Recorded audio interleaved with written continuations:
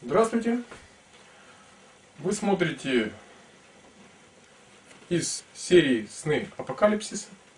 Вот. Значит,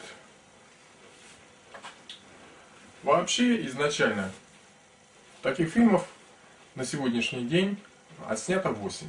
Вот. Это фильмы, которые рассматривают проблемы человечества, глобальные проблемы человечества, влияние на них и по подходят к рассмотрению этих проблем под другим углом, нетрадиционным углом, так сказать,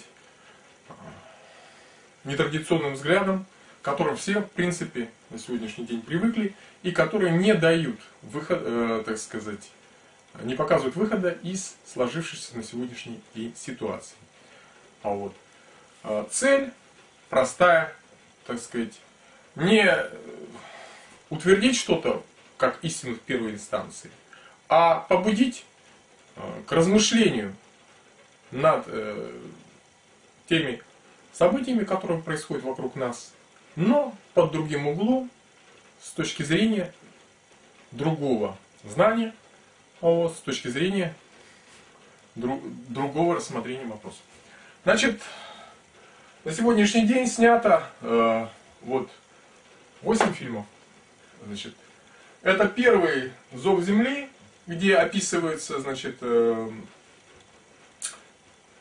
поднимаются вопросы по отношению к Земле, отношение человечества к Земле и так далее, сегодняшнее состояние Земли. Второй – это рассматриваются проблемы, которые стоят перед человечеством, угрозы, которые, так сказать, э, по отношению к нему существуют.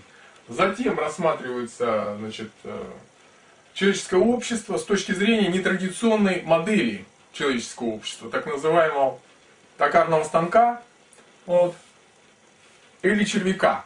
Вот. То есть, э, как бы здесь дается просто модель. Модель для понимания процессов, происходящих в человечестве, в человеческом обществе, вот, и, соответственно, процессов на, на планете Земля. Вот. Устройство матриц – это рассматривается вопрос мировоззрения, то есть э, то, как человек, под каким углом он смотрит, что влияет на его, э, так сказать, искаженное, так сказать, восприятие действительности и так далее. То есть тут тоже э, показаны целый ряд моделей, вот, которые помогают, как мне кажется, как-то по-другому посмотреть на вот эти вопросы. Значит, прыжок – это описывается система изменения сознания. А, традиционно масса людей, которые, значит, гуру-то вот эти всякие разные, они предлагают э, систему изменения сознания, которая на сегодняшний день сознание никому по-хорошему не изменили. Но зато позволяет им зарабатывать хорошие деньги а вот, и вешать лапшу на уши населения, так сказать, благополучно. А вот. Значит, Здесь вот именно рассматривается вот эта вот возможность, каким образом можно сдвинуть сознание, как конкретно. Предлагаются, так сказать, пути решения. Обитель зла. Обитель зла рассматривает значит, процесс, а, изучает такой вопрос, как поток, вот, рассматривает а, процесс обмена между а, планетарного обмена, вселенского обмена между, там, допустим, планетой Земля и Солнцем происходящего обмена, значит, энергетикой, а, взаимодействия двух этих, так сказать, небесных тел. Вот. И, как говорится, на возникшие нарушения. А вот. Выбор человека. Это фильм о том, как, э, что должен делать человек в сложившейся ситуации сегодняшней. И, так сказать, там выскажено целый ряд предложений, что вообще можно сделать, что может сделать каждый. Значит, новая серия, это вот э, сны апокалипсис тоже, это война крови. Это первая часть, первая часть уже снята. Значит, э, там рассматривается сам вопрос войны крови, противостояние с, светлых и темных, так сказать. То есть э, магов белого потока, да, светлого потока, который, значит, вот. И магов, так сказать, темного потока, тот, того потока, который идет во тьму, опускает, так сказать, работает в направлении нижних чакр, да, или там э, энергетических центров. А у светлых, соответственно, вверх. Вот. Рассматривается их противостояние. которая затрагивает нас всех, да, и, так сказать, эм, аспекты этого противостояния, которые мы можем наблюдать в обществе. То есть через призму вот этого знания рассматриваются все процессы, происходящие в обществе. Сейчас мы будем э, значит, рассматривать это «Война крови», вторая часть. Значит, вторая часть, она будет рассматривать такие вопросы, как резонанс. Вот. Они, она будет рассматривать а, значит, вопросы, связанные с возникновением, так сказать, таких моментов одержимости в истории, когда человечество резко меняло какие-то свои параметры, какая-то группа в обществе или какое-то государство меняло, и возникали там войны, катаклизмы и так далее, и так далее. То есть, вот, рассмотрим, так сказать, вот этот вопрос. Также мы рассмотрим, а, значит, воздействие резонанса, которое, так сказать, э, существует у нас на планете, да, и какие возможные существуют у нас. Ну, не сами устройства мы не будем рассматривать, мы будем рассматривать а, глобально, как эти устройства воздействуют. То есть на людей, так сказать, на наше общество, как изменяет наше поведение. Вот таким вот образом. Значит, стартует. Э, все, поехало. Да, ну все. Так, сегодня мы обсудим, значит, глобальные вопросы, которые стоят перед человечеством. То есть вопрос э, о том, что происходит конкретно на планете Земля, что происходит с человечеством, какие проблемы, так сказать, перед человечеством стоят, как их и возможные пути их решения. То есть, э, как решить вот, то, э, как выйти из того состояния, в которое попало сегодня человечество. Скажем так, первая и основная проблема, которую все обсуждают, это проблема а, нехватки ресурсов. Ну, считается, что а, заканчиваются ресурсы, значит, у нас нефти, там газа, и так далее, и так далее. То есть э, различные металлы, все, все это знают, об этом много говорят, и, так сказать, это широко освещается во всех, так сказать, изданиях. Вот. Но есть и другие проблемы, которые, как говорится, не обсуждаются и не выносятся на, так сказать, широкие столы обсуждения. Вот. А между тем эти проблемы являются основополагающими. Почему? Потому что, допустим, без нефти, без э, угля, без каких-то минералов, там, металлов и так далее, человечество жило и жить может. То есть есть такая практика, хотя как бы считается это не прогрессивно, но все-таки э, состояние выживания возможно. А без таких основных э, показателей планеты, как э, значит, э, ты можешь в камеру смотреть, количество, лучше. Да, количество кислорода, количество кислорода без, э, значит, э, сос, без привычного нам состава атмосферы, без, э, так сказать, темп, тем, того температурного режима, к которому мы привыкли, а также без... Когда ты говоришь в сторону, не надо отходить, ладно? Вот, вот так нормально? Ну, посередине лучше, конечно, стой. Ты в сторону да. отходи, когда будешь, э, когда будешь на доске. Понял, понял, хорошо. Вот так стою, да? Значит, да. без, без э, решения вопросов, э, ой, без, так сказать, без этих компонентов всех, это и кислород, и в том числе, значит, э, и вода, и как ресурс погоды, который, собственно говоря, и позволяет расти множество растений на планете, вот, и, э, значит, э, позволяет нам выживать, вот, в этих условиях. Вот. Без этих ресурсов э, человечество просто не выживет физиологически. а не выживут и многие другие животные, в том числе, вот, которые являются источниками питания, также растения и многое другое, что, так сказать, существует э, значит, на Земле. Все, так сказать. То есть нарушение режима, режима планеты, режима жизненности планеты приведет к тому, что человечество просто, и не только человечество, в общем, планета перестанет э, существовать как живая.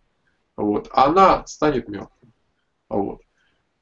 На данном этапе вот именно вот эти проблемы, именно ресурс жизненности планеты является самым угрожающим, так сказать, э, для человечества, для вообще жизни на планете. Вот. А этот ресурс с очевидной реальностью исчерпывается. То есть на сегодняшний день это мы подошли уже к пределам, по сути дела, а, воздуха в атмосфере дыхательного. Вот. Об этом мало говорят, но в определенные моменты можно, особенно те, кто имеет в городах, допустим, в своих домах печки, могут заметить, что зажиг... Э, процесс зажигания ухудшился. Вот. Ну и, в общем, те ученые, которые, в принципе, э, доносят Э, вот эти данные. В общем, эти данные говорят о том, что кислород приближается к пределу, пределу нормального физиологического существования. Изменяется pH воздуха, изменяется, так сказать, состав э, вот этих вот газов. Очень много стало тяжелых газов в городах. Вот. Это, так сказать, привело к гибели э, мелких птиц в районе, так сказать, э, городов и э, таких крупных населенных пунктов. Вот. Ну, также плодородие, это, я думаю, многие дачники, те, кто использует э, свои, значит, на своих участках, заметили, что растения стали хуже расти. Вот. Э, потому что погодные условия э, очень нестабильны, погода изменяется и, значит, происходят вот эти вот, так сказать, условия это не подходят. Вот, исчезновение различных растений, трав, которые в принципе были нам привычны, и не только лечебных, но и обычных трав. Исчезновение в лесах, э, э, исчезновение значит, и ягод, и различных, так сказать, плодов.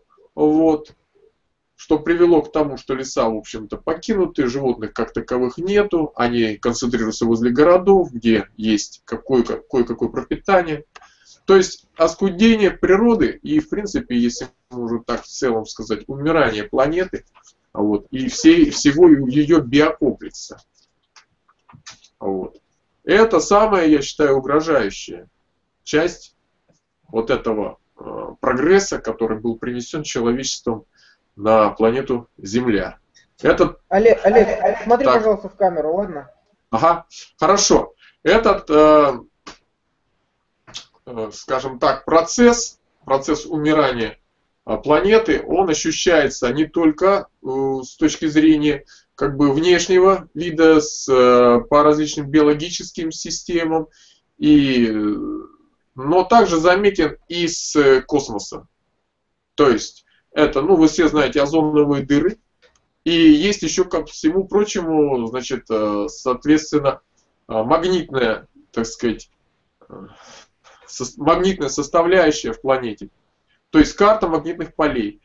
Но вот если посмотреть на озоновые дыры, то вот планета в целом, если по озоновой системе, напоминает какие-то некое подобие вот какого-то изгрызенного яблока. То есть озоновые дыры разбросаны в различных участках планеты, и со создается такое ощущение, что, в общем-то, а, планета, оболочка планеты, если считать ее как оболочкой биологической, то есть оболочкой, как вот бывает у значит, живых существ, то она просто изъедена.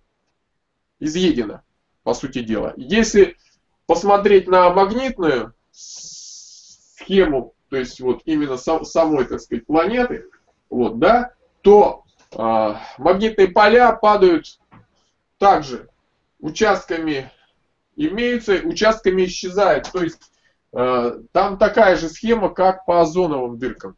То есть возникло вот такое состояние, как будто червяк какой-то, э, такой внешний как бы вид планеты, как будто какой-то червяк очень активно поработал вот над этим яблочком. То есть прогрыз все, так сказать, э, разгрыз все системы, включая там и магнитную, и э, систему, скажем так, вот, если это называется оболочка, да, наружная, это называется наружной твердью, да, она защищает нас э, частично, так сказать, от проникновения различных э, инородных тел на планету. И магнитное поле здесь дополнительно играет роль э, щита. То и озоновый щит пробит, и, по сути дела, магнитный щит пробит во множестве мест. То есть это позволяет э, вот, э, проникать сюда в массовом порядке различным, так сказать, телам. Это вот последние эти метеориты. Вот, и падение метеоритов участилось, да? Вот. По причине именно вот разрушения наружной оболочки, наружного щита. Плюс э, проникновение сквозь вот эти дырки жесткого излучения, это так, так называемые высокие вибрации, да, как некоторые, которые сжигают и э, листья растений, и, э, так сказать, э, видимо, еще каким-то образом влияют на живые системы. Вот. То есть эти процессы на самом деле слабо освещаются. Вот, никто об этом так не говорит активно. Вот, че, чему вообще это приводит и каким, э, значит, чем это нам в дальнейшем э, грозит. Я имею в виду, как сказать, не тот момент, когда полностью щит будет в каких-то местах исчезнет и все сгорит, а имею в виду вот эти вот мелкие пробоины, которые образовались. Но, э, что можно сказать? Значит, вот эта вся система, еще добавляется тем, что если брать конкретно планету, да, то планета из себя, из себя представляет тоже сама поверхность планеты, она каким-то образом вот так вот непонятными образами изъедена какими-то такими отверстиями. Это перенос грунта, это добыча полезных ископаемых, это строительство городов. То есть вот представьте себе тело, да, ну пусть оно на оси там находится на какой-то, вращающийся со сверхзвуковой скоростью, то есть наша планета вращается со скоростью где-то в районе скорости звука, да, вот, на которой какие-то товарищи, балансирчики вот эти, поубирали, да, Автолюбители знают, достаточно убрать балансир с, колес, с колеса, который, значит, э, центровал колесо, то начнется разбиение оси. И действительно нашу планету бросает бросает, она смещается на оси в разные стороны. То есть идет процесс смещения на оси в разные стороны относительно вот оси. Вот. Это можно наблюдать по тому, как сегодня, допустим, у вас Луна находится в одном месте, завтра она находится совершенно в другом месте, не в том, где должна быть, и размер Луны, как говорится, варьирует. Она может быть такого большого размера, допустим, это что вот заметно по крупным телам. Но, так сказать, это заметно и по мелким. Этот момент тоже не освещается. То есть речь идет о том, что идет полное разбалансирование всей системы, и космической, вот, и природной на планете. То есть эти все системы, которые, так сказать, все это, вот, они обеспечивают жизнь на планете, то есть обеспечивают уникальные условия жизни на планете. Вот. Разрушение этих систем приведет к тому, что жизнь на планете просто исчезнет. Вот. Нас убеждают, что это не люди все сделали, это кто-то другой сделал. Но вот это вот простое понимание того, что полностью мы повыгрызали практически всю планету, повыгрызали, попробивали ее, так сказать, э, щиты, вот, частности, озоновый щит пробивается постоянно взлетающими ракетами, различными выпускающими нашими спутниками, там, и запускаемыми, так сказать, телами с планеты. Вот. Ну, плюс там какие-то еще другие действия, вот, связанные. Ну, сейчас, может, не взрывают атомные бомбы, так сказать, и не какие-то а, другие испытания не проводят. Раньше это проводилось. Но вот сейчас запуски. Ну, то есть влияние человечества на планету очень высоко. Возникает очень интересный вопрос, да? Интересный вопрос. Вот у нас планета, по сути дела, гибнет, это видно, да? Каждый день умирает определенное количество живых существ, исчезает навсегда. Вот. Возникает очень интересный вопрос, да? Мы все это видим, многие это видят, многие об этом знают, никому это об этом доказывать не надо. Вот. И мы знаем, что это мы делаем, что мы причастны к этому. Вопрос такой. А если жизненность планеты полностью будет, как бы, перейдет, э, скажем так, вот мы сегодня, по сути дела, э, стремительно ухудшаются и погодные условия, стремительно падает урожайность, стремительно, так сказать, э, увеличилось количество заболеваемости, так сказать, людей, вот, масса заболеваний растет и все остальное. То есть на людях это отражается тоже, но при этом никто ничего не делает. Вот это поразительно. Никто ничего не делает и никого это не заботит, по большому счету. Возникает вопрос, а почему так? Я думал об этом. Я рассуждал, пытался понять, почему мы, убивая, собственно говоря, планету, да, это вот э, то, что создает нам условия для жизни, мы э, ничего не делаем. По сути дела, мы убиваем себя. И мы ничего не делаем, и мы не пытаемся как-то спасти себя, не пытаемся как-то спасти место нашего выживания. Ну, у нас что, космические корабли где-то стоят? И мы готовы улететь на другую планету и начать там тоже процесс разрушения. Нет, очевидно. Вот. Значит, очевидно, что нет, кораблей у нас нету, вот, и не улетим мы на другую планету, и ничего, так сказать, э, э, не, не получится. Так в чем же проблема? А проблема, она такая. Дело в том, что у нас есть планета, которая представляет собой реальность, у нас есть тело, которое тоже реально абсолютно, но у нас есть э, ум, который, э, конструкция которого э, это наше строение. Это мы его строим, мы создаем. Это конструкция, созданная, ну скажем так, обществом, созданная нами конкретно каждым. То есть и в этой конструкции, в этой конструкции все есть. Все есть. Есть машины, есть дома, есть, а, значит, наша недвижимость какая-то там, какие-то наши фабрики, заводы, э, игрушки наши, вещи, которые мы очень любим, да? Но там, к сожалению, нет планеты. Почему нет? Ну нет и все. И потому что это может быть большой файл, потому что нам она не интересна, она всегда прилагалась. Мы всегда ей пользовались. Кто-то нас убедил, что мы можем пользоваться ей, и там потом ее за 7 дней кто-то там восстановит или что-то произойдет, и раз, и все будет опять. И опять можно будет пользоваться. То есть вот такой вариант пользователя. Вот. Но практика-то показывает, что нет. Мы не можем восстановить даже те системы, которые разрушили. А они почему-то не восстанавливаются.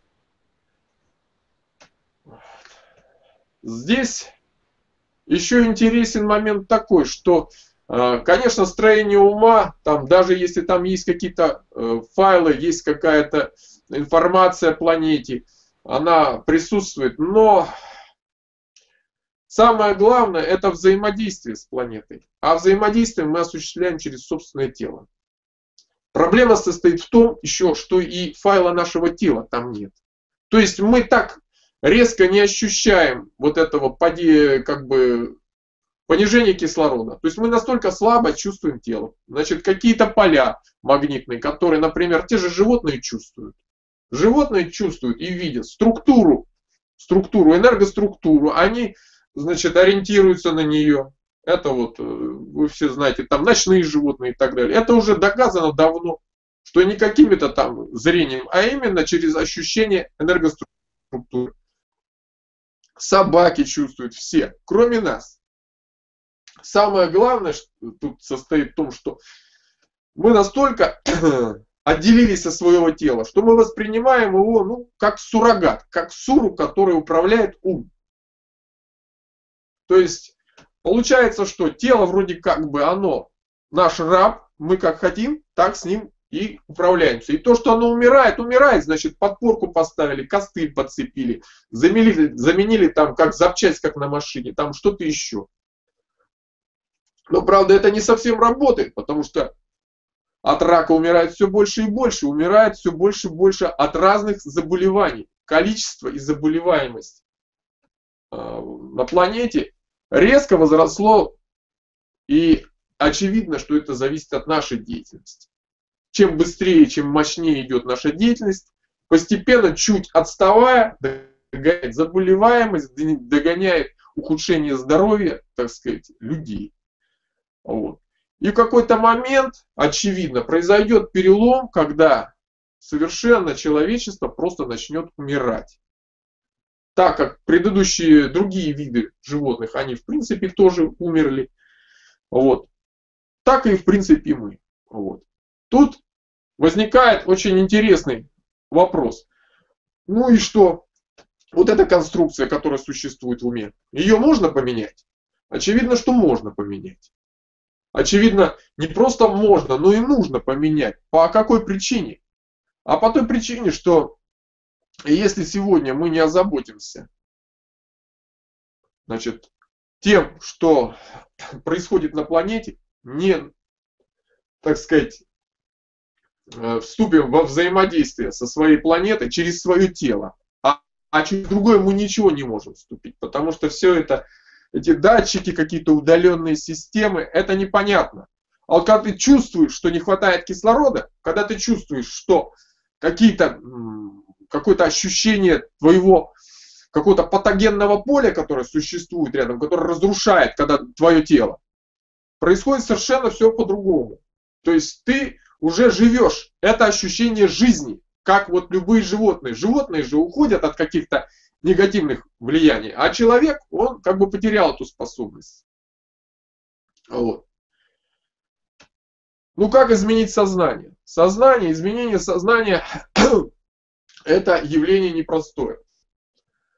Вот, скажем так, я представлю вот такую модель общества, которая, так сказать, у нас существует. Эта модель, она напоминает вот такую а, как бы колонну автомобилей, представим себе, да, которая несется в сторону вот такой вот стены. Вот. Причем очень быстро несется. Стена это вот это вот. Это ресурсы, которые, как говорится, стремительно сужаются. Вот. А впереди это у нас наши, так сказать, э, элита, олигархи, там кто-то еще, да, у которых много ресурсов и все остальное. Вот они впереди, они рвутся, мчатся и все остальное. Вот. Что произойдет при лобовом столкновении? Ну, любой автомобилист знает, что при лобовом столкновении, если хорошо разогнаться, произойдет гибель автомобиля, гибель того, кто в нем сидит. Вот. Почему, значит, вот несмотря, глядя на вот эту вот, как говорится, сужающуюся ресурсную систему, это общество, как бы, эта банда она не останавливается. Почему? Потому что вот здесь вот существует конкуренция. Надо быстрее как бы достичь каких-то ресурсов, ухватить что-то и так далее. Вот. В результате, значит, этого, соответственно, останавливаться им нельзя. Но есть люди, которые, как говорится, вытесняются уже за счет того, что сужаются ресурсы, а потом еще, видимо, у них возникает такое как бы чувство, они вот заглядывают, может быть, из, из, из своего автомобиля и видят, что впереди-то стена, впереди-то конец. И им как-то не хочется туда подсознательно. Вот. Но есть еще команда, которая вот здесь вот в центре, как это вот некие, скажем так, вот бегут некие, так сказать, животные, да, и не видят, что впереди, ну, передние же мчатся, ну, догнать их. Вот. И мчаться, значит, за остальными. И вот есть вот эта группа, которая выделяется, группы. Сейчас они появились. Это люди, которые, ну скажем так, у них начинает меняться сознание, они просыпаются. Они хотят отделиться, они не хотят лобового столкновения. Инстинкт, инстинкт заставляет их менять свое мировоззрение. Поворачиваться на какую-то там, пусть на 90 градусов, да, ну чтобы не в лоб, а хотя бы боком зацепиться. То есть не разбиться насмерть. А вот. Дело в чем, если человек, имея, допустим, это практика войн различных, революций и так далее, если человек, имея определенное сознание, с определенным расстановкой определенных ценностей, вдруг его система это рушится, возникает состояние катастрофы сознания. Он с вот этими ценностями подходит, но больше так жить он не может. Все, наступает катастрофа сознания, человек, вот этот вот, с вот этим сознанием, он умирает. Неважно, живое, целое его тело или там повреждено, или неважно в каком состоянии, он умирает. Он умирает медленно или быстро, это не важно. Все равно сознание, сознание погибает у него, а тело без сознания не живет. Вот. Поэтому вот эти люди, которые на 90 градусов постараются повернуть их сейчас тут там кто-то лузерами называет, кто-то там еще кем-то. А это как раз люди, которые зарождается новая система сознания.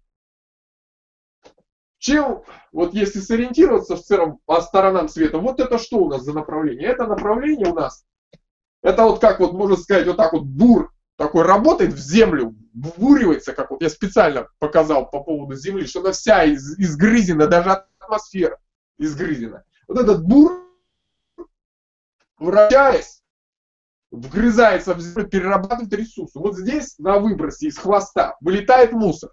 Основное производство человечества – это не вещи.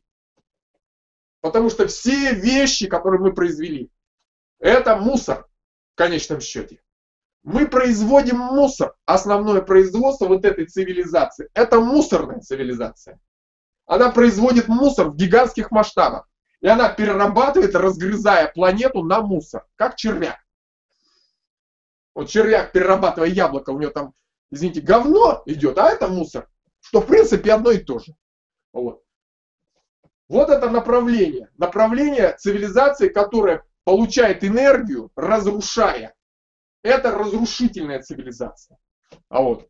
И она такова и есть, она самоорганизующаяся, бесполезно что-либо менять, она вот именно старается зажать, так сказать, своих вот членов вот в такой, как говорится, клин и не выпускать. А вот эти, которые вылазят, она старается их отключать. Значит, мы совершаем разворот. Кто-то совершает разворот. Вот эти люди, люди будущего, скажем так, совершают разворот. Что же вот в том направлении должно быть? Вот здесь, в эту сторону.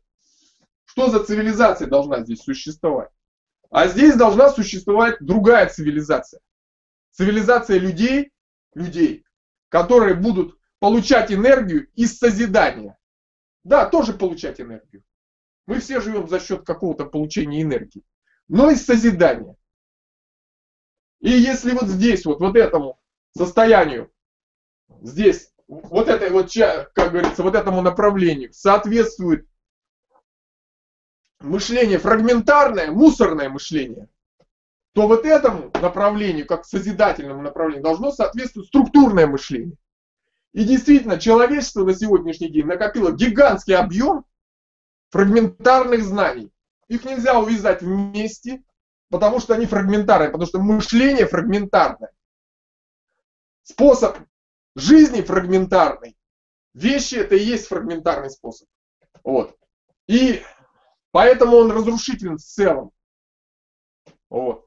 А это созидательное мышление и способ э, жизни, соответственно, этот будет созидание и создание структуры, структуры, структурное мышление. Структурное мышление позволяет, позволяет осваивать огромные объемы информации, огромные объемы информации, и располагать их в очень маленьких размерах, в маленьких объемах.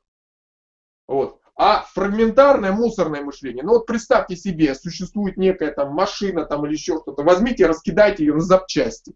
Будет огромная гора, соберите вместе, будет небольшая машинка. Вот это вот есть состояние. То есть целый объект, целостный объект, представляет себе небольшой объект. А когда его разметать на мусор, да еще добавить каждому детали описания и так далее, это будет гигантская гора, которая в принципе и никак, потом еще неизвестно, как ее собрать. Вот. Поэтому человечество должно развернуться, должно развернуться, оно развернется и никуда не денется, потому что большинство не захочет умирать, как говорится, сокрушая свое сознание об эту стену, стену, которая уже перед нами показалась. Эта стена – окончание ресурсов. Понимаете, окончание этой цивилизации, потому что ресурсов больше для вот этого образа существования, который мы вели, нет. И это правда. И все это знают, но никто не хочет это сказать. А почему никто не хочет сказать? Да потому что вот для тех, кто находится впереди, для тех, кто впереди, это конец. Это признать что они несостоятельны и все. Это крах их сознания. Они не хотят менять свое сознание. Вот. И по этой причине они хотят, чтобы и другие не меняли свое сознание. Но человечеству придется заменить свое сознание по одной простой причине, что, как говорится, у него выбор, выбора нет. Либо смерть, либо смерть, либо изменение сознания. Причем смерть такого порядка, что мы можем и планету вот в процессе вот последнего вот этого состояния довести до того, что она станет безжизненной. И даже вот этим, как говорится, тем, кто пытается развернуть свое сознание, им не удастся выжить на этих, вот в этих условиях. Поэтому у нас есть только один выбор. Поменять сознание. Поменять сознание. И те, кто начал менять сознание, кто начал, так сказать, задумываться и пытаться переставлять свои ценности, пытаться искать, как говорится, пути выхода из э, вот этой вот ситуации, это люди будущего, они сформируют новое человечество. Вот. А те, кто, как говорится, движется в этом направлении, обязательно придет к состоянию краха сознания. Поэтому это физиология. Здесь как бы говорить о чем-то так больше не приходится. Потому что крах сознания – это смерть. Все. Вот. И то, что мы достигли вот этой, именно вот этой точки, когда мы дальше уже не можем развиваться, потому что ресурсов нет, вот, это говорит о том, что эта цивилизация закончила свое развитие в целом. И вот эти кризисы, которые идут, и экономические, и другие, это вот именно показатель этого. Поэтому человечество сейчас, лучший вариант был бы, изменение сознания и поворот в другую сторону. То есть в другом направлении другого. Вот. Это позволило бы и сохранить планету, и сохранить, так сказать, человечество в том, ну, скажем, не пусть не в тех размерах, потому что я так думаю, что не все, не все будут, как говорится, готовы к изменению своего сознания. Вот. Многие люди так сказать, свое сознание менять не захотят, потому что они не видят и не представляют своей жизни без вот той системы, в которой они существовали. Ну, вот. Это, как говорится... Понимаю, я насколько понимаю, да. что э, рано или поздно э, придется сделать разворот, потому что эта стена, она буквально очень как бы такая роковая, плотная. То есть, грубо говоря, чем раньше, тем более, э, тем как бы... Да, тем безболезненнее, тем меньше, больше людей сохранится, тем больше у нас... Дело в том, что если мы подходим вплотную к этой стене, да, у нас нет ресурсов даже на разворот. То есть, ну, как любой человек понимает, что в узком, так сказать, пространстве развернуться невозможно. Вот. Поэтому у нас не будет ресурсов на разворот мы будем тяжело болеть, мы будем, как говорится, у нас не будет продовольствия и так далее. Нам будет очень сложно разворачиваться. Поэтому желательно это сделать как можно раньше. Как можно раньше. Вот. И, так сказать, это будет гуманно по отношению ко всем. И, к тем, кто в том числе не хочет, так сказать, э, терять эту систему, не хочет разворачиваться. Это будет гуманно по отношению ко всем. Потому что в противоположной ситуации, если человечество не отказывается от этого, то происходит столкновение, в результате которого гибнут все, и те, кто, так сказать, э, начал изменять свое сознание, и те, кто тем более не начал изменять свое сознание. То есть это будет уже катастрофа. Катастрофа, которая приведет, ну, может привести по, практически поголовному истреблению человечества. То есть вот в чем система. Вот. Значит, что можно сказать по системам сознания? Сознание поменять чрезвычайно сложно. Почему? Потому что это конструкция. На ней базируется, ну вот, ее можно представить в виде, ну скажем так вот, какой-то платформы, да? То есть нельзя вынуть какую-то отдельную часть безболезненно. Вся платформа начнет раскачиваться, начнет как-то, так сказать, шевелиться, изменяться. Поэтому изменение сознания достаточно сложное. Очень непростая, э, так сказать, как сказать, технология. Вот. И произвести ее вот, обычному человеку ну, большинству людей, которые в принципе с, с этим не сталкивались, не как бы не думали об этом, тем более, тем более в условиях вот фрагментарной науки, которая на, на, выдумывала массу всяких терминов и скрыла, в общем-то, сам предмет, сам предмет вот этого самого, саму нашу конструкцию нашего ума, или они называют сознание, там, подсознание, разделила на множество всяких разных деталей. В общем, людям непонятно, как это сделать. Почему непонятно? Потому что многие годы, на самом деле, многие годы, наши классики, литература, там, значит, философия, говорили об этих вопросах, говорили о том, что человечеству надо поменять сознание. Сейчас есть те, кто тоже говорит об этом. Вот. Но Почему этого не происходит? Почему они не могут конкретно сказать, а как это поменять, а как это сделать? Да потому что они не знают. Не знают об этом и великие какие-то там гуру, которые много чего там рассказывают и, там, и так далее, и так далее. Потому, ну не знают, видимо не знают, потому что технологий как таковых нет. Многие пытались заниматься вот этими, в частности, вот теми технологиями, которые предлагаются. Но эти технологии, они либо чрезвычайно сложные, либо потом, как выясняется, они не очень эффективны. Или меняют сознание так, что человек, извините за выражение, сходит с ума. А, вот, а э, таких у нас много. Значит, да. хочу сказать вопрос. Значит, э, меня сразу напрашивается такая мысль, что э, глядя на эту модель стены, сразу напрашивается такой вариант. Да. Как, например, трампли... подушка трамплин стены. Ну, вариант, конечно, интересный. Тут уже можно конструктивно вся, всяко разно продумывать, как это, как разворачиваться, как это удобнее сделать и так далее. Это вопрос технологии, действительно технологии именно.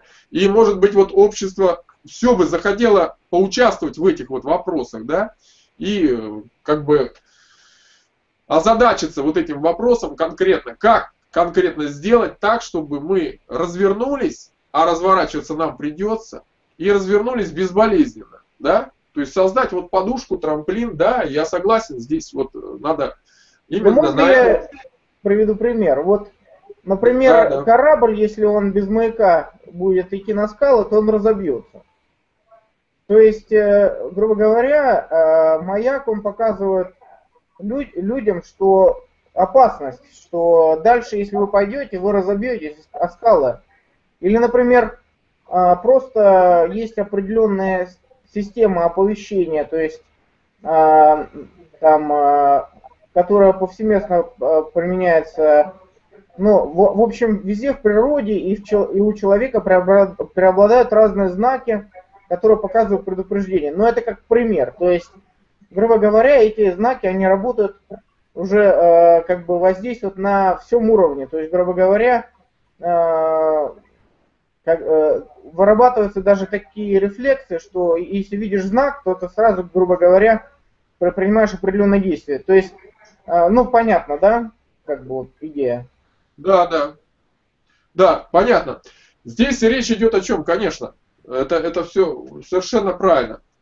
Люди подсознательно, основная масса, они именно ищут вот этот вот момент, потому что они увидели какие-то знаки, они почувствовали где-то это внутри, у них что-то проснулось, они поняли, что что-то не так. Кто-то идет на землю, кто-то идет еще куда-то. То есть очень масса вот таких вот э, различных движений.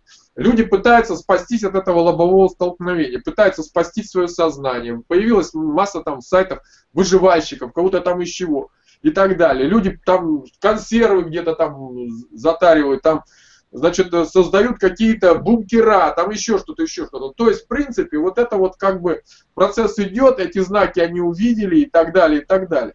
Но дело в том, что вот, э, например, я, мой жизненный опыт говорит о том, что человек может иметь там консервы, может иметь все запасы, но если его сознание, сознание вот э, потерпело крах, то он жить не будет. Вот есть замечательный фильм этом американский, там «Дорога», да? Там очень неплохо показана примерно такая же ситуация, что человек просто, ну не может он жить вот, вот так вот. У него его сознание не справляется с этим. Вот он как оно как было, так и осталось вот там в прошлом. И он погибает. Поэтому я считаю, основной ресурс, который существует, который существует, и который позволит человечеству выжить, это не консервы, не какие-то там эти вещи Первое и основное – это изменить сознание. Именно это позволит выжить. То есть мы знаем замечательные такие случаи, это вот как бы, я вам такую приведу, там техника спецназа, там еще, когда человека бросают голову практически куда-то, да, и он выживает. Выживает в тяжелейших условиях, потому что сознание у него настолько конструкция ума крепкая, что он практически супер живуч, да, то есть, а есть люди, которые, имея физически очень развитым, это, имея какие-то там, э, значит, и навыки в том числе, но очень слабая конструкция ума, слабая конструкция вот этого сознания, да, они попадают в тяжелые условия, и все, наступает конец. При том, при всем, что у них вроде бы все есть для того, чтобы, так сказать, одержать вот эту победу, да, но они ее не одерживают. Поэтому основной ресурс это не запасы генераторов там каких-то там э, супер каких-то там печек, чего-то там еще, э, горючего там, консервов и все остальное. Все это кончится когда-то. Основной ресурс это вот именно, э, значит, сознание. И сейчас человечество, вот человечество, очень многие ребята, я просто наблюдаю, почему, они двигались в этом направлении, но остановились. Они как бы вот достигли, вот если так выразиться, вот, допустим, состояние, я называю это состояние прыжка, когда вот существует одна система, да, вот, как бы, существует вторая система, да, то есть вот две системы. И вот они скопились на этом конце, и они хотят прыгнуть, изменить свое сознание, но они не знают как, потому что нет ни методик, ни каких-либо объяснений простых, чтобы простому человеку было понятно. Понятно, как это сделать? Вот мне вот просто, вот я вот тут работаю, да, не какой-то там супер заумную мне книжку, ты мне объясни просто, как это сделать. Просто как сделать, чтобы не повредиться, еще остаться, как говорится, в этой системе маленько, зарабатывать там что-то еще. То есть, я так понимаю, многие, э, здесь же как, можно сказать так, вот спрыгнуть вот перед вот этим вот, э, которым э, рисовали этот поездом, да, вот этим вот, с этого поезда, с этого трамвая, который несется вперед, можно и под конец. И это тоже может, все равно даст возможность выжить. Да, но только это как бы спрессует все условия, тебе придется и физически, и морально доворачиваться быстро до вот этого, э, как говорится, до, то есть в ту сторону, то есть совершить доворот. А это тяжеловато, когда ты и физически, и морально. Поэтому, но при этом то, что если ты рано спрыгнешь, да, тебе получается, что тебе система раньше начнет отключать. А как только она тебя начнет отключать, то есть ты будешь меньше получать ресурсов. Вот бежа, как говорится, в середине вот это вот, вот это вот, ты будешь получать ресурсов побольше. Вот. Но при этом это приведет к краху сознания. А если ты спрыгнешь раньше, то получишь ресурсов меньше, физически тебе будет тяжело, вот, но сознание твое быстрее изменится, то есть ты сохранишь сознание. То есть каждый выберет сам, когда он спрыгнет. Это вопрос здесь подталкивать никого нельзя. Но он прыгнет, когда будет готов, я так понимаю. Вот. А вот люди скопились, им нужна технология. Сегодня нужна технология изменения сознания. Вот этим вопросом, вопросом, ну как бы я вот занимался этим вопросом над собой, собственно говоря, экспериментировал и так далее. То есть изучал этот вопрос. Потому что, ну, мне как-то ну, давно неуютно в этой системе. Вот. А можно вопрос? И кое-какие... Да, да. Насколько разнообразная эта система может быть для разных людей? Это сколько людей, столько, столько существует различных э, вариантов этой системы. Здесь так, принцип какой? Ну вот я, конечно, на себе, да, отработал это. Но в принципе, вот то, что хотелось бы создать, это вот хотелось бы создать универсальную систему для различных людей, то есть которая бы просто являлась именно вот этим вот моментом структуры, который человек использовал бы, а э, исходя из собственных вот таких вот каких-то э, значит, своих особенностей, эта структура именно позволяла ему э, изменять стиль. То есть берется только за основу конструкция, а действия уже идут от, как говорится, конкретной ситуации. То есть человек как бы берет основной, как скажем так, конструкционный ресурс. И из этого ресурса, из, понимая, как он работает, да, он выбирает, а тут я в такой точке нахожусь, значит я так. Никто не может определить, в какой точке ты находишься, только ты сам. Никто не может за тебя определить, когда ты прыгнешь, только ты сам. Вот. И никто не может за тебя определить, прыгнешь ли ты вообще. И надо тебе, тебе или это, или либо ты просто как бы не захочешь расставаться с этой системой. Но сейчас мы ведем речь именно о вот этой вот части человечества, потому что как бы те, которые бегут, те, которые бегут вперед, вот эта вот часть, они, у них все нормально. Они как бы в своей, так сказать, системе, они счастливы и все у них замечательно. Поэтому нормально все. Вот, о них мы говорить не будем. Может быть, они проснутся, может быть, не проснутся. Это как бы нас не интересует. Можно вопрос? Нас интересует... А есть ли адаптивный да, да. способ, не прыгающий способ, а адаптивно трансформирующийся? Нет, ну прыжок, прыжок это я говорю условно прыжок. Прыжок на самом деле это как бы состояние, скажем так, перед столкновением. То есть, а, когда ты а как бы, скажем так, ну, скажем так, ты уже отрываешься от системы, ты уже являешься частью другой системы, да? Вот это вот скорее, вот прыжок вот тогда совершается. Ну, вот. можно, мне кажется, здесь мне это представляется больше похоже не на прыжок, а как, например, поворот не в обратную сторону, а хотя бы в бок, да? Хотя бы в бок. Нет, дело в том, что вот это оно хотелось бы так. Проблема состоит в том, что человек это существо такого состояния, физиология так устроена, что мы испытываем какое-то сильное воздействие, да, вот запах какой-то, да, а потом этот запах, он все равно присутствует, но мы его уже не чувствуем. Вот получается вот такой вариант ступеньки, то есть вот сейчас мы, допустим, что-то увидели, когда поднимались на эту ступеньку, вот в этой точке, вот здесь вот, мы почувствовали это, дальше это уже не чувствуется. Мы находимся в этом состоянии. Поэтому я называю это состояние прыжком. Вот. Потому что мы движемся ступенчато, рывковым вариантом. И вот точки, где мы действительно чувствуем, что мы что-то проходим, это вот эти точки пограничные. А дальше это уже становится частью нас, и мы этого не чувствуем.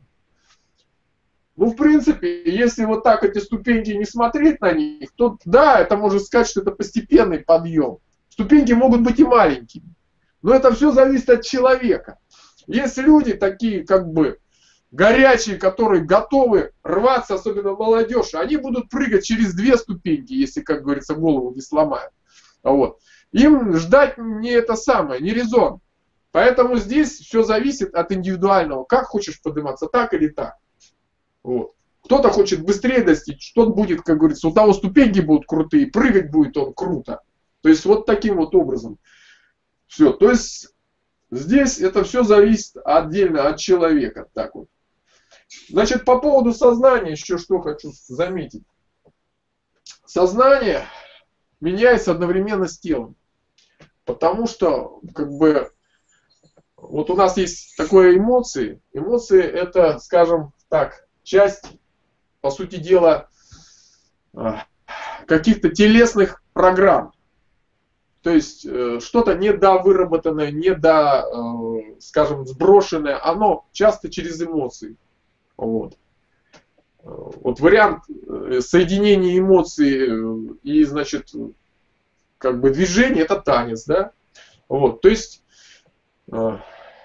тело, тело позволяет очень неплохо развивать сознание. То есть обязательно должно использоваться тело здесь в этой системе. Почему? Потому что тело забирает вот эти перегрузки информационные, которые мы получаем в результате изменения сознания. Оно как бы снимает вот эту напряженку, которая возникает, когда у нас мы перестраиваем свои миры. Вот. То есть вот таким вот образом.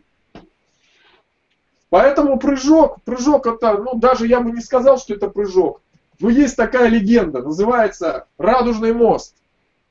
Эта легенда, она крутится везде, это из древних легенд, как говорится, она идет там в купе одним, с одним и тем же, там, это проход через огненный вал, там, это радужный мост, это, значит, э, легенда о радужном мосте, который, так сказать, переводит в состояние, допустим, там, вот, как мы говорим, в рай, да? Вот. Так вот, вот эти люди, которые изменят свое сознание, они попадут в рай. Почему? Потому что то общество, общество созидания, это называется раем. Это общество, где будут жить творческие люди, они, там не будет зла, там не будет вот этого разрушения, там не будет вот этих отношений между людьми, потребительских, рваческих, по сути дела мусорных отношений, когда каждый от каждого кусок отрывает. Там будет все по-другому. Вот это и есть тот радужный мост, через который, как говорится, надо пройти или прыгнуть, как хотите. Здесь вопрос именно в этом. И те люди, которые туда пройдут, изменят свое сознание, они будут жить в другом обществе, где будут другие законы. Законы больше похожи на райские, или, как скажем так, на общество гармоничного развития. Вот так вот назовем это. Вот. Поэтому сейчас человечество стоит на пороге вот этого выбора. Кто пойдет туда, кто останется, так сказать. Вопрос вот. можно? Да, да, конечно. А как быть, вот я понимаю, это люди, которые хотят жить и, в общем, быть счастливыми. А как же быть да. с людьми, которые хотят умереть или которые обладают дефектами э, генетическими или какими-то еще? То есть э, я говорю про людей, которые хотят умереть. Им уже все равно. Они хотят просто, грубо говоря, оттянуться на полную. Понимаешь? Ну, во Вселенной все возможно. Если они хотят оттянуться на полную, да, ну пусть оттягиваются на полную. Стена уже близка, в общем-то, в конечном счете они все равно погибнут, потому что дальнейшее общество Дело в том, что я говорю, что здесь им поможет именно катастрофа сознания, потому что дальше это общество вот это вот, которое оно продолжать не будет, потому что ну возможности нет. Нет возможности. Все бы хорошо, но нет возможности больше. Так вот, как говорится, извините, ребята, все кончилось. Поэтому тут ничего не Поэтому они сейчас и отрываются, вот они отрываются по полной, да, мы это наблюдаем вот во, во всем этом. Ну пусть отрываются. Это тоже гуманный способ конечном счете, почему бы и нет? Кто-то э, получает удовольствие в падении, да? Это тоже э, как бы эмоции, это тоже какие-то новые ощущения, да? Сегодня человек, как говорится, э, занимался там сексом, завтра извращенным сексом, да? И тоже, в общем, это все неплохо, да? Какие-то новые ощущения, вот. Но это падение, оно произ, произ, закончится, в принципе, быстро достаточно. Ну, тоже опыт. Говорят, что как бы мы пришли сюда получить опыт. Ну вот, наверное, так. Эти. Поэтому я считаю, что на этих людей, ну, это у них свой путь. И вмешиваться в чью-то жизнь и говорить ему вот так-то, так-то. Другое дело, если они попытаются стать на пути у этих людей. это уже будет совсем другое.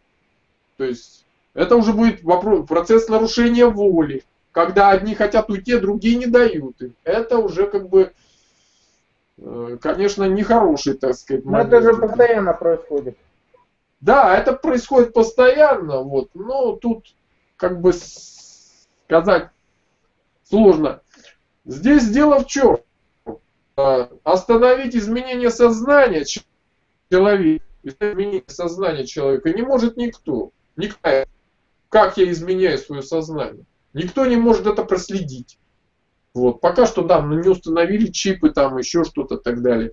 Поэтому мы можем изменять свое сознание.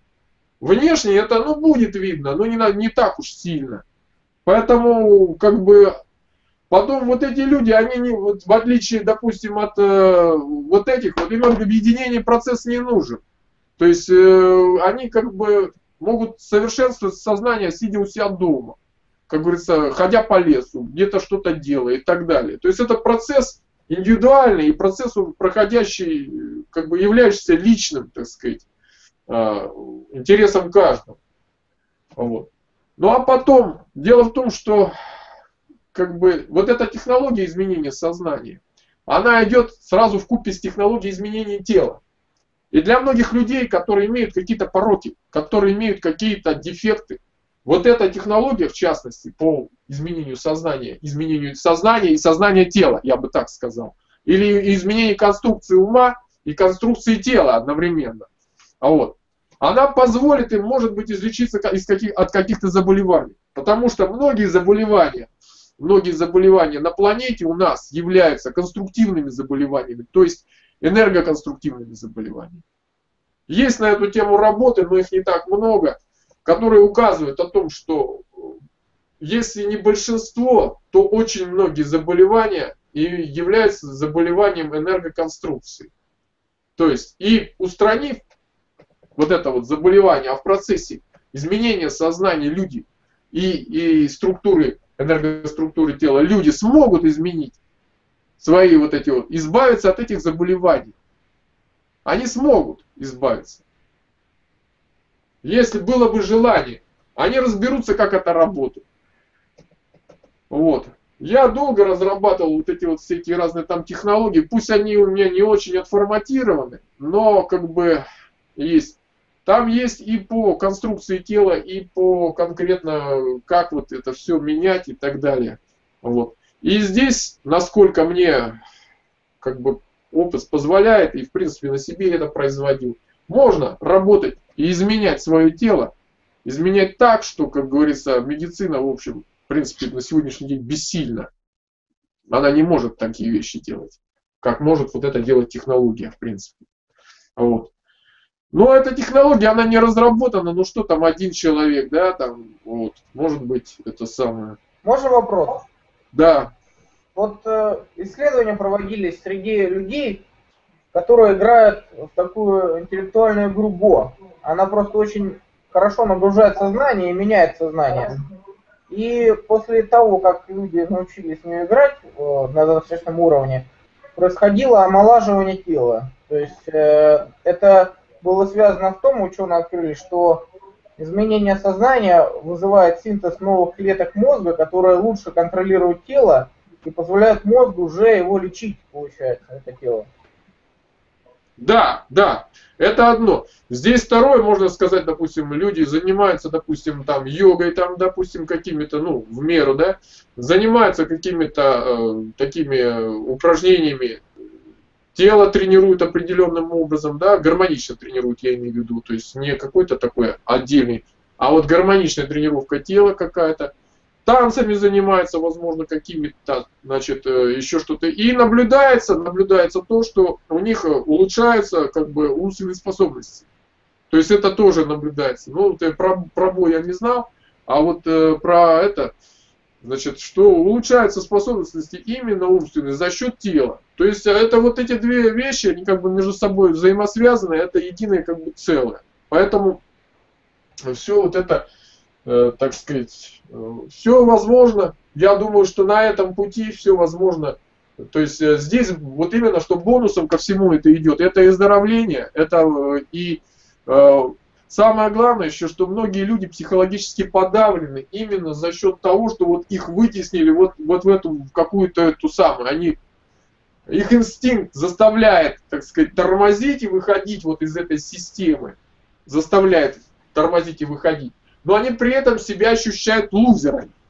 И они говорят, вот я не могу, как вот он там вот это самое, но при этом он не может так поступать, как вот, допустим, вот этот впереди, который находится. Он не может так предавать, он не может так подлечить, он не может быть таким бессовестным и так далее. И вот э, он этого не может. Вот. Да ему не настолько нужны эти блага, которые ухватили вот передние. Он не готов ради них, как говорится, себя превратить в что-то такое ужасное. Понимаете? То есть, и вот здесь именно эта ситуация, что вот эти вот люди, они чувствуют себя не очень. Они чувствуют себя как бы выкинутыми. Они, что, они считают, что вот там вот все-таки, вот туда надо стремиться, как бы им говорят. На самом деле они должны понять, что им как раз другую сторону. Им другую сторону. И они, то, что они вышли, это нормально, это здоровая, как говорится, реакция на появившуюся впереди стену. Никто же не разгоняется, не дает газ в пол, когда видит стену перед собой. Ну, разве что самоубийца какой-то, да? А нормальные люди останавливаются. Поэтому они должны понять, что, как говорится, они часть будущего человечества. Вот. И как бы здесь эти процессы, процессы должны начаться, надо начинать свое сознание более грамотно менять, надо продумывать. Вот на эту тему как бы есть технологии конкретные, да, и хотелось бы их развить и, ну, скажем так, представить обществу, в частности, так сказать. Но вот нужна поддержка, вот есть у меня счет вот такой, да, вот, и хотелось бы, чтобы люди как-то ну, помогли. Его не видно, у тебя камера. Ну, сейчас я, я опущу немножко. А, да. Опущу чуть-чуть пониже его. Вот так вот где-то. Вот он. Счет видно, да? Сейчас видно, видно? да. Сейчас вот. видно, да. Да, вот такой вот счет есть. И вот на этот счет, ну, если так, как говорится, кого-то заинтересует этот вопрос, вот там, ну, рублей по 100, по 50, там, сколько там, не жалко, как говорится, киньте. И все-таки мы будем развивать это направление, будем э, делать э, информационные какие-то, так сказать, э, материалы по поводу того, как работать с сознанием, как, вот, но суть здесь в чем? Вот этих все технологии, которые существуют, вот, ну, которые, по крайней мере, мне удалось вот разработать, они простые. С тем, я что бы... я сталкивался. Да. Прошу прощения. Я бы к этому счету, чтобы люди не путались, приложил бы какую-нибудь информацию, например, хотя бы e-mail какой-то или что-то еще. А то они должны как-то ведь связываться, чтобы обратно, а так получается голый счет, они, ты же не знаешь кто, куда, и так они хотя бы будут тебе писать. Вот э, у тебя e-mail есть, вот бумажка с e-mail? Не знаю даже. Ну ладно, в общем, след... Нет, нет. следующее... Не, ну это я, значит, еще не до конца, как бы, по, по, я просто, как бы вот, Но я в том, что достаточно тогда, сложно. Э, в следующий раз тогда можно будет вот э, когда... Да, да, да, да, да. Да, достаточно сложно, как бы вот э, дело в том, что работать вот информации очень много, да, и такой информации в интернете как таковой нету, чтобы вот конкретно вот объяснить и, и вот э, как бы э, рассказать. И заниматься тем, чтобы вот именно вот эти вот схемы форматировать, это все объяснять конкретно. Вот, допустим, она есть информация, да, но я сам прошел это сделал. Теперь мне надо что объяснить, как людям на их схемах, на их понимании, на их языке, как им конкретно сделать, вот им сделать конкретно, на, как, на какой схеме. А это достаточно непросто, потому что это, значит, по сути дела, перевести материал в учебный. Вот. А переведение в учебный материал это тяжелая, большая работа. Одно дело ты сам что-то сделал, другое дело, как говорится, тебе надо будет полностью все вспомнить, как все происходило и как, как конкретно какие существуют на эту тему, так сказать, сложности, и все эти сложности озвучить и рассказать, потому что, я сразу хочу сказать, дело в том, что моменты изменения сознания, они проходят частенько болезненно. Вот. В каком смысле болезненно? То есть человек, ну, как бы, скажем так, он выпадает немножко из, так сказать, общественной деятельности, там еще что-то, ну, он как бы загружен. Вот.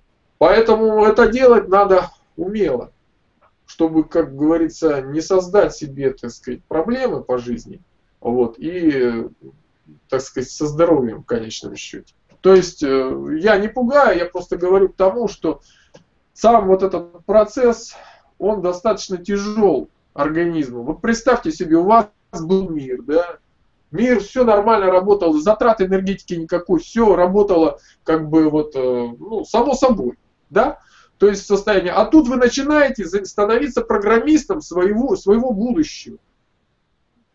Это совершенно другое. Вот. Поэтому здесь именно вот эти вот технологии, они не очень просты. Почему и люди вот, вот эта вот, так сказать, часть, они тормозят? Потому что их нет, этих технологий. А самим страшновато вот как-то начинать. Хотелось бы... Ну и понимаете, это вот еще тут такая вот ситуация, что это индивидуальная практика. Индивидуальная практика. Не пойдешь, ни с кем не поделишься как-то вот так вот.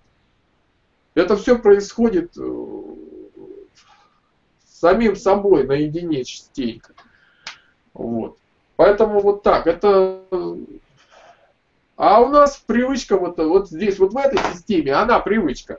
Какая? Вот вам загрузили в сознание какой-то блок там. Вот и все. И у всех так же. А вот здесь придется, вот в этой, вот в этой схеме, вот в этой системе, придется самому индивидуально работать. Я когда начинал с этим, меня этот вот момент убивал абсолютно, потому что все как все, а ты вот один и со своими проблемами. И как бы у тебя... А они смотрят на тебя и говорят, да что ты там делаешь? Ты вообще что такое? Вот мы тут все, вот одним гуртом, как говорится, в одном направлении и, как говорится, на, говорится, движемся. А ты вот что-то тут куда-то пытаешься выпадать и так далее. Но вот проблема в том, что действительно сознание изменить вот сейчас придется. Может быть потом это, когда уже образуется система, и будет вот какой-то момент, что общественно будет создаваться это. А пока придется каждому индивидуально изменять. В этом трудность основная. Основная трудность, я считаю, вот в этом. Потому что мы не привыкли индивидуально с собой работать. Нас никто-то этому не учил. Нам не рассказывали в школе, не, нас не учили думать, нас не учили изменять свою, вот именно сознательно изменять свою конструкцию. Мы ждем вот именно момента, вот этого момента, когда все рухнет, и тогда уже из необходимости мы будем менять. Но поймите, что на 90 градусов, да, вот там еще повернуть вам удастся, а когда надо на 180, до голова оторвется. Большинство не смогут. Ну, дети смогут, может быть. Да, у них еще ничего не сохранилось и все остальное. Но это что будет за цивилизация, в которой останутся одни дети? Дело-то не в этом. А что, разве дети смогут выжить на той земле, вот, которую мы оставили? Поэтому это речь идет о том, что вот те, кто уже сформировал, ну, может быть, молодежь, они быстрее должны перейти вот в эту систему, так сказать, быстрее изменить свое сознание. Но менять сознание по, фак, по факту, когда уже все, так сказать, рухнет и так далее, будет немножко поздновато. Да и рискованно очень. В общем-то, рискованно. Тем более сейчас, в общем, там какие-то материалы есть, которые позволяют понять, ну, Можно насколько... насколько да, да, да, да, да, давай. То есть я, насколько понимаю, что э, нужно, э, первоочередная цель, это чтобы котелок варил. То есть, грубо говоря, если мозги не закостенело, котелок варит, то, соответственно, тогда может безболезненно развернуться на нужный градус. А, грубо говоря, когда... Да. Иначе происходит просто стирание в порошок, грубо говоря. Да, да, совершенно верно. Абсолютно согласен здесь. Здесь должна работать голова. И должно быть сильное желание изменяться. Потому что надо вот именно, чтобы понять и осознать, почему я начал первую часть вот именно с этой. Я не пытаюсь там доказывать что-то, да. Вот. Я думаю, что все должны, кто более-менее уже понял, что происходит вокруг, он видит, что вокруг происходит именно процесс умирания. И как бы у нас выхода нет. Вот. И значит, здесь вот именно как бы должно возникнуть желание выжить. Вот именно как бы в противодействии этому процессу. Желание выжить, желание изменяться, желание искать пути, искать пути для решения тех проблем, которые возникли. Вот. И, соответственно, надо, чтобы голова работала, чтобы котелок варил, как говорится, чтобы, соответственно, человек а, в этой вот э, ситуации был готов и к каким-то нестандартным решениям, и к чему-то еще. То есть, ну нет никакой ложки, грубо говоря. Нет никакой ложки. То есть, ограничений нет. Думайте, изменяйте. То есть, то, что, допустим, я там говорю, оно может быть и не совсем так. Но это вот мое видение. О. Мое видение. У кого-то возникнет немножко другое видение, еще что-то. Все люди индивидуальны. В конечном счете, может быть, это должно выразиться в новую цивилизацию. Но факт остается фактом, что этот момент уже назрел. Он назрел. И этот момент должен начаться именно с изменения сознания. Сознание уже меняется, люди меняются. Единственное, что надо как бы быть посмелее, поувереннее в этом смысле. А технологии вот эти вот конкретно, а, ну то, что у меня есть, я постараюсь поделиться этими технологиями и по структурному мышлению, и по вопросам, связанными с э, то самое. Но единственное, что, конечно, вот это в одиночку делать, это очень тяжело.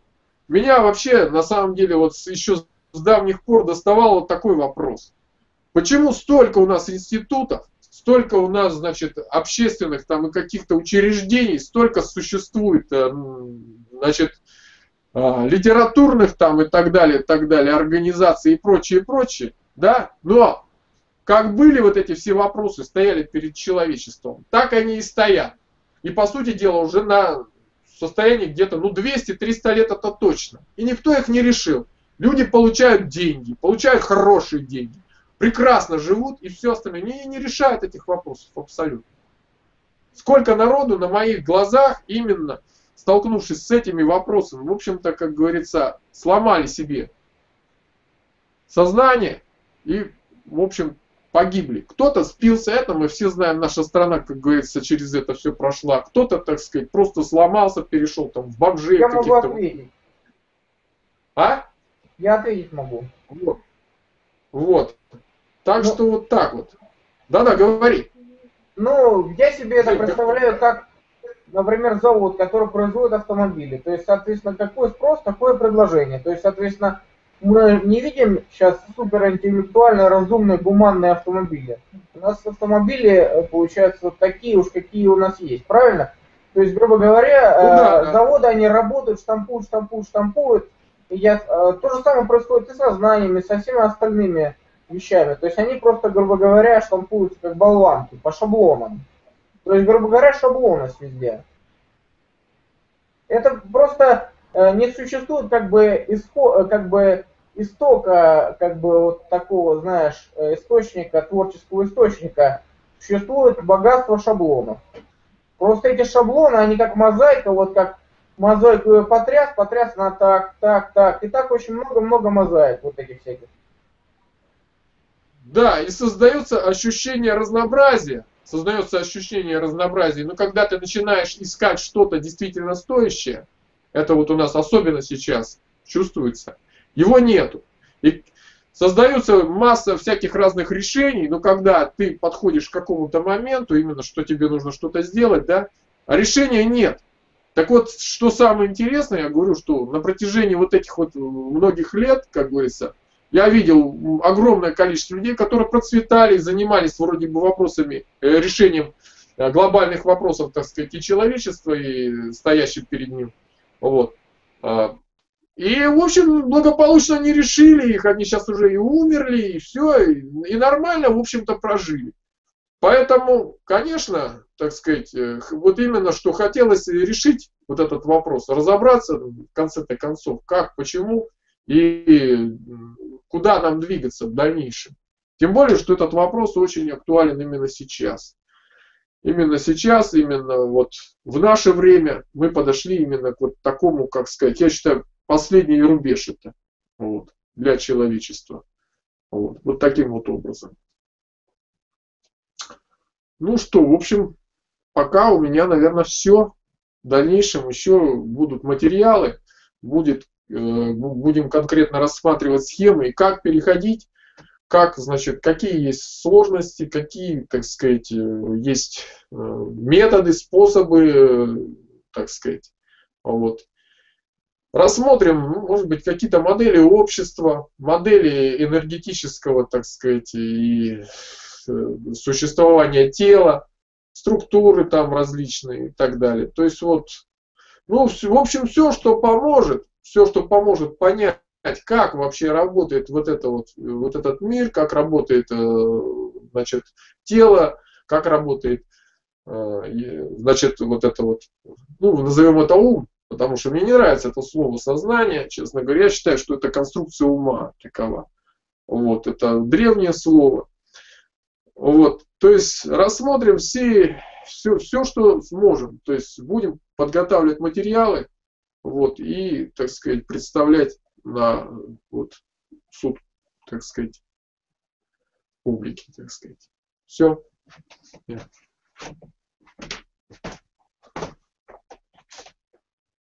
Ну что, Жень?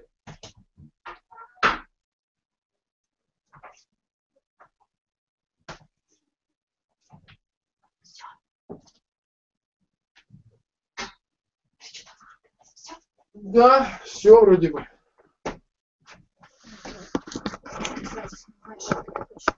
Ну а что, я потом посмотрю, настрою камеру. Что я нахуй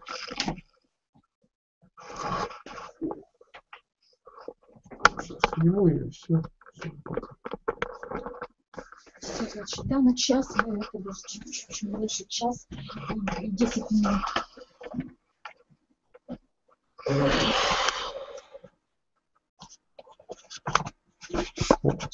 Ага. Сейчас я разверну ее. Алло? Да, да, да. Я тут Я хотел тут. себе водички налить. Ты сейчас уже от доски Ну, отошел. Я... Да, да, да. Все, я закончил. А, ты закончил? Так, ну ладно, я Да, да.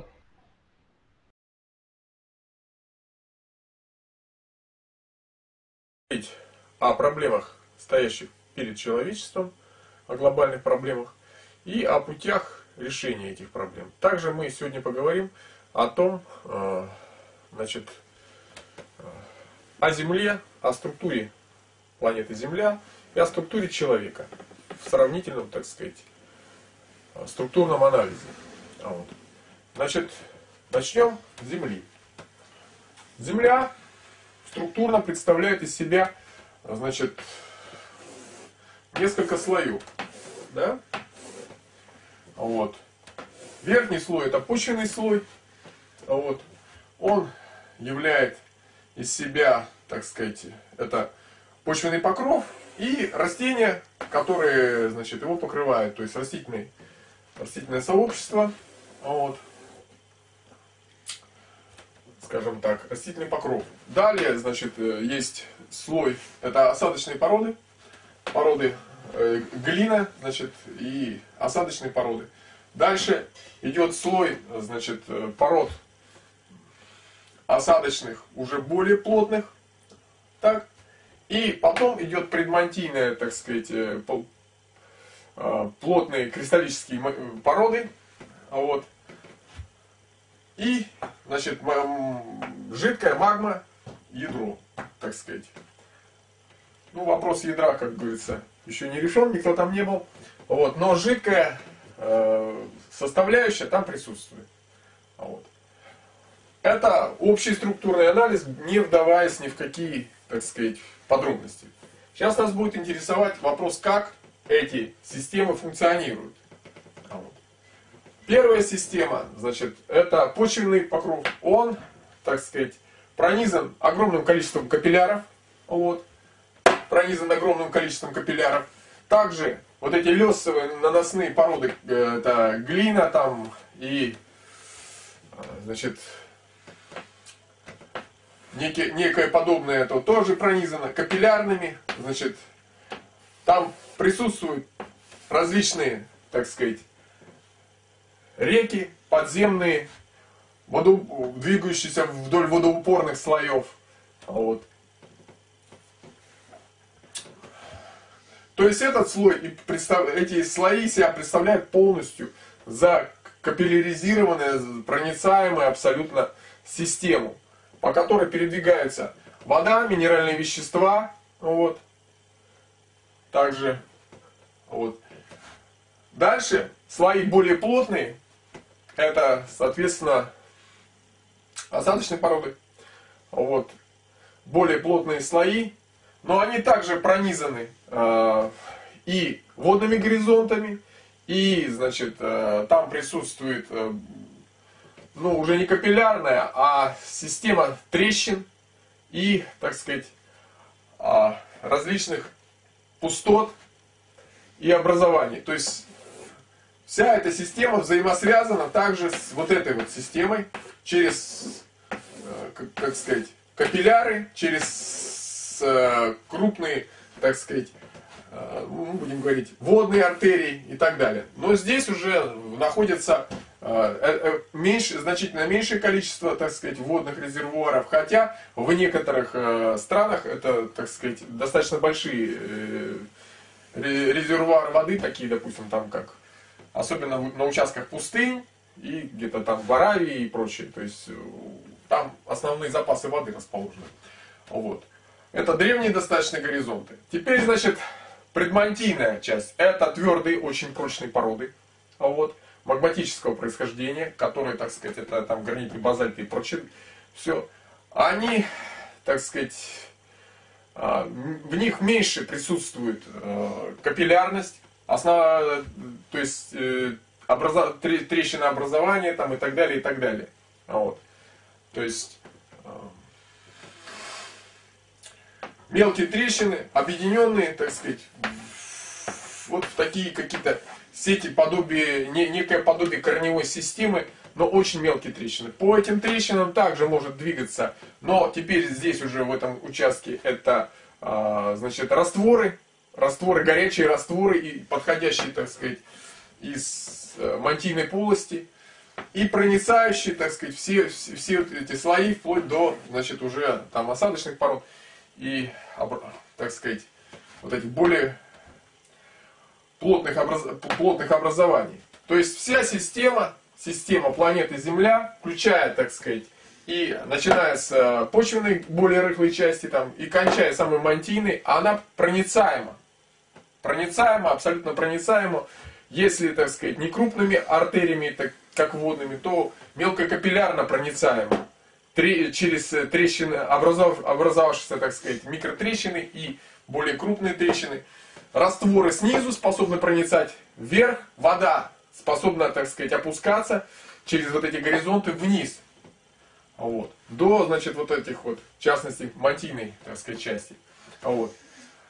Здесь находится самая горячая часть, и здесь идет постоянно, значит, э, в районе там, к ядру, да, э, раскаленная, как считается, магма, да, то есть, вот она движется, соответственно, это практически жидкая, так сказать, составляющая, высокая температурная, да, то есть, если считать по уровню вибраций, то магматическая часть это самая высокая вибрация, практически огненная, да, дальше у нас вибрация постепенно э, падает. И к верхнему слою мы уже имеем э, низкую вибрацию и, соответственно, черный цвет. Вот. Соответственно. Вот.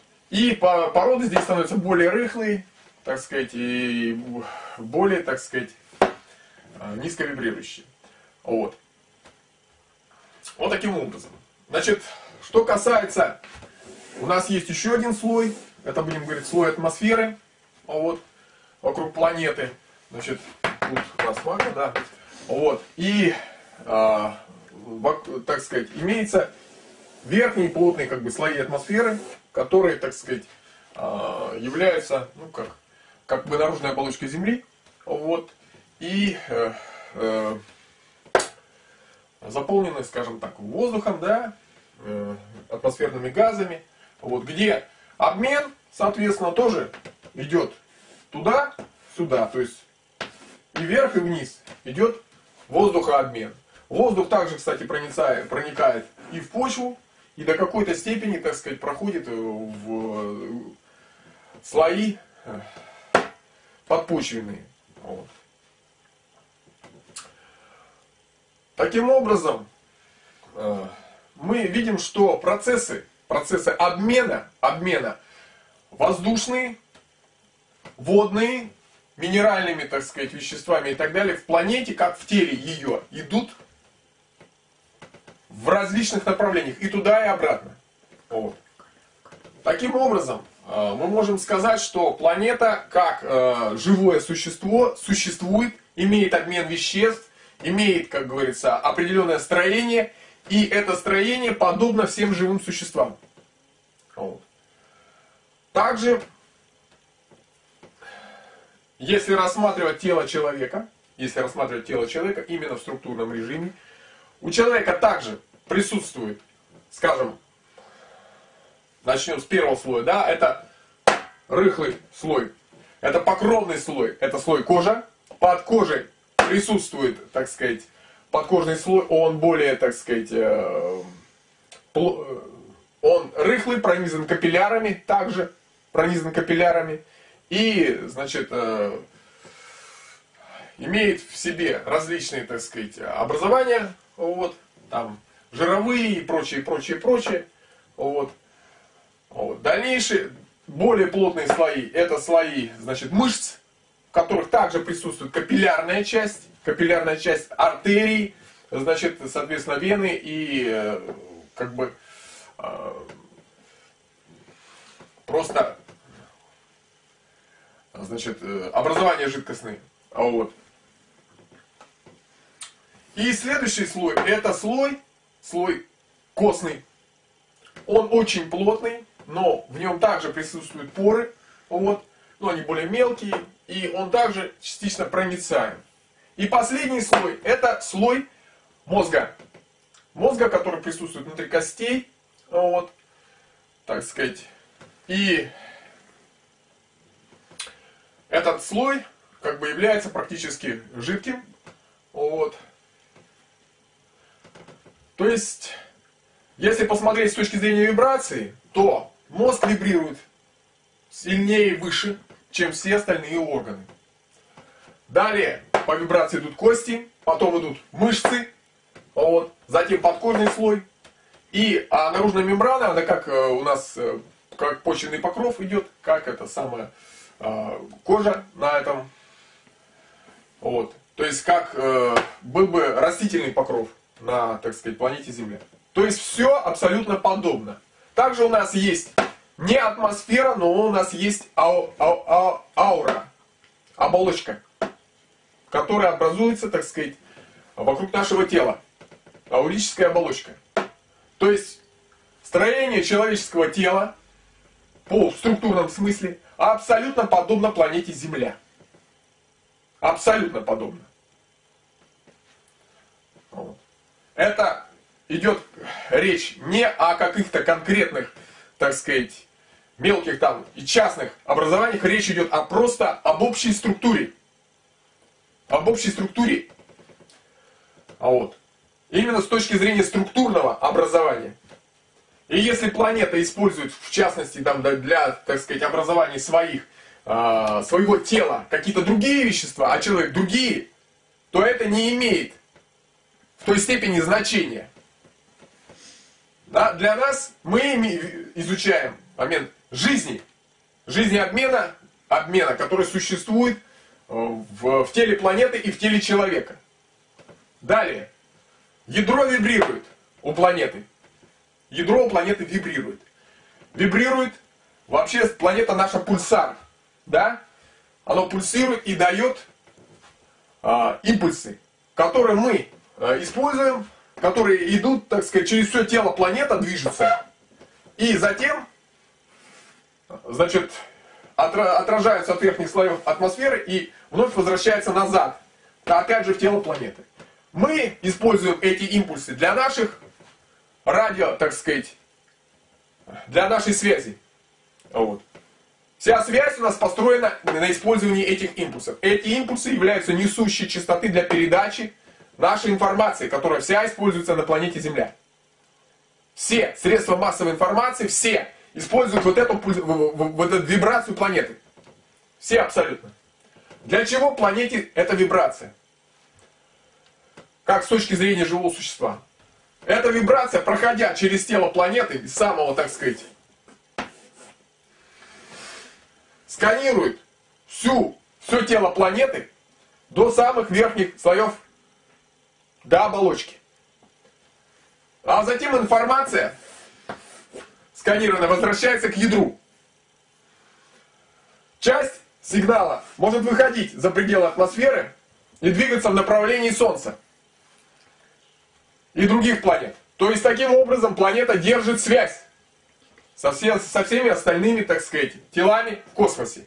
Обменивается информацией о своем состоянии, о, о, так сказать, о состоянии поверхности и тела своего. То есть, а также, очевидно, воспринимает информацию с других планет. А вот.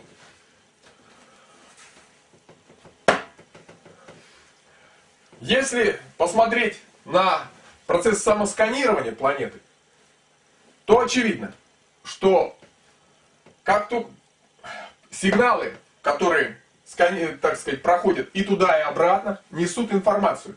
Несут информацию о том, что происходит на поверхности, о том, в каком состоянии планета и так далее. Вот. И сигнал преобразуется, этот трансформированный, так сказать, отсканировавший планету, и возвращается, выходит из нее. На сегодняшний день планета ускорила свою вибрацию по сравнению с тем, как она была. То есть, э, если раньше была около 7, то сейчас э, 8 Гц вибрация свыше даже уже. Вот. Это говорит о том, что как бы пульсация планеты усилилась. С чем это связано? Ну, говорят, что не связано с человеческой деятельностью. Но очень сомнительно, что не связано. Вот. Очевидно, что вся информация, которая идет о разрушении, так сказать, которую мы здесь тут делаем по поверхности, она как бы доходит до ядра планеты. Вот. А если сделать аналогию, то это мозг. Мозг планеты мозг. Самая высоковибрирующая часть ее – это мозг. Вот. У человека ситуация точно такая же. Абсолютно. Значит, чтобы рассмотреть систему пульсации человека более подробно, вот, мы можем выяснить, а что же является у человека пульсарами. Вот. Вот тело человека вот его легкие, соответственно, голова, руки, позвоночник, таз, ноги, соответственно. Вот таким образом. Здесь находится сердце, условно, которое является основным пульсаром человека основным пульсаром человека. Вот. А оно, как считается, но по массе, по массе, оно очень мало и по мощности очень маленькое. Вот. Что же является другими пульсарами у человека? Мы постоянно дышим. Дыхание, дыхание, а, которое мы осуществляем легкими, да, Легкие имеют достаточно большую массу. При этом они, э, частота дыхания достаточно велика. Вот. И объем крови, который поступает сюда, тоже достаточно велик. Чтобы эту кровь, так сказать, э, перекачивать при помощи легких. То есть легкие являются вторым пульсаром, наиболее мощным пульсаром в человеческом организме. Мало того, Значит, есть э, диафрагма, которая также является пульсаром, это мышечное образование, которое сжимает органы, так сказать, и изменяя объем внутренних органов вот, в, в полостях. Есть еще тазовая диафрагма, вот, которая также является пульсаром, но движется она, э, скажем так, вслед или движется вслед, или согласовано между собой, так сказать. В процессе движения человек задействует ноги. И позвоночник, ноги запускают пульсацию в районе позвоночника. Дополнительно к этому ребра также при дыхании двигают позвоночник. То есть существует позвоночная пульсация. Вот. Также, возможно, горловая, соответственно, пульсация. Это при дыхании. И есть, э, значит, в человеческом теле есть еще резонаторы. Это наподобие носа и лобных пазух дополнительно. Вот. Также установлено, что при этом пульсирует еще, как говорится, черепная коробка. Она процессе, так сказать, а, кости то сходятся, то расходятся. Вот. Таким образом, весь объем пульсации человеческого тела, назовем это общим генератором, вот, он так сказать, излучает, соответственно, на нашу ауру. Аура есть, является границей нашей пульсации. Вот. То есть нашим э, зоной, как сказать, безопасности, да? Внутри ауры, вот в этой, находится наша пульсация. То есть наш, наши ритмы, наша, как говорится, так сказать, территория, там, где все должно, как говорится, чуждое, так сказать, отсутствовать. Вот. Потому что там наша пульсация, она подходит только к конкретному данному человеку, данному организму. Вот. И она у каждого человека своя в какой-то степени. То есть различается. Вот. Мы при помощи значит, этой пульсации, которая вот, так сказать, сканируем и свою наружную оболочку, да, и входим во взаимодействие со всеми остальными живыми существами, которые находятся за пределами ауры. Вот. То есть получаем информацию. Информация движется и туда, и обратно. Вот. Информацию о своей территории, так сказать, которая, так сказать, является границей ауры, о, э, за, о том, что находится за территорией. Вот. Также мы получаем информацию о своем теле, потому что наши пульсары как бы его сканируют. Вот. Процесс, который проходит здесь, это процесс электрический. Когда легкие вдыхают, входит в них воздух, идет процесс забора электрического заряда из воздуха. Это установлено очень давно. Вот.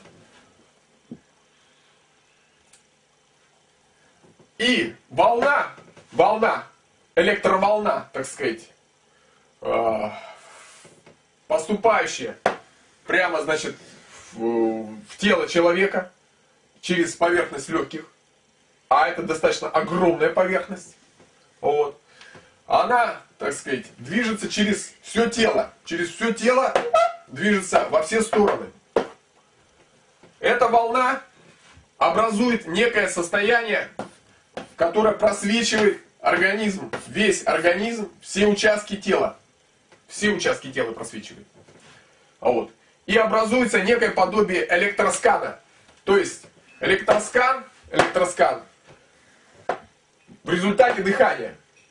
То есть это как бы виртуальная копия организма, когда электроимпульс, проходя волной через э, все наши органы, через все наши, через все наше тело, через все наше тело, он, э, этот электроимпульс, создает электронную копию нашего тела. Это скан номер один. Основной скан, возникающий в результате дыхания. То есть, это скан, который возникает дыша. Мы дышим, и этот скан возникает.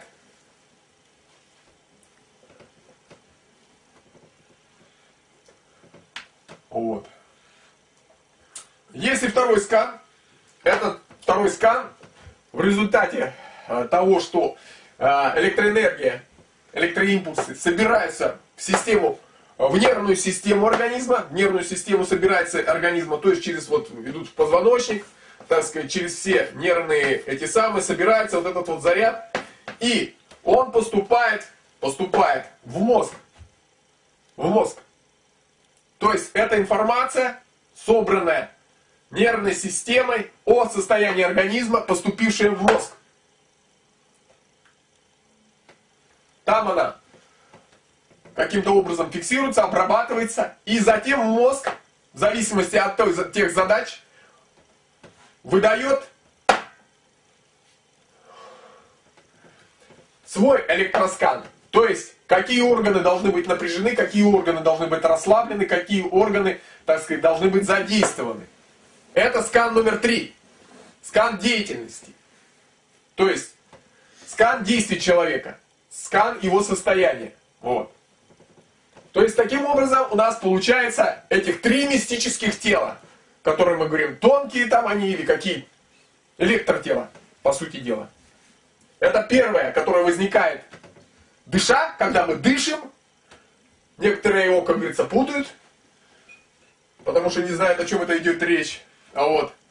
И два, это нервный, то есть который возникает в результате сканирования и забора в нервную систему обработки мозга, создает некий файл, так сказать, в мозгу. Вот. И а, файл деятельности, э, то есть скан деятельности, то есть тот скан, который мы создаем в результате, так сказать, э, обработки этой информации, которую мы получили, и наших задач, которые мы ставим. Вот. Вот таким образом.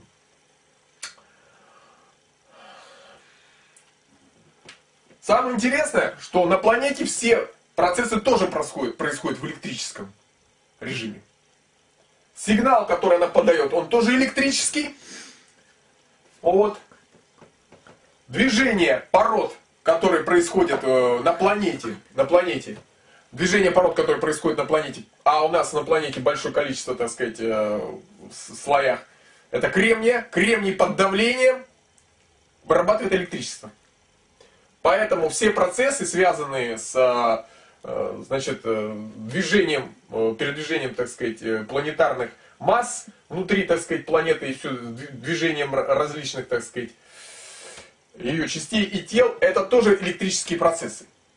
Это особенно видно там на разломах, где нарушается проводимость и существуют, так сказать, электроаномалии. Поэтому планета действует, э, существует по тому же принципу, что и существует человек. У нее также есть сканы. Ну, насчет ее мозга мы вроде не знаем ничего, да? Вот он где-то находится там глубоко. Вот. Но то, что он у нее имеется, это очевидно. Раз мы имеем, значит мы можем допустить, что у планеты есть мозг. Есть тело, по которому мы ходим, и есть мозг. И оно подобно нашему. И мы не планетяне, а созданы мы этой планетой по своему образу и подобию. Мы ее дети. Подобно человеку, подобно человеку, и все живые существа на планете. Устройство структурно, структурно, да, различаются детали, которые мы так любим, мы очень любим вникать в детали. Но общее строение одно и то же. Одно и то же строение у всех живых существ. Оно подобно планете, оно подобно человеку. Мы все братья.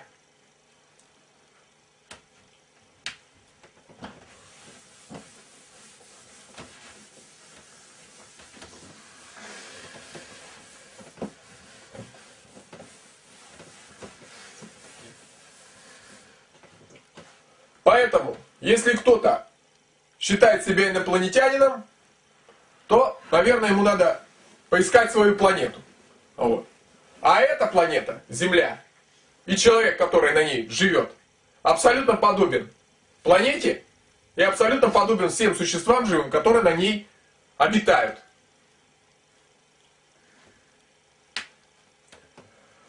Значит, теперь мы поговорим о тех людях, которые просыпаются. Мы поговорим о них, об их проблемах.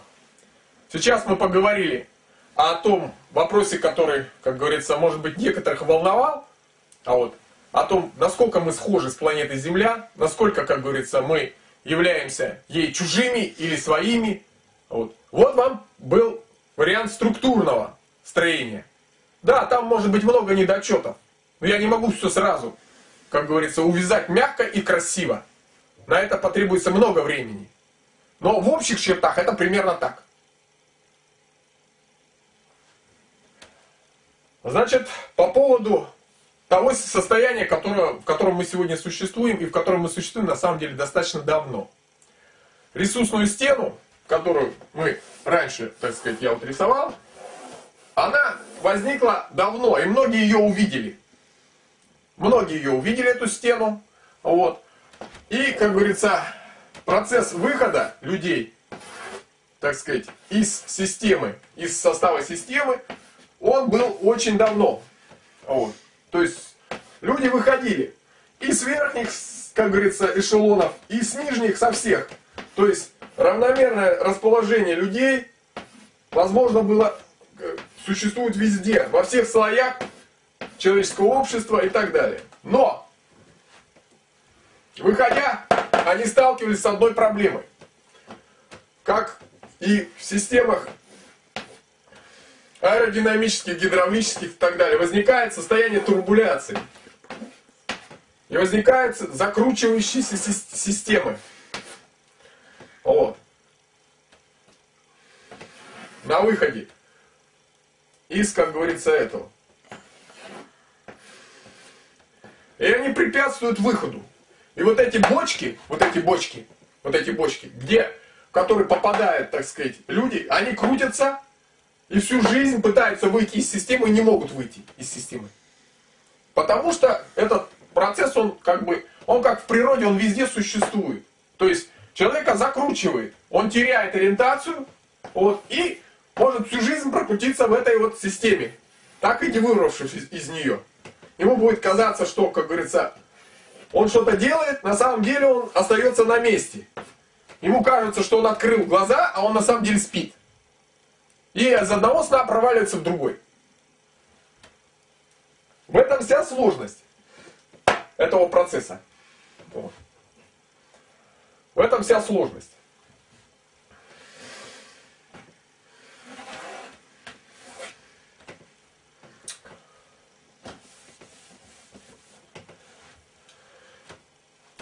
Но, но, что здесь как бы э, можно еще дополнительно сказать.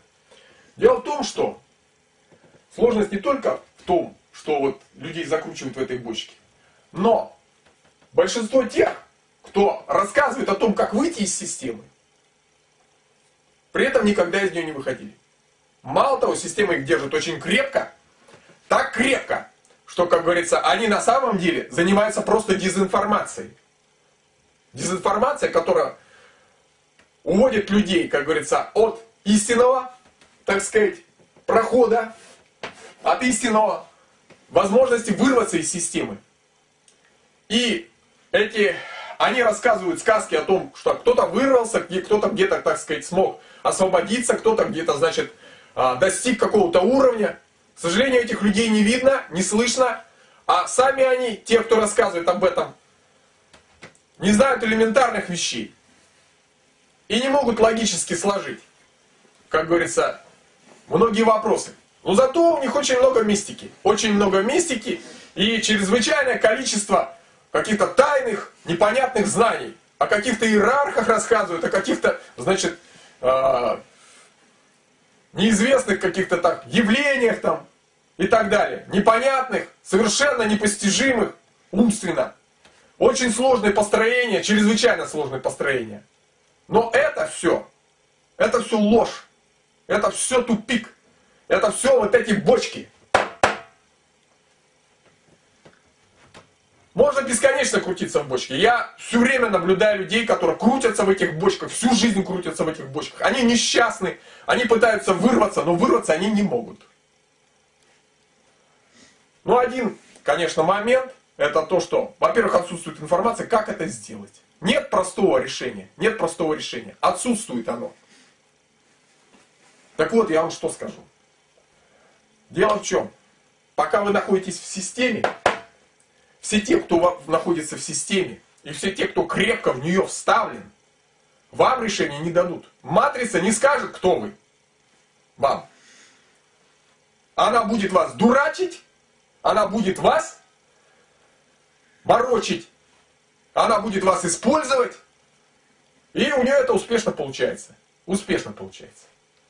И также будут вот эти ее ставленники. Как бы они ни были, посмотрите внимательно, к ним тянутся ниточки. От матрицы крепко тянутся ниточки, от системы крепко тянутся ниточки. Они все висят на этих ниточках. И их, их призванность, их роль, это роль фонариков, которые приманивают светлячков.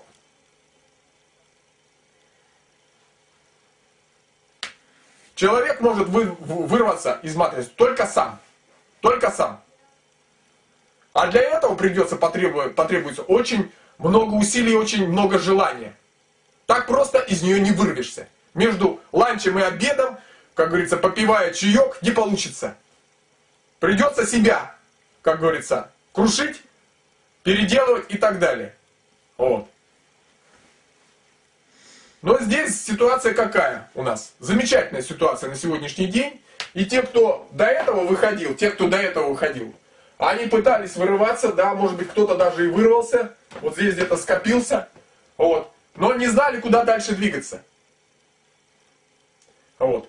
Многие погибали уже даже вырвавшись, потеряв силы, вот. Не было как бы.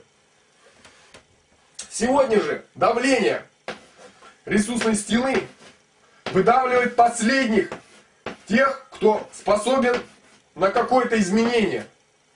Ресурсная стена уже давит на нас. Дело в чем? Почему я начал с э, человека? Потому что человек, человек, каждый человек обладает неким, некой оболочкой. Вот некой оболочкой. И вот здесь находится человек. Вот. В этой оболочке. И чем мощнее в человеке гудит и работает генератор, это все его части, и чем они более согласованы между собой, тем больше эта оболочка, больше способность его сканировать пространство.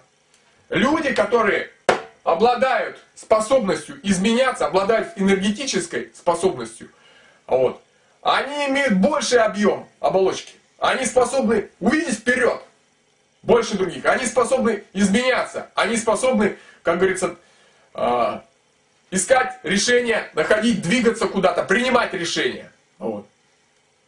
Вот. И они выходят первыми, они стремятся выйти первыми. Почему? Потому что для них, для них, это уже на ощущение тела, на ощущение всего. Это ясно. То есть первыми выходят лучшие. Первыми стремятся выйти лучшие. Это создает некую скажем так, надежду на будущее. Вот. Так сказать. Поэтому первыми все равно выйдут лучшие. Первыми выйдут те, кто обладает большей энергетической способностью, большей энергетической, у которого мощнее генератор, у которых мощнее, так сказать, э, у которых больше энергии и больше энергии для, именно для изменения, для своей трансформации. У тех людей, у которых маловато энергии для изменений и трансформации, им трудно выйти. А вот. Это может быть, конечно, по разным причинам. Тут они не виноваты. Вот обстоятельства как бы разные бывают. Тут никто никого не судит. Просто вот, вот так. И эти люди, первые, которые выйдут, они постепенно двигаясь, постепенно двигаясь, вот, они Значит, двигаясь, выходя из системы, не входит. Так. Вот, сейчас перерисую, потому что не получилось. Не вошла. Двигаясь и выходя из системы, а вот, отсюда, выходя, так сказать, будут постепенно прорываться через эти бочки все. Вот уходя от, так сказать, ресурсной стены, от всего, от лобового столкновения, вот, будут вырываться, вот, и начнут образовывать новое общество. Новое общество, которое будет состоять сначала, станут, в основу его станут лучшие, дальше, как говорится, те, кто, у кого энергия послабее, потом еще более слабые энергии, в конечном счете самые слабые, так сказать. Вот. И возникнет состояние, подобное планете Земля. Все время спрашивают, как каким должно быть общество? А какое оно должно быть? Мы же не знаем, какое оно должно быть. Хорошее, идеальное общество на планете Земля, какое должно быть? А ответ очень прост. А таким же, как планета Земля. Подобным ему. Общество должно быть таким же, как планета Земля. Общество, живущее на Земле. Оно должно быть таким же. Полностью напоминать строение планеты Земли. В центре высоковибрирующая часть, а по краям низковибрирующая часть. И обмен энергии туда и обратно, туда и обратно.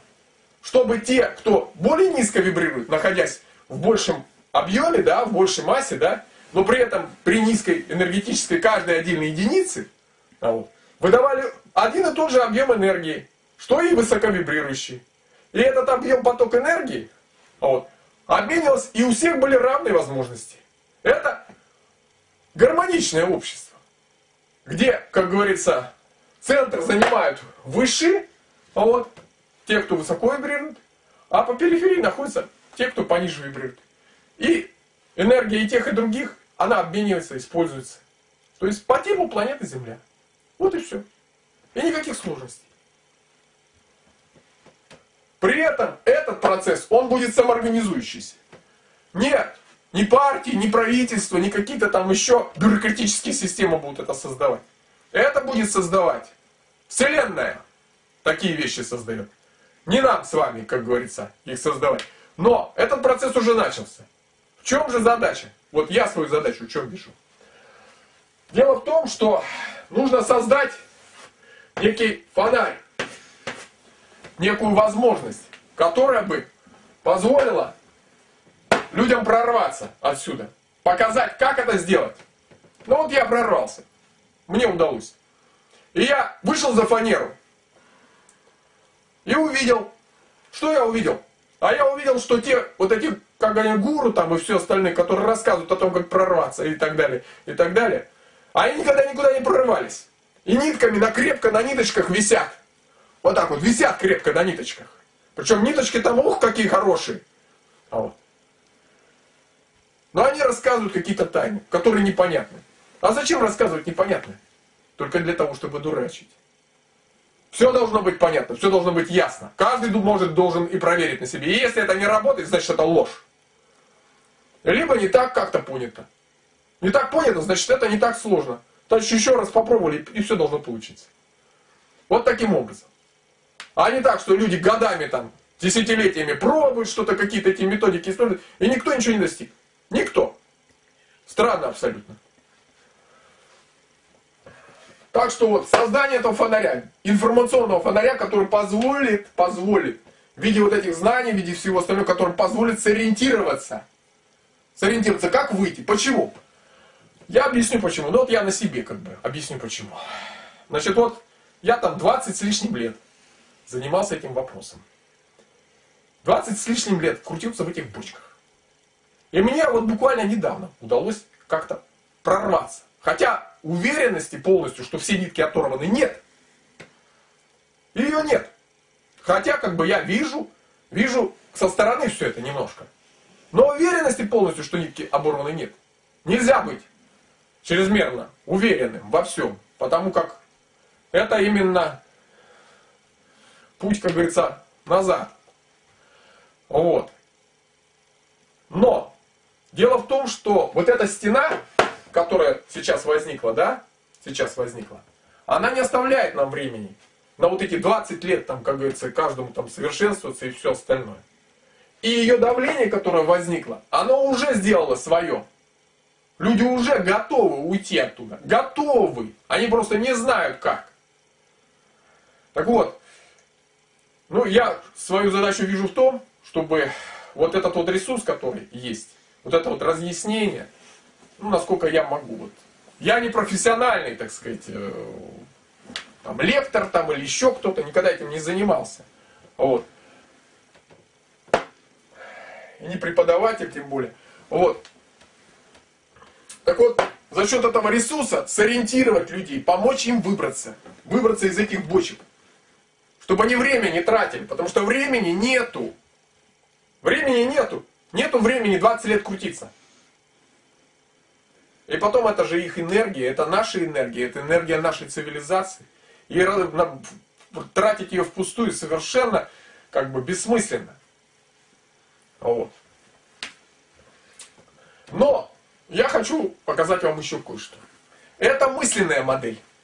Элита у нас находится впереди, и это мысленная модель. Потому что в реальности элита у нас не находится впереди. Впереди у нас идут работяги, которые, как говорится, разрушают землю, которые рубят деревья, которые, как говорится, добывают нефть, которые, как говорится, на заводах, на фабриках работают и так далее, и так далее. Вот. А элита, она у нас не впереди.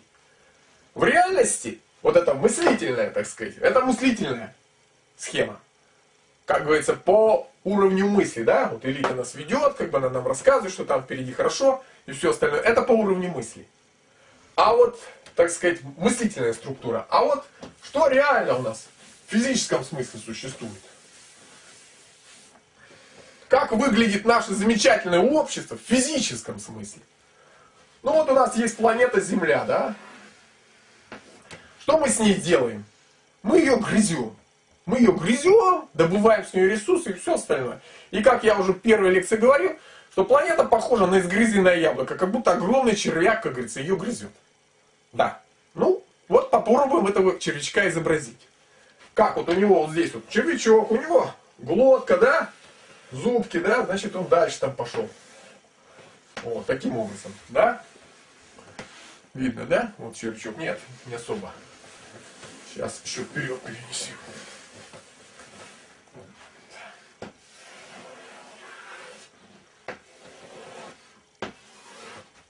Вот так.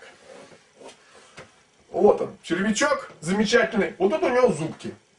Этими зубками он благополучно грызет планетку. Он ее грызет. Грызет этими зубками, добывает с нее полезные ископаемые, там все остальное, да? Дальше что у нас? Глоточка. Тут у нас будет желудочек. Так? Вот он, желудок. Вот существует такой. Что у нас происходит в желудке? В желудке у нас происходит процесс, скажем так, переработки. Процесс переработки, вот это все, что мы нагрызли. Все, что мы натаскали туда, процесс переработки.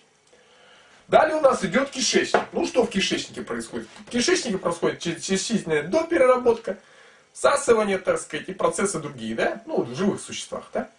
У нас это происходит как процесс фабрики, там заводы, которые изготавливают конкретно уже готовые нам вещи и так далее, и так далее. То есть то, что нам нужно, то, что необходимо для потребления. Значит, а, таким образом, мы что имеем? Вот здесь у нас работяги, которые рубят лес, уничтожают конкретно природу, блин, там все делают. Так? Так. Значит, здесь у нас тоже работяги, но уже как бы у нас тут присутствует и наша интеллигенция, так сказать, рабочая интеллигенция, да, которая там инженеры и так далее, и так далее. Вот. Значит, дальше тут у нас в кишечнике у нас тоже присутствует много инженерных, так сказать, э, инженерных людей и рабочий тоже люд, вот, но более, так сказать, может, высокой квалификации какой-то, потому что там процесс Э, процессы идут больше интеллектуальные, да, как бы. Вот. А что у нас находится в самой задней части, где у нас, как говорится, идет процесс э, получения всех питательных веществ, потому что они как бы вот здесь у нас скапливаются, да, вот, с точки зрения, как говорится, всасывания, да. Вот. А там у нас находится элита. Элита там находится. Ну и с точки зрения, если мы будем смотреть, что вот здесь работают люди больше и основная масса, Дальше у нас пошел процесс, люди меньше работают, больше интеллектуального труда. Дальше еще меньше работают, больше интеллектуального труда, а здесь у нас должна находиться элита. Те, кто меньше всего работает, но занимается в основном интеллектуальным трудом, то есть управляет нашей, нашим, нашим обществом. Вот элита у нас находится вот здесь. Это замечательное место, которое называется, как там называется, зад ее, да? Место, где заключен ад. Да, вот. Или как там по-другому. Или можем называть еще жопа, простите. Вот так. Вот таким образом можем называть. То есть у нас цивилизация, которая, как говорится, у нас жопная цивилизация. Вот так. Таким образом. И когда некоторые спрашивают, а почему в нашей стране все делается через, простите, жопу, да, то ответ вот он. Вот он ответ. Пожалуйста. Потому что так. И, наверное, во всем мире тоже так же все, все делается. Ответ именно вот этот. Именно вот этот. И почему у нас все на этом сосредоточено? Почему мы все время посылаем друг друга туда и так далее, и так далее? Потому что мы все идем туда. Все мы движемся туда. И все мы стремимся. И нам хочется туда всем. Потому что там хорошо, там вот все блага сосредоточены. Именно в том месте. Понимаете? Это не просто так все. Человек на самом деле знает все. Просто ему не хватает каких-то элементов, чтобы понять. Понимаете? Ну вот если с точки зрения биологической взять, да, с точки зрения биологической взять, ну вот червяк, да, он это высокоинтеллектуальное существо-то? Нет. Червяк не высокоинтеллектуальное существо. И у него, как такового мозга, как такового нет. И когда мы думаем, что вот они думают, вот тут, вот, там, где-то в задней части, вот они думают, ну, это сомнительно. По тем действиям, которые у нас происходят везде, это очень сомнительно. А по вот этой вот анатомии, то не может быть. Не может быть этого. А вот. И каким местом они думают? Это понятно, да? Вот. вот такая вот у нас замечательная цивилизация, которая пожирает планету Земля. Пожирает планету Земля. Ну как это можно сказать? Это, что, что инопланетный червяк вторгся, да? И там начинает. И мы все часть этого тела. Все части этого тела. Одни зубки, другие там что-то там еще, третий еще что-то, а кто вот задняя часть, вот это вот самая элитная часть у нас. Вот такая вот у нас элитная часть. Вот. Ну тут есть клапан, который регулирует, да, все. Вот в конце тут есть клапан, который регулирует здесь весь процесс. В виде банковского процента, да? Больше банковский процент, шире клапан. Меньше банковский процент, уже клапан. И уже, соответственно, больше достается вот здесь товарищам. По этому самому. Открываем клапан, ничего почти никому не достается. Все достается вот верхушке. Вот так вот. Замечательно, да? Вот, все работает. Все, можете рассматривать. Все работает, все, никаких проблем. Далее. Очень интересен вопрос. Очень интересен вопрос. Наш, который часто задают люди. Почему, значит, с нашей цивилизацией никто не общается? Почему инопланетяне там или соседние цивилизации не хотят с нами, как говорится, взаимодействовать? Почему они не желают вступить с нами в контакт, поделиться технологиями, ну и вообще пообщаться? Хотя вот рядом кто тут летает, тарелки там какие-то, что-то там еще происходит. То есть идет, как говорится, какое-то движение в космосе, какие-то объекты пролетают мимо нас, мы их замечаем частенько, да, но они почему-то с нами общаться не хотят. Ну не хотят с нами общаться. Что за дела такие? Мы такие хорошие, они не хотят с нами общаться. Ну давайте рассудим с точки зрения соседних цивилизаций. Вот то, что мы делаем со своей планетой. Результат будет такой, что ну, червяк все равно что-то сожрет или сам помрет. Но в конечном счете, как говорится, он скорее уничтожит и сам помрет. Вот такой вот вариант. И то, и другое вместе. Вот. Значит, смысл общаться с теми, кто уничтожает свою планету. Никакого смысла. Абсолютно. Да? С одной стороны. С другой стороны, Давайте посмотрим, как мы относимся ко всем живым существам на планете. Мы их уничтожаем. Вот представьте себе ситуацию, да? Вот у нас появились корабли когда-то там, да? Которые большие плавать стали по морям, там, по океанам, по все остальное. Ну и что мы сделали? Мы на этих кораблях поехали в земли туземцев, которые, как говорится, имели меньшую техническую вооруженность, и перебили их там всех. Всех уничтожили. Осталась там какая-то горстка и все остальное. Отняли у них всех ресурсы, как говорится, поработили их, насадили, так сказать, все свои, как говорится, порядки там. Также мы поступаем с любыми живыми существами. Да? Не только с людьми, но и со всеми остальными э, живыми существами планеты. Мы просто их уничтожаем и все. И занимаем их место. Мы захватчики, мы оккупанты, мы убийцы. Мы разрушители собственной планеты. И это правда. Мы тело вот этого мерзкого червя, пожирающего планета. Мы составляем его тело. Это мы, часть его. Это мы это делаем. Понимаете? Ну кто захочет со, со захватчиками общаться? Кто захочет общаться с разрушителями? Это бессмысленно. Да, они боятся нас. Дай нам сейчас космические корабли, что мы будем делать? Мы будем захватывать другие планеты. Мы будем уничтожать жизнь там. Мы будем убивать людей, которые там находятся, или каких-то других существ. Если нам дать технические, как говорится, возможности для того, чтобы добраться до других планет, мы эти планеты тоже уничтожим. И убьем всех, кто там существует. Вы думаете, другие цивилизации этого не понимают? Они видят, что вы сотворили с туземцами. Они видят, как говорится, что вы сотворяете с живыми существами, которые, собственно, образовали тело планеты. Ведь большинство живых существ, это тут, допустим, самый яркий пример, это меловые, да?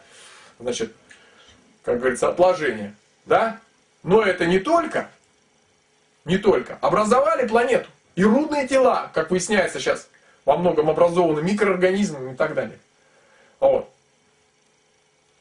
Такие, как говорится, э, продукты, как нефть в том числе, да? Вот. Это все образовано живыми существами. Живыми существами планеты. А мы их уничтожаем. Мы просто, просто уничтожаем тех, кто создал вот эту планету. Вот это ее тело. Да. Понимаете? И мы говорим при этом, что мы высшие. Какие высшие? Какие высшие? Мы разрушители, мы захватчики. В чем, так сказать, наша ситуация. Теперь, давайте посмотрим, как бы мыслили, так сказать, ну скажем так, люди с других планет. Они бы подумали так, что если эти захватчики прорвутся, значит они нападут на нашу планету, да? Они будут угрожать жизни и наших детей, да? То есть вот и на себе, на их, так сказать, место поставьте себе. Они бы боялись нас. Они бы боялись с нами связываться. Они бы сделали все, чтобы не дать нам дальше развиться. Достигнуть технического прогресса, вырваться в космос и начать уничтожать чужие планеты. Они бы все приложили для этого. Может быть, они не нападут на нас, да? Может быть, они что-то не сделают. Но если они нападут, это будет тоже оправдано. В какой-то степени. Хотя, скорее всего, это никто не сделает. Но дать нам вылезти с планеты, дать нам напасть на другие, как говорится, вырваться, так сказать, в космос и начать уничтожать людей, они постараются этого нам не дать. Поэтому, если и есть другие цивилизации, если они тут рядом летают и так далее, и так далее, они сделают все, чтобы вот эта зараза, вот эта зараза с земли не вырвалась. Они поставят землю на карантин. Понимаете? Вот в чем дело. Это логика, простая логика. Вы бы тоже так же поступили. Вы бы тоже поступили, вы бы тоже боялись за жизнь свою, за, свои, за жизнь своих детей, глядя на то, что вытворяется здесь вот у нас на планете, нашей, так сказать, замечательной цивилизации. Понимаете? И поэтому неудивительно, что они с нами не вступают ни в какую, так сказать, ни, ни в какие контакты и не дарят нам технологий и мешают, так сказать, нам вот таким образом. Понимаете? Вот. Вот, так сказать, большей частью все, что я вам хотел сказать. Вот, хотя в дальнейшем, может быть, мы там еще какие-то вопросы а, более, так сказать, детально рассмотрим и так далее. Вот. Поэтому, поэтому наша задача состоит в том, чтобы э, измениться, изменить свое сознание, и уйти от вот этой модели, вернуться к модели, которая сохранит Землю, которая будет подобна ей, и, так сказать, э, сохранить свою планету, Вот, в первую очередь, это наша задача. И сохранить свою жизнь. Жизнь наших детей, жизнь, как говорится, наших потом вообще, жизнь на планете как таковую. Научиться жить по-человечески. А не вот по вот этому, как это, я не знаю, называется. Вот, понимаете? То есть, это не способ существования на планете, это способ уничтожения планеты. Вот. Когда это произошло? Что это поразило? Это вопрос второй. Это можно, так сказать, все это тоже разобрать и, как говорится, рассказать. Вот. Но на данном этапе надо постараться создать вот этот информационный ресурс, который бы позволил нам развернуться. Потому что то решение по изменению сознания, которое существует, я еще хочу сказать, что многие, так сказать, пытаются выйти на природу, так сказать, убежать куда-то там, э, уйти там подальше от города и все остальное. Пока вы не измените сознание, вы повести вас на самый замечательный остров, на самое прекрасное место. Вы из рая сделаете Израиль. То есть пустыню и мертвые. Моря мертвые, как говорится, все вокруг. Понимаете? Вот. Наше сознание, которое сидит в нас, это главный разрушитель. Главный разрушитель. Понимаете? Можно перемещать тело, можно перемещать его куда угодно, хоть на любую другую планету. Но в результате, так сказать, наше сознание разрушит и другую планету. Оно уничтожит все, что только это. Возможно, будет уничтожать. Потому что это разрушительное сознание. И только изменив сознание, мы можем изменить свою деятельность. Мы можем изменить все. И в первую очередь это вопрос выживания. Наш вопрос выживания. Вот. Если человечество сможет это сделать, сможет создать, так сказать, вот этот фонарь, сможет создать, как говорится, этот ресурс, вот, то, возможно, нам удастся избежать катастрофы. Пока что она неминуема. Эта катастрофа неминуема. А вот. Значит, 20 лет я занимался этим, больше 20 лет этим занимался. Как говорится, реально меня никто не поддерживал. Ни финансово, я занимался это на свои, так сказать, средства и так далее, и так далее. Вот. И как-то хотелось бы, чтобы вот хотя бы на этом этапе, когда решение уже есть, решение уже есть, а, но самостоятельно, так сказать, вот на свои средства, все это очень сложно организовать, так сказать, и освещение этих вопросов и так далее. Вот. Мне хотелось бы, чтобы все-таки хотя бы на этом этапе была оказана какая-то помощь. Хотя это не помощь мне, это помощь вам. Потому что чем больше людей узнают об этом, чем больше людей, как говорится, в, э, будут информированы о том, что есть выход, о том, что как это все, так сказать, делать и так далее, тем больше людей, так сказать, тем легче будет остальным. Понимаете? Тем легче будет остальным. Спасем, как говорится, планету, спасем себя, спасем, так сказать, своих детей и все, и, и так сказать, всю нашу цивилизацию в каком-то смысле. Хотя не вот эту цивилизацию, другую. Вот таким образом. Так вот, у меня есть счет. Вот. Приближи. Вот, у меня есть счет. И есть вот e-mail конкретно, да, там все. Перечисляйте средства. Перечисляйте средства. Будем, так сказать, вкладывать в этот ресурс, будем развивать все эти знания, будем информировать, информировать, так сказать, всех людей, вот, всех тех, кто хочет вырваться, тех, кто хочет, так сказать, э, изменить как-то свою жизнь, изменить, так сказать, свое сознание, а значит, так сказать, и сохранить вот этот живой мир, в котором мы живем. Все.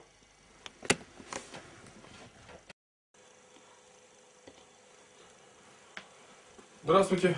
Мы продолжаем серию, значит, сны апокалипсиса и рассматриваем э, глобальные проблемы человечества.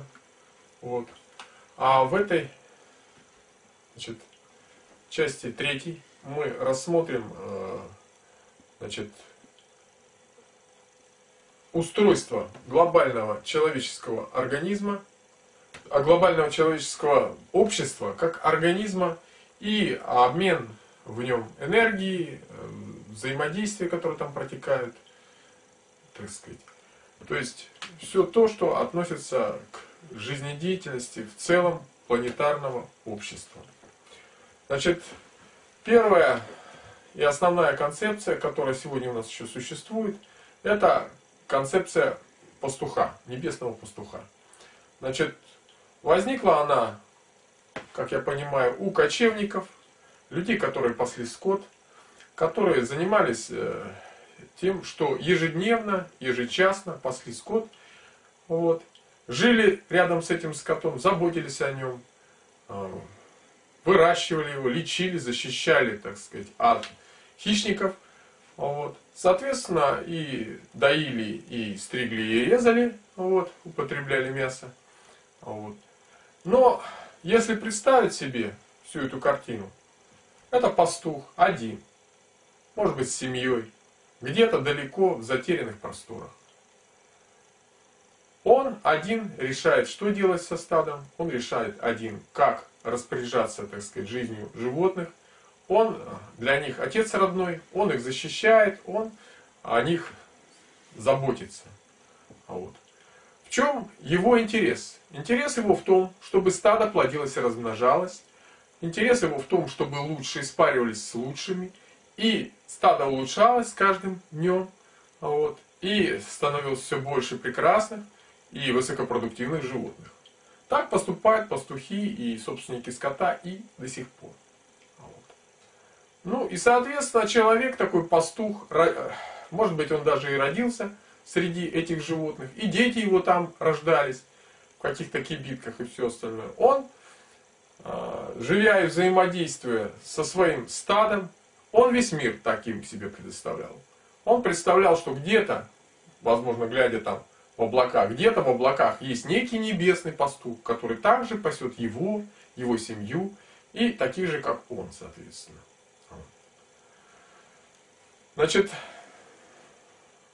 все бы было бы хорошо и все было бы замечательно, если бы а, вот эта концепция, она работала.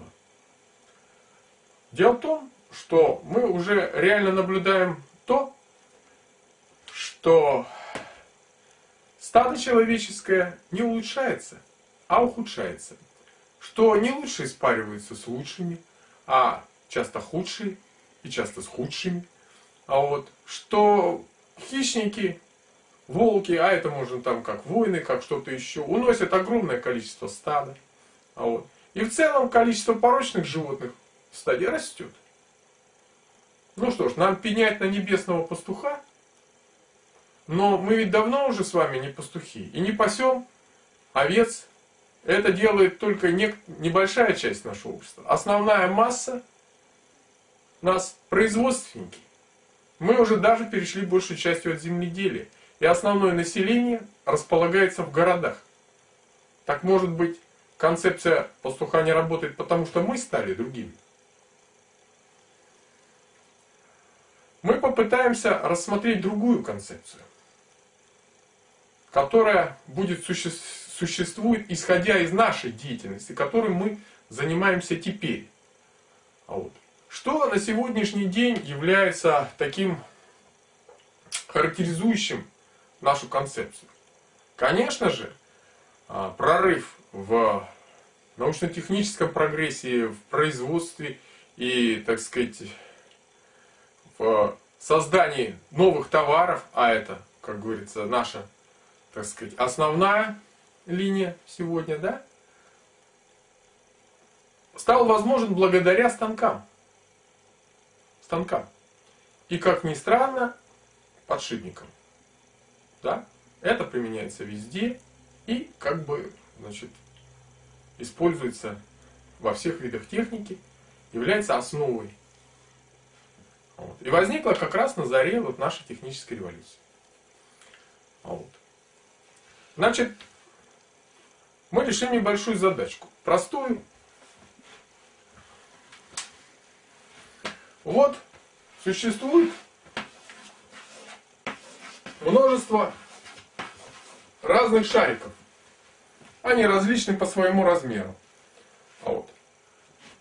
Каким образом мы сможем создать из них подшипник? Ну, при наших технических средствах. Единственный способ создания подшипника, который у нас существует, как мы решаем эту задачу, мы возьмем и срежем все крупные шарики до размера мелкого. Ну, чтобы они поместились свободно, чтобы это все не прыгало и не скакало. А вот. принцип так называемой унификации или, скажем так, обобществления. Но, как ни странно, этот принцип существует и а, в животноводстве. Значит, вот вы представьте себе, концентрация животных, очень большая концентрация животных, особенно у нас сейчас, в условиях промышленного разведения это везде существует. Если там существуют животные разные по размеру, да, то большая разница, да, то сильные животные забивают слабых, отнимают у них пищу, и слабые животные постепенно, как говорится, отстают сначала раз, раз, в два, и, как говорится, потом перестают вообще расти. Вот. Хороший специалист, хороший специалист по разведению этого не допустит. Он рассортирует животных по размерам, вот, по массе, значит, и создаст равные, как говорится, клетки, там, равные загоны для выкармливания, где будут одни и те же животные находиться. Ситуация с людьми та же. Ну, вы знаете, в местах, как говорится, плотного, так сказать, концентрации, ну, таких, как я вам скажу, армия, тюрьма, там, еще что-то, как говорится. Там происходит то же самое. Сильные забивают слабых. Чем больше концентрация, чем больше концентрация, тем, это вот такой принцип э, животных организмов, тем больше должна быть произведена унификация. Унификация. То есть, вся срезка должна быть произведена по маленькому шарику. По маленькому шарику или по среднему. Вот ну, скажем так, даже ниже среднего на самом деле. Вот. Тогда, как говорится, это общество, эта система, это сообщество сохранится. То есть необходимо, чтобы потенциал у всех был, в принципе, одинаков. Иначе произойдет, как говорится, такая ситуация, что либо э, вот эти сильные захватят как бы власть над слабыми. Это принцип сохранения общества. Принцип, состоящий в том, что общественная система должна, должна э, как быть выровнена, выровнена в общей, так сказать, системе. Вот. Таким образом у нас образуется вот здесь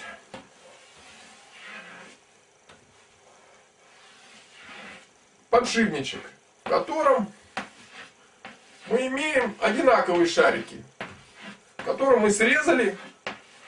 Вот. Срезали. Срезали. А то, что мы срезали, это жизненный потенциал. Речь идет о людях, на самом деле. Вот. А не о шариках. Вот. Это жизненный потенциал. Жизненный потенциал срезан для того, чтобы создать вот эту единую систему, единую систему, а, которая позволяла, так сказать, вот этим шарикам не противодействовать и не вступать, как говорится, в какие-то противоречия с друг другом, а обращаться. Да? Обращаться, работать в едином механизме. А вот.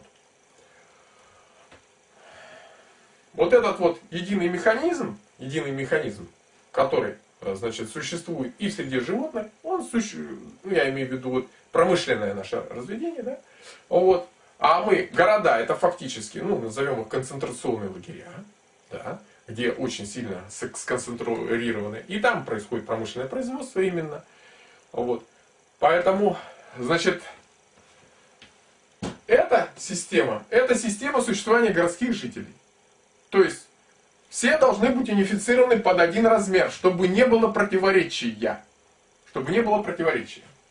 Значит, суть всей э, деятельности, что мы берем каких-то сильных, слабых там, очень слабых или среднячков, и всех подравниваем под один размер. Под один размер. А вот. Что происходит? Что, что это за процесс? Это процесс умоления. То есть процесс умоления. То есть мы по малому, по малому элементу выравниваем свое общество. Да? В итоге что? Получается у нас? У нас получается потенциал сильных напрочь теряется. Если мы оставляем этот потенциал, потенциал входит в, в, в противодействие с потенциалом слабых, слабых забивает. Да? Ну, так, так, такая устройство система, при высокой концентрации вот такие вещи происходят. Вот. В результате что у нас получается? В результате у нас получается общество, которое, которое на самом деле существует за счет того, что значит, уничтожает сильных. Ну, уничтожает, потому что сильный для нее, для этого общества это проблема в какой-то степени, да? А вот. И общество стремится в конечном счете, стремится в конечном счете к вот этим маленьким шарикам. А вот. То есть наш идеал это маленький шарик. Маленький шарик. А вот. Значит, вот таким вот образом, да? Теперь представим себе несколько другую систему. Так, вот посмотрим сейчас, как войдет. Вот несколько другую систему.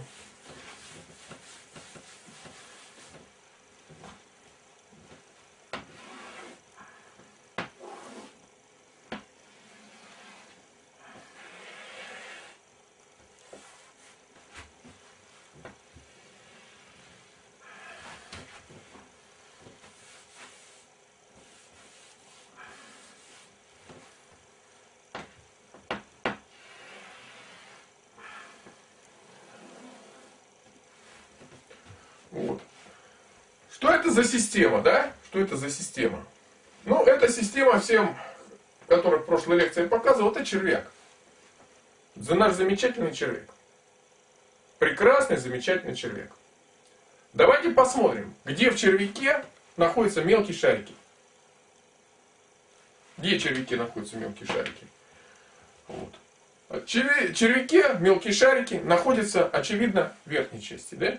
Почему? Потому что при подъеме к верхней части им необходимо пройти через, э, так сказать, множество препонов. Вот, и а, так как размер в обойме один и тот же, да? А что такое обойма на самом деле? Что вот в нашем обществе, что такое обойма? Вот если мы, мы посмотрели, что такое обойма, да? Обойма это, значит, скажем так, все наши установки и законы, все наши общественные, как говорится, э, так сказать, наши правила определяют размер обоймы, да? Вот сколько вот здесь вот это вот расстояние, да? Соответственно. Сколько вот должен быть размер, сколько должен быть вот этот среднячок там, вот, который нормальный гражданин, да? Который повышенным потенциалом это ненормальный гражданин, это гений, да. Гениев мы уничтожаем, это нормально. Вот, потому что у них излишний потенциал, они подавляют всех остальных. Остальным же обидно. Вот. Так вот, вот это вот размер обоймы, да? Если шарик меленький, меленький, он здесь совершенно спокойно гуляет, и никаких проблем у него. Он гуляет, на, никто, на него никто не давит, его никто не прессует. Если шарик крупненький, так да, или средний, средненький среднячок, он зажат со всех сторон. Его крепко держат в обойме.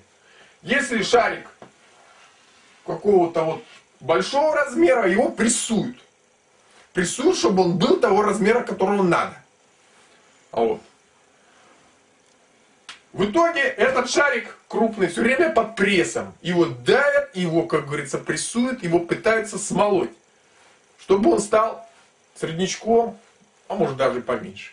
В итоге шарик может колонуться, конечно, да? Там трещина произойдет, что-то там, катастрофа человеческого сознания там, и человек этот погибнет. Ну, гении у нас молодыми погибают, это нормально, в принципе. Ну и люди с э, повышенным потенциалом. Вот. Значит,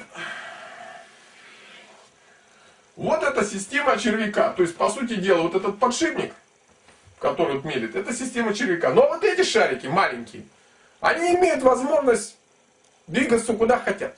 Никаких проблем. Абсолютно. Почему? Ну, потому что их ничто не зажимает. У них полная возможность, они как бы даже это.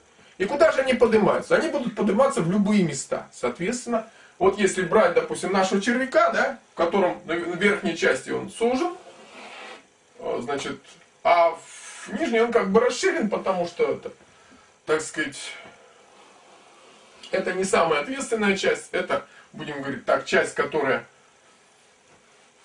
грызет, потребляет. А вот. Это, они идут, соответственно, вот сюда. Вот.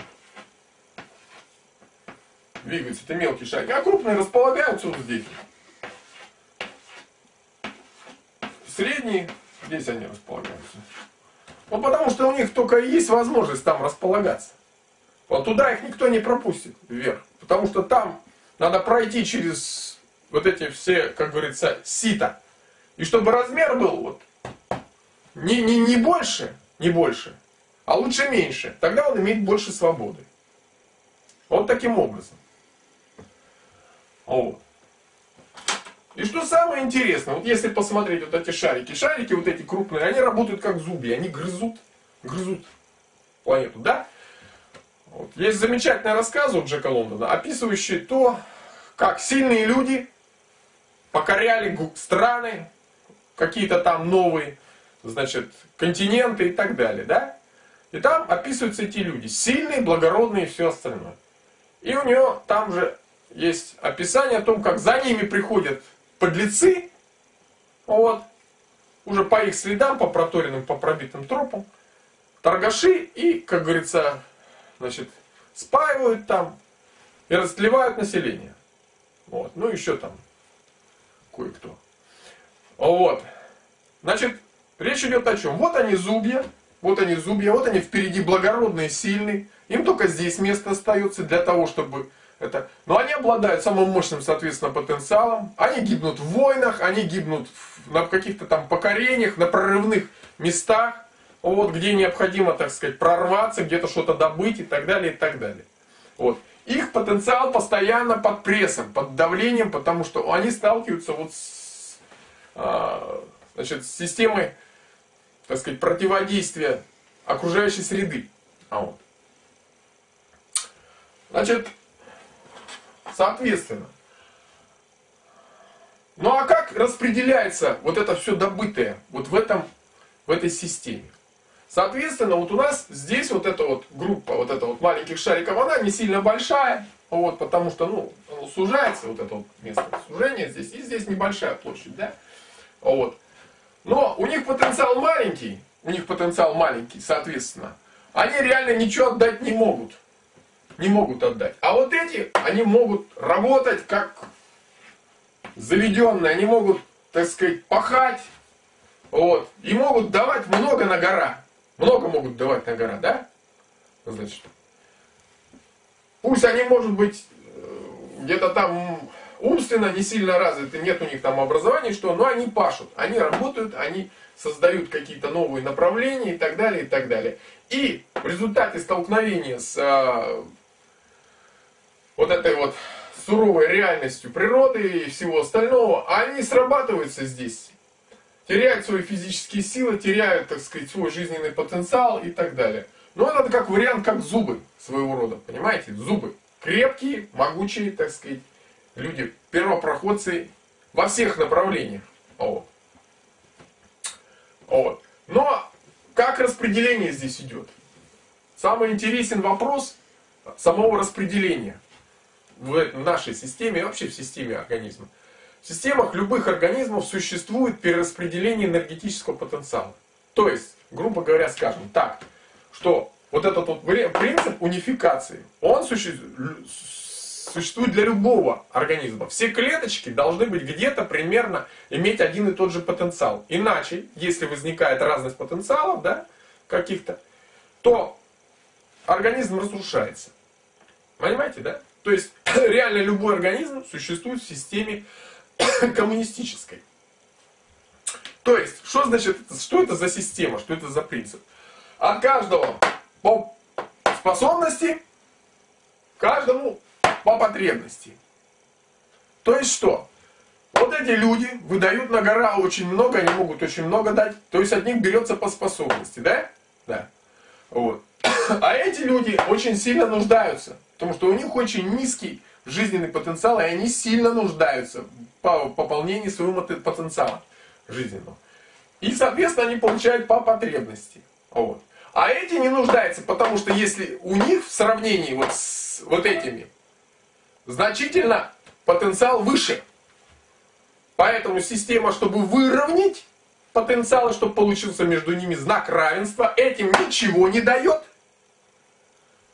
Как говорится, а этим дает все. Для восстановления потенциала. Для того, чтобы потенциал между ними выровнялся, вот между этими частями. Понимаете? Чтобы тело, тело планетарного организма, общество сохранилось и было единым. А вот. Значит, речь идет здесь вот об этом вот, так сказать, срабатывании тоже. Что происходит со сработанной энергией, которая умолилась, сказать, удалилась, срезалась с вот этих вот э, э, товарищей высокопотенциальников? Эта энергия, соответственно, распределяется внутри всего организма. По какому принципу? А по принципу кому, как говорится, она больше необходима. А кому она больше необходима? Она необходима больше низкопотенциальникам. И они ее получают. Почему? Да потому что у них маленькое давление внутри, у них не хватает энергетики. Вот, и они получают энергию, которую срезали с высокопотенциальником. Понимаете? То есть получается ситуация замечательная. Мало того, что эти люди работают со страшной силой, да, на общество. И не получают никаких материальных благ для того, чтобы восстановить свое здоровье, порушенное, так сказать, в результате этого. Они еще вынуждены отдавать свою жизненную энергию, психическую энергию, которая, как говорится, тоже поступает этим же товарищам, потому что у них ее нет. Они нуждаются. Понимаете? То есть принцип коммунизма существует от каждого по способности, да, и каждому по потребности. Но распределяется он системой. И система стремится к выравниванию жизненных потенциалов. Выравниванию. То есть жизненные потенциалы выравниваются. Кто здесь все время в проигрыше? Ну, очевидно, высокопотенциальщики все время в проигрыше. Они находятся, конечно, и здесь, и здесь. Стопроцентных правил нет. Вот. Всегда крупные шарики могут, как говорится, и до среднего куда-то звена сюда проскакивать и так далее, и так далее. То есть там есть такие вероятности, но чем выше, чем выше сюда, чем ближе сюда, тем вероятность меньше, потому что зазор, зазор меньше, меньше зазорчик. Вот. Приходится проходить через ситечко, вот, ситечко, как говорится, вот это ситечко, и оно не позволяет сюда проходить. Вот. То есть это, она система как бы и механическая, и она органическая, она будет работать во всех отношениях. И это фактически работает система как живой организм. Она работает как живой организм. Понимаете? То есть, и работает она на принципах Вселенной. И те люди, которые на протяжении многих лет как-то вот пытались там вот ее победить или думали, что коммунизм можно создать вот, э, так сказать, вот на этом принципе. Все, принцип уже работает. Он работает во Вселенной всегда, непрерывно работает. А вот. Здесь только есть одна деталь в этом во всем принципе. Что вот эта вся система, вот эта вся система, она движется, у нее направление движения вот туда. То есть мы все постепенно, вот отсюда начиная, стачиваемся до, как говорится, низкого потенциала, до низкой вибрации. То есть мы идем куда? Чем человек ниже вибрирует, чем человек ниже вибрирует, тем он опускается в более низкие, так сказать, слои. Тем меньше в нем человеческого. Грубо говоря, токарный станок срезает постепенно с нас человеческое. И мы становимся все как говорится, ближе и ближе, ближе и ближе. Ну, древние называли это ад. Ну, наверное, к аду становимся ближе. Вот. То есть мы движемся куда-то вот как к состоянию черной дыре. Вот это к черной дыре, дыре туда. Понимаете? К гибели близимся, движемся. Понимаете ситуация какая? Так? Значит, ну и соответственно мы тащим и планету, которую мы обрабатываем, туда же. Вот. Значит, что можно сказать о строении человека, да? Ну так, мы условно разберем такой принцип, простейший. Видно будет? Там нет, не очень. Вот.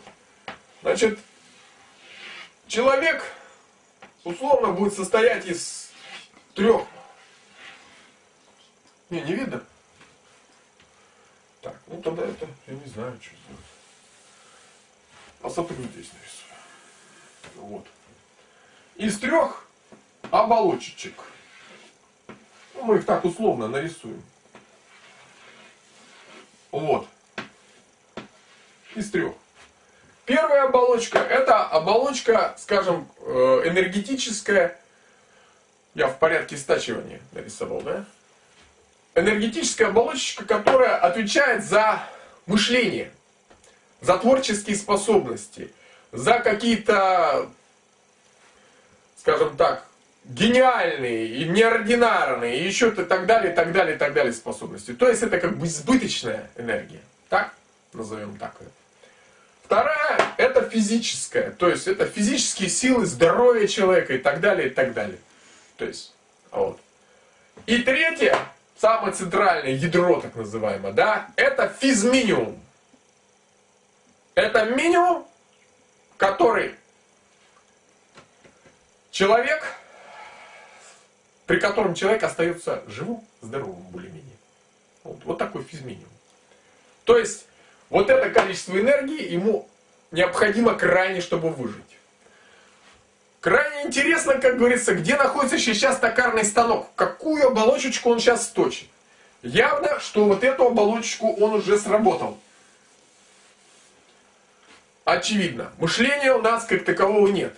И мы думаем, что мы думаем, но на самом деле мы занимаемся большей частью комбинаторикой, предложенных нам решений. Это не мышление, это вариант перебора вот каких-то вещей. Все. Значит, по поводу физической, что у нас общество физически здорово все? Нет. Значит, эта оболочка тоже подсработалась. Подсработалась эта оболочка. У нас остался вот тонкий слой от этой оболочечки, тоненький слойчик. И уже резец, резец на некоторых уже начинает срезать, уже физиологическую норму начинает срезать. Появилось много больных людей. Больных, умирающих, так далее, так далее. А сейчас особенно, да? То есть, грубо говоря, мы подошли к определенному моменту. Вот. Что символично вообще в нашей системе существования, да? Мы занимаемся чем? Мы берем, берем Э, ископаемые, да, разрушаем их и получаем из них энергию, да? Так? И ископаемые у нас уже кончаются. Но по-другому получать энергию вот эта система не может. Вот. Ну вот есть ископаемые нефть, ископаемые там, как говорится, уголь, ископаемое что-то еще. А есть и такой ископаемый человек. Вот этот вот, высокопотенциальник. Явно он создан не вот в этой машине разрушения. Он создан был когда-то раньше. Когда-то раньше, так сказать, возник. Вот. И сегодня это ископаемое тоже заканчивается. Потому что резец поехал уже по физнорме. Понимаете? Вот. И у многих загорелась красная, как говорится, шкала. Опасно для жизни. И несмотря на то, что у нас вот сейчас вот отсутствует энергия для того, чтобы запустить процесс мышления. Но в условиях, как говорится, крайней опасности многие начинают пускать этот процесс. А выхода другого нет. Вот. Интересен еще такой вопрос. Насколько долго вообще может вот этот вот процесс продолжаться, связанный с сработкой человека? Насколько долго? Ну, Наверное, только вот, да, вот как раз вот до чего он и дошел уже сейчас. Этот процесс. Вот. И все, и дальше уже, все, дальше уже только смерть. Смерть. То есть вот эта система, она как бы доточила шарики до, скажем так, до сердцевины их. Дальше у них уже, у этих шариков их стачивать нельзя. Да, шариков много, миллиарды шариков, но доточены все до сердцевины практически. Понимаете? И шарики начинают бежать, в разные стороны бежать. Ну вот по побеге мы еще поговорим. Интересен здесь другой вопрос. Вот. Интересен вопрос социализации. Вот этот вариант срезания с э, высокоинтеллектуальных, э, высокопотенциальных шариков и поступление энергии, энергии, вот срезанной с потенциальных шариков, в общую энергию социальную, в общую энергию общества. То есть, понимаете, все общество запитывается от вот этих высокопотенциальных шариков, ну, от выше среднячков. Но сейчас уже от среднячков, я так считаю, запитывается. Вот. И чем человек ниже имеет потенциал, тем больше он получает энергии. И у него, понимаете, у него бесконечный источник энергии. Он может быть активен как угодно, потому что это не его энергия. Это энергия других. А те другие рядом, допустим, даже те же среднячки, ничего не получают. Это как минимум ничего не получают. А еще их и пытаются срабатывать. Ну а уж про тех, кто имеет высокий потенциал, их, для них выгоды в этой социализации никакой. Их только доят, стригут и режут. Без всякого фактически вознаграждения. Да как можно компенсировать жизненную энергию? Как можно компенсировать жизненную энергию? Сколько стоит жизнь? Непонятно. Этот же принцип энергетический, энергетический принцип лежит в основе всего. Так же, как любой энергетический принцип лежит в основе банков и всего остального, и денег и так далее. Также распределяются и деньги в этой системе. Также они в этой системе деньги также распределяются. Так же, как и энергия. Понимаете, тот же принцип сохраняется. Чем хороша вот эта система, она работает во всех направлениях. В деньгах, пожалуйста. В экономике, пожалуйста. В любом, в любом направлении. Потому что эта система, это истинное положение общества, истинное его состояние. Когда у нас те, кто и обладает высоким, низким потенциалом, движутся наверх и занимают верхние позиции. Почему? Потому что так устроено общество, потому что так устроен вот этот общественный организм. Потому что этот организм идет не к процветанию, идет к смерти. Понимаете? То есть этот организм срабатывается на ноль. Там вот, вот здесь, вот самая вот задняя часть, вот здесь вот задняя часть. Здесь ноль. Ноль. Черная дыра. Понимаете? Вот. То есть мы стремимся к черной дыре, смерти. И поэтому вот этот принцип, вот эти все коммунистические, которые якобы должны работать и обеспечивать справедливость, они не работают. То есть они работают, но справедливости нет. Понимаете? Почему? Потому что вся система существует, что полезных ископаемых, что это? Для разрушения. Разрушения. И в частности, процесс разрушения уже в обществе дошел до такого уровня, что сегодня теряется управляемость в обществе. Потому что недостаточно поступает энергии, вот от этих шариков маловато стало, ресурс закончились человечки, да, то уже управляемость падает. Это видно, в обществе падает управляемость. Значит, что можно еще здесь, так сказать, сказать по вот этой системе?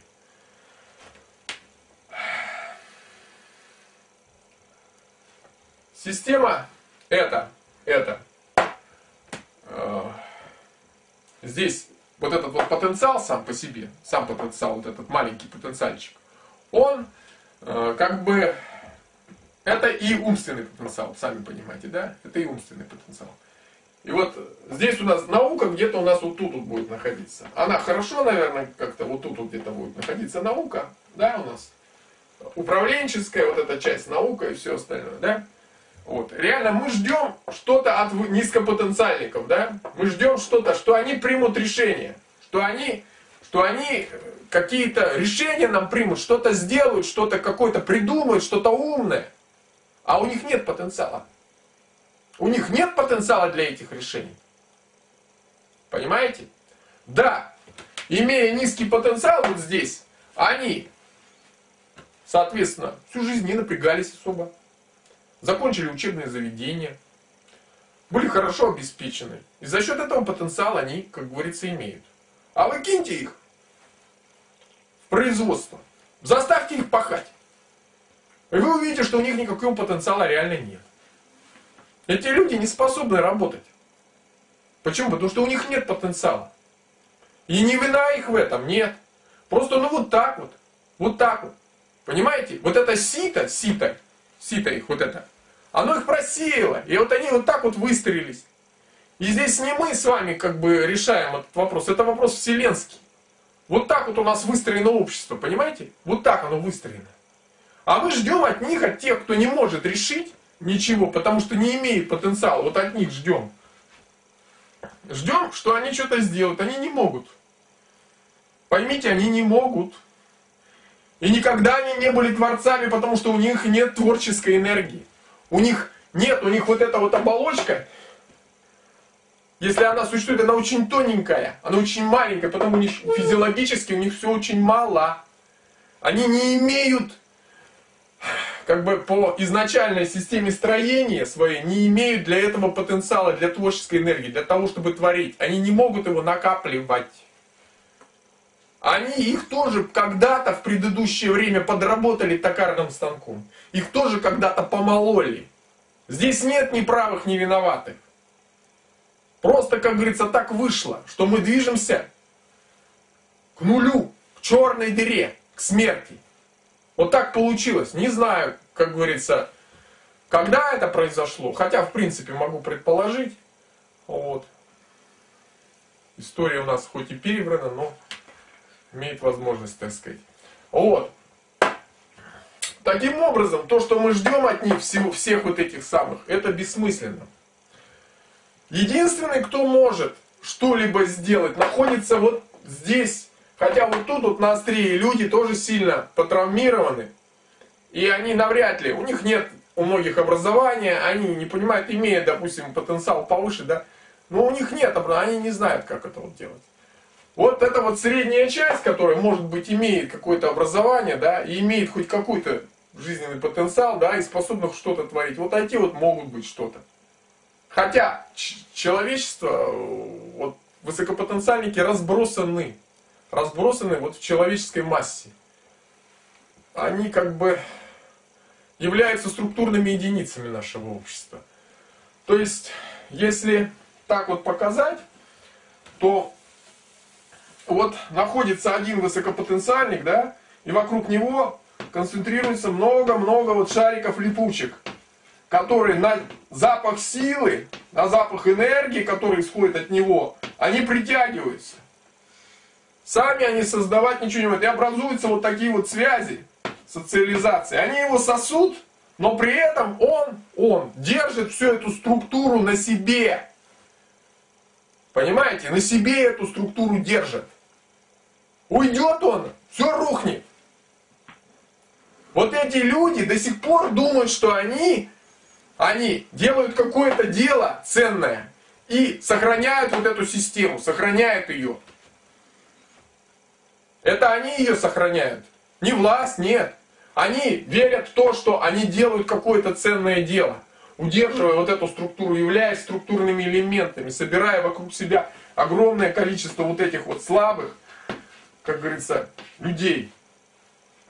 Они держат общество. Они титаны, которые держат общество. Понимаете? Их сосуд, их сжирают насмерть, а они продолжают держать. Вот это подвиг называется. Вот. Что могут эти люди? Ну вот если мы понимаем, что ресурс человека уже закончился, человечки, их осталось очень мало. Эти люди могли бы осознать, и они сейчас тоже просыпают, они проснулись, они, наверное, уже давно не спят. А вот могли перестроиться в другую систему. В систему не уничтожения человека и планеты, и всего живого, да?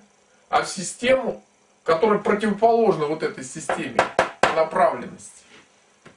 В систему, где шарики не подрабатываются, крупные под мелкие, а наоборот, где мелкие шарики постепенно восстанавливаются до крупных. Да, это длительный процесс. Подрабатывать проще быстрее. Потому что это система разрушения. Падать вниз проще. Понимаете? Проще падать вниз. Принцип падения вниз, он элементарен. Эта система умоления, она проста. Вот, скажем так, это в виде ступеньки можно изобразить. Вот вы находитесь на этой ступеньке, но потеряли энергию, да? Ну, это можно представить так вот, как вариант. У вас, вы купите деньги на самолет. И готовы его купить, но у вас денег не хватает.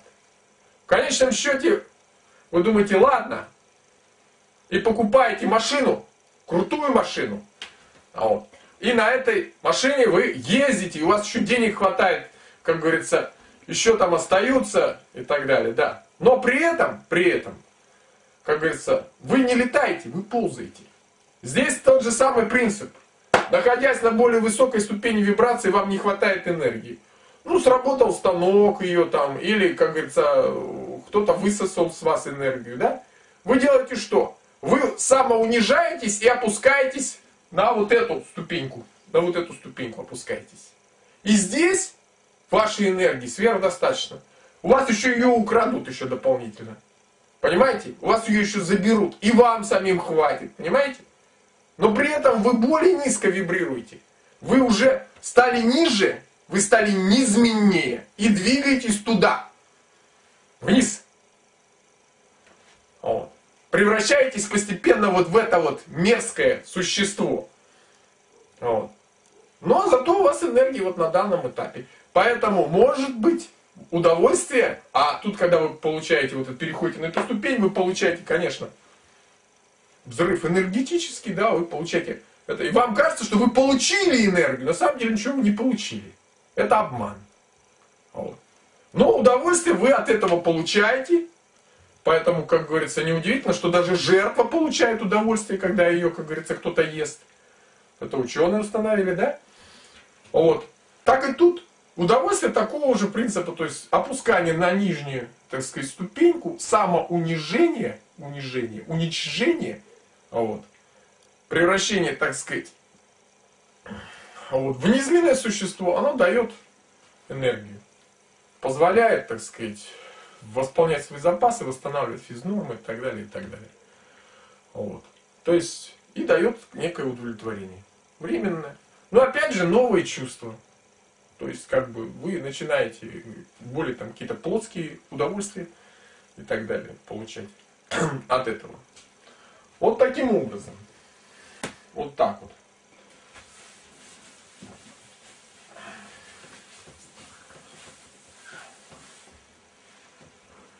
Вот. Сегодня, сегодня, сегодня ситуация такая, что раз человечков человечков а, стало мало, объем жизненной энергии в обществе падает, значит, э, и мы подошли к вот этому моменту физминимума, физминимума. А, возникает такая ситуация, что люди начинают это ощущать и пытаются защититься от того, чтобы потерять энергетику. Защититься. Ну как защититься? Ну, создать некий кокон, который бы не позволял э, воровать, так сказать, у них энергию. То есть отделиться от этой социализации. То есть у нас, видите, сейчас формы общения дистанционные становятся. Значит, мы стремимся, как говорится, уйти от каких-то таких прямых контактов, да? Вот. Теперь, если раньше, ну, помните, ну, кто ездил на автобусах, да, вот вы ехали в автобусе, автобус забит народом, как говорится, вы приезжаете, вылазите из этого автобуса, вот и ощущаете, что вас как будто высосали. А, ну э, просто перераспределился потенциал, понимаете, все уставшие там с работы или даже, неважно, может и на работу ехали с низким потенциалом. Вот. А вы свой потенциал потеряли, ну, он распределился на всех остальных. Вроде там ничего такого не происходило, но распределился. В итоге люди пытаются создать. Собственные машины создают. Это кокон, защитный кокон. Это побег, понимаете, побег от того, чтобы вас высасывали. Побег из матрицы, побег. Своего рода, как говорится, А, вот. Бегут люди из городов, да? То есть это было одно, второе, третье, значит, э, варианты. Э, когда там сначала садоводство, потом, значит, этот э, гектарники, это еще до анастасийцев, да, были. Потом, значит, сейчас это анастасийцы, там кто-то еще родоверы, там бог Много народу, все бегут, бегут. Вот. Бегут, пытаются создавать коконы, дома какие-то коттеджи строят. Чиновники воруют, чтобы построить себе коттедж. Почему? Защитить свою энергетику. Защитить, спасти. Спасти от, от токарного станка, от высасывания. Понимаете? Жизнь свою спасти. Но это все происходит на инстинктивном уровне. Это все происходит на инстинктивном уровне. Проблема гораздо глубже. Вот он подшипничек. Замечательный наш подшипничек. Вот. Как вы думаете, что вот это такое? А это у нас наружная матрица. То есть то, что все, что мы видим. Наши там дома, квартиры, обстановка города, там что-то еще и так далее, и так далее, и так далее. То есть все проявленное. Все какие-то произведения искусства, какие-то творения, все, что мы видим и так далее. То есть то, что вот проявлено. Все, вот эта вот матрица, она вот такая какая-то тут записано на ней что-то вот на этой матрице. Вот. А что же это такое? А это матрица ума. Она находится у нас в голове. Ну или не в голове, но в общем есть у нас матрица ума. На ней тоже все записано, то, что нам запихали за жизнь, тоже все записано. И оно тоже записано, вот так вот все это торчит, все это. А где же мы с вами? Где же наша жизнь? А наша жизнь находится вот тут вот. Мы как шарик мечемся между вот этими вот системами, между матрицами. Матрица ума посылает нас что-то делать. Мы попадаем на матрицу, соответственно, проявленного. Начинаем что-то делать. Матрица проявленного, как говорится, дает нам на нас сигнал. Мы отскакиваем к матрице ума. И так вот мы мечемся вот в этом самом. То есть вот в этом вот пространстве, вот в этом пространстве проистекает наша жизнь. Здесь мы многократно мечемся между вот этими двумя матрицами. Мы сейчас обсуждаем план побега. Да? Серьезного побега. Вот, как говорится, одна стена тюрьмы, вот вторая стена тюрьмы. А вот. Что делают те люди, которые бегут? На природу или еще куда-то? Да, они убегают от, от этой матрицы. От вот этой матрицы они убегают. Так, убежали, да, частично. Но внутренняя матрица осталась, а там во внутренней матрице привязки все, социальные и всякие разные. И они туда тянутся. И вас, может быть, не сосут вот напрямую энергию, но она происходит по-другому, там через другие способы есть. То есть вы реально удлинили свой поводок. Да, вы убежали, но поводок остался. Он держит. Никуда вы не убежали. А вот. Поэтому все вот эти побеги, которые были сначала с садоводами, там, потом с гектарниками, теперь вот с анастасийцами, они ничем не кончатся. Почему? Потому что остаются. Все равно, они все равно в тюрьме. Тюрьма-то осталась. Да, вы, вы не видите ее стен. Но это вот как ошейник там вот. В фильме есть, да, как ошейник. Этот существует он. Все равно. Да, вы убежали, ну и что, какая разница? Не имеет никакого значения. Понимаете? Вы все равно как были разрушителем, так и остались. Вы все равно в себе несете вот эту систему. И вы думаете, что, как говорится, вам удастся преодолеть он. Да, в какой-то степени вот отсутствие вот этой матрицы позволяет разобраться с этой. Почему? Потому что ну, энергии больше становится. Вы попали на природу, у вас больше энергии. Другой вид начинается воздействие на внутреннюю матрицу. Без сомнения. Но недооценивать внутренние матрицы нельзя. Потому что, ну, как бы вот если смотреть на опыт, да, предыдущих побегов, в общем-то, они большей частью неудачные. То есть, грубо говоря, придется открыть глаза. Ну вот, больно, неприятно. Многие не хотят открывать глаза. Почему? Ну, потому что это их унижает их достоинство. Они не хотят видеть то, что сотворило человечество. То есть, ну, в общем, что мы все сотворили. Потому что вот в этой гигантской, которая, так сказать, вот этом червячке, или назовите это яйцо. Вот, кстати, замечательная сказка о курочке рябе. О курочке рябе, да? Я долго не мог ее расшифровать и понять вообще, что это за сказка, как это глупость. Появляется золотое яйцо, люди пытаются его разбить. Какой идиотизм вообще? Зачем золотое яйцо бить? Ну как-то бы приспособили его. Вот. Но проблема состоит, что тупость наша, она неисчерпаема. Токарный станок поработал. Вот. Мыслительных способностей маловато. Вот. Яйцо не золотое, оно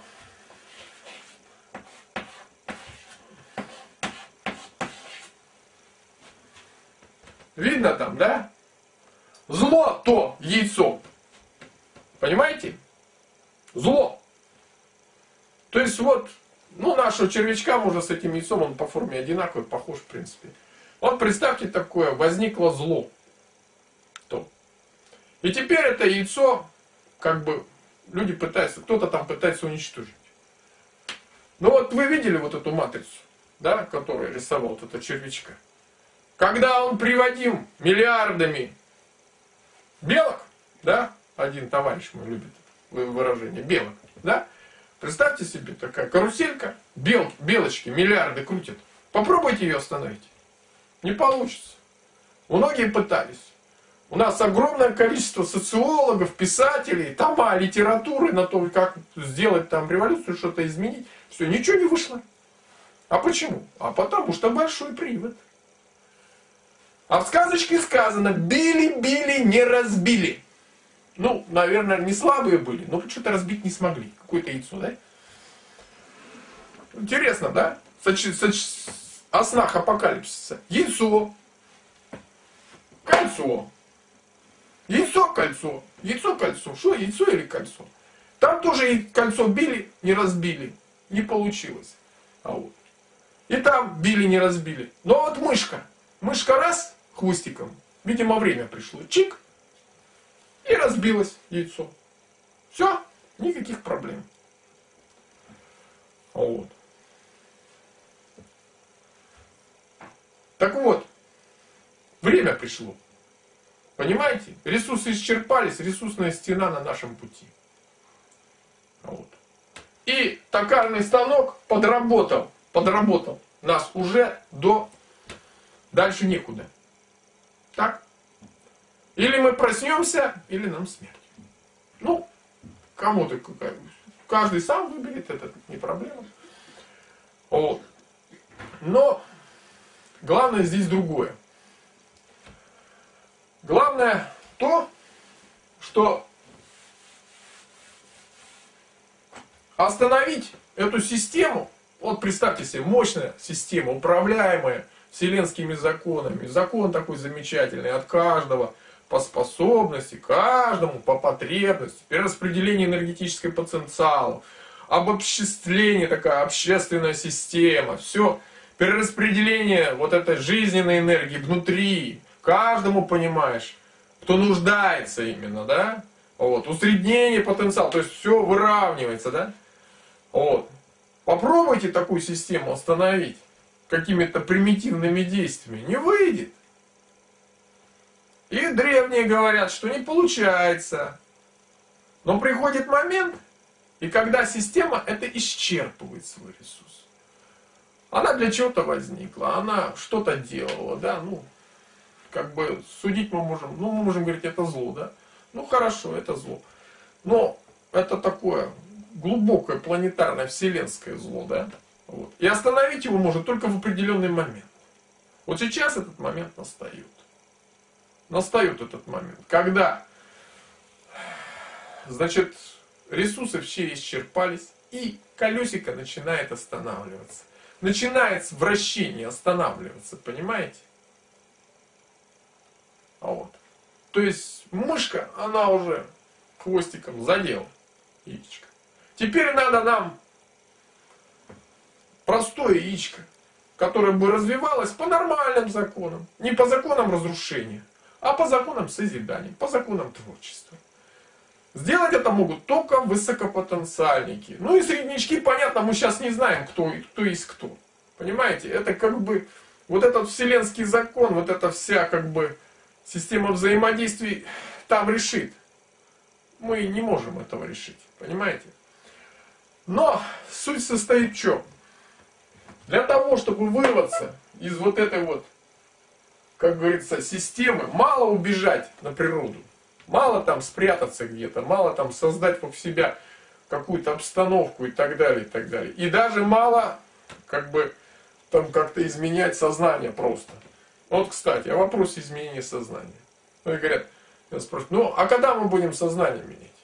Ну, мы меняем сознание уже. Все, уже давно. То есть, вот там первая часть, вторая, да, и вот эта третья, мы меняем сознание. Смысл состоит в том, что вот это и есть изменение сознания. А что ждать? Вот оно и есть. Правильные установки меняют сознание. Обычное дело. Ничего сложного абсолютно. То есть смысл состоит в том, что вот эту матрицу, вот с этой проще мы ее видим, да, мы там можем что-то изменить. Хотя, конечно, с ней тоже работать обязательно надо, да. Но про эту забывать нельзя. Работать с ней значительно сложнее. Почему? Потому что если все то находится вокруг нас, мы как-то там можем изменить и все. И нам это понятно, и видно, и ясно. То с этой работать сложнее. Есть такой момент. Такой момент, он состоит в том, что тяжело, тяжело признавать то, что мы сделали. Почему? Ну, потому что каждый человек себя считает хорошим и замечательным. Это другие плохие. Это там они плохие дядьки, где-то там, вверху там какой-то пирамиды, кстати, это там вот, систему можно тоже и пирамиды называть. Вот. Где-то там что-то замыслили. Проблема состоит в том, что эти дядьки даже потенциала не имеют особо там как-то мыслить. Они мыслят в каких-то мелких плоских масштабах. Да, они что-то там делают, да, они что-то там мыслят, что-то там в своих размерах затевают. Но на глубокий какой-то такой синтез они не способны.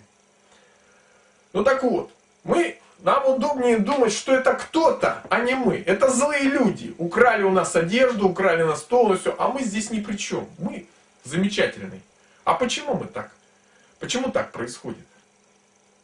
Ну потому, что наше сознание, сознание, подсознание, оно убегает от катастрофы. То есть, если мы себя начинаем считать нехорошим человеком, кем-то там отвратительным, да, то рушится наша личность. Она погибает. Она самоуничтожается. Ну, так устроен вселенский закон. Это как бы вот закон кармы своего рода, да? Вот. И мы стремимся убежать от этого. Стремимся не признать то, что это мы мусорим. Это то, что я сейчас два ведра отнес и вывалил мусор. Да?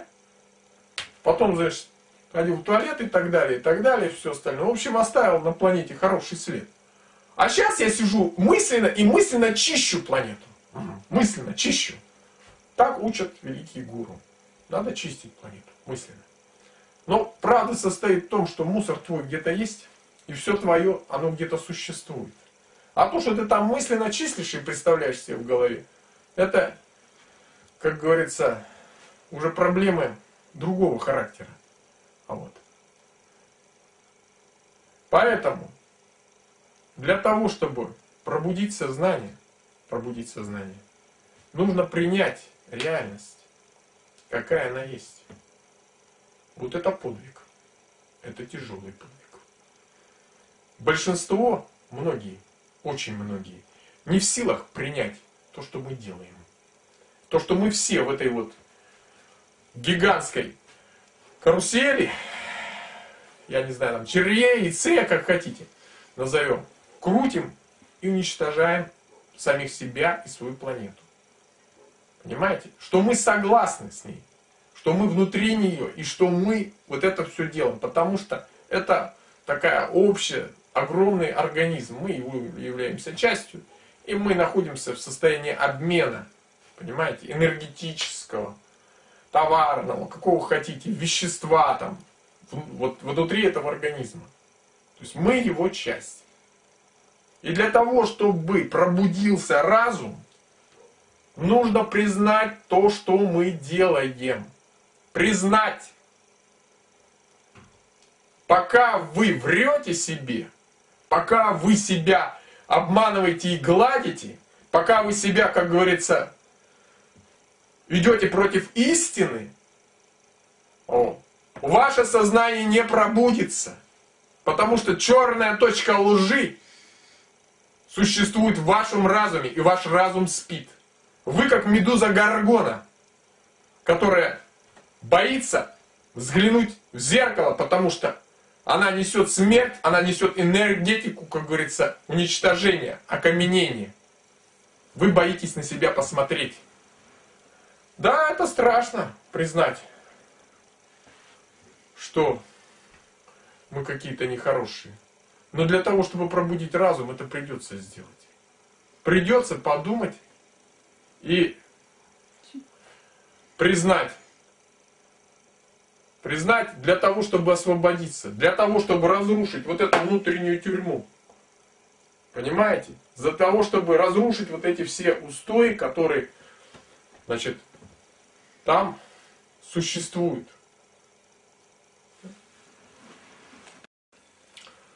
Значит, сегодня мы продолжим говорить о, так сказать, глобальных проблемах человечества и сам поговорим о более, так сказать, остановимся детально на, на таком явлении, как матрица, система или как там еще можно ее назвать. Вот. Рассмотрим детально, что это из себя представляет. Значит,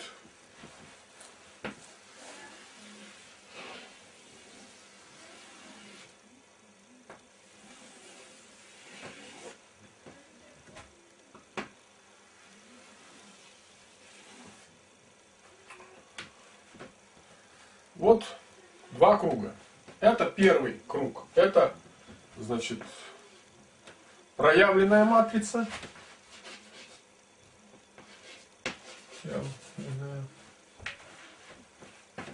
Второе, это матрица ума. Ума. Так? Или, ну, можем назвать это виртуальный мир, построенным умом. Что такое проявленная? Проявленная матрица. Вот.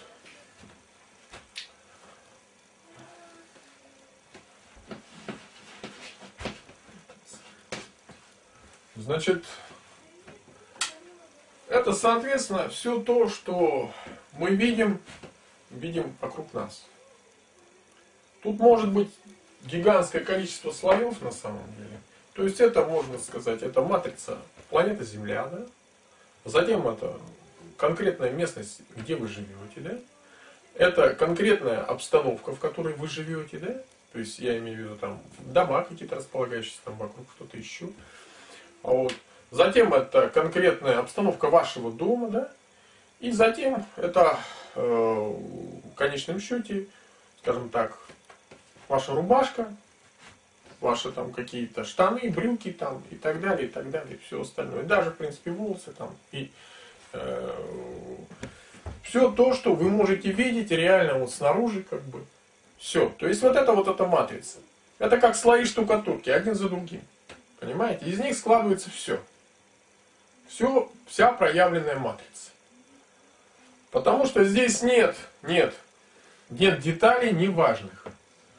От того, как вы одеваетесь, как вы, значит, в том числе даже и двигаетесь и так далее, и так далее, и так далее. То есть, как проявляетесь вы в этом мире, соответственно, зависит вот эта вот матрица. От того, какой ремонт вы сделали, какие, значит, у вас обои и так далее, и так далее. То есть, соответственно, это оказывает влияние на вашу внутреннюю матрицу, соответственно, ума. Но и она, вот, она тоже оказывает влияние на, так сказать, все, что вот вы на самом деле вокруг себя сделали, что, каким образом вы оделись, каким образом, так сказать, вы создали э, какой-то свой уют, там, или купили какую машину и так далее, и так далее, и так далее. На все это, на все проявленное. То есть ум влияет на проявленную матрицу, э, на, э, значит, проявленную матрицу, да? То есть, и матрица проявленная являет, влияет на матрицу ума, соответственно, да? Вот таким образом. Вот. Ну а что находится внутри вот этой вот матрицы? Ума, так называемого. Внутри вот этого мира, который, так сказать, построен вот матрицей, так сказать, ума. Да? Будем называть так, это обстановка. Обстановка. Здесь тоже своего рода есть как-то мебель, что-то еще, ну, некая обстановка. Как вы себе представляете, как устроен мир. Понимаете? То есть здесь есть некий, назовем его генератор. Некое подобие Солнца. Вот. Некое подобие Солнца, который, соответственно, просвечивает все это, просвечивает все это. Но, скорее всего, он даже не так расположен, а он несколько больше, да, вот так вот возьмем. И вот он светит во все стороны. Вот, вот таким образом. Просвещает все, да. То есть он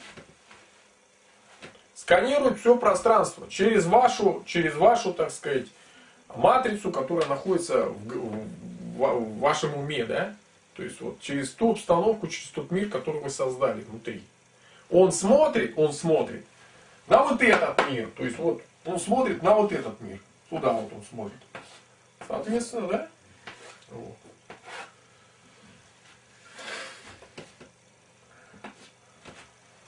И как говорится, видит этот мир только через вот эти вот окошечки.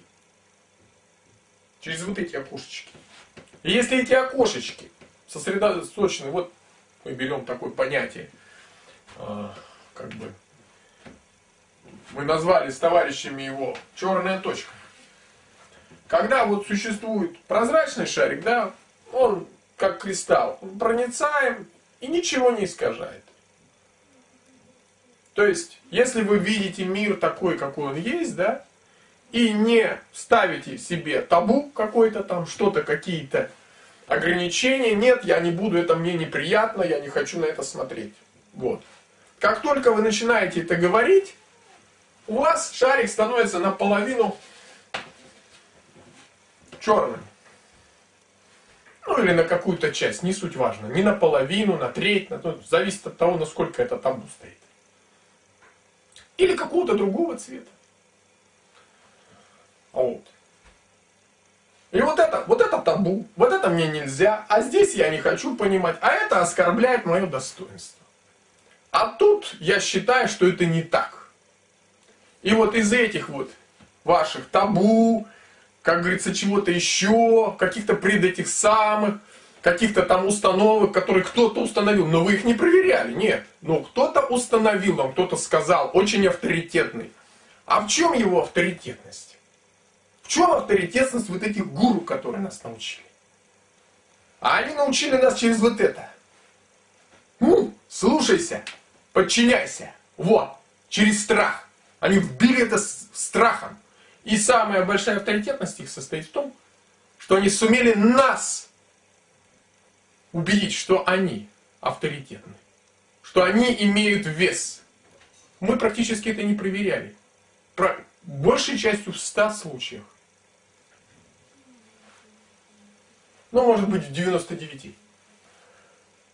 Поэтому у нас в голове, вот именно в этом мире, этот мир в основном состоит из установок. Установок, которые большей частью мы не проверяли. Которые нам по умолчанию воткнули. А мы и, в общем-то, не стали их проверять. А зачем? Нам некогда, мы заняты тем, тем, тем, тем, тем, тем, тем, тем. То есть у нас получается такая система, что нам наш внутренний мир, наш, через что мы смотрим на мир, выстроил кто-то другой. Какие-то авторитеты. Как его разрушить? Как изменить? Потому что если вы будете смотреть на этот мир, а этот мир стопроцентно, он по умолчанию стопроцентно, потому что эта вся информация, вот эта, которая через гуру, гуру, муру поступает, это одна бабушка сказала другой бабушке, а та бабушке сказала третий, и потом десятый. И в оконцовке получается у нас эта информация из десятых или пятнадцатых рук. И отношение к реальности она не имеет никакого. Но самое страшное с людьми происходит, когда они с непроверенными вот такими знаниями, вот такими знаниями своего рода, да, куда-то попадают в серьезную сложную ситуацию. И что происходит? Катастрофа сознания. Я думал, это так, это оказалось не так, а когда от этого зависит ваша жизнь и здоровье, то это летальный исход. Значит, для того, чтобы избавиться от этой ситуации, нужно все перепроверять. Это понятно, да? А что получается, когда мы вот имеем вот такие вот табу и все остальное на нашем окошке, через которое мы смотрим на мир? Поток, двигаясь от нас, вращая эти шарики, показывает нам что? Кто-то говорит мультики, кто-то говорит там иллюзию. Не суть важно что. Но нереальный мир, нереальный мир. Искаженный мир, понимаете? И мы, соответственно, ну, как бы, воспринимая через свой ум, вот здесь вот, вот здесь вот, через вот эту информацию, которая вернулась, через вот это вот окошечко назад вернулась, значит, мы на основании этой искаженной информации, которую восприняли через вот это окно, через вот эту вот э, обстановку, через матрицу ума, мы выстраиваем вот этот мир. Мы выстраиваем вот этот мир. Понимаете? Получается такая, опять же, кольцевая система. Вот. То есть, по сути дела, кто строит этот мир? Кто строит этот мир? Этот мир строит вот эта система. И поэтому говорят, да, кто управляет там сознанием, умом, кто способен, так сказать, воткнуть человеку, так сказать, какое-то там мировоззрение, тот и управляет миром, да? А вот. Тот все создает, по сути дела. Вот. А удобнее всего втыкать, когда, значит, перед тобой беззащитный ребенок, вот, запугал его, пригрозил ему двойкой там или еще чем-то, и воткнул знания, за которые ты отвечать не собираешься. Воткнул. А потом с этими знаниями он идет в, в, в реальную жизнь, и там он лузер. Потому что знания эти лживые. А вот. Возникает интересный вопрос. Интересный вопрос. Ну хорошо. Вот нам навтыкали вот это вот здесь все. Вот мы вот все здесь имеем, да? Вот эти черные точки. Имеем их, эти черные точки. Как с ними работать, как их побеждать?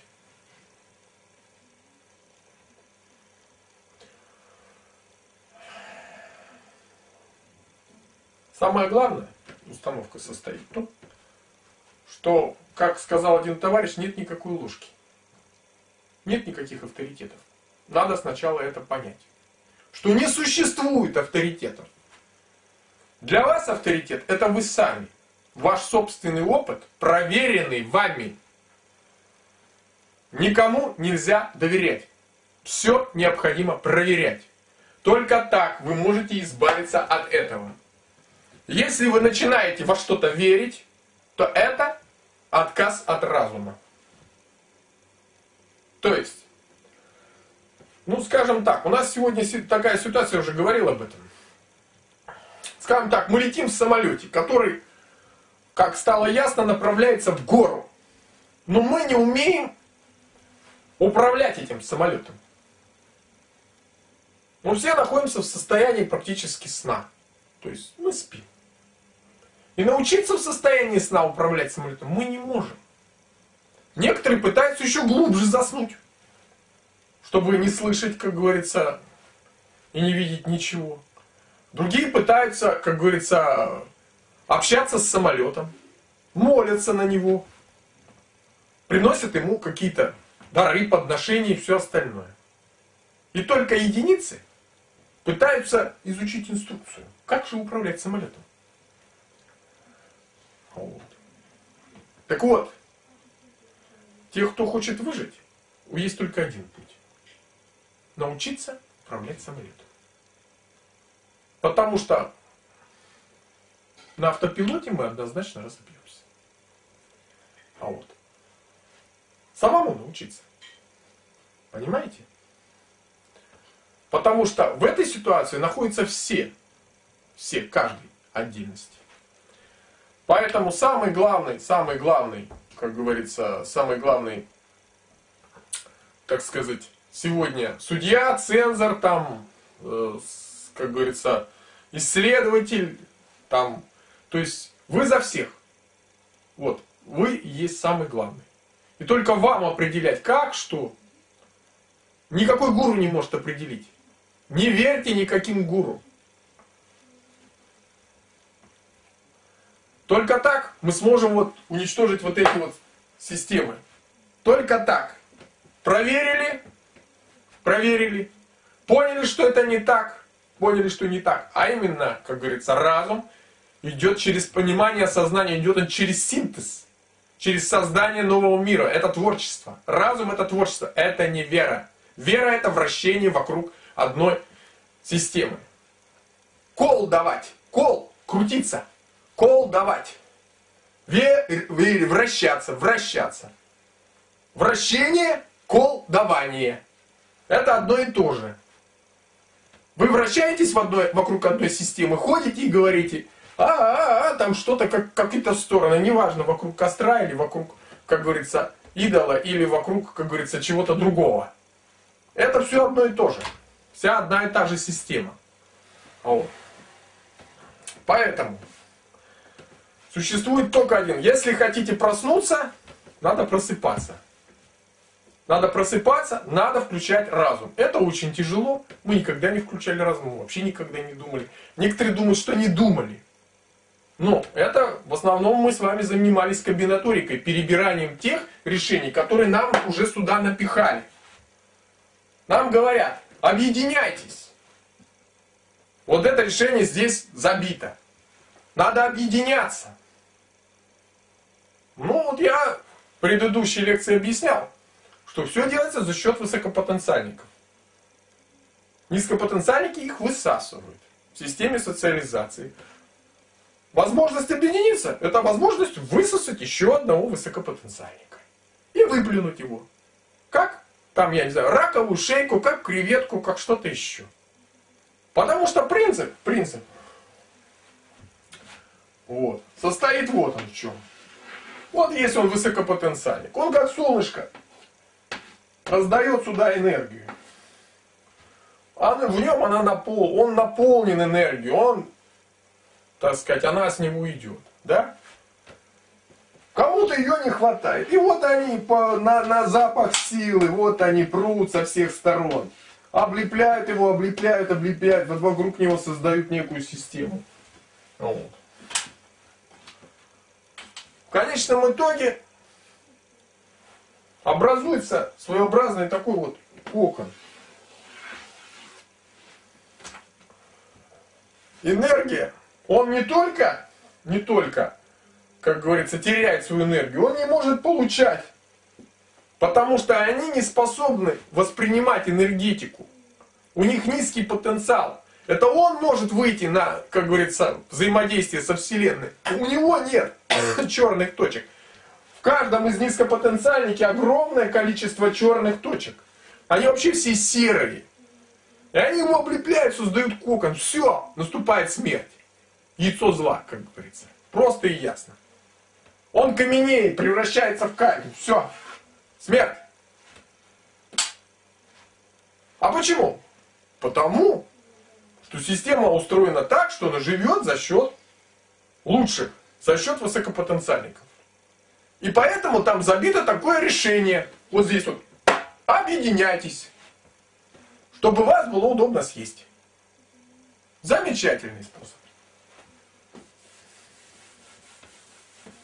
Не объединяйтесь. Вот не объединяйтесь и все. Работайте над собой.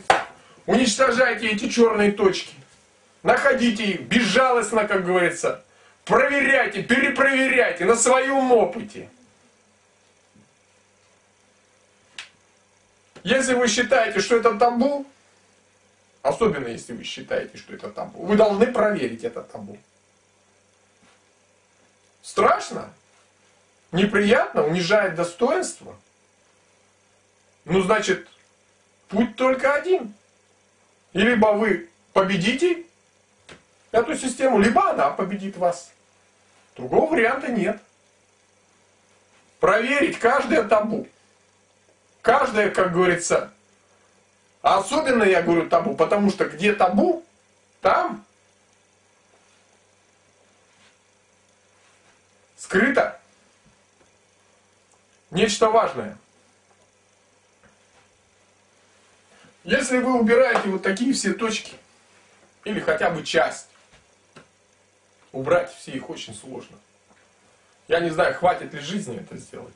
Ну хотя бы часть, хотя бы какой-то кусочек. Вы начинаете мир видеть по-другому.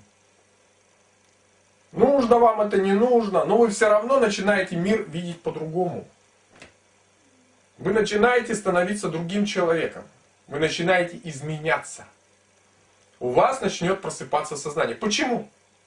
Да потому, что сознание начнет взаимодействовать с проникающей отсюда энергии. Энергия будет проходить, а не отражаться от этих черных точек, как от зеркала.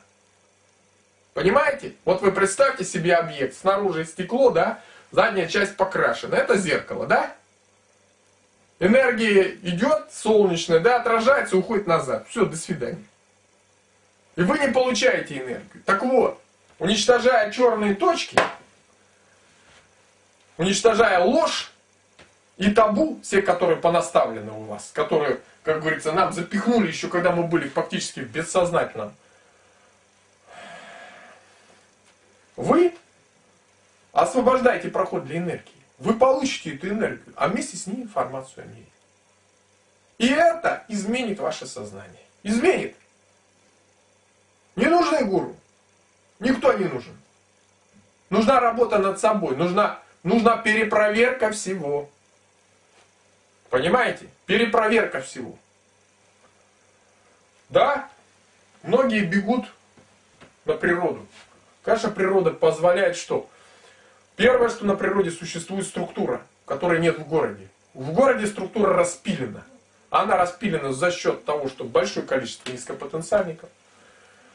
Потом вот эта промышленная деятельность все, эти техногенные загрязнения, связанные с электромагнитными излучениями и со всем остальным, они распиливают структуру. Собака, которая, в принципе, живет где-то там в нормальном состоянии, в природе, ну не в природе, ну скажем так, в нормальной структуре, да, попадая в город, там, в центр города, она просто теряет. Это собаки. Ну и другие животные тоже. Ну собаки, они как бы нам ближе, с ними мы чаще взаимодействуют. А потом они чувствуют структуру. Собака это животное, которое чувствует энергоструктуру. Вот. Поэтому и человек. Человек очевиднее всего вот во взаимодействии с вот этой системой, он выстраивает, встраивается в сетку, которая существует во Вселенной. И через эту сетку, сеть, не интернетную сеть, а сеть Вселенной получает и энергию, и информацию. Но если препятствуют черные точки, препятствуют черные точки, отражая эту информацию, искажая ее, то он получает искаженную информацию и, соответственно, меньше получает энергии. То есть основная задача, основная задача ваша, это работа против, борьба против лжи, которая существует в вас. Борьба против вот этих установок и всего остального, что напихали, не спрашивая вас и так далее. Все подвергать сомнению. Ни один гуру, не, не пытаться верить, не пытаться, как говорится, прилепиться к кому-то, а пытаться понять, что происходит вокруг. На собственном опыте, собственными руками, собственными ногами, собственной, как говорится, системой восприятия. А вот. За счет того, что вы уничтожаете черные точки, вот здесь, вы получаете не только энергию, но и восприятие ощущений, ощущения других чувства. Чувства тела как бы начинает по-другому чувствовать. Почему? Ну, соответственно, потому что и разум начинает по-другому работать. Но это еще, конечно, далеко не все. Вот эти системы, матричные, матричные системы, они присутствуют везде. И в том числе в скелете человека. А вот, э, ну, скажем так, в энергоструктурном скелете человека. Значит, энергоструктурный скелет человека это, скажем, назовем так, э, скажем, система напряжений, которая, или скажем, вот я говорил во второй лекции про электроскан, это своего рода электроскан, показывающий в какой части находятся какие напряжения и как они распределяются. У нас масса людей существует с, скажем так, врожденными заболеваниями. И, ну, скажем, самое простое, я уже далеко вдаваться не буду, это заболевание позвоночника, да, основанное на позвоночнике. То есть у человека, например, напряжение в грудном отделе. Таких очень много. Это приводит к астмам, это приводит к тому, что, значит, э, подвижность позвоночника теряется в этом отделе и так далее, и так далее, и так далее. Но задается интересный вопрос, а каким образом это передается детям? Ведь на детях это можно наблюдать, что-то говорят на генетическом, но, ну, как и волновая генетика, так и сложно себе представить, как это на генетическом уровне передается. В общем, волновая генетика говорит о том, что в принципе это не так передается. Но это передается на энергоструктурном уровне. Не знаю как там, на генетическом, на энергоструктурном передается. Это можно видеть через энергоструктуру.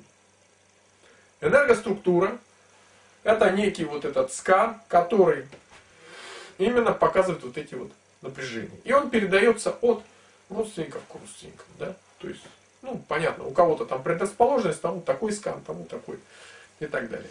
И вот этот скан, он тоже наподобие матрицы.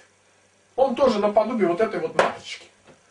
Только эта матричка тела, да, относится к телу. Но не надо забывать, что матричка, относящаяся к телу, она относится и к уму. Почему? Вот эти напряжения в определенных частях, они активизируют определенные части нашего тела. Скажем так, люди с напряжением в определенных частях там, позвоночника там, да, или в определенных частях тела, они имеют в преимуществе определенные эмоции. Скажем, люди, которые имеют напряжение в нижней части позвоночника, там ближе к почкам, они чрезвычайно обидчивы. Люди, которые имеют напряжение в районе грудного, там, так сказать, грудных частей, они часто вспыльчивы, часто, как говорится, э, агрессивны где-то, да, часто э, довольно-таки э, эмоционально сильно, да, вот. То есть, ну это я так для примера говорю, здесь можно на эту тему спорить, вот. Но суть состоит в том, что это есть.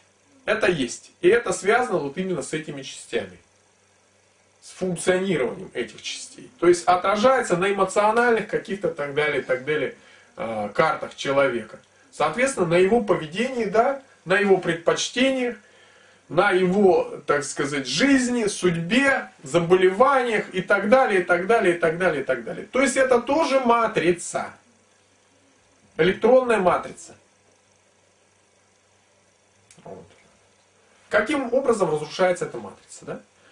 Ну, многие знают, там, это вот занятие йогой, да, допустим, там, занятия гимнастиками какими-то, да, ну, вот йога это тоже вариант гимнастики. Занятия какими-то физическими упражнениями, которые, э, скажем так, расслабляют, нагружают другие части там и так далее. То есть э, снимают напряжение в этой части. Вот.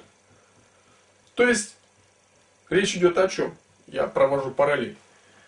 Я говорю о том, что нет никакой ложки. Вот у вас есть напряжение в этой части, а вы в другую часть, как говорится, начинаете на нее воздействовать. Эту часть где-то перенапрягаете, где-то...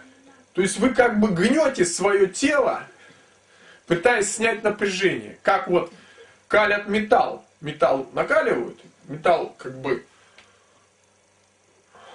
опускается и уходит все напряжение. Мы используем это очень часто в своей системе.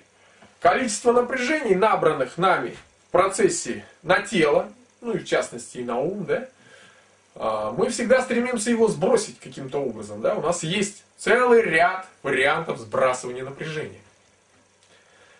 Ну, кто-то смотрит телесериалы, да? кто-то смотрит футбол, кто-то смотрит, значит, читает романы там, или еще что-то такое, фильмы какие-то смотрит и все остальное. То есть, вы раскручиваете свое эмоциональное напряжение, вот, затем, как говорится, это напряжение падает, и то напряжение, которое существовало по другому совершенно поводу, оно тоже уходит. То есть через воздействие на эмоциональную фазу происходит этап вот этого коления. И сброс. Ну, некоторые используют химические препараты для этой цели. Самый распространенный у нас химический препарат алкоголь. Это тоже для снятия напряжения. Да, для снятия напряжения. Потому что напряжения сами по себе для человеческого тела, они опасны. Они приводят частенько э, к и катастрофе сознания, и физическим разрушениям, и смерти в конечном счете. Да? То, есть, то есть это просто способы снять напряжение. У человечества очень много способов есть снятия напряжения. Уход какой-то там в какие-то выдуманные миры, игры там какие-то там, э, так сказать, э, в том числе и путешествия, и многое-многое-многое чего. Все, что мы пытаемся делать, все это, все это попытки снять напряжение. Это замечательный вариант. Мы пытаемся снять напряжение.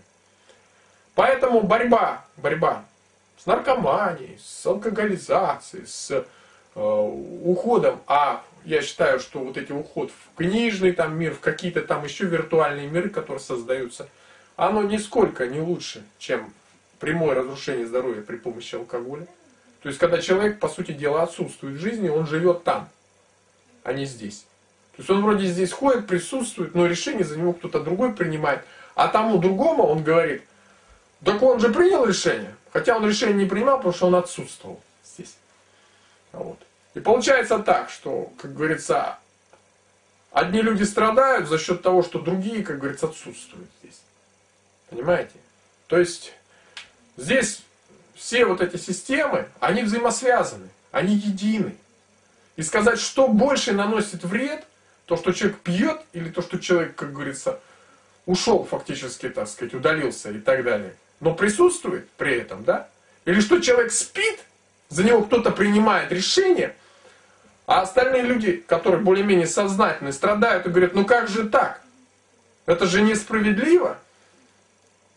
Но им говорят, а это же большинство приняло такое решение. Справедливо, несправедливо, большинство приняло. Но это большинство, оно тоже страдает. Но оно обходится таким вариантом. Оно засыпает, оно куда-то там удаляется в какие-то миры и все остальное. И только осознанные страдают осознанно. А те так, они как бы во сне под наркозом. Понимаете? Поэтому здесь вот систему зла того и другого очень сложно вообще на самом деле понять. Я бы сказал даже, что это близко все и имеет, так сказать, равенство между собой. Вот. Так вот, возвращаясь к скану тела. Вот скан тела обрабатывается при помощи упражнений, да? При помощи каких-то, в том числе он может обрабатываться при помощи каких-то внушений и так далее. Там массажей там, и так далее, воздействий, всяких разных, да? Вот.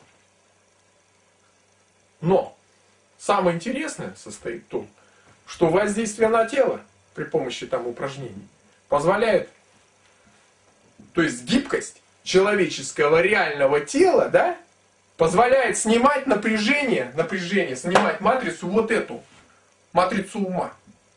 То есть, если вы способны согнуться, согнуться, способны, как говорится, к растяжке или каким-то упражнениям, вы начинаете в уме становиться тоже гибким. Как ни странно, но это так. Поэтому где кончается и где начинается граница я проявленного мира или мира вот этого, непонятно. Они настолько взаимосвязаны, настолько взаимопроникаемы, настолько, как говорится, имеют вот эту систему, что пренебрегать этим нельзя. Пренебрегать нельзя ни одним. Если здесь вы сажаете деревья, да, очищаете от мусора, так сказать, и все остальное, да, проявленный мир, да, то вы тоже воздействуете на свои черные точки. То есть я говорю о том, что то, что вы выбираете, то, что вы, вы, как говорится, из вот этих воздействий, какие воздействия вам более, более близки на данном этапе. Вот вы начнете с них, а потом пойдете там какие-то другие. Те вы и выбираете, это ваш выбор. Еще раз говорю, Ваш выбор, что вам больше нравится, главное не уходить от реальности. Не прячьтесь, не пытайтесь заснуть. Признание реальности, признание реальности, это тяжелое, тяжелое, на самом деле очень система. Почему еще раз говорю об этом? Потому что я очень часто сталкиваюсь с людьми, когда сталкивался, и сталкиваюсь с людьми, которыми, которые делают что-то, им говоришь, ну ты же делаешь вот это. Он говорит, нет, ты оскорбляешь меня. Ты оскорбляешь меня, ты меня обижаешь, ты унижаешь мое достоинство. Я говорю, ну вот же, ты же это сделал. Потом он говорит, ну и что, ну и что ты такой типа вот нудный. Нет. Но ведь это же правда, правда, а человек не может ее признать. Он не может ее признать, потому что это понизит его самооценку. Это понизит его самооценку, это разрушит его личность, он не может. Он это делает, но он не может этого признать. Понимаете? Почему я заостряю все время на этом вопрос? Это катастрофа сознания. Катастрофа сознания это когда вы доходите до вот этого и дальше никак. Я говорил в первых там лекциях о системе прыжка. Так вот, вот этот барьер, вот этот барьер, который существует перед вами, можно преодолеть только прыжком. Больше никак. Только прыжком. Постепенно его, постепенно, как говорят, мы будем постепенно совершенствовать свое сознание. Не получится. Постепенно вы будете спать. Это вот когда ребенка будешь с утра, да? Он говорит, сейчас я встану. И спит. Сейчас я встану. И спит. И процесс этого сна, он будет продолжаться бесконечно. Он же постепенно, постепенно он только спит. И мы все постепенно только спим. А изменить сознание можно только скачкообразно. Скачкообразно, прыжком. И прыжок, это, как говорится, кто там назовет его прыжок силы, прыжок отчаяния, прыжок как хотите. Вот. Понимаете? Это прыжок. Это жестко. Это для сильных. Вот. Почему я уже говорил о том, что почему вот я вернулся вот в эту систему, хотя, как говорится, мне пришлось в своей жизни совершить огромное количество прыжков. И не все заканчивались, как говорится, перепрыгиванием через барьер. Некоторые кончались достаточно вот, неприятно. Но я знаю точно одно. Постепенно преодолеть нельзя. Нельзя. Потому что вот преграда перед вами, попробуйте ее постепенно преодолеть. Вот стена стоит, попробуйте преодолеть ее постепенно. Физическая стена. Можно постепенно физическую стену преодолеть? Пройти через нее? Нет? Не получится. Не сможете. Через нее можно только перепрыгнуть. Вот. Поэтому, если вы хотите, чтобы ваше сознание, как говорится, очистилось, проснулось, и еще что-то, вам придется прыгать. Прыгать. Наше время называется, говорят сейчас, апокалипсис. Ну давайте посмотрим, что такое апокалипсис слово. Слово оп. Знаем, да? Оп. Прыгнул. Ап. Прыгают звери, да, говорят. Ап. И он, тигры там сели, прыгнули в кольцо и так далее, и так далее. Гоп. На Украине гоп, гей, прыгают, да? Вот. Но в принципе это одно и то же. Ап. Колесо. То есть соскок. Соскок, вот оно, привычного круга. Апокалипсис это соскок с привычного круга. Понимаете? Мы вот сейчас в этой вот матрице, в этом кольце, в, этом, в этой тюрьме мечемся, все мечемся, все. Нам надо соскочить. Нам надо соскочить. И наши предшественники говорят, ап, колесо соскок. Поэтому прыжок. А некоторым хочется спать. Ну пусть они спят. Спокойной ночи. Вот. Дело в том, что вот эти системы прыжков, они основаны, конечно, на состоянии накопления. То есть вы сначала накапливаете энергию для прыжка. То есть в чем, в чем это состоит накопление этой энергии? Вы берете информацию. То есть это первый вариант, это накопление информации. Вы собираете информацию, начинаете ее проверять. Собрали, проверили по конкретному какому-то моменту. Вот. Но причем не уходите в частности. Работать. Вот я говорю информацию, да, но не в силах как бы а, объяснить все. Некоторые понимают это просто вот эту мусорную информацию собирать. Мусорную. Ее можно бесконечно собирать. Мусорная информация ничего не дает. Вот пример сбора информации я показываю там в своих лекциях. Вот. Мы разрушаем планету? Разрушаем. Мы уничтожаем все живое? Уничтожаем. Мы вот, как говорится, вот в теле этого червяка, как паразиты. Нет! Нет! Вы унижаете наше достоинство.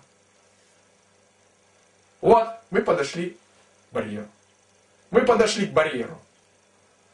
Неприятно себя считать вот этой вот тварью. Неприятно себя с ней олицетворять.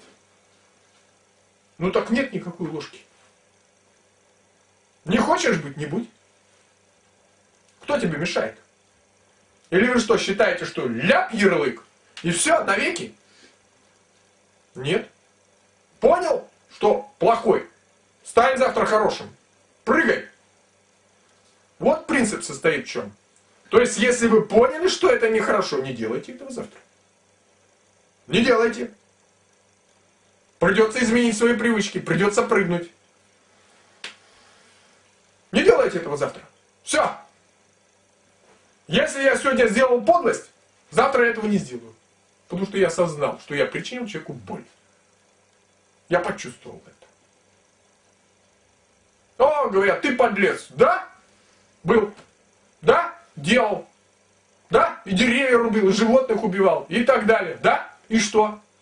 Мы все в этом во всем. Если вы косвенно, как говорится, если вы едите свинину, или там говядину, или еще что-то остальное, но при этом вы не знаете, что животных на мясокомбинате убивают электротоком, и еще живых разделывают, это не освобождает вас от этого процесса. Кто-то другой за вас это делает, но вы же едите, значит признаете.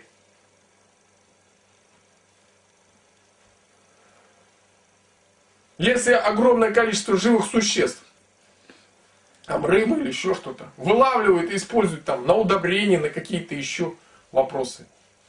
Вот. Если мышей, мышей мучают над ними, издеваются над крысами, над чем-то еще, вводят в них какие-то препараты, отравляют, потом разрезают живьем и так далее и тому подобное. Издеваются над ними, проверяют, там, тыкают в них электродами и прочее, прочее, прочее. Но вы этого не видите. Но лекарства, которые получены в результате этого, употребляйте. Употребляйте. Значит, вы вместе с этим. Значит, вы тоже участвуете. Вы финансируете этот процесс. Финансируете процесс убоя скота, финансируете, когда их убивают живыми там на, на мясокомбинате и так далее. Вы финансируете.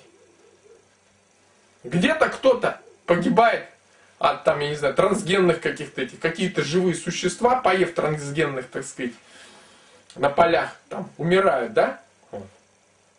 Ну, вы налоги платите, платите, туда отправляете, все остальное. Ну, вы тоже повинны в гибели этих живых существ. Телевизор есть, компьютер есть, электронный мусор в Африке, африканцы умирают, там еще что-то происходит. Гибнет в океане, пластиковые пятна там плавают в океане, огромные эти самые пятна плавают. Там есть наш пластик, там есть наше все. Все есть, в каждом есть маленький кусочек всего. Мы все это финансируем. И не важно что, в России это покупи, купил корейский телевизор, профинансировал Корею, купил это все. Мы все вместе. Мы все в одной лодке. Единая система обмена и всего остального. Да, мы можем это не признавать. Можем не признавать. Но тогда придется спать. Тогда придется спать. Значит, все. Разум существует только на системе правды. Признаешь правду, значит, видишь. Не признаешь правду, значит, не видишь. А кто думает, что можно не признавать правду и быть видящим, тот просто лжец.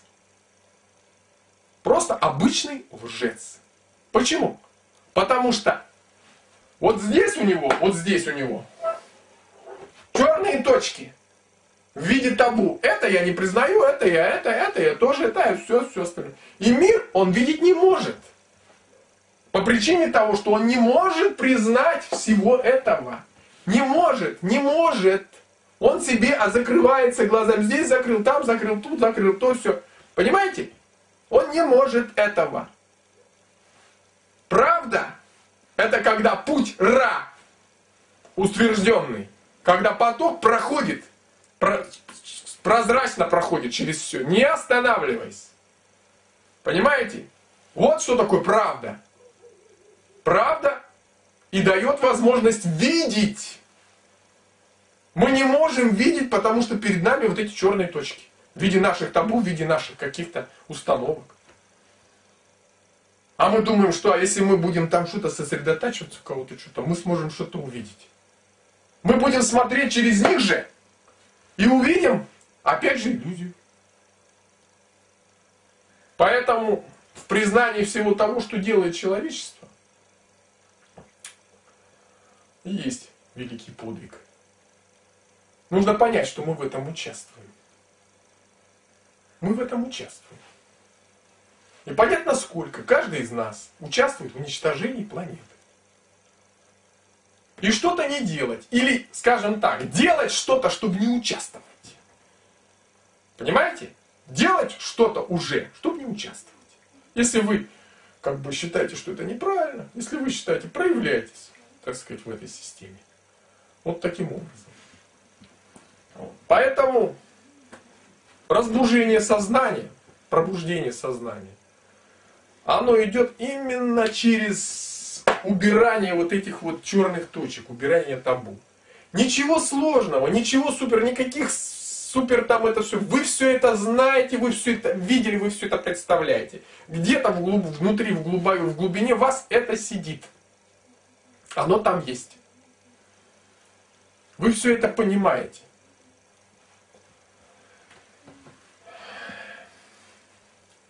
Вот такая методика пробуждения сознания. Довольно простая методика. Можно, конечно, там войти в какие-то частности, что-то еще. Но для начала надо понять, что прыгать придется. Прыгать через вот эти барьеры. Когда вам говорят, нет, я этого не могу, я все, это вот только так и все. Прыгай. Накопил информацию об этом, прыгай.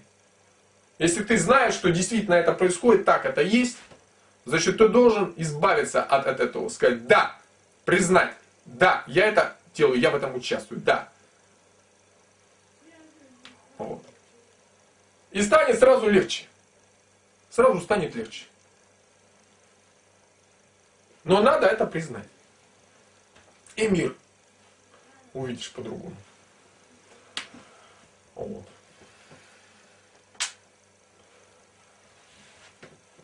Здесь есть еще один очень интересный момент.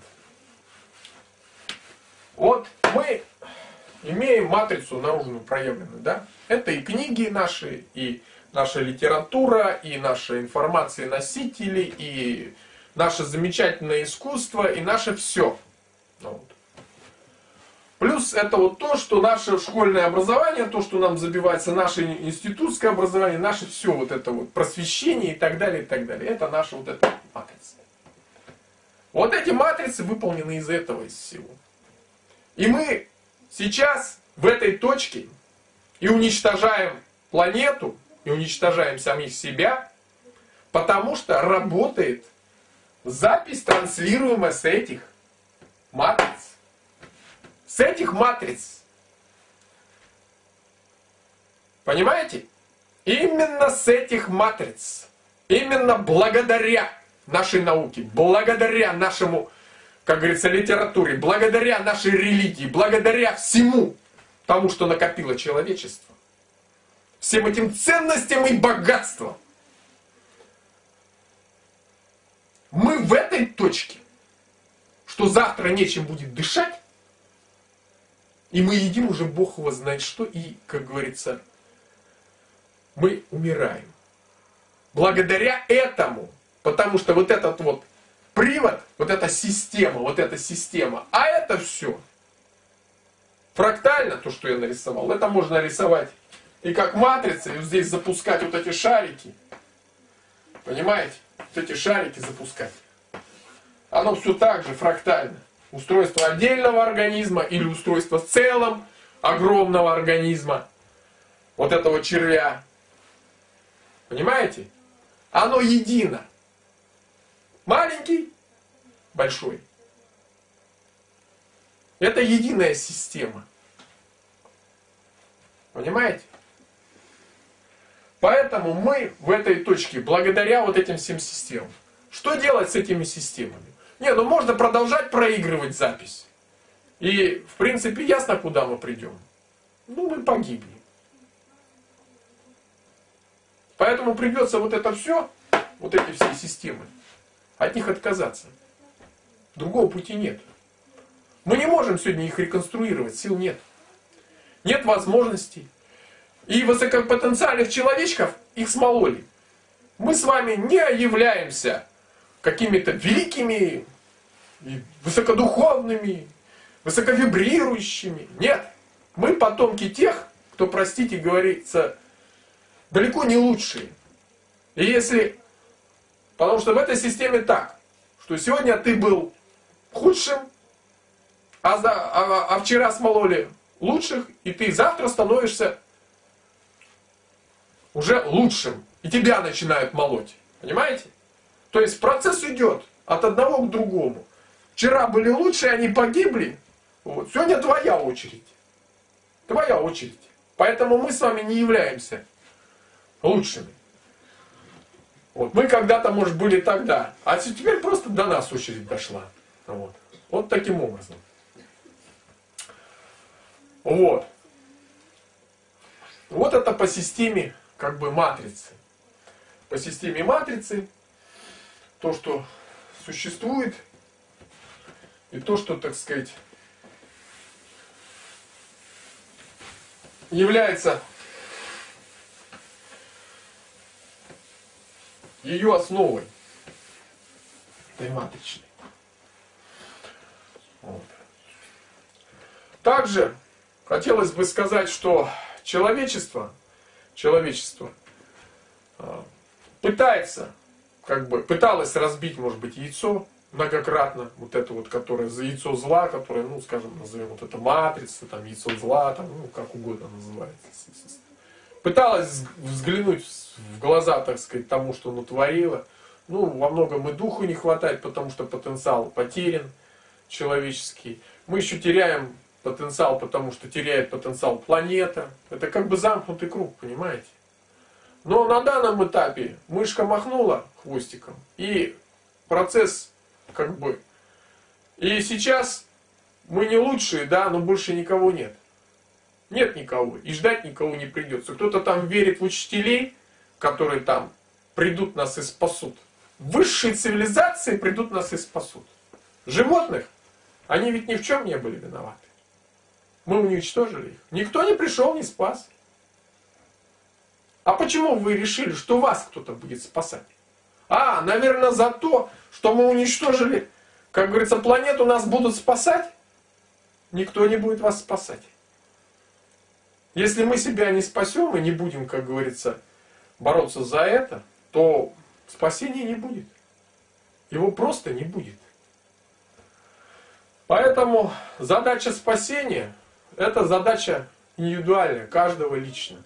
Если человек чувствует себя избранным, чувствует, что он может, у него есть силы что-то делать, есть силы что-то, как говорится, изменять, что-то творить, изменять самого себя и так далее, то он должен прежде всего, конечно, начать с самого себя, вот, начать именно изменять сознание.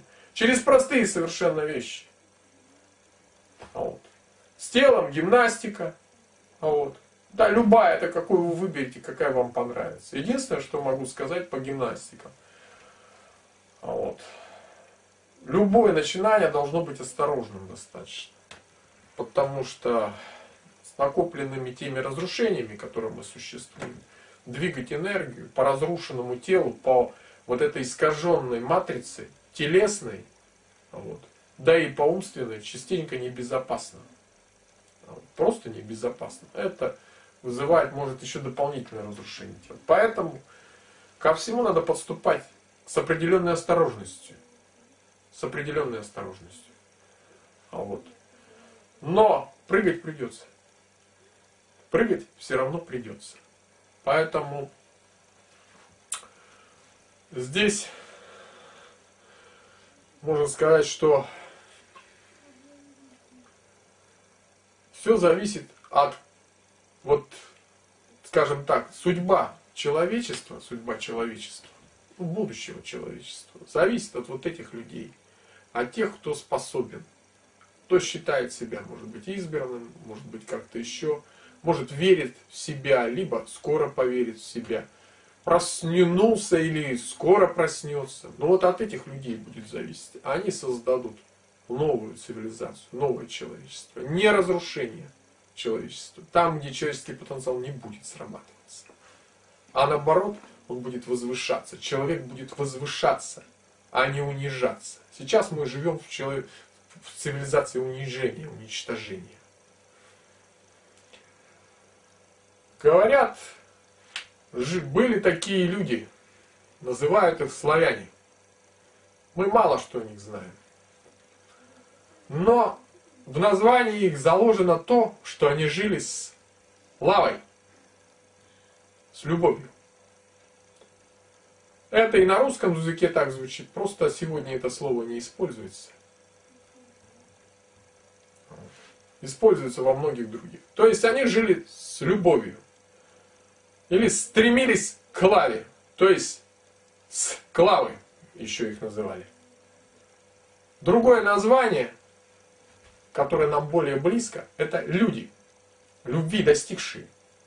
То есть, дом любви. Вот. Что такое любовь? Ну, наверное, любовь это прежде всего связь. Сейчас это слово затаскано и изнасиловано многократно. Поэтому уже не несет своего смысла и вызывает скорее отторжение. Это связь. Связь. Это единство. Разум существует на принципах связи. единства, синтеза. Мышление только на этом уровне способно. Возможно. Мы слить. То есть слить множество. Синтезировать.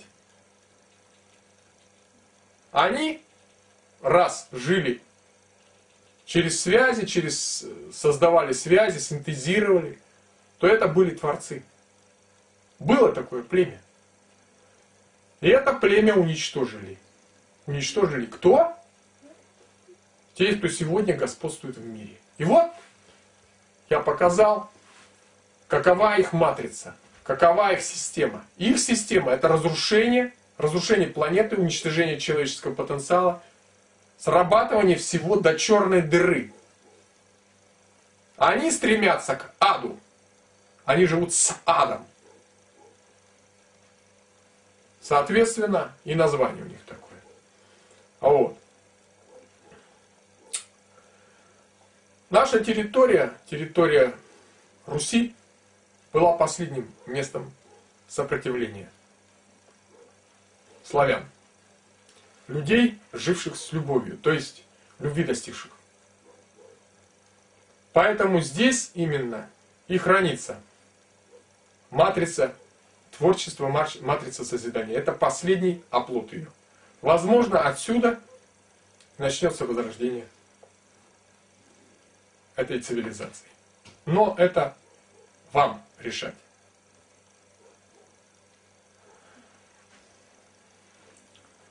Что касается, кого там интересуют вопросы, связанные с этим, или хочет, как говорится, со мной пообщаться, там, то у меня есть вот почта. Вот. Пишите, будем общаться.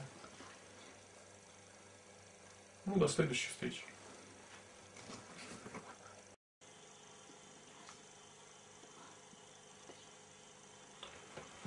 Значит, здравствуйте еще раз, как говорится. В, этом, в этой лекции я хочу, так сказать, более детально рассмотреть систему прыжка. Вот. Значит, рассмотреть ее по всем параметрам, соответственно, так сказать, рассмотреть план, или можно назвать это состояние там побега там или как хотите. Вот. То есть рассмотреть план откуда куда, что конкретно и как. Вот. Для начала нарисуем, так сказать, нашу тюрьму. Вот. Это, значит, проявленная матрица. Соответственно, внутри матрица ума, вот как я уже рисовал. А это, вот он, генератор, который все подсвечивает. Вот. Значит, теперь о том, что сейчас происходит в основном, да, и происходит давно, я уже говорил. То есть основная масса столкнулась с той ситуацией, что э, через систему социализации их высасывают. Они ощущают, что это уже их физиологический минимум, да, и это опасно для их жизни выживания. Они стремятся прыгать. Вот. Но что есть система прыжка? Прыжки мы постоянно совершаем в нашей жизни. Да? Это обычное состояние человека, который меняет свою жизнь. Вы ушли с нелюбимой работы или с какой-то работы даже, да? Ушли, как говорится, решительно, вот, при этом, может быть, не всегда обоснованно, да? Вот, и не всегда куда-то. Вот. Вы ушли от нелюбимой женщины и от нелюбимого мужчины. Или, значит, ушли просто с этой местности, переехали в другой город. Вот. Вы бросили, допустим, какое-то занятие, которым постоянно занимались. Или прекратили там курить, пить, что-то там еще. Это тоже все прыжки. Все прыжки внешние, к которым мы, в общем-то, привыкли, мы их постоянно совершаем, мы постоянно это делаем. То есть, на самом деле, прыжок это обычное для нас действие. Ну, и для изменений, каких-то назревших изменений. Основное в прыжке это что? Это накопленная энергия, которая а, требует своего освобождения. То есть это то, что вы чувствуете, что вы так больше не можете. Неважно по отношению к чему. Но вот именно и это заставляет вас прыгать. Вот. То есть мы прыгаем всю жизнь. И это обычное для нас состояние. Если мы чего-то хотим поменять, мы обычно прыгаем.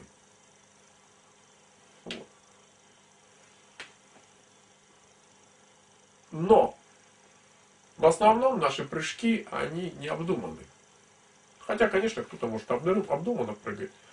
Но большая часть этих прыжков не обдумана. Вот. Не обдуманы в каком смысле? Мы не понимаем часто причины, которая заставляет нас прыгать. Мы ее не осознаем. Так вот, возвращаясь к причинам, да,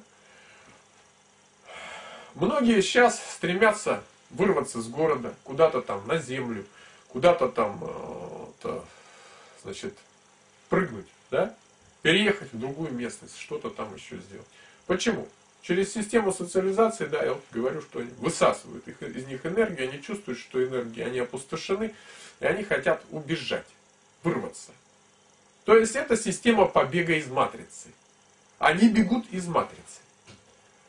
Человек, который покупает себе машину, ну, он не может больше, допустим, ездить в общественном транспорте, а раньше, ну, как бы, мы все ездили большей частью в общественном транспорте. А это тоже вот через систему вот этих толп, которые в нем существуют, с вас снимает потенциал. Человек хочет залезть в машину, защитить, так сказать, свое пространство. Мы все пытаемся сейчас защитить свое пространство от вторжения, от высасывания вот этих остатков энергии, которые у нас есть. И побег на землю, или в собственный коттедж, или в какую-то отдельную квартиру, или еще куда-то. Это тоже самая попытка. Причина одна. Мы стремимся защитить свою жизнь, защитить свою жизненную энергию от, значит, по, по, по, как говорится, посягания на нее. Вот. Люди, которые пьют, они тоже бегут из этого мира. Они стремятся создать какой-то виртуальный мир для того, чтобы уйти от этого психологического пресса, который на них давит за то, чтобы погасить ту боль, которая существует внутри. Много существует причин. Другие читают романы. Это тоже побег.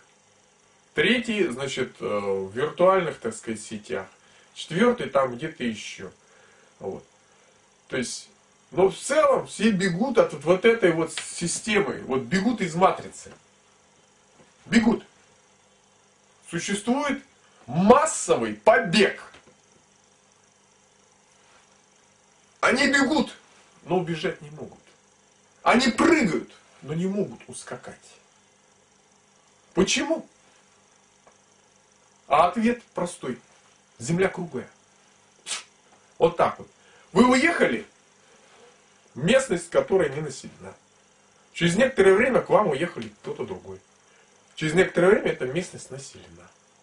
А потом прошел там газопровод. А потом там слили что-то еще и так далее, и так далее. У меня есть масса таких примеров, когда люди рассказывают, что был построен прекрасный коттеджный поселок, да, вот под Москвой, например, да. Все было прекрасно и хорошо. Но однажды кто-то взял и слил в ту речку, в которой стоял элитный поселок, что-то.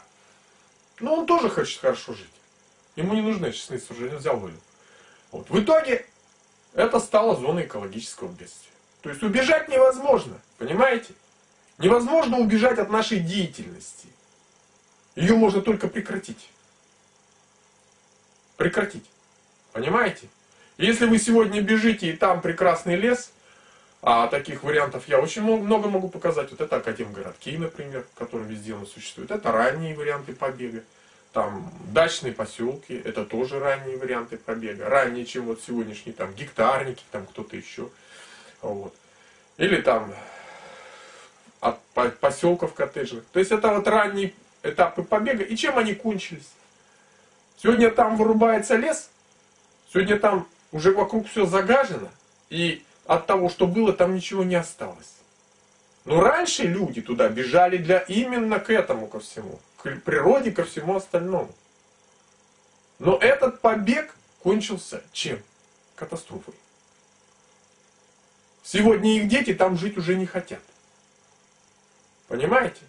Одно поколение, меньше одного поколения, и все, наступает катастрофа. Сколько таких побегов?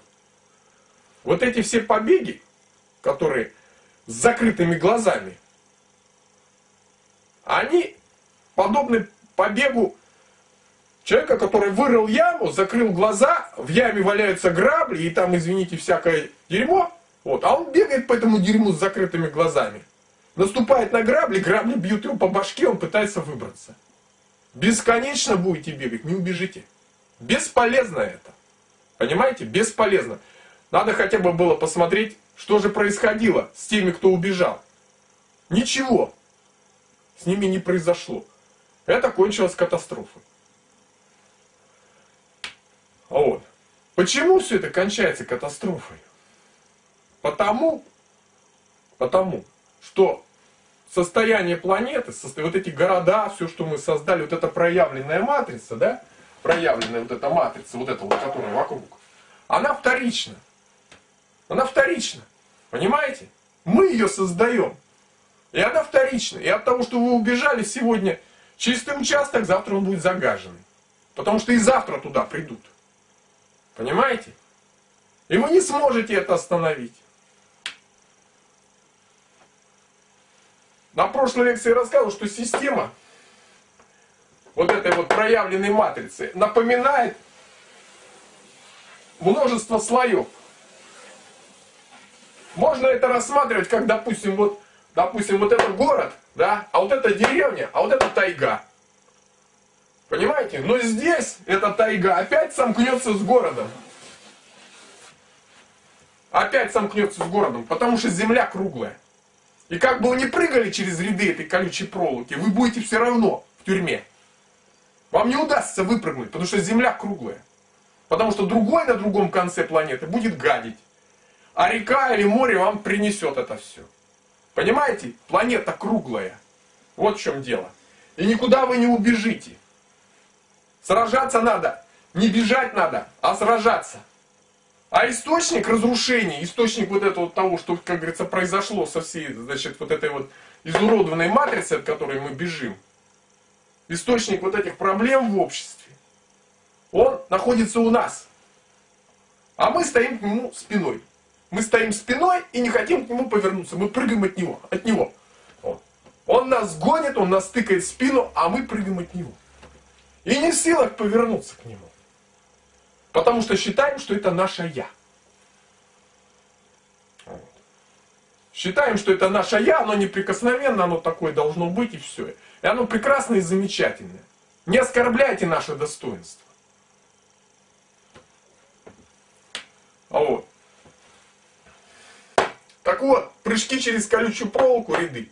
Это бесполезно, можете геометрически это посмотреть. Вы прыгнули сюда, сюда, сюда, земля круглая конечном счете вы все равно окажетесь между какими-то заборами. Между какими-то заборами. И тут уже будут другие правила или еще что-то. А эгрегор система одна. Ну не так с вас будут энергию сосать, ну по-другому. Другой вариант существует. По-другому будут с вас высасывать. Люди в деревне тоже живут, и с них тоже высасывают энергию. И в тайге живут, и с них высасывают. Никто этого не избежит. Один мой товарищ летал с аэрофотосъемкой. И его поразил страшно тот факт, что он говорит, ты представляешь, летим мы над тайгой сотни километров от города. А шлейф от заводов, загрязняющий шлейф, тянется над тайгой, над которой никого нету. И ложится прямо туда. Все эти ядовитые вещества, все это там оседает. Он говорит, мы считали с тобой, что там все чисто, там чистая рыба, там чистый лес, там все остальное. А оно, говорит, все посевается вот этим всем. Вот этим всем ядом. Поэтому планета круглая. Недавно такой факт услышал. В Гималаях выясняется самый грязный воздух. Практически такой же, как в городах. Там, говорят, сидят где-то там гуру в Гималаях и дышат вот этим замечательным воздухом. Как в городах, понимаете? Поэтому планета круглая. И даже в далеких Гималаях состав воздуха как в мегаполисах. Вот так вот. Поэтому бежать и прыгать по территориальному принципу – это отсрочка. Они все равно придут. Это, да, это позволяет каким-то образом изменить даже сознание, изменить, прибавить энергии, потому что вот эта вот система социализации, система городов высасывает. Да, это тоже выход, да, чтобы получить какую-то дополнительную энергию для мышления, для чего-то, для того, чтобы, как говорится, как-то разобраться в жизни. Но это не конечное решение. Это не решение проблемы, это ее отсрочка. Это облегчение, временное облегчение. Вот. А в чем проблема? Проблема в том, что источник, вот он. Источник это внутренняя наша матрица. Понимаете? В которую нас забили с рождения, с, со всего остального, так сказать, времени. Она источник. Она источник вот этой вот системы. Вот. Она создает такое явление, которое называется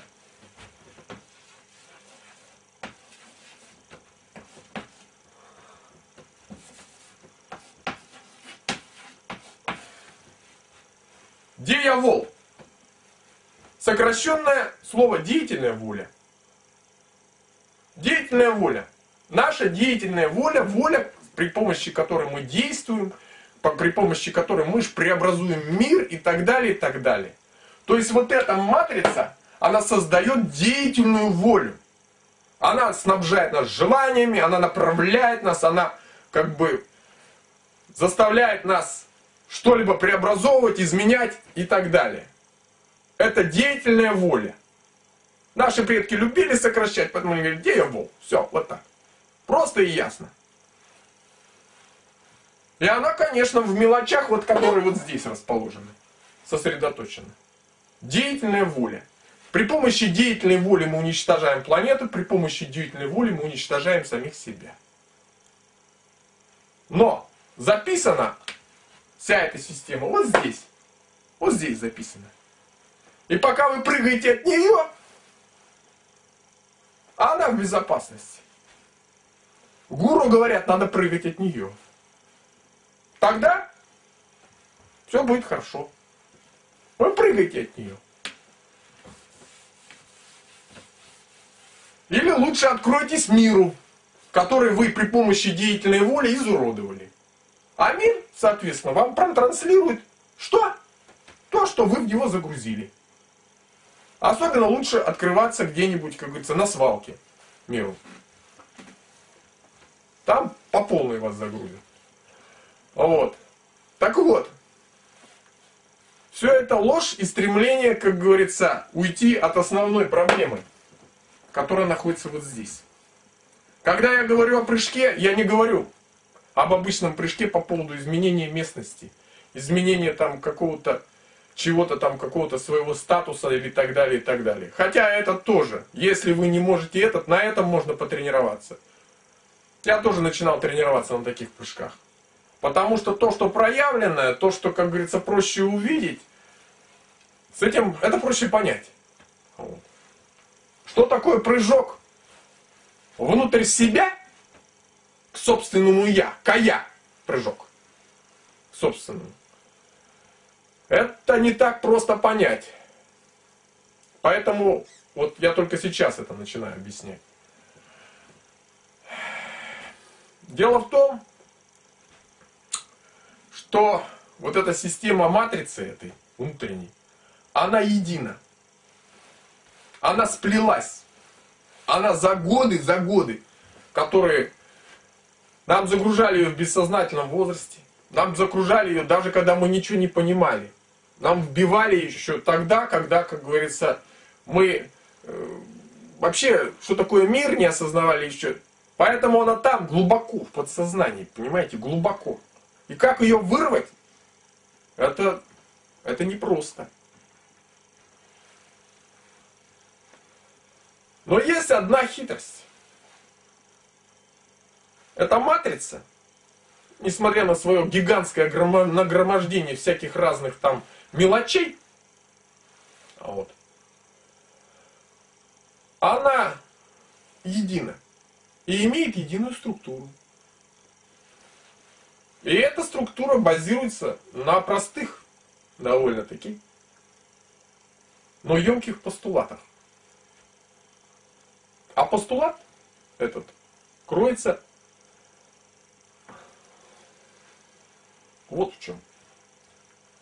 Основной постулат это отношение наше к планете Земля, ко Вселенной, к живым существам, которые проживают на планете Земля, ко всем остальным. Понимаете? И в том числе к людям, там, кому-то еще. То есть отношение ко всем остальным.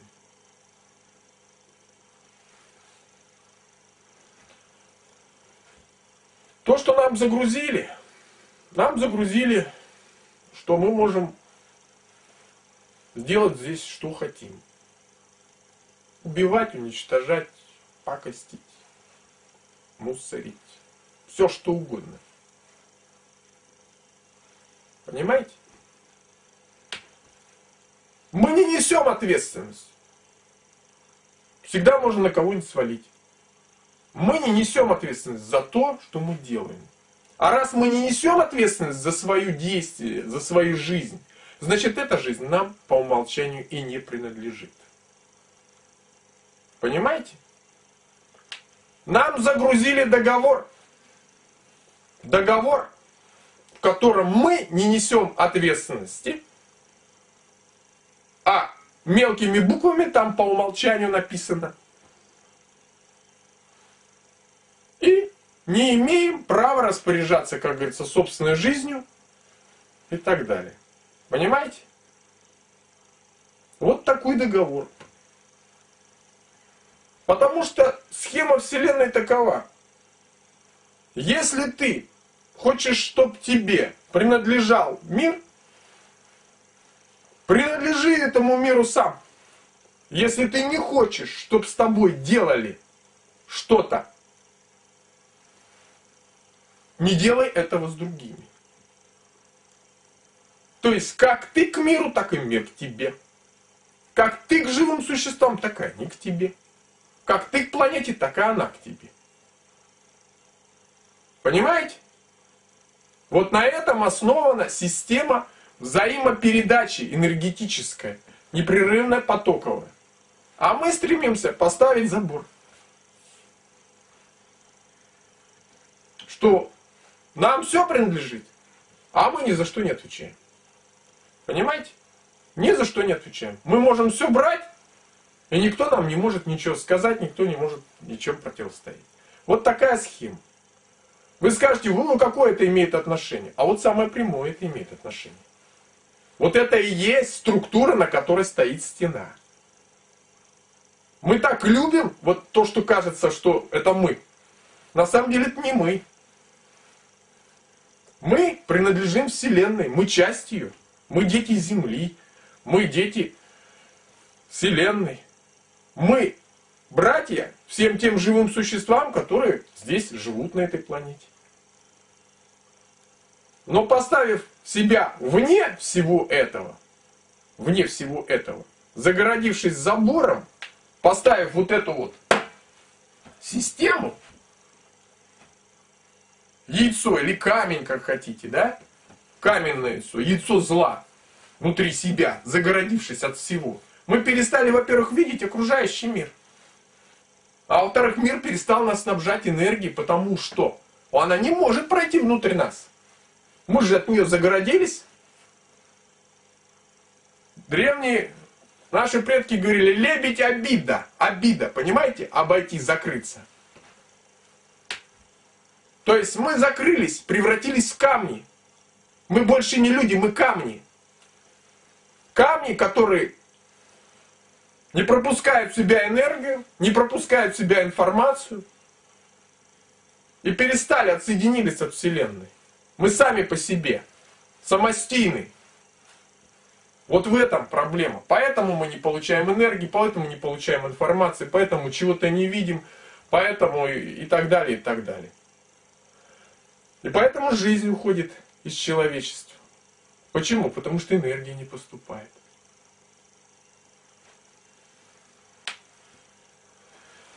Как разрушить эту стену? Ну, разрушение этой стены, оно именно довольно простое.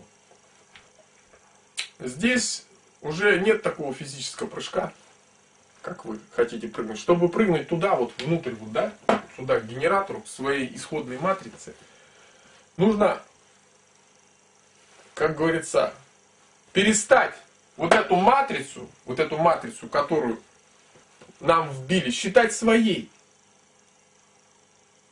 Перестать в нее верить. Нет никакой ложки. И стена пропустит вас.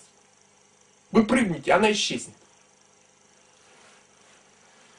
Вы скажете, это сложно, это непонятно, это вот как-то вот, это... Да, может быть, сложно, может быть, непонятно.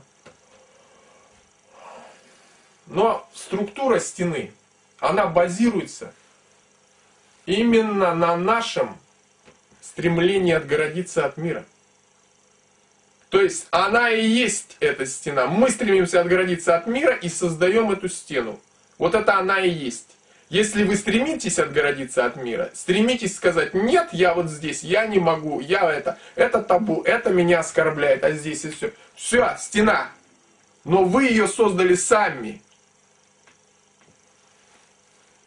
И вы не можете вернуться к собственному я, вот к этому генератору, который светит, Понимаете? Это подобно тому, что, как говорится, глаз, существует глаз, да? Существует хрусталик. Так вот, на хрусталике, на этом, вот эта грязь налипла. Грязь вот этого, то, что мы называем культурой, там, литературой, все это грязь. Грязь. Потому что именно благодаря этому, всей этой матрице, мы разрушаем все. Мы считаем, что мы имеем право. Мы считаем, что мы имеем право крушить, убивать и все остальное. Да, вы сами этого не делаете, но вы позволяете это делать другим. Вы финансируете, своими деньгами финансируете это все. Вы помогаете, участвуете косвенно в этом во всем. То есть мы помогаем. Я себя от этого не отделяю. Мы все здесь. И все в одной лодке. И никто никуда там не выскочил. Кто-то там говорит, что да я там чего-то достиг. Да, вот так вот, чуть-чуть, чего-то достиг. Я вот тоже чуть-чуть чего-то достиг. Чуть впереди. На несколько миллиметров там, я не знаю. Вот и все. А так мы все тут. И различаемся мы только тем, чем различаются и животные, в принципе. Вот животные делятся по принципу, наверное, простому, да? Вот как вот если поймали животных в природе, посадили их в клетку. Кто-то начинает грызть зубами клетку, биться, пытаться вырыть подкоп. думает о том, как освободиться. Он дерется за свою жизнь до конца. Иногда погибает. Даже чаще, большей частью погибает. А кто-то посередине клетки садится и начинает засыпать.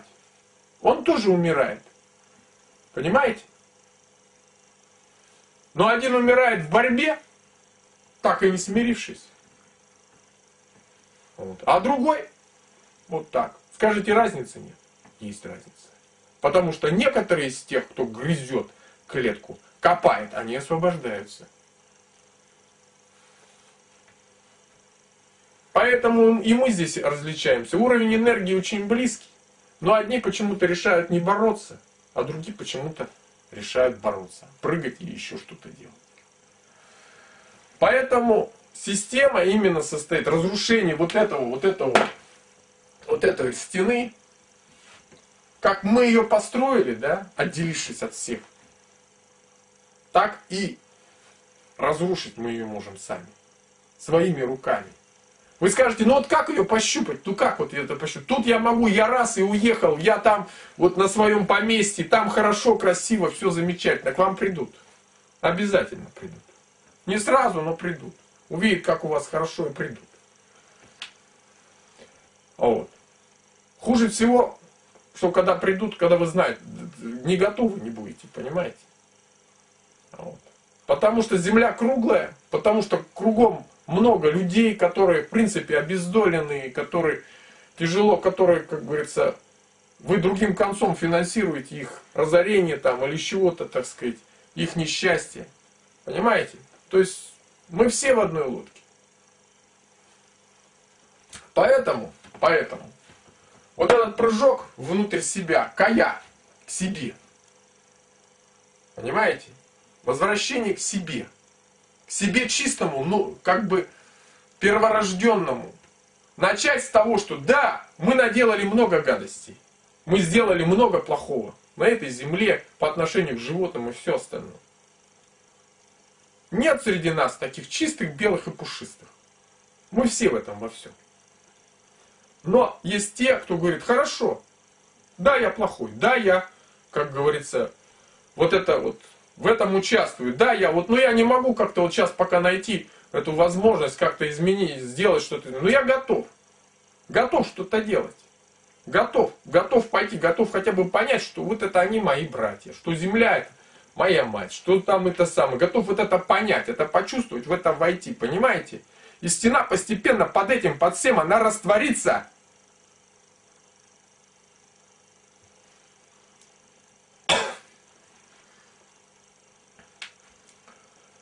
И животные не будут убегать от вас. Да, бывает даже такой эффект. Они не побегут. Потому что они поймут, что вы это не тот толстопузый с ружьем на каком-то там машине или еще, который готов их убивать. Они увидят вас, человека. Они поймут, что вы человек. Не знаю, как они это понимают, но они понимают. Я тому свидетель. Поэтому эту стену можно разрушить только так же, как она создана.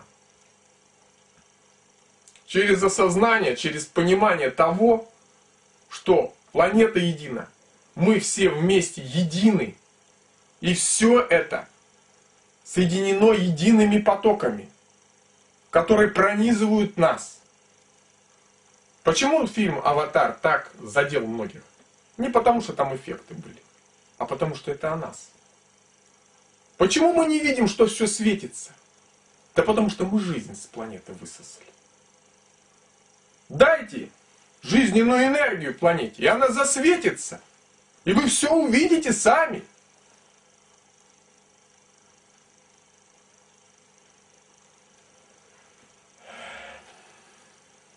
В общем, прыжок – это прыжок внутрь себя. Это бесконечно прыгать можно в разные стороны, там физически, куда там вы перемещаетесь, все остальное. От матрицы вы не уйдете. Все равно нитка будет тянуться, все равно с вас будут сосать энергию, так, иначе. Все, все эти способы давным-давно отработаны. Вот. Есть те, кто считает, что, вот, например, они поклоняются сейчас там сварогу, там, кому-то еще, славянским вроде как богам там и все остальное. Ну хорошо, замечательно, молодцы ребята. Только забыли одно правило. Победитель забирает все. Кто победил? Вот этот Эгригор Славянский. Тот и забрал энергию, и Эгригор забрал. И накачивая вот этот старый эгрегор, это как вот старую лодку накачивать, да? Ваш дед поехал на пруд, пробил там лодку, когда рыбачил, и утонул.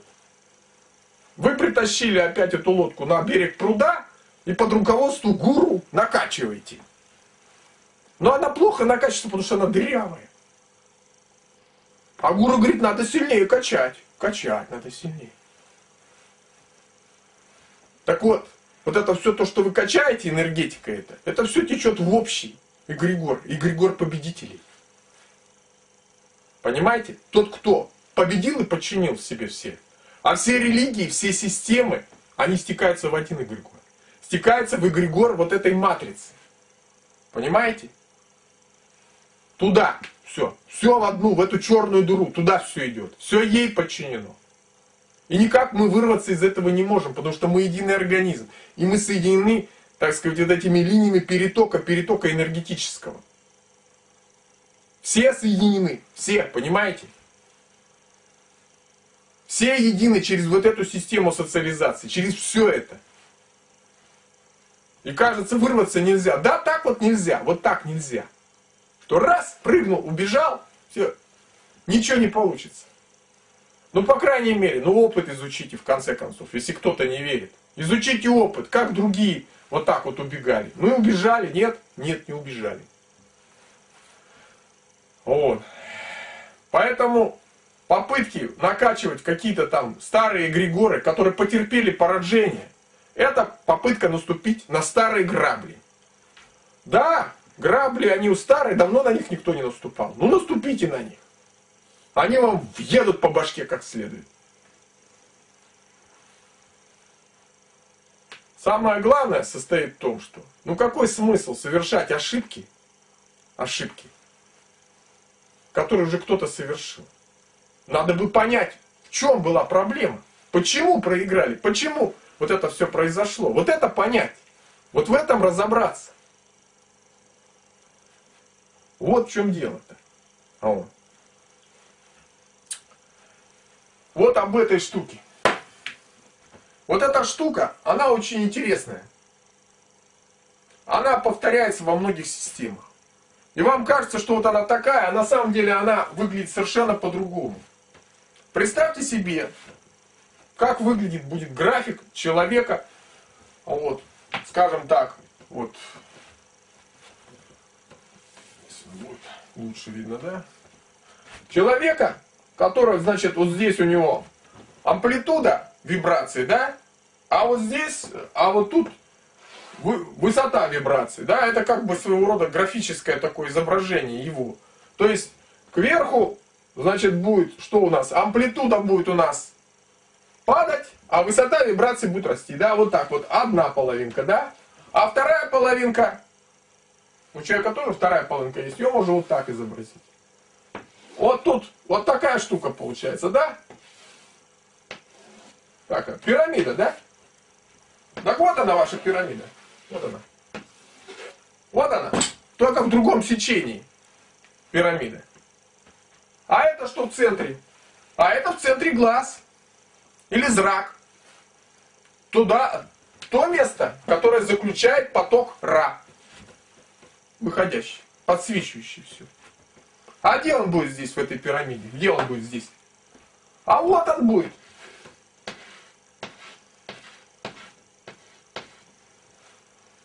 Узнали? Вот это оно и есть. Нам везде его рисуют, на долларе он нарисует. Думаете, знает, что значит? Нет. А это знак человека. Это знак человека. А это у него, соответственно, глаза. А на энергетическом уровне это вот эта штука. Это вот эта штука вместе с матрицей, вот с этим самым. Вот она. Вот она матричка снаружи, вот эта вот, которую, как говорится, накрутили на нее. А вот это в центре генератор. И лучики, лучики оттуда, лучики, лучики идут. Ага. Идут оттуда лучики. Так что это символ человека. Вот здесь низкие вибрации, вот тут в голове более высокие вибрации. Подъем идет. А вот сверху это будет выглядеть вот так. И вот она в центре, вот это самое, наш генератор, вот он, глаз вот здесь вот. И глаза у вас, соответственно, можно два нарисовать, если кто-то хочет. Вот. Вот и вся система. Вот так все, как говорится, все едино. И все легко расшифровывается. А гуру трясут этими штучками и не знают, что это такое. Рисуют какие-то там на них эти самые А это символ человека. И символ вот этой тюрьмы, тюрьмы, которая вокруг, как говорится, его генератора. Вокруг его зрака. То есть пелена, которая на глазах у нас с вами, своего рода. На глазах разума только. Понимаете, на глазах разума. Но можно сказать, что и мир-то мы видим этими глазами, да, через посредством вот этой вот штучки. А почему, я еще раз говорю, так мы просто сами себя отсоединили от этого мира. Мы так порешили. Да, мы, понимаете, они все никто, а вот мы, да. Понимаете? Кто-то говорит, гордыня, да, там, или еще что-то. Нет, это совсем по-другому называется. Это называется отгородиться. Создать каменное яйцо, яйцо зла. Вот.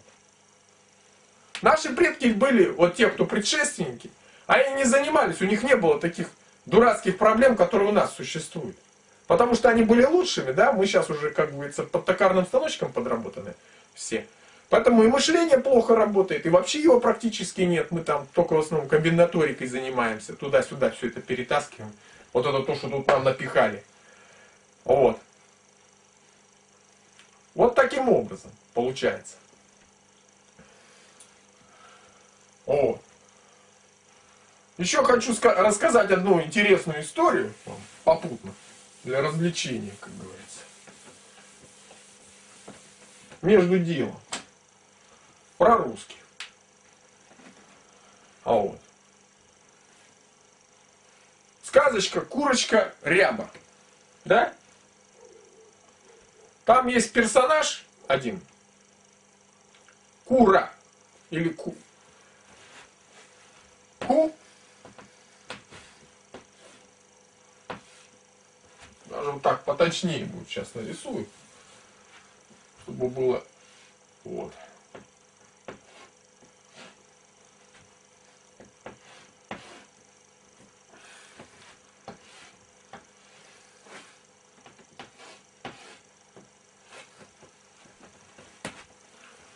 Вот этот персонаж, который яичко снес. Мы-то думаем, что это птичка, да? Птичка. Да, они только, только они были веселые ребята, они любили играть словами. Поток Ку очень интересен.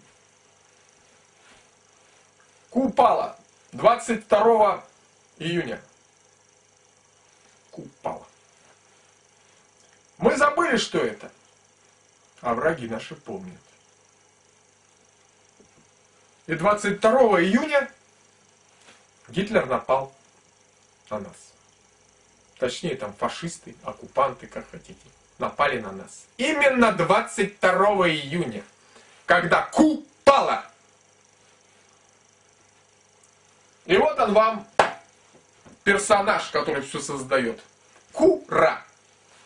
Состоящий из двух потоков. Поток Ку, ну, по йоге знаете, там, Кудалини, Кузнец, то есть Ку, который знает. Вот. Потом кукла, это куда кладешь ку. Потом кумир, это тоже туда, куда, как говорится, ку свое направляешь. Вот. Ну, много слов существует. А вот, ку. Кушать или кужать. То есть выжимать ку из пищи. Вот. Ну, еда там. Куть-я. То есть... В общем, поток ку. Вот это вот не что иное, как вектор. А это направляющее. Как и кудалини, который поднимается вверх по позвоночнику, поток Ку – это восходящий поток. Вот. Восходящий поток. Так вот, этот восходящий поток, поток, значит, активизируется, когда увеличивается световой день. Поток Ра усиливает восхождение потока Ку. Это происходит 22 22 марта. А 22 июня Q падает. То есть активизация прекращается, нарастание прекращается. И именно в это время враги на нас напали. Мы знаем, что Гитлер был очень хорошо изучал историю славян, разбирался и именно выбирал, согласно всем этим, именно время. Именно изучал историю, скажем, наверное, не славян, а историю русов, да? Только мне есть такой один вопрос. Почему враги нас называют урусами, а мы себя называем русами? Почему? Почему? Мы идем в бой с криком «Ура!», а во все времена всегда каждое племя, идя в бой, кричало свое название для того, чтобы сплотить своих вокруг себя. Так может быть нас называют урусами? Или племя Ура? А? И вот враги-то знают, что вот это ку для нас многое значит. А мы-то вот забыли, что оно значит.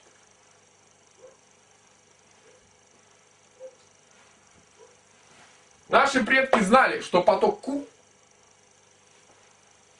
или поток У создает все на, на Земле. Он активизируется, начинает все расти. Все начинает плодиться, размножаться. Все создается из него. Но активизирует его поток Ра. Понимаете? Они не были долдонами, которые во что-то верили. Они знали и видели. Но они уничтожены. И некому нам рассказать обо всем об этом. Мы не потомки лучших, мы потомки худших. Благодаря тому и выжили. Как выглядит это кура? Объединение двух потоков. Один из Земли, другой со стороны Солнца. Там есть указание. Он ребит. Ребит перед вашими глазами. Посмотрите в темную сторону. Где-то в угол или еще куда-то. Но не на сам угол, а в пространстве. И вы увидите кура. Объединение двух потоков. Вы их увидите. Вы можете видеть. Их можно видеть очень хорошо в сумерках. Если вы будете пытаться и сначала вы чуть-чуть увидите, потом вы будете видеть постоянно, а в какое-то время, так сказать, вы сможете увидеть границы своих аур и много чего другое. Но это в определенных условиях, когда у вас будет настрой. Мы все это видим. И они это видели. Но раньше интенсивность этих потоков была, наверное, побольше. И ни у кого не вызывало никаких сомнений их существование. И не надо было это обождествлять или как-то там еще. Не надо было превращать это в долдонизм и в идиотизм. Так вот эти два потока, которые все создают, в курочке ряби создали зло, то яйцо. Но так вышло. Как-то я так не знаю. Но вышло. Образовалась вот эта вот штука. И теперь мы вот в этом зло, в злом то яйце, или в червячке, или в чем-то еще, вот в нем. И разум наш спим мертвым сном, потому что закрыто вот этой черной пеленой все. Но мы причастны к этому тоже. Поэтому разрушить можем мы сами, каждый сам у себя. Никто никому не придет и не разрушит. Вы думаете, что придут высокие вибрации, и они разрушат это все. И вы проснетесь. Придут высокие вибрации. Но те, кто будет, и они идут с земли, с солнца, да, но не у нас, вот, не на поверхности земли. По поверхности земли в основном плодятся крысы, там и прочие, значит, товарищи, имеющие низкую вибрацию. Вот.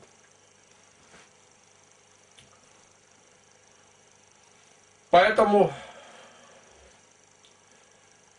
Когда придут высокие вибрации, столкнувшись с низковибрирующими, то есть с нами, произойдет то же самое, что с дровами.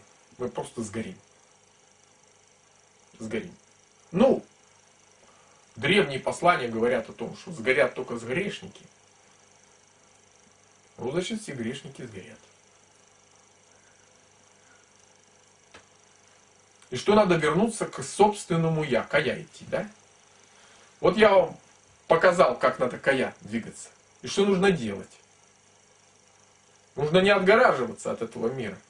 И признать, как говорится, вот это все. И тогда вот эта структура рухнет. Нет, можно, конечно, еще как-то более детально там разработать, но это для каждого отдельно, с каждым, у каждого свои, как говорится, тараканы в голове, и каждый свое, по-своему немножко построена матрица, и свои какие-то эти подходики и ключики. Ну вот поэтому каждый сам должен подбирать себе вот эти вещи. Вот. Вот так вот. Кура снес яйцо, да? Яйцо зла. Мы вот в этом яйце. Кто его разрушит? Мышка разрушит. Мы с вами мышки. Или кто-то другой мышка. Я не знаю. Но когда время придет. А время пришло, потому что резец зачеркал уже по-живому. Все. И все бегут во все стороны. С закрытыми глазами, по граблям, но бегут. Понимаете? Побег туда-сюда, это не побег никуда. Бегать туда-сюда, вот так метаться. Ну, потеряете вы силы. Что-то еще. В конечном счете вы никуда не убежите. Я тоже думал. И на землю там, и бегал на землю, и, как говорится, везде. Но в конце концов я понял, что это бесполезно. Что приходят следом, приходят и вырубают вашу любимую рощу, уничтожают, как говорится, ту речку и так далее, и так далее. Они все равно придут. Придут на запах вашей силы, на то, что у вас есть, на ваш потенциал. Они придут за ним. Вы его нарастили, они придут и отсосут. За короткий участок высосут с вас энергию. За короткий момент. Вот. Поэтому, поэтому, надо бежать, бежать, надо, как говорится, прыгать. Надо бежать, но бежать надо в нужном направлении. Нужно бежать, идти к самому себе тяжелыми шагами, но идти к самому себе, возвращаться. Если вы отнесетесь к земле своей, к живым существам, которые существуют, ко всему по-другому, и не станете себя считать над ними выше там или как-то еще, а вот, то постепенно это все растворится. Это растворится стена, она уйдет. И это делать надо побыстрее, потому что, как говорится, мышка уже яичко-то расколола расколола яичко. Вот. И от нас зависит, снесет ли поток кура простое яйцо. Или, как говорится, понимаете? И от того, как будут деды с бабой плакать, сколько народу погибнет.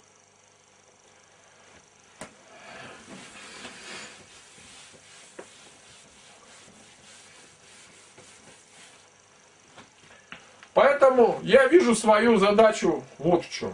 Я вижу свою задачу вот в чем, так сказать.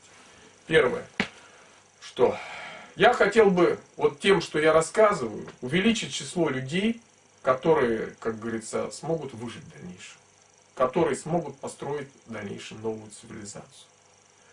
Которые, так сказать, станут вот этим братством человечества на планете который исправит вот этот весь бардак, который тут сделан, и, как говорится, уберет все то, что нагажено, и восстановит все, что испорчено. Понимаете? Вот. Но этим людям, прежде всего, нельзя опираться на то, что было до нас. Оно несет нам, без проверки, я имею в виду. И не брать много багажа, потому что идти придется быстро и по горной тропе. Поэтому здесь я вижу задачу в первую очередь, чтобы люди, как говорится, осознали необходимость. То есть первым и очередным, первоочередным является понимание того, где мы находимся, да? Понимание, что там дальше оставаться нельзя, то есть это вот именно для прыжка, нужно? Вам нужно накопить энергию, понимание, что там оставаться нельзя. Что это смерть и подобное. И ощутить это всей своей кожей. И когда вы не сможете больше находиться там, вы прыгнете. И должны понять, что прыжок существует только, мы можем прыгнуть только в другую, в другую матрицу, другой вариант, другой вариант существования. То есть тот вариант, где мы будем творцами, где все живые существа, все, как говорится, планетарные системы, нам будут братьями. Понимаете? То есть необходимо отнестись соответственно вот именно к миру, таким вот по-другому, именно построить свои отношения. Я не говорю о какой-то там толерантности по отношению к каким-то врагам, разрушителям, убийцам, извращенцам. Нет. Я говорю о том, что нужно отнестись к тем, кто заслуживает этого. Так, как они этого заслуживают. Понимаете? Я говорю прежде всего о планете. Я говорю прежде всего о планете Земля, о месте нашей дома. Я говорю прежде всего о ее обитателях, о живых существах. Они заслужили нормальное отношение. Они заслужили. Они ни в чем не виноваты. Вот. А вот по отношению, как говорится, к вот сегодняшнему человечеству, это вопрос выборочный. Есть те, которые не заслужили. Или, скажем так, заслужили то, чего они несут. Они несут смерть, и смерть они заслужили. Так пусть они ее получат. Пусть они не мурыжат нас. Пусть получат то, к чему стремятся.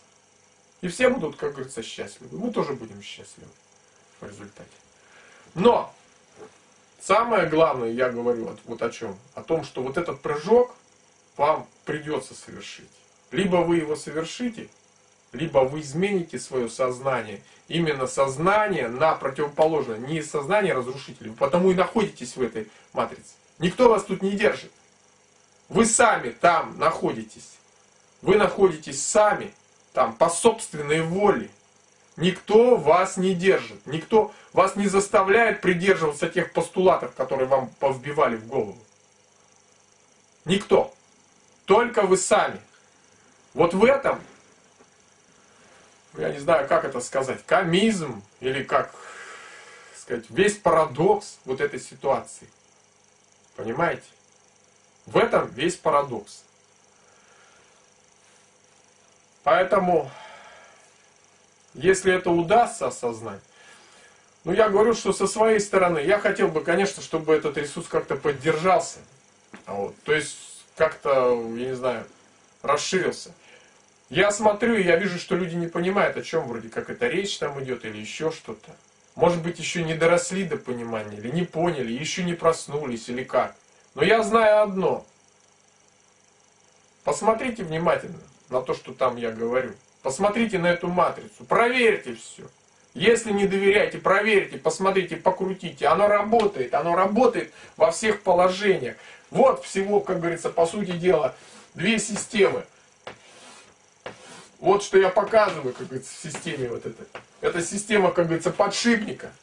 Она же система, если здесь вы сотрете, она будет система как пирамида. Вот.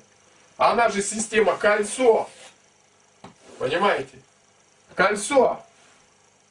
И она же, как говорится, подшипник. И все это единая система, это неразделимые абсолютно вещи. Это одна и та же модель.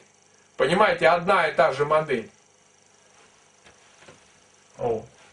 И что касается всех вот остальных там, и тех, кто, как говорится, низко вибрирующий находится в управляющей верхушке, и тех, кто высоко вибрирующий находится там внизу, между нами сейчас разница не очень большая. Вот. Все зависит от того, насколько это будет все воспринято. Если мы доведем и, как говорится, будем тянуть это до состояния катастрофы, то армия апокалипсиса Это армия, которую мы создаем, создавая свалки. Крысы, мыши, муравьи, там другие разные насекомые, грибки различные, плесени, то есть и все остальное, микроорганизмы. Закапывая, создавая огромные города свалочные и так далее, мы создаем вот эти резервуары, армию для атаки на нас. Если мы самостоятельно не решим этот вопрос, то сил для нашего уничтожения вполне достаточно. Мы не сможем противостоять всем тем, как говорится, видам вооружения, которое планета против нас приготовила. Вот.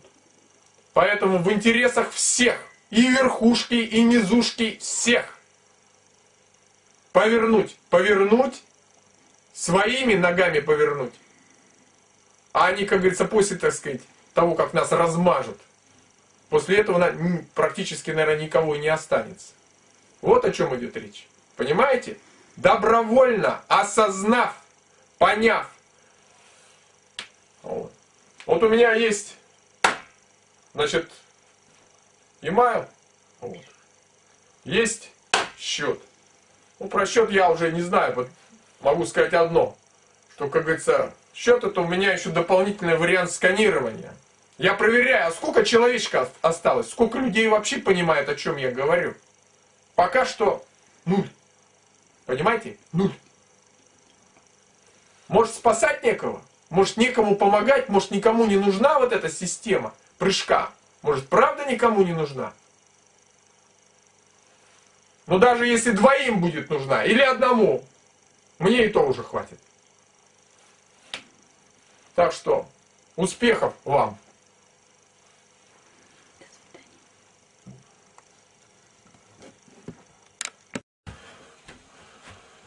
Здравствуйте! Вот сегодня мы рассмотрим вопрос, связанный с тем, э, насколько, так сказать, э, рассмотрим причины, э, связанные с тем, в каком положении на сегодняшний день находится человечество.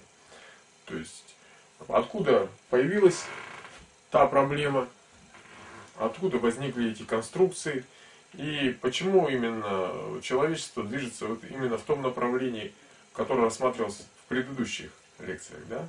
Вот, в предыдущих рассказах. Вот. Значит, все в этом мире подвержено э, определенным потокам. То есть потоки, как река, формируют, формируют этот мир. То есть, если мы говорим о той системе, в которой мы находимся, эта система, это вот Солнце да, и Земля. Значит, потоки Солнца, это солнечный свет, излучение, движутся на Землю. Вот. И, соответственно, а, обогревают ее, вращают, воздействуют на нее, создают потоки внутри Земли, да? Это такие потоки известные, как тяготение там, и не только. А вот. Получается так, что присутствует такое состояние обмена, состояние обмена потоками. То есть Солнце Земле, Земля Солнцу отдает, как говорится, поток. И эти потоки формируют все, что существует. По сути дела, их как бы условно два вида. Один поток это поток, обозначаемый нашим предками как собирающий поток.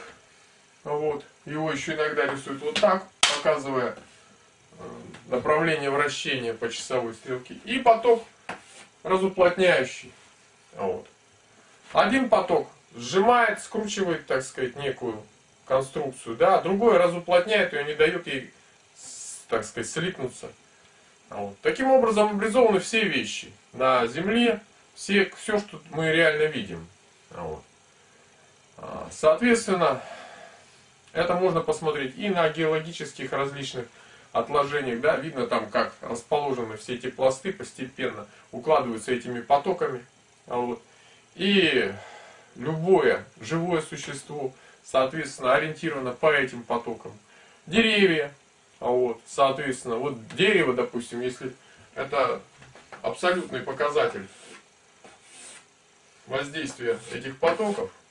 То есть один поток земной, вот выходит из Земли, другой поток улавливается Солнце, солнечная радиация, и она движется по стволу навстречу, так сказать, в корневую систему. Из корневой системы движется поток а вот, а, других, так сказать, веществ. Происходит обмен. Вот. По сути дела, дерево это как бы генератор. Такой совершенный генератор преобразования значит, э, солнечной и земной энергии. То есть в стволе дерева встречается солнечная и земная энергия, и все, что, как говорится, создают нам растения, это все создается именно на основе вот этого потока обмена между Солнцем и Землей. Вот. То есть все сущее создал поток. То есть, ну, не один поток, а несколько потоков. Как правило, существует, когда существует сотрудничество, существует равновесие. Один поток движется сюда и другой поток. И два, так сказать, объекта сотрудничают между собой, передавая, так сказать, вот эти потоки. А вот. Они, потоки эти взаимообусловлены. Вот. Чем сильнее один, тем сильнее второй, соответственно. А вот. Это, так сказать, система сотрудничества. Вот. Очевидно, что эти потоки создали все. Вот.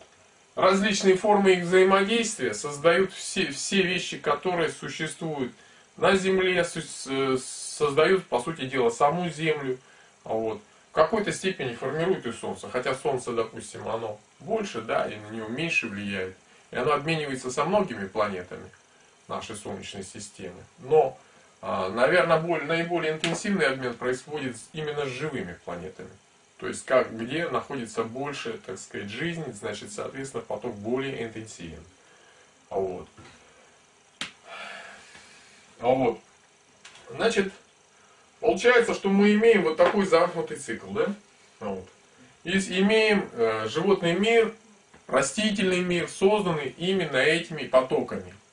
Созданы по их подобию, по образу, как будто река, когда она прокладывает русло, она укладывает песок, укладывает там какие-то камни, рыба ориентируется головой в направлении потока и так далее, и так далее. То есть весь порядок, весь порядок создают эти потоки. Весь порядок, существующий на Земле, вещей, всего, всего в абсолютности, весь порядок существующий, а, связано это и со временами года, и со всем, в поведении животных, в поведении растений, в поведении, а, как говорится, в том числе и людей, да, вот. То есть, будем говорить так, что поток это в сущности Бог. Или, скажем так, это просто его древнее такое забытое название, или, как сказать, затасканное название. А в сущности вот это вот все определяет поток. Вот эти вот потоки, которые движутся туда, так сказать, и обратно. Поток обмена определяет все положение вещей. Да? Вот. Но это вот положение вещей естественное, которое существовало и существует на Земле. Да? А вот. Но есть некое такое строение, которое называется человеческим обществом. А вот. И если утверждение о том, что потоки создают все, то есть река, как бы своего рода, река жизни создает все, создают жизнь, модулирует все, так сказать, и ситуации, и все, все, все остальное за счет взаимодействия этих объектов, которые находятся внутри потока, да? А вот, то, значит, и общество создано каким-то определенным потоком. То есть должен быть поток, который создал общество, потому что система эта, она как бы просуществовала очень длительное время, да, государство, общество. И эта система показала свою живучесть за вот эти, на протяжении, так сказать, многих лет. И имеет определенное строение. Причем фиксированное строение на протяжении многих там, как десятилетий, тысячелетий, вот, столетий и так далее. То есть во всем обозримом историческом, как говорится, периоде, который мы можем просмотреть. То есть строение общества, в принципе. Но есть одно но очень интересное, что строение общества не вписывается вот в этот поток, не вписывается в природную структуру. Возможно, когда-то строение общества вписывалось, но сегодняшнее общество не вписывается вот в этот поток. Вот. Оно не находится вот в этом обмене. Оно существует как бы отдельно. То есть существует как отдельная система, как отдельная надстройка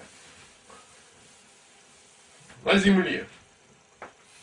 И чем занимается вот это вот общество, да, вот эта вот система, ну мы ее так условно пирамидкой обозначим, да, а вот, она чем занимается? А тем занимается, что она уничтожает все, что создает вот этот вот, вот этот вот поток обмена. То есть за последний период мы так, доблестно уничтожили, практически было 95, сейчас, наверное, 98% живых существ на планете. Значит, включая там, понятно, деревья, растительный покров, разрушили все, значит, а, вынули все а, тела, которые, значит, э, рудные там планетарные, так сказать, вот, повытаскивали, не зная, для чего вообще они там лежат и какую цель они вообще играют в теле планеты, да? Вот, ведь они тоже образованы потоком, да? То есть вот этим вот потоком все это образовано для какого-то функционала, то есть для каких-то, э, для какого-то действия, для каких-то, так сказать, стабилизации каких-то режимов. А вот. Были созданы вот эти вот рудные различные тела, а вот, полезные ископаемые, как мы их называем. Вот.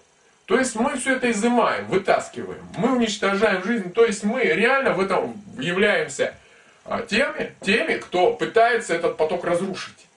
Понимаете? Поток обмена вот этот разрушить. Изъять из него энергетику вот в свою вот эту пирамидальную, как говорится, системку, да? Вот. Для чего? Очевидно. Для чего мы это пытаемся сделать? Ведь если так логически просмотреть, то все, что мы, по сути дела, за счет чего мы живем, нам, по сути дела, дает вот этот поток обмена. Вот. Солнечная энергия, она дает нам возможность питаться, она обогревает землю, она, значит, запускает еще множество-множество процессов, да, которые позволяют нам жить. То есть это, по сути дела, это поток, это источник нашей жизни. Это река жизни, которая питает нас, питает наше тело, создает наши тела, создает все, чем мы пользуемся. В сущности, этот поток – это наш Бог, который нам, как говорится, все дает непрерывно. А мы что делаем? Мы уничтожаем все Божьи, как говорится, творения, все творения этого потока, уничтожаем, разрушаем их, как говорится, все. То есть мы ведем войну, войну вот с этим потоком.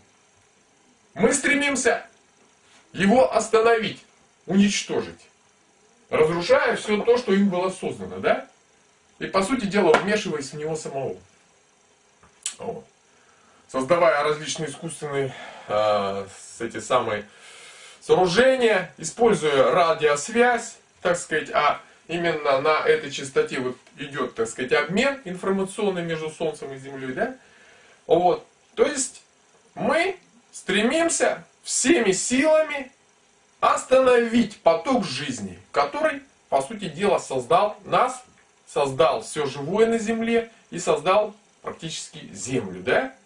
Вот этот поток. Мы пытаемся его остановить.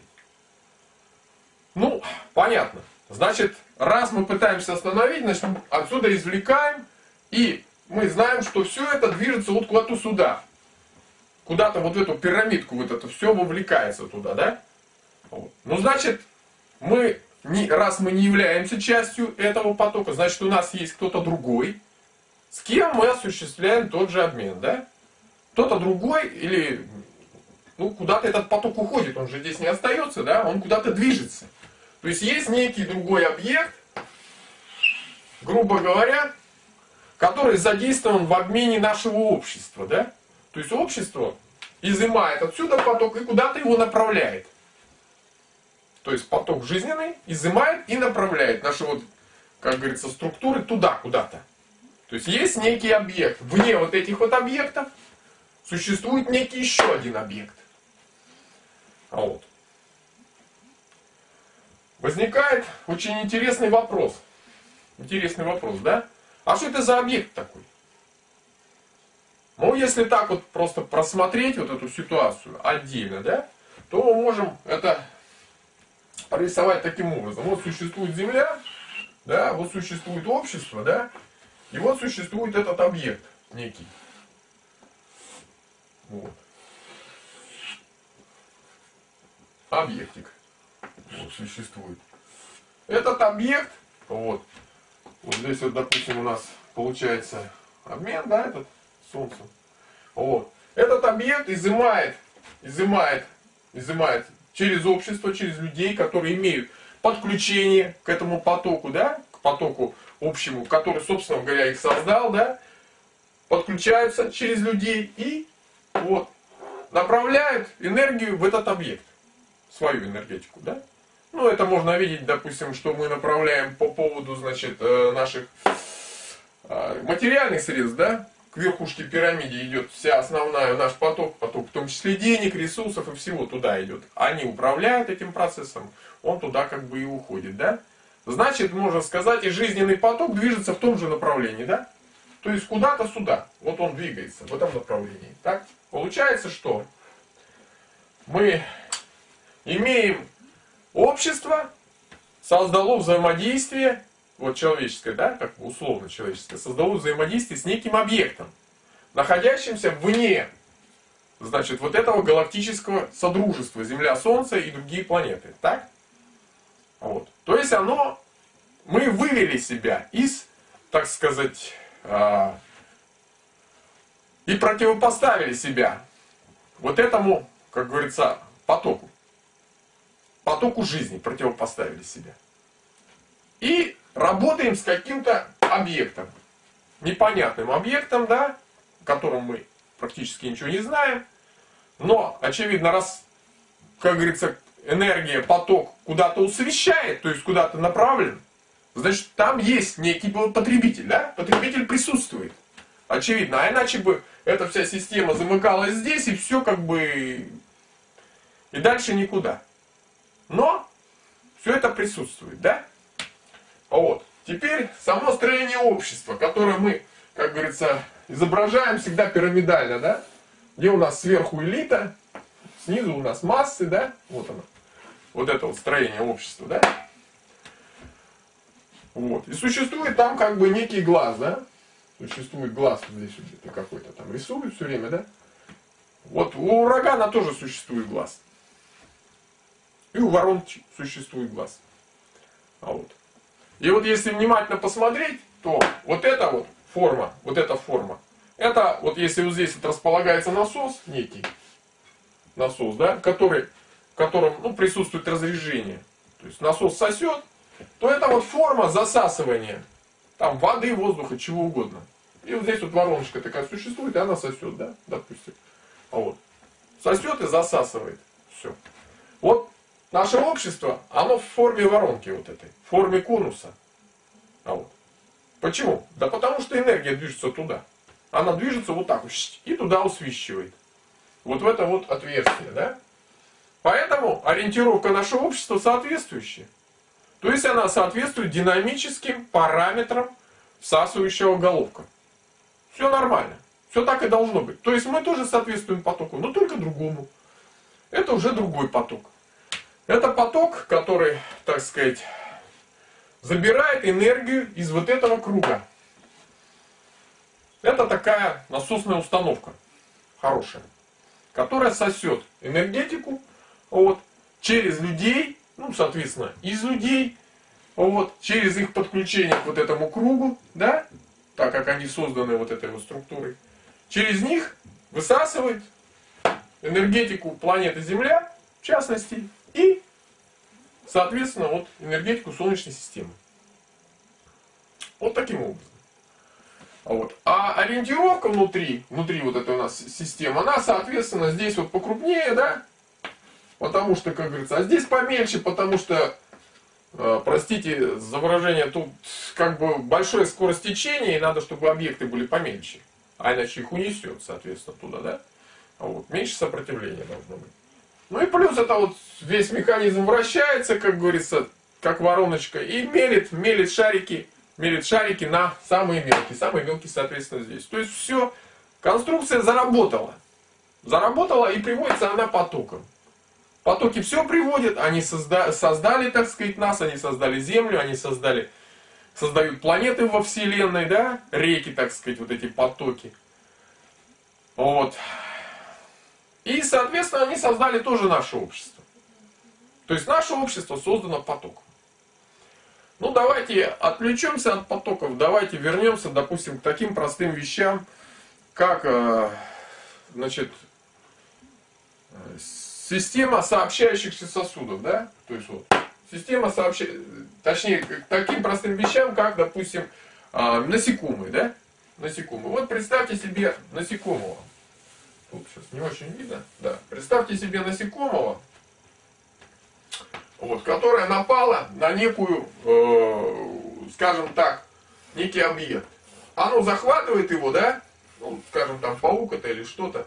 Захватывает его, да? И, соответственно, и оно его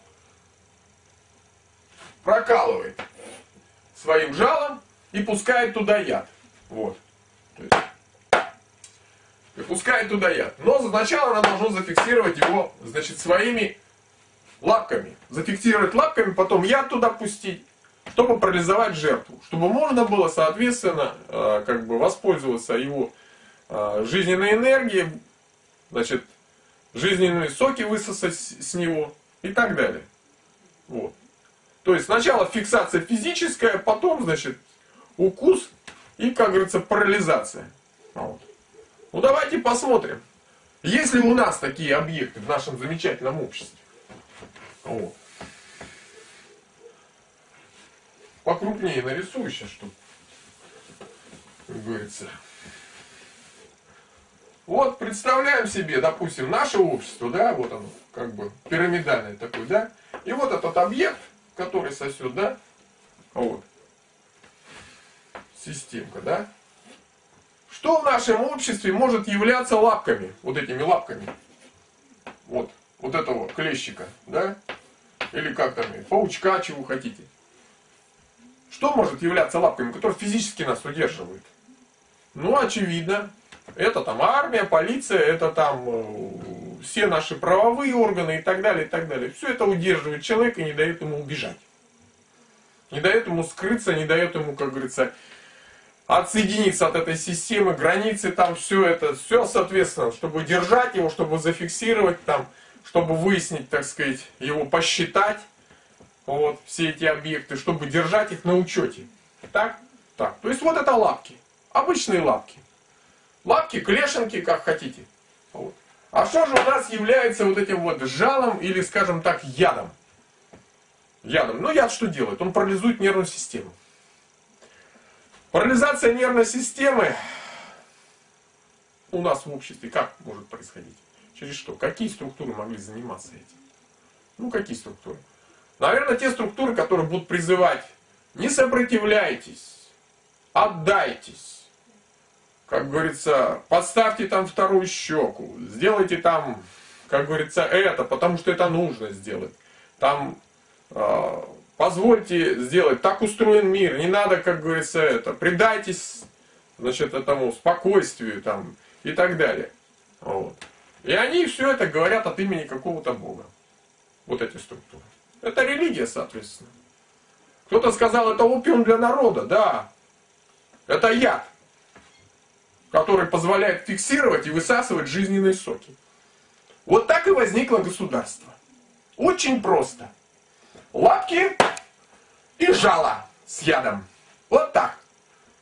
А для чего существует государство? Как сказал один классик, вот, государство это аппарат насилия. Но для чего? А для того, чтобы высасывать жизненную энергию. Чтобы вот этот клещик мог питаться. Понимаете? Государство возникло на основе потока, потока высасывания. Понимаете, потока высасывания. Это большая насосная установка, доильная установка, где объект фиксирует и, соответственно, парализует и дует. Вот главная основа государства. Основа, которая, так сказать, существовала с древнейших времен, вот, и как бы эта основа так сказать, существует до сих пор. Только количество ядов вбрасывается сейчас уже может быть побольше, и как количество фиксаций побольше, чтобы, так сказать, объект не вырвался и не попытался, так сказать, куда-то там скрыться. Бежать уже некуда. Вот. Лапки везде. И яд повсюду. Вот. Поэтому это все возникло, собственно говоря, как придаток некого, так сказать, некой системы, которая подцепилась к нашему основному обмену, потоку, который создал нас, который создал Землю, создал, так сказать, э, все сущее на ней и весь порядок вещей, который существует, естественный порядок вещей. Вот. А вот этот вот объект вот, и обмен с ним нашего замечательного общества разрушает этот порядок вещей, который был создан естественным образом, которым, собственно, дает нам жизнь. То есть он уничтожает реку жизни, он уничтожает вот этот поток. То есть эта система, как бы, уничтожения жизни, высасывание из нее жизненных соков. А вот. Ну теперь давайте рассмотрим повнимательнее, что значит это у нас может быть за система. Во-первых, конечно, чрезвычайно интересен момент возникновения этой самой системы. Вот, предположим, Земля, и вот маленький, так сказать, объектик, который захватил кусочек тут и присосался. Вот он маленький. И впустил сюда яд. Что происходит? Значит, возвращаясь, э, значит, что происходит, да? Сюда попадает яд, вот в это, вот эту ситуацию. И плюс здесь высосана жизненная энергия, да? Некий народ, некая группа попала вот в такую ситуацию. С них высосали энергию и отравили вот этим ядом. Что происходит с этой группой? Ну, очевидно, что яд, особенно яд какой-то низковибрирующий яд, вот, вот, он способен менять вплоть до того, что генома, да, то есть мы знаем, что это уже волновая система, вот, он способен это менять способен изменять человеческий, так сказать, генотип. Ну или, видимо, и живых, вообще живых существ. Так? Так. Плюс эти люди потеряли энергетику, вот. И они уже не стали вполне людьми, то есть э, яд, яд воздействуя на человека, ну как, на, на любое животное, он лишает его способности мыслить. Он, это, вот, эта, вот эта группа потеряла способность мыслить. Потеряла, да. Не до конца, но что-то там какое-то у них осталось. Вот. Но они потеряли способность мыслить. И изменились. Изменились так, что они почувствовали, что они по отношению вот к этим вот ко всем остальным чужие. Что они будут делать? Они будут объединяться. Они будут объединяться и объединяться в тайные общества. Потому что эта система, она низковибрирующая, да? А эта система у нас повыше вибрации. Почему именно повыше? Ну потому что все очень просто. Потому что, чтобы засасывать, засасывать это отсюда, здесь должно быть разрежение. То есть должно быть разрешение. То есть по уровню вибрации это должно быть более низкий объект. У него должна быть более низкая вибрация. Вот. А у этого объекта повыше своего рода вибрация должна быть. Поэтому, соответственно, здесь как бы избыточное давление, а здесь пониженное своего рода, и он высасывает. А вот. Таким образом, вот эта группа вот, попала под воздействие низменной вибрации. Ну, что такое низменная вибрация? Вот тьма это низменная вибрация. Так принято было называть нашими предками, что вот все вот это вот, что низкая вибрация это тьма, а высокая вибрация это свет. Разум, разум, мышление соответствовал высокой вибрации, потому что оно издавало световые, так сказать, эти, вокруг человека светилось там все, когда он был мыслящим. А вот. А неспособность мыслить, как бы потеря мыслительных процессов характеризовалась как падение во тьму. Вот и все. И если вы не мыслите, значит вы во тьме. То есть слепота, глупость, это глубоко пасть, да? Вот. вот таким образом. По этой причине, так сказать, эта группа вот, объединяться начал в тайное общество. Потому что он тайный, почему? Потому что тяготеет ко тьме. Во тьме они объединялись в тайные общества. Теперь, почему они так стремятся, как, как, стремились к объединению? Ну вот когда объект, вот он кругленький такой, да, он совершенство своего рода. Он совершенство. Вот. А если объект вот какой-то, как обгрызенный, еще там обгрызенный объект существует, то каждый из этих объектов чувствует свое несовершенство. Но, соединяясь вместе, между собой, да, они тоже могут образовать круглый объект, да, вот, то есть, как бы соединяясь, они могут создать нечто вот совершенное, да, вот, то есть, стать совершенным, вот. А если хорошо погрызенный, то, значит, большая группа вот этих ущербных товарищей, для того, чувствуя свою ущербность, они стремятся объединяться. Потому что вместе они чувствуют себя полноценным неким, а по отдельности у них у каждого своя неполноценность, так они друг друга дополняют. И это уже сила. В общем-то, это небольшая сила, но сила. Вот представьте себе тайное общество, объединяющиеся. А вот. Большие, как говорится, группы. Во тьме тайно вынашивают какие-то идеи. А вот. Это просто отравленные люди. Отравленные вот этим вот паразитическим существом, отравленные его ядом, захваченные, уловленные им. А вот. И подвергшиеся изменению – они не могут вернуться назад, потому что их уже изменили, они себя чувствуют другими по отношению вот к остальной массе. И они начинают войну против основной массы. Что движет ими? А вот голод вот этой штучки движет. Потому что мышления уже нет, но есть приказ. Хочу кушать. И он приказывает им улавливать других для того, чтобы он мог кушать. Он кушает и растет. Растет и количество яда, которое он вбрасывает. Растет и количество людей, которые, как говорится, попали под это ядовитое воздействие. И в какой-то момент это вся планета. Паразит вырос, он огромен. И количество яда, которое он продуктирует, огромно. Большая часть потеряла способность мыслить,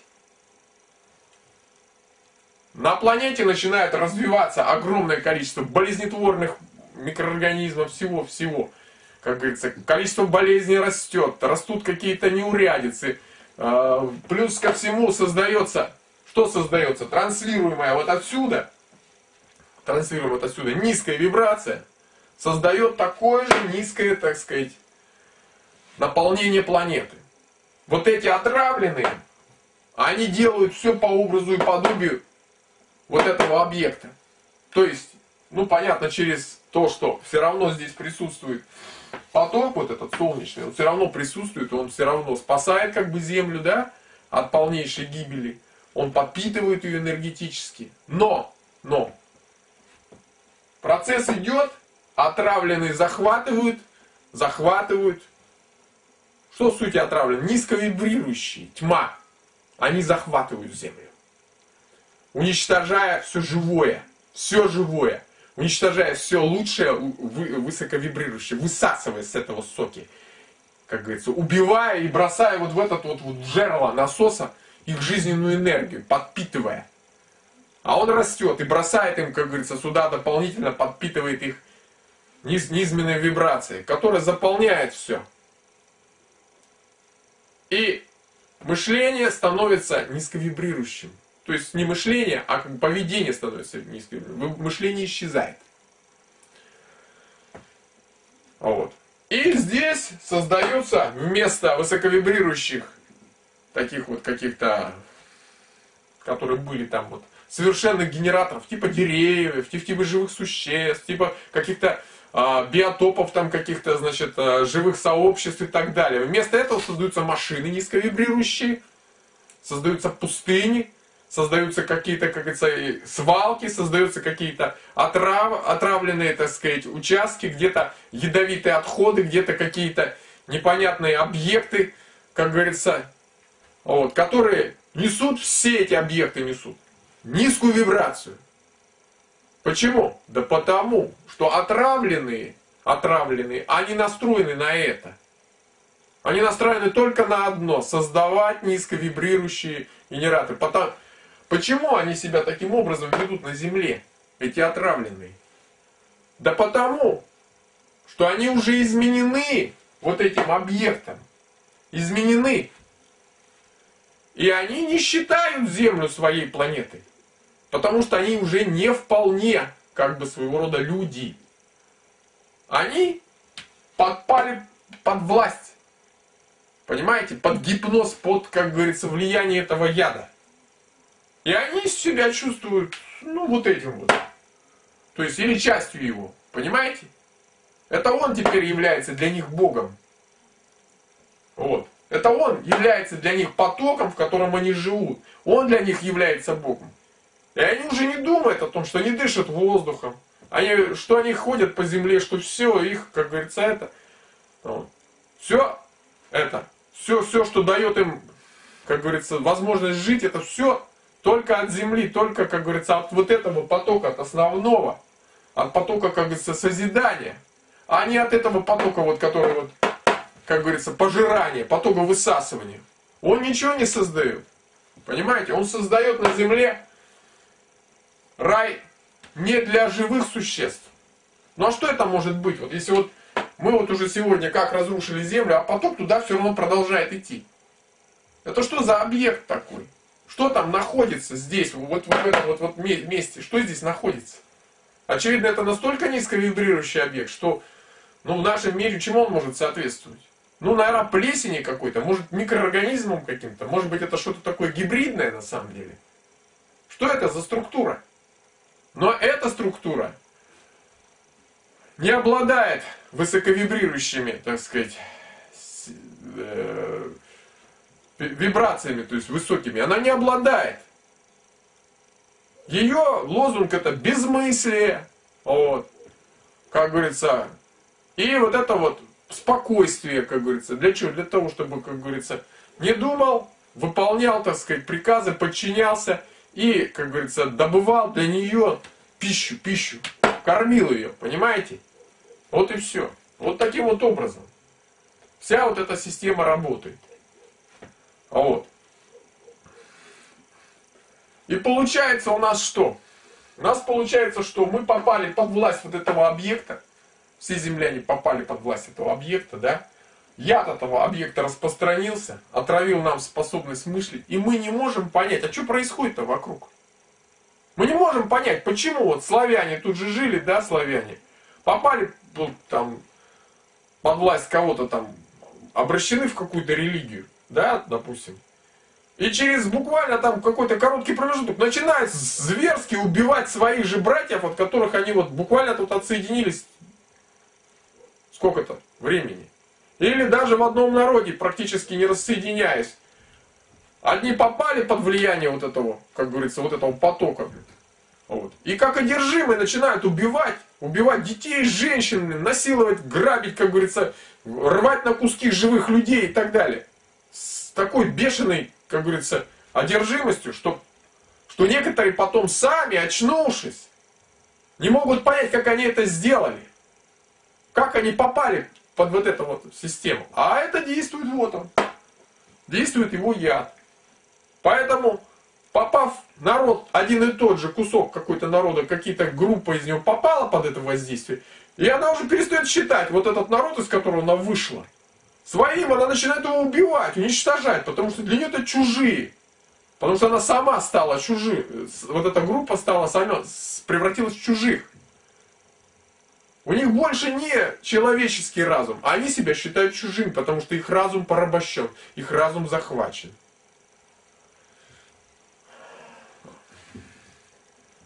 Вот этот объект, мы его кормим, он растет, соответственно. Вот. Возникает такой интересный вопрос, да? Где он там находится-то? Да бог его знает где. Рядом вроде его не видать. Хотя это как бы при том уровне знаний, после такого дозы яда, вообще сложно какие-то такие вещи серьезные. То есть я так понимаю, что мы потеряли серьезную дозу мышления, раз вся планета практически захвачена и изуродована. То есть объем этого яда, выброшенный в наше, так сказать, тело человечества, гигантский. Мы потеряли способность мыслить, мы как слепые, мы ползаем, мы не, мы не можем понять. Я долго пытался понять этот вопрос. Многие ученые, какие-то писатели подходили к этому вопросу, но никто не смог его осилить, не смог, никто не смог понять, что вообще происходит. Где источник того вот этого раздора, который пойдет все время между нами? Где источник вот этого все время зверства, вот этих всех, как говорится, преступлений, которые совершает человечество против своей планеты, против друг друга, против живых существ? Где источник? А источник вот он. Вот он источник. Вот. А это насосная установка его. Наше общество насосная установка. Или как скажем, оголовок насоса, да? То есть мы сами, сами уничтожаем свою планету, уничтожаем всех живых существ, уничтожаем лучших из нас. Ради чего? Ради того, чтобы бросить в жерло, блин, как говорится, поток жизненной энергии туда чтобы вырвать его из вот этого основного потока и туда его выкинуть. Но мы преуспели, планета умирает, мы уже, как говорится, наверное, выкормили огромную тут тварь. И я так думаю, что если где она находится, от нее идет низменная вибрация во все стороны, да, вот так распространяется. Наверное, не, как говорится, ни один мир пострадал от вот этой штуки. Потому что мы ее кормим. Мы, понимаете, мы с вами, мы бы не просто как бы это самое, мы с вами батарейки, батарейки, которые а, питают гигантский низковибрирующий генератор, который распространяет вот эту всю заразу, уничтожение, тьму, тьму на, во Вселенной, понимаете? И мы еще не знаем с вами, что, как говорится, мы там напитали, что мы там навыращивали. И что это, вот это вот объект натворил там по отношению к другим планетам, другим мирам, другим, понимаете? И где он там находится. Потому что, как говорится, мы единственное, что питаем вот эту пуповину и все. Мы отдаем туда энергию и все. И все, никто не, не, не хочет повернуться вот лицом к этому. Всем страшно. А почему? Да потому что вот эта штука низменная, она транслирует низкую вибрацию, а это и есть страх. Он транслирует страх. Страх – это самый простой яд, парализующий все живое. На вас транслируют страх, вы испугались. Все.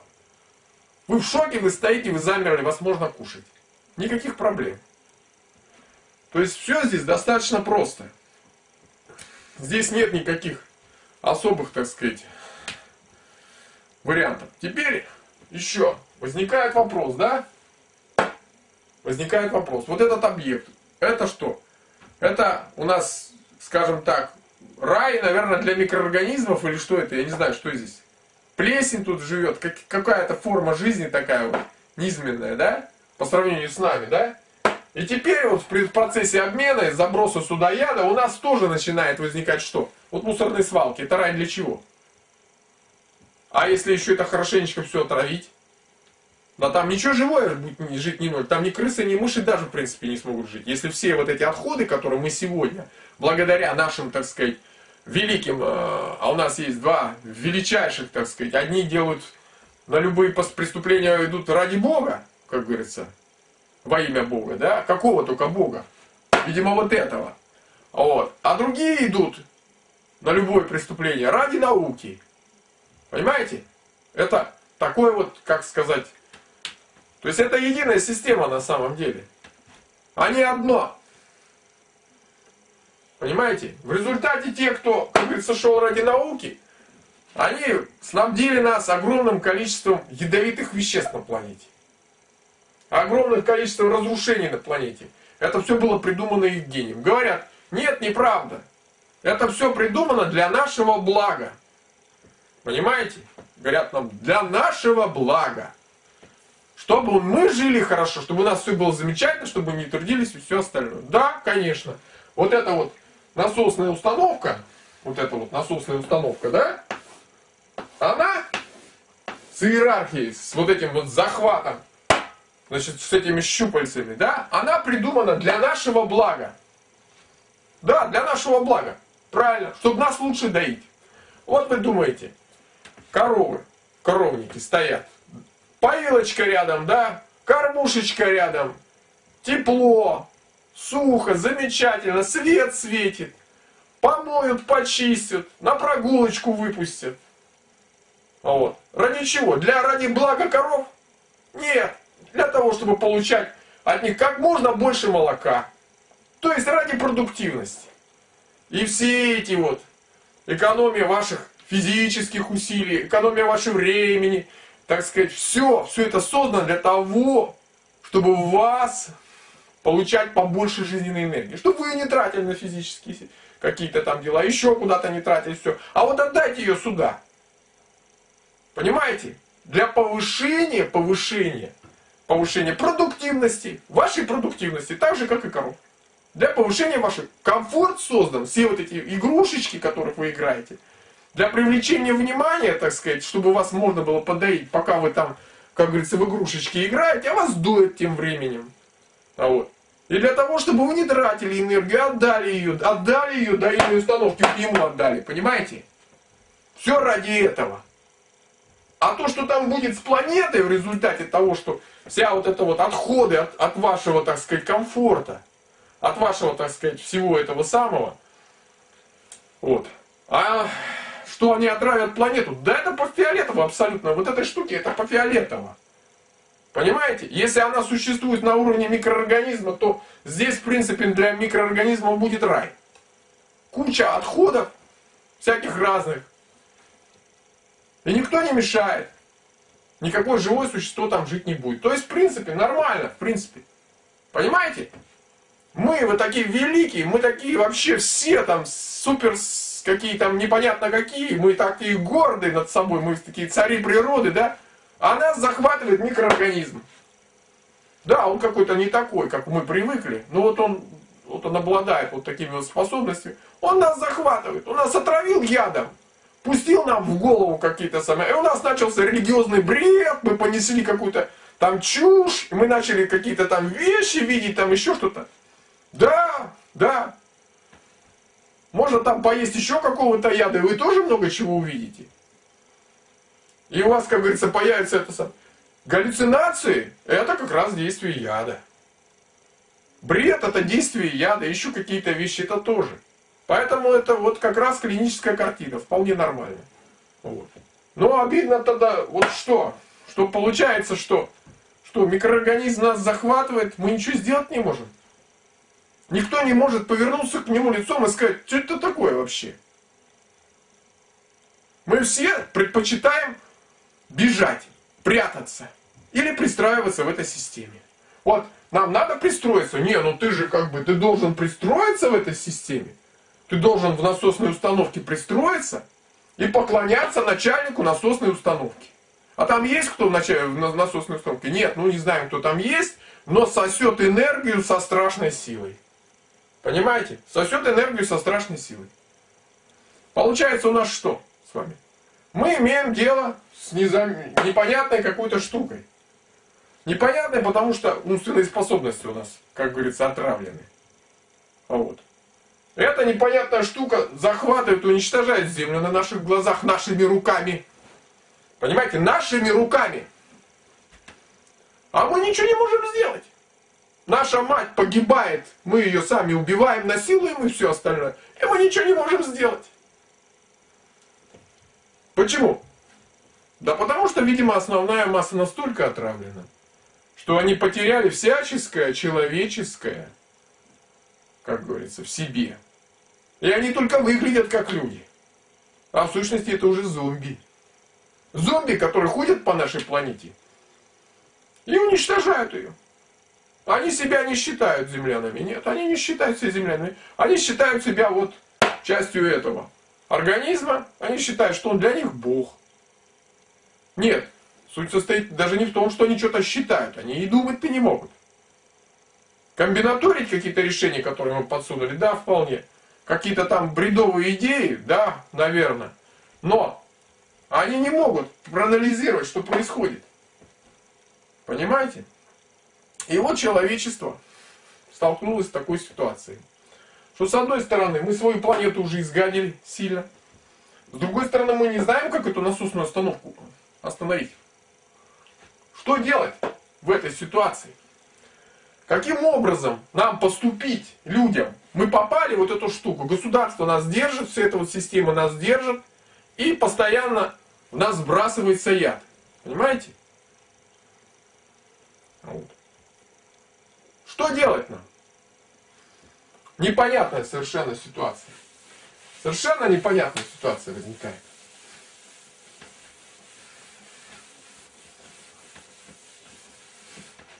Особенно непонятно это, как говорится, с нашими умственными способностями. И особенно это, как говорится, непонятно, потому что большая часть потеряла способность мыслить. У нас часто говорят вот лозунг «объединяйтесь». Да, объединяются вот хорошо отравленные, они здорово объединяются, у них очень хорошо получается. Там, для каких-то безобразий, они здорово объединяются. А вот хорошим людям, те, которые более-менее еще как-то себя какое-то что-то полноценное, им сложно объединяться. Вот. А потом они тоже, как говорится, под воздействием сильным находятся. Вот. И извне к ним подцеплена масса всего. То есть достаточно сложно вырваться из этой ситуации. Ну, теперь возникает у нас такой вопрос. А вот. Ну хорошо.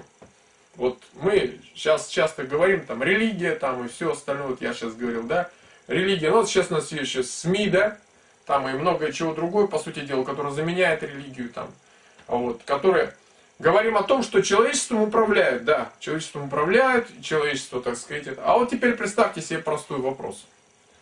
Масса отравленных потеряли способность мыслить. Если ими не управлять, что они будут делать? Они же зомбики. Они начнут творить такие вещи, что волосы на голове дыбом станут. Потому что у них, у них все, мыслительных способностей нет. Поэтому, с одной стороны, религия это как бы зло, а с другой стороны, вот этих вот баранов, для этих баранов, для ослевших, для тех, кто, как говорится, потерял способность всяческую мыслить и все остальное, оно, она является стабилизатором. Так же, как и средство массовой управления, э, так сказать, информации, тоже является стабилизатором. Они, так как потеряли способность мыслить, они превратились, ну, скажем, в некое подобие общественного организма, где должен быть центральный процессор, который будет давать, говорить им, что делать. Потому что они сами мыслить не могут. Понимаете? И коллективный труд должен быть для этого, потому что индивидуально трудиться они тоже не могут. За ними надо следить. Они себе отчет не отдают в том, что они делают.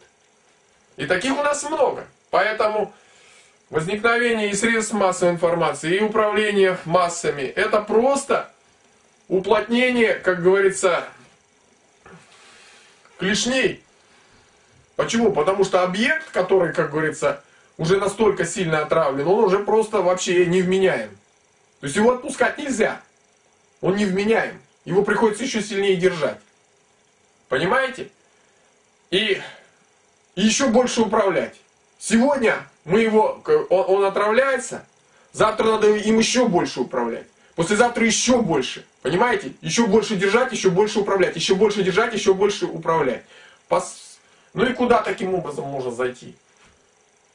Ну тогда это просто уже к радиоуправляемому человеку, да? То есть, который, так сказать, будет вставлен какой-то этот программный э, там, процессор там, или еще что-то, где-то как, или какая-то система передачи, куда будет передаваться то, что ему нужно делать. Понимаете? То есть вот объект, который полностью потерял разум. Он ему передается то, что ему нужно делать. Как ему себя надо вести, где надо что делать и так далее. То есть это фактически переход, конечно, в робота. Но не дай бог где-то какой-то программный сбой там в центральном процессоре и все. Эти роботы превратятся, блин, во что-то, блин, страшное, ужасающее. Вот. То есть это тоже тупик. И туда смысла дальше идти нет. Тупик. Понимаете? Вот. Но здесь есть один очень интересный факт. Дело в том, что когда два объекта работают, да, вот в таком вот режиме, один, допустим, растет там как-то, вот. и происходит перелив, так сказать, вот этой вот системы, у, допустим, какой-то наступает момент выравнивания потенциала. Когда вот здесь вот уже много энергии не возьмешь. Ему нужно много, а не хватает, нету. Земля оказалась круглая, блин. Все. Никак. Больше нету. Понимаете? Больше нечего дать. И вот эта дыра в человеке, через которую высасывается туда, как говорится, все это, она уже не может наполняться. То есть вот это мы не можем наполнить насосную установку больше. Хвостик в насоске, вот этот хвостик, про хвостик я говорил. Вот он хвостик в этом самом. В водовороте, вот он хвостик. Водоворот есть, а в нем хвостик. Вот этот хвостик завилял. Почему? Потому что а не хватает энергии. Насосной установке не хватает энергии. Почему не хватает? Ну почему? Потому что кончились высокопотенциальнички. А, ну вот как это, это так же просто как, допустим, вот представьте себе стадо коров, да? Это в советские времена такие вещи были. А вот, ну они все доятся очень помалу. И чтобы увеличить надои, начинают увеличивать количество поголовья. Но это не дает. Это увеличивает сильно затраты, не дает никакого результата. Это только отписки. Понимаете? И в результате эффективность падает еще сильнее. Так и сейчас. На Земле огромное количество народу, но они все низкопотенциальнички. И с них ни черта не выдаешь. Ну нету там с них энергии никакой. И поэтому вот эта штука начала голодать. И количество яда стало меньше вбрасываться. Понимаете? Количество яда стало вбрасываться меньше. А вот. За счет этого люди стали просыпаться. Ну, меньше отравляемся. Начали, маленечко голова начала работать, кто-то там проснулся, начал что-то говорить. А вот кто-то еще продолжает бред нести. Вот. То есть суть состоит в чем? Появился просвет, да? За счет того, что наступил некий голод. А вот. Штука голодает. Да, она еще выбрасывает достаточно много яда. Но уже, как говорится, не хватает ей. А вот. Поэтому это внушает надежду. Вот. Потому что вырваться из вот этой вот насосной установки достаточно сложно, да? Она работает давно, все это установилось, и, как говорится, для многих, в общем-то, при тех, при той, при том повреждении низкими вибрациями, уже способность мыслить настолько, они не могут себе это представить, что это так вот может быть. Что вот так вот просто, вот такая вот штучка, она взяла, прицепилась, или мы ее сами подцепили, я не знаю, как это произошло. Это, в принципе, не важно. Может, мы ее сами сотворили. Этот тоже вариант возможен. Древние говорили о том, что когда-то человечество возгордилось, вот, и начало творить там миры и все остальное, да, и вот получилось, что вот создали, может, такой мир. Вполне возможно. Мы же создали, вот наши ученые на Земле, создали вот эти вот все эти штуки, которые следующим поколениям принесут только проблемы. Это вот мы сегодня пользуемся электричеством, от них там какие-то еще вещи делаем и так далее, получаем, как говорится, отдачу. А завтра это будут отходы. Завтра это будет мусор, ядовитый мусор. И следующее поколение, они уже пользоваться ими не будут. Они будут их обслуживать, понимаете? Как мы сегодня обслуживаем вот эту вот штуку. Понимаете? То есть очень такая аналогия хорошая присутствует. Понимаете, мы на Земле сотворили тоже низковибрирующую такую систему.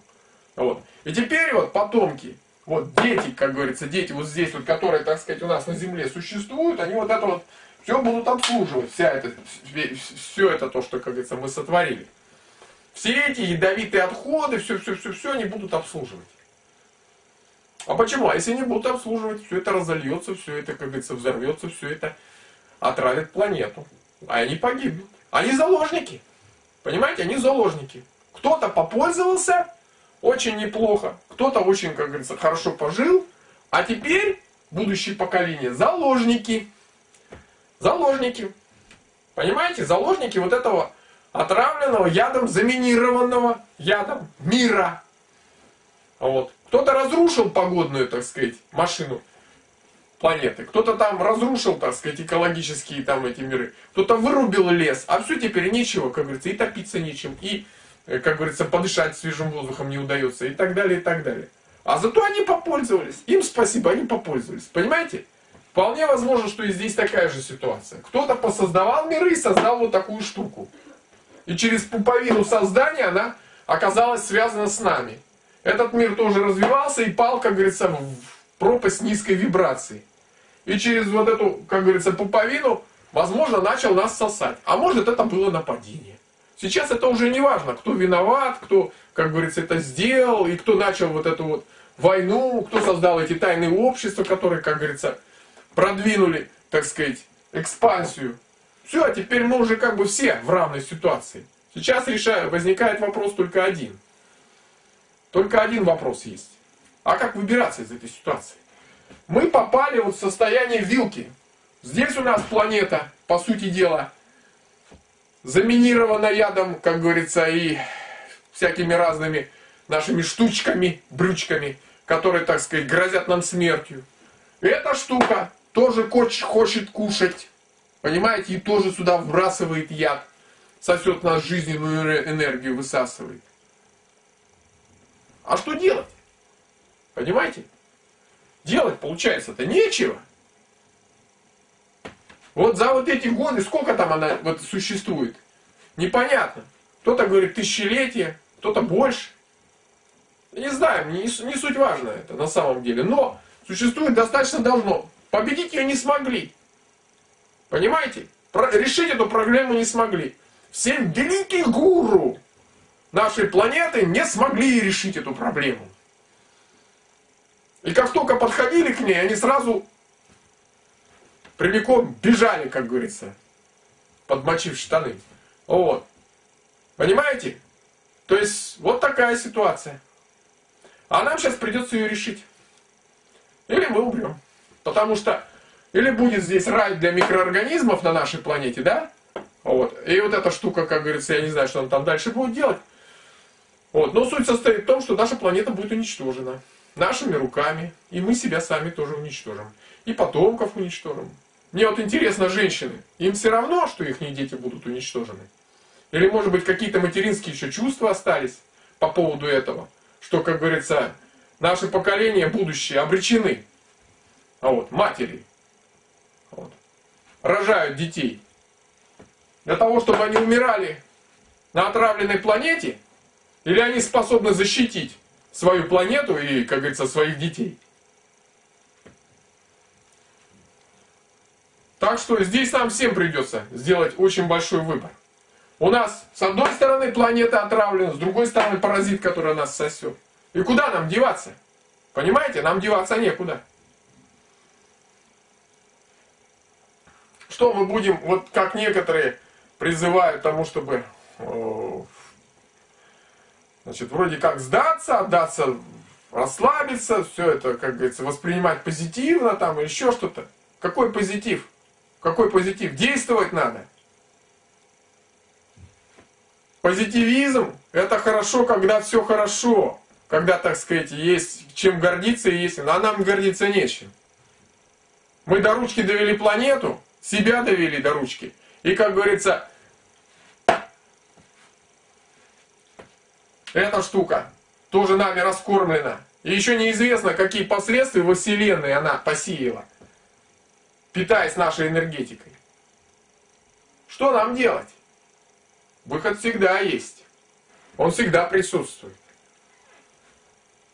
Вопрос, захотим ли мы, как говорится, бороться, или мы будем смотреть на то, как мы умираем. Я обращаюсь только к тем, кто, конечно, мыслит кто способен понять вот эти схемы. Они простые, здесь немного каких-то этих самых э, доказательств, потому что ну, не, вмещи, не вместит время всего этого. Вот. Поэтому, да и времени вообще, в принципе, осталось, я думаю, немного.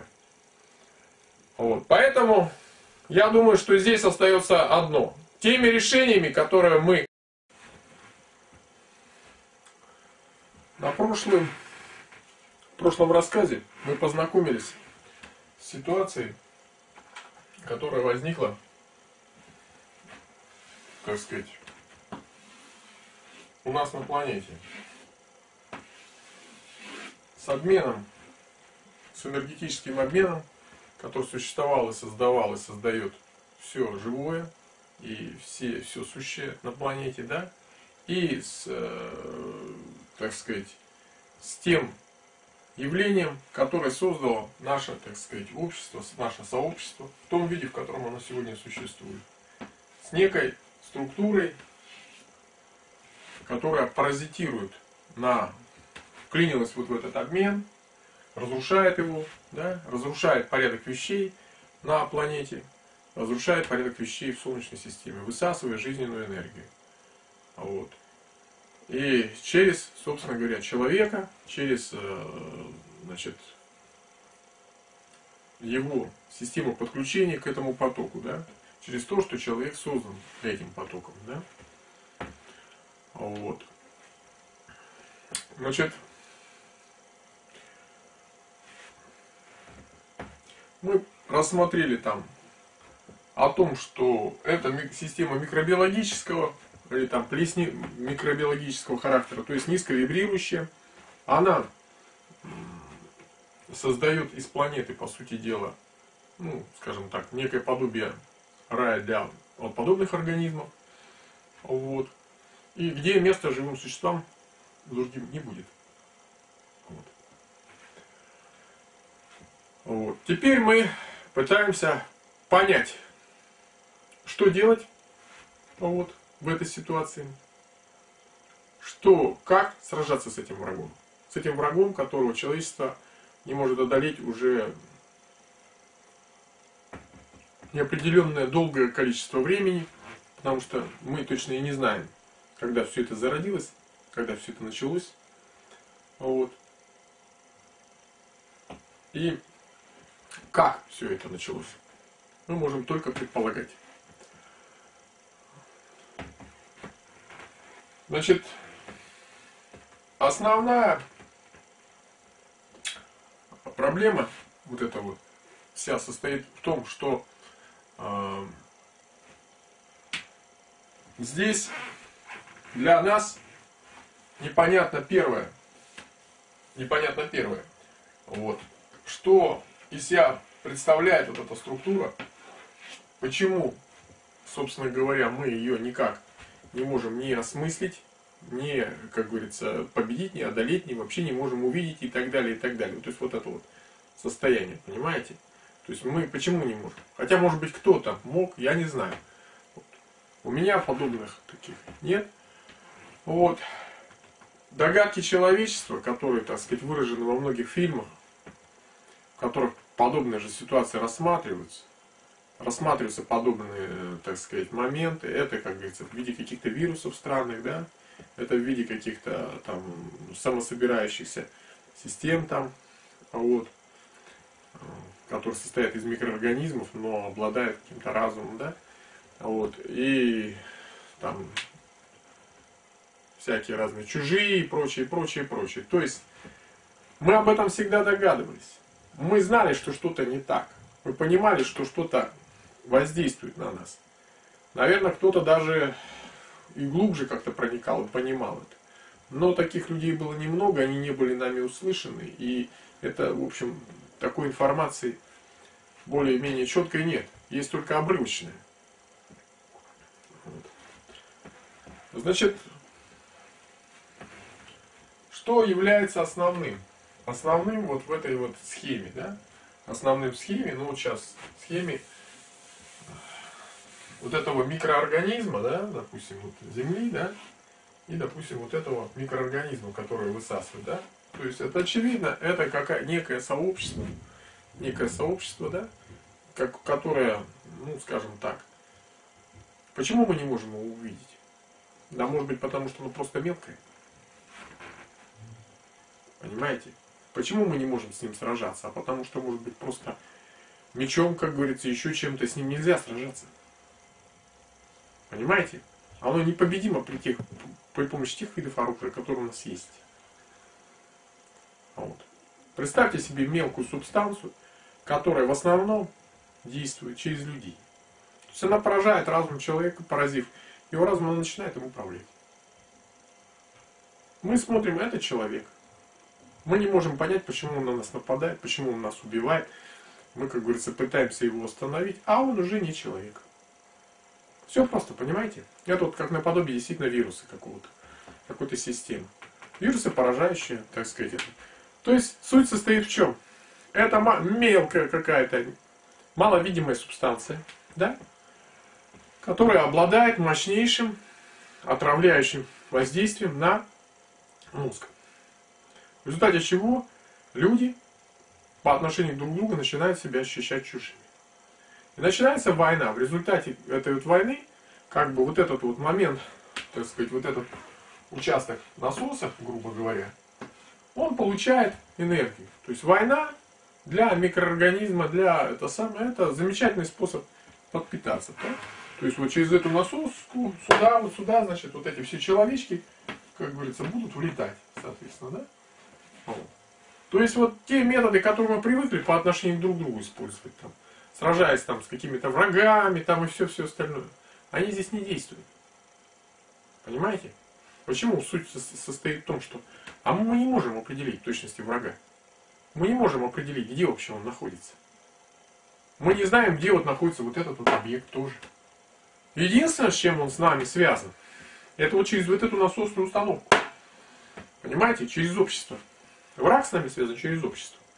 Его подключение к нам через вот эту общественную систему. А что такое нас представляет общественная система? Вот если брать ее целиком. Если рисовать ее, как говорится, более крупным планом. Вот.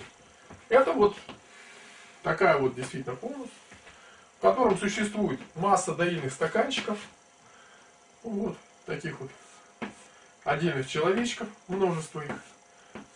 Вот. И каждый человечек подключен к определенному большому стаканчику, какому-то общественному. Вот. И через него выдается этот стаканчик еще и еще.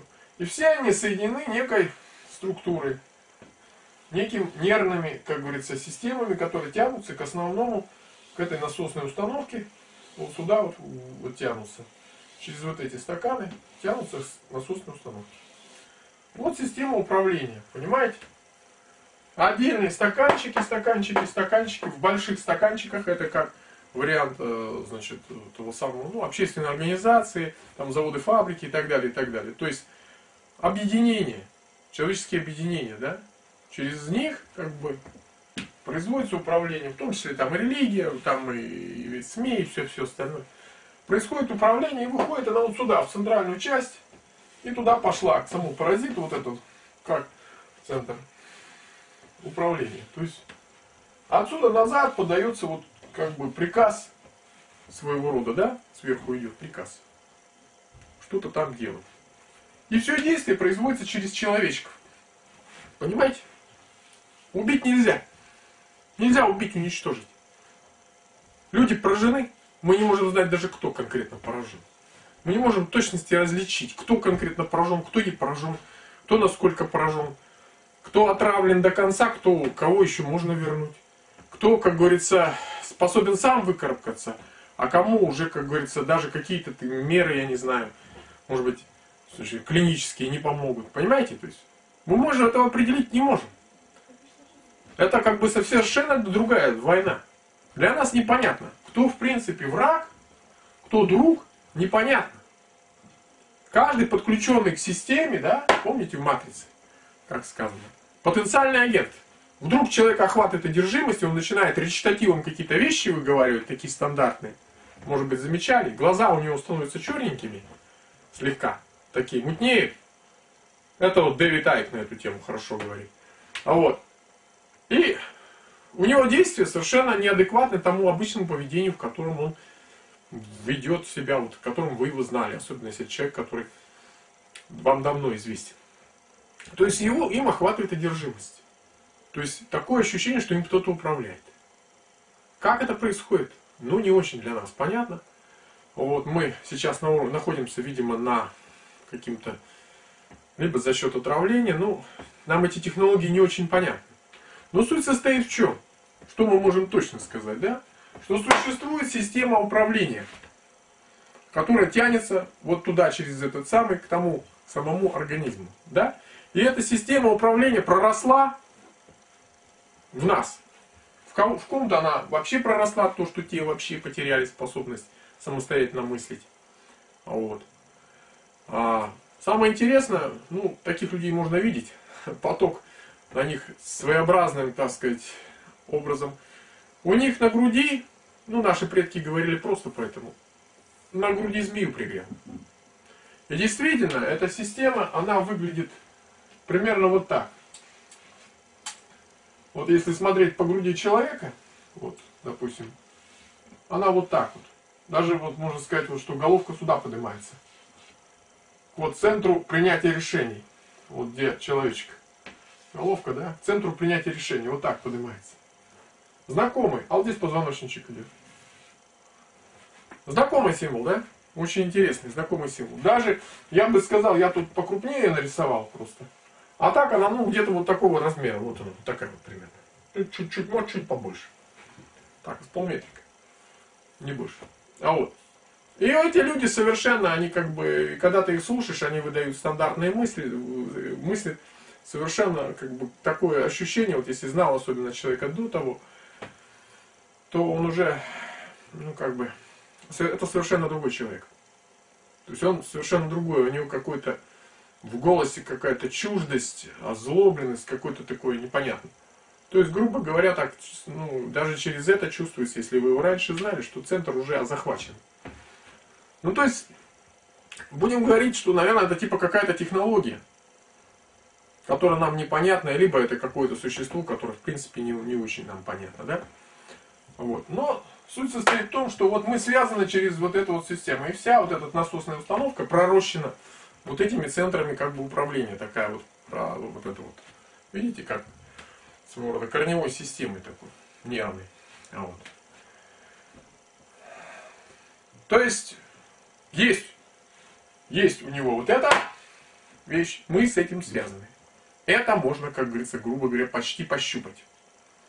То есть, есть это место. Вот. Само где тело непонятно находится, где, как говорится, это все, оно непонятно находится. И еще что, что вот эта система дает нам, да, оно дает нам, вот через вот эту вот э, эту самую, в том числе на планету, оно дает нам низкую вибрацию. И на людей все это направляется. То есть э, люди, люди, которые существуют, да, основная масса, они под воздействием этого находятся. Вот этой низкой вибрации, передачи какого-то сигнала, ну это очевидно сигнал, но низковибрирующий сигнал, который подавляет их мыслительную деятельность и Подавив ее, он транслирует что-то другое.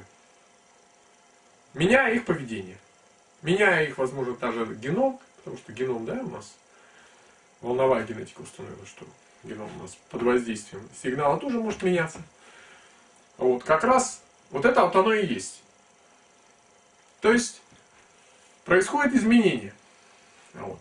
И возможно, когда-то на планете жил один народ, который практически одинаково выглядел и так далее, и так далее. Но в процессе вот этих вот изменений и воздействия вот этой штуки, возможно, получилось такое вот разнообразие. В зависимости от того, как воздействовался. Может, это не так. Вот. Но суть состоит в чем? Суть состоит в том, что вот есть центр этот управления, который тянется из центральной насосной установки, да? Вот. И есть вот эти вот подключки. То есть мы большей частью все подключены, имеем какие-то разъемы, она нас использовала, на, на нас доильные стаканчики одевала, то есть и, как говорится, нас всех доили и давили с самого раннего детства, и втягивали в эту систему, вставляли, как говорится, подключали, и это, мы все имеем, грубо говоря, разъемы. Потому что, ну, как бы людей, родившихся вне вот этой вот структуры, нет. Вот она повсюду по планете, раз это самое, распространена. То есть Основное оружие, основное оружие врага против нас, это не там эти, не шашки там, не копья, не, не пулеметы, не, как говорится, ядерное это самое, нет. Основное оружие это воздействие, воздействие на наш мыслительный аппарат. Вот основное оружие. Основное воздействие на нашу нервную систему. Понимаете? Это битва. Эта битва, если она, как говорится, произойдет, и она будет происходить, эта битва. Это битва не за тела, а за управление ими. Понимаете? Это битва за, как бы, скажем так, за мысль, за свет, за, так сказать, жизнь. То есть мышление это как бы источник света своего рода. Это древние говорили многократно. Отсутствие мысли – это тьма. Вот. вот эта система, вот эта система, вот эта система, и вот эта трансляция его – это тьма. То есть нам транслируется тьма. Нам транслируется безмыслие, стремление, как говорится, к тому, чтобы мы, как говорится, прекратили мыслить, абсолютно расслабились, позволили высасывать из себя энергию. Вот что нам транслируется. Это приказ, понимаете? Не тратить никуда там энергию, не там это самое и так далее. Есть еще такие предложения, не тратить сексуальную энергию, конечно, надо же ее туда отдать. Все, все правильно, и это тоже. Вот. Поэтому суть состоит в чем?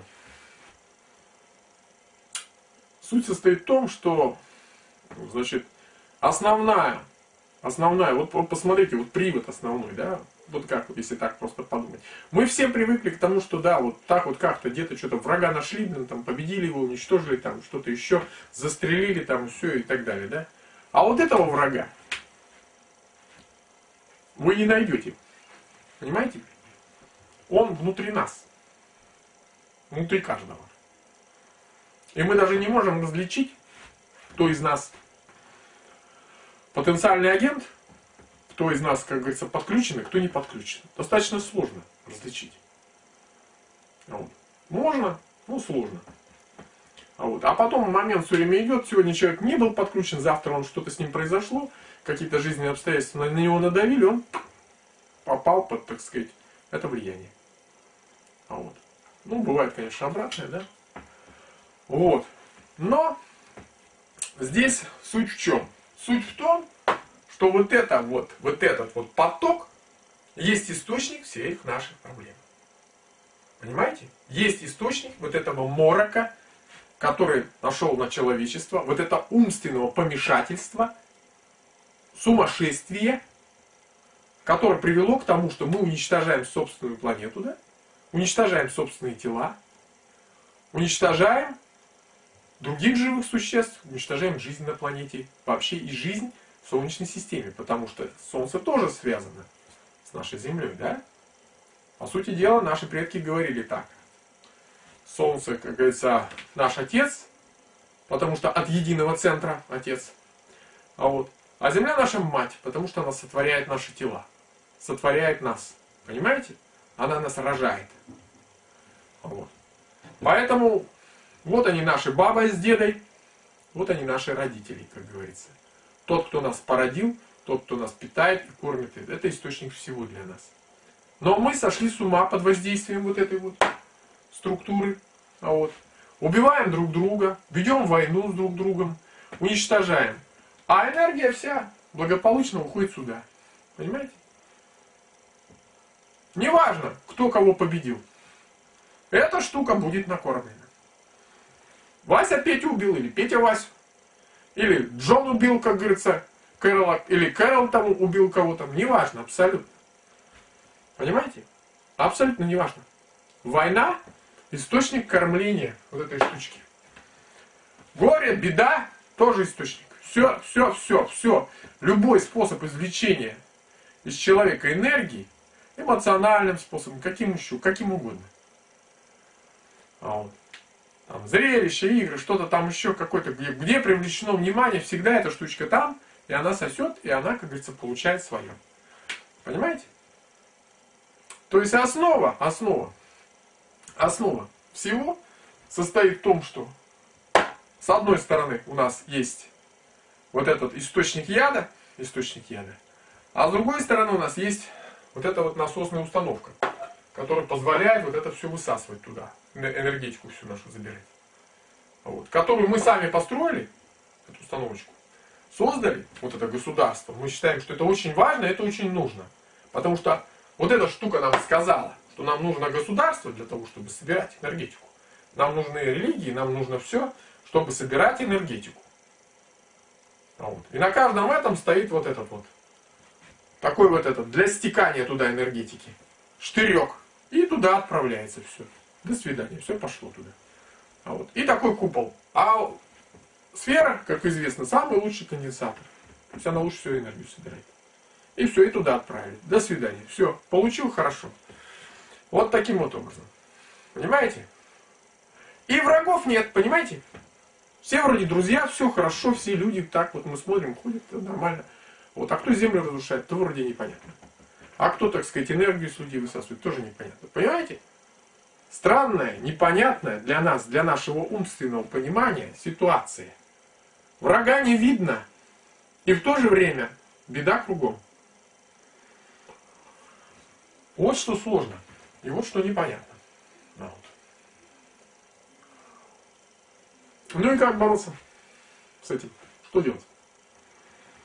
Ну, кстати, предки наши, и в религиозных, во всяких разных, они оставили простые совершенно для этого ответы. С тьмой надо бороться светом. То есть с безмыслием надо бороться разумом. Начинайте мыслить. И свет пойдет от вас. И вы изгоните. Это как бы там для себя, да, начало. Вот. Ну, тяжело мыслить, там, может быть, некоторые даже не знают, что это. Но суть состоит в том, что вот, наверное, свет изгоняет тьму. То есть, вот эта вибрация, это тьма, да, а мы начинаем мыслить, мы излучаем свет. То есть, зажгите в себе огонь. Вот это тоже как бы выход, да? Но проблема состоит в том, что светящихся мыслящих достаточно мало. Вот. А тех, кто сидит вот здесь, ну мы все практически здесь сидим, нас много. Вот. И мы все отдаем здесь энергию. Тут способов очень много придумано за этот период, от, когда развивалось вот это государство, вот эта вся система, она огромное количество. Куда ты шаг не шагнул, везде тебя подует. Не так подует, значит по-другому. В лес ушел, и там тебя подует. В село ушел, и там тебя подует. Куда бы ты не спрятался, везде тебя подует. В любом случае. И вот тех, которые наверху здесь находятся, тоже дует. Но только они как бы вот здесь вот в большей концентрации потока, поэтому это, там они купаются в большем объеме жизненной энергии. Ну, плюс они низкопотенциальнички, они быстрее успевают всасывать. Ну, у них скорость потока движения большая. Потому что если бы они не всасывали быстрее, они бы вообще без ничего остались. Так выстроена система. Все как бы оно замкнутое, самоорганизующееся. Вот. И все работает, так сказать, в кольцевом режиме. Эта система высасывает, как говорится. Вот. А мы сорганизовали здесь соответствующую структуру. Вот. Понимаете? И эта структура перемалывает высокопотенциальничков, перемалывает ресурсы Земли и туда отправляет энергию жизненную. Хоп, вперед туда, к паразитам. Вот. Обратно получаем яд. Так. Ну вот. Получается что? Основная проблема для нас, для нас, для людей, это подключка каждого, да, к этой системе или, грубо говоря, если так не брать каждого, то получение яда вот отсюда. Ну, скажем так, прекратим мы получать яд, значит, мы, может быть, что-то, так сказать, начнем шевелиться. Но яд-то получается откуда? Мы жизненную энергию сюда подаем. Правильно? Правильно. Он оттуда нам подает яд. Обмен. Честный такой обмен. Жизненная энергия яд. Жизненная энергия яд. Но для него это не яд, это для нас яд. Это просто низкая вибрация, это просто его как бы суть, его как бы система, понимаете? А для нас она ядовита, для нашего разума она ядовита. Вот. Ну и для наших тел ядовита. Вот этот вот замечательный момент, так называемый как рак, да, который так сейчас активно расширился. Да, во всех, как говорится, пределах массы заболеваний и так далее, и так далее. Это тоже низкая вибрация. Понимаете? И даже один товарищ мне сказал, что это Божья благодать. Да. Кто-то ему сказал. Один такой верующий говорит, Божья благодать это говорит. Понимаете? Ну, понятно. Но Бог, он там он находится их. Ну, соответственно, он транслирует свою благодать. Вот она благодать и пришла. Вот. Так что, значит, болезнетворные бактерии, развивающиеся сейчас активно, болезни в огромном количестве сейчас начали на Земле, так сказать, распространяться и так далее, и так далее. Это врачи, хоть и, как говорится, не особо об этом говорят, но все же есть об этом сведения. Вот. Значит, это вот, как говорится, результат, очевидно, вот этого низко, низковибрирующего воздействия. То есть, вот этот генератор низковибрирующий воздействует на нас. То есть яд, он распространяется не только через нашу вот нервную систему, через наши, так сказать, это все, не только напрямую на нас, но он транслируется вообще. То есть очевидно, что прямой, возможно, подключки как раз нет. Есть, как бы, нет проводов, которые там тянутся к нам. Это идет через сигнал. То есть идет сигнал. И один этот сигнал воспринимает, потому что подвергся сильному воздействию, да, и у него образовалась там какая-то вот змея на груди, да, он воспринимает, антенна принимающая у него есть, да, такая возникла. А другой не воспринимает, потому что у него осталось еще мышление, и эта штука не образовалась на нем. Понимаете? Ее нету. И он не воспринимает ее. Вот. Вот. Но вот такие вот товарищи, они излучают, не только воспринимают, но и излучают наружу. То есть они тоже являются дополнительными излучателями. Вот. В результате, как говорится, планета погибает не только от того, что вот эта штука продуцирует, но и от того, что мы уже понастроили, да, то есть низковибрирующих разных генераторов, плюс эти вот люди, вот такие вот, и так далее.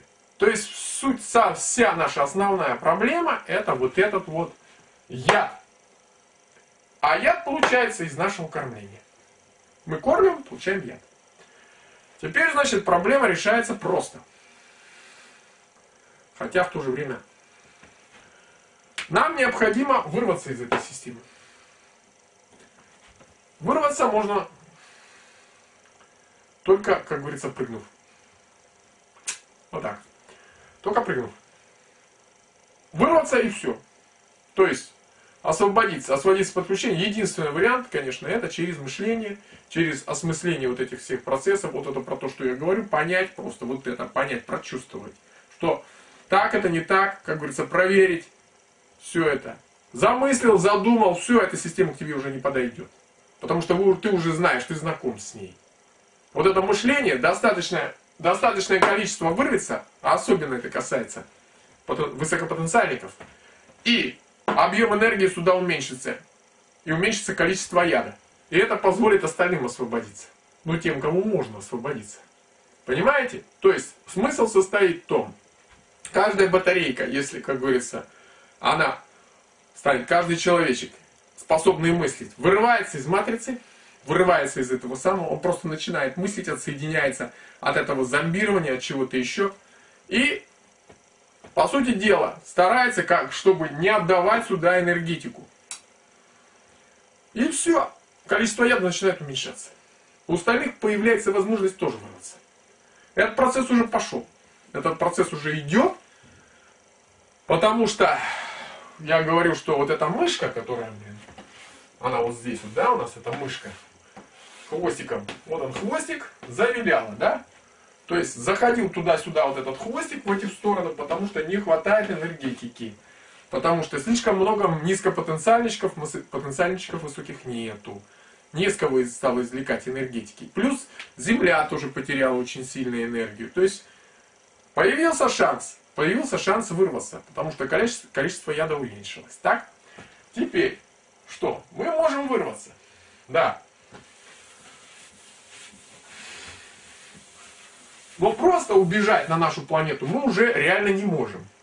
У нас еще возникает такая очень интересная проблема, ребята, что наша планета, да, в результате воздействия вот нашего, так сказать, сумасшествия, да, вот она как говорится, произошел, так сказать, сюда перераспределение вот этого низкого потенциала, да, подачи.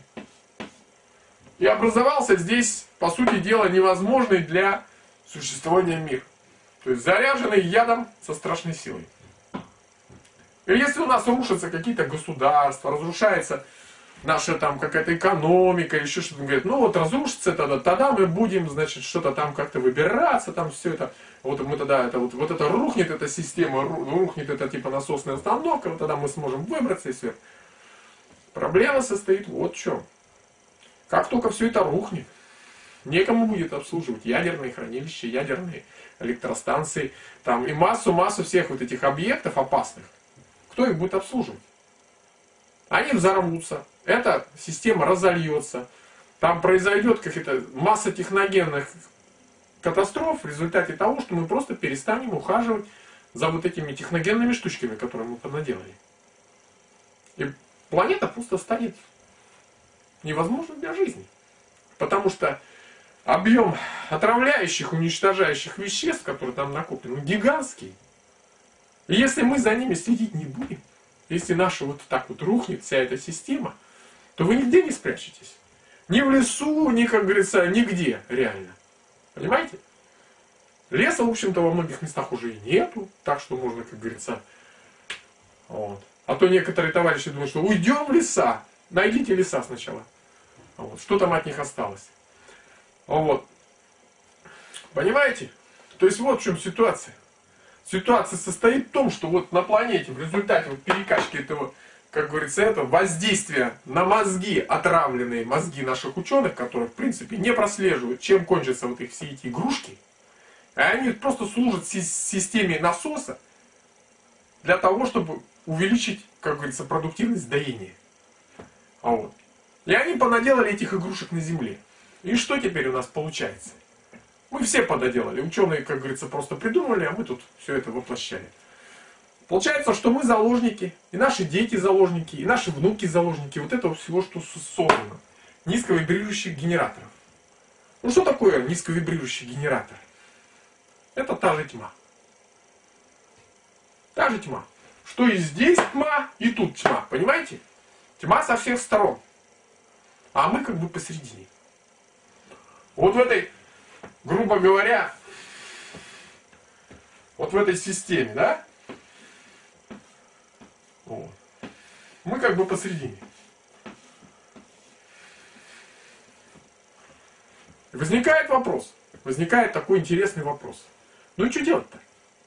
Когда с этой стороны, по сути дела, прекращаем что-то делать, начинает разрушаться там наши государства, там еще какие-то системы управления, а потом ну, скажем так, вот представьте себе, рушится государство, рушится система управления.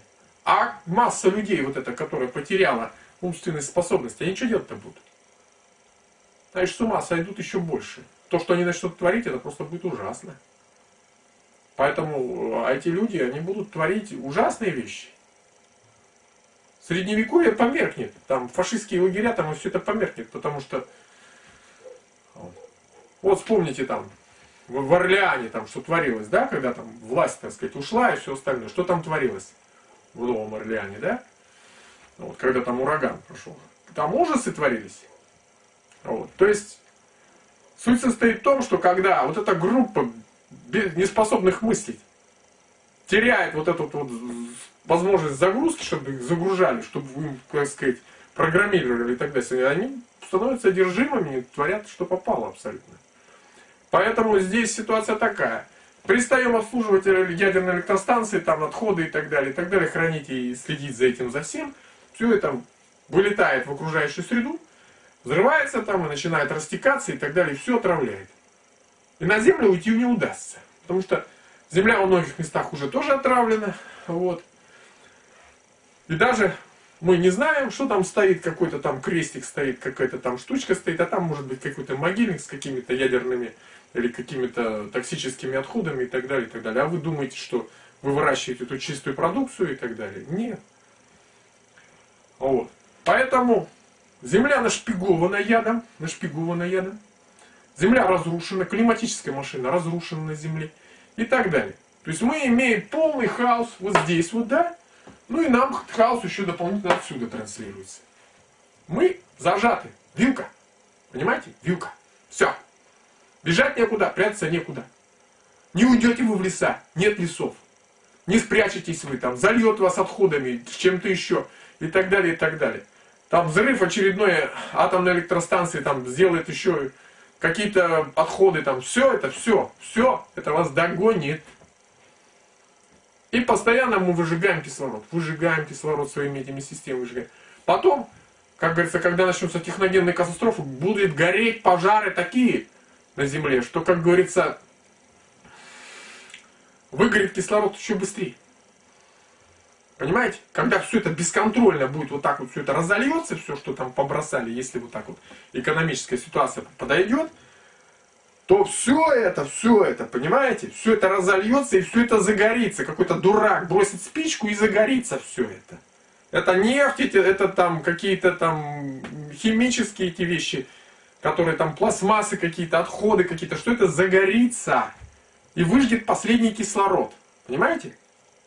Если это бесконтрольное все это, как бы какими-то сумасшедшим вандалом каким-то там, разрушителем каким-то там достанется. Поэтому потеря контроля, потеря контроля, ее элита тоже боится, потому что они понимают, что эта масса, вырвавшись из-под контроля, такое сотворит. Они же не понимают, что они делают. И пожары будут полухать, и, как говорится, все будет литься яд во все стороны, взрываться будут электростанции, все, земля превратится в ад. Пока сейчас вот этот идет контроль, охлаждают там эти ядерные электростанции, там что-то там делают, отходы какие-то там они стараются где-то что-то очищать, где-то где-то пытаются там сохранить, какие-то смотрят за герметичностью этих емкостей, еще чего-то. То есть вот таким вот образом, понимаете? Пока есть контроль над всеми этими огромным количеством вот этих штучек, о которых мы даже мало знаем на самом деле. Понимаете? То есть, вот в чем суть. Суть состоит в том, что мы заложники тех штучек, которых мы понаделали, того, как говорится, комфорт. За, за, плата не за комфорт на самом деле, а за то, что мы, как говорится, под воздействием вот этой штуки находились. И то, что мы натворили на своей земле. То есть, мы реально не можем сегодня вернуться к тому образу жизни предков, который, как говорится, был до этого, когда они жили на природе и, как говорится, совершенно спокойно, ничем не пользуясь и все остальное. Вам некуда уходить. Вы не спрячетесь больше нигде. Потому что там уже все изгажено. И если вы там спрячетесь, то туда все это придет. Придет, прильется. То есть вот такая печальная, в общем-то, ситуация печальная ситуация. Многие не хотят ее видеть. Нет, они не желают ее видеть. Они считают, что это не так. Они находят маленький чистый уголок и говорят, что да, вот здесь все хорошо. Ничего страшного, к вам придут, не переживайте. Ни ядерные отходы, ни, как говорится, токсические эти, ни какой-то это, налетит какое-то, значит, облако, там принесет что-то. Или придут ребята, отморозки, которые, как говорится, потерянным разумом, одержимые непонятно чем, они вам покажут. Вот. На что они способны. Понимаете? То есть вот такая вот ситуация. Поэтому потеря контроля, потеря, как многие надеются, что вот эта система рухнет и все, все остальное. Во-первых, она собрана на потоке. То есть поток ее собирает. И пока поток существует, она будет как бы самособираться. А вот. Если произойдет ее обрушение, в связи с тем, что поток как бы, ну, иссяк частично, то есть нечем наполнять, да, то, соответственно, это, это будет говорить о том, что жизненная энергия с планеты высосана большей частью. И планета уже не будет жизнеспособна. Понимаете? Когда вот начнется обрушение вот этой вот структуры, которая находится вот этой настройки государства, как говорится, то это будет говорить о том, что полностью планета уже все высосана. И жить на ней нельзя будет. Вот уже на сегодняшний день так мы уже не сможем жить, как наши предки. А когда, если мы дождемся вот этого момента разрушения, когда, значит, вот уже здесь вообще не хватит совершенно энергетики, да, и яда будет меньше, то, соответственно, жить на ней совершенно будет уже нельзя, потому что будет полностью высосана планета. Она, ну, не маловероятность того, что восстановится или нет. Тяжелая ситуация. Очень тяжелая ситуация. Многие ее видеть не хотят, потому что ну, не в силах как бы признать ничего. Ну, можно там назвать это трусостью, можно называть это там как малодушием, там как угодно и все остальное. Ну, наверное, так оно и называется. А вот. А может быть просто неспособность, как говорится, взять на себя ответственность. Неспособность где-то быть мужчиной, где-то быть женщиной. А вот. Но кто-то должен взять на себя ответственность. Кто-то должен принять это решение. Кто-то должен, так сказать, решить эту проблему. Вот хотя бы там, если там во имя детей, во имя, так сказать, внуков, во имя самих себя, во имя жизни. И не только жизни на нашей планете, да, потому что мы питаем вот этот вот низковибрирующий генератор, да, но и во имя, во имя жизни во Вселенной. Помните пятый элемент, да? Вот. Вот во имя жизни во Вселенной. Понимаете? Если кто ждал какого момента, ждал события в своей жизни, да, великого события, участвовать в великой битве, вот это и есть событие. Нас сейчас приперли к стенке, нам деваться некуда, и это и есть это событие.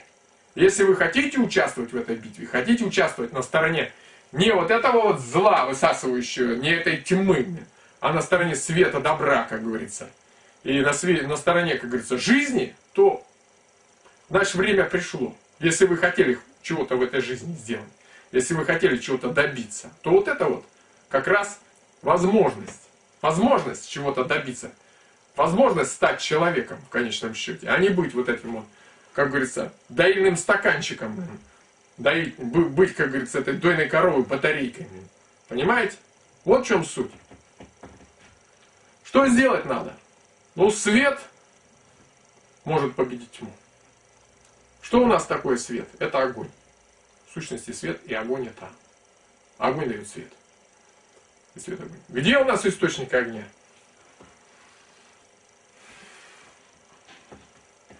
единственный источник огня в нашей системе, в единой системе планетарной, да, нашей, это, значит, связанность с планетой Землей, это, соответственно, Солнце. Солнце источник нашего огня. Солнце наш источник света. Он дает нам свет. Это источник света. А раз разум, это, как говорится, порождение света, значит, Солнце есть аж, как говорится, источник нашего разума. Вот. Понимаете? То есть, у нас есть Солнце. Это мощное оружие. Но кто-то тут настраивается против Солнца, что Солнце вроде там, как говорится, вредит нам или еще что-то. Вот оно, вот оно этому паразиту вредит. Этому злу, тьме оно вредит. Нам оно вредить не может. И если оно вредит нам в конечном счете, то значит, как говорится, в какой-то степени мы это заслужили. Вот. Солнце – наша единственная надежда. Понимаете? Мы не можем сегодня выявить врага или еще что-то сделать. Но единственное мы можем только очиститься при помощи огня. При помощи огня, который придет с солнца.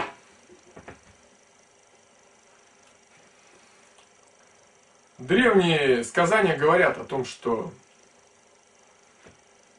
когда придет время, будет битва.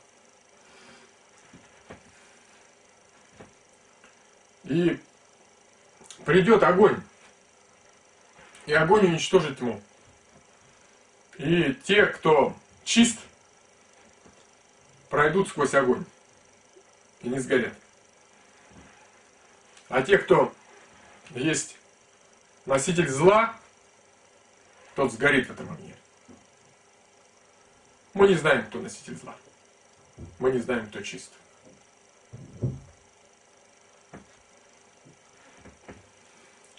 Но единственный выход – это вызвать этот огонь. Понимаете? Вызвать огонь. Чтобы он очистил нас. Очистил землю. Избавил нас от этих паразитов. Избавил Вселенную от этих паразитов.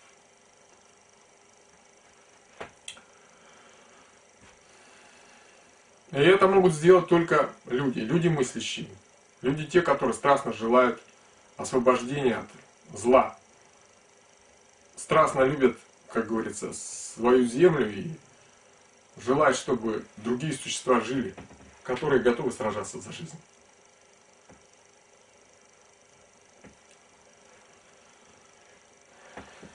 Как это сделать?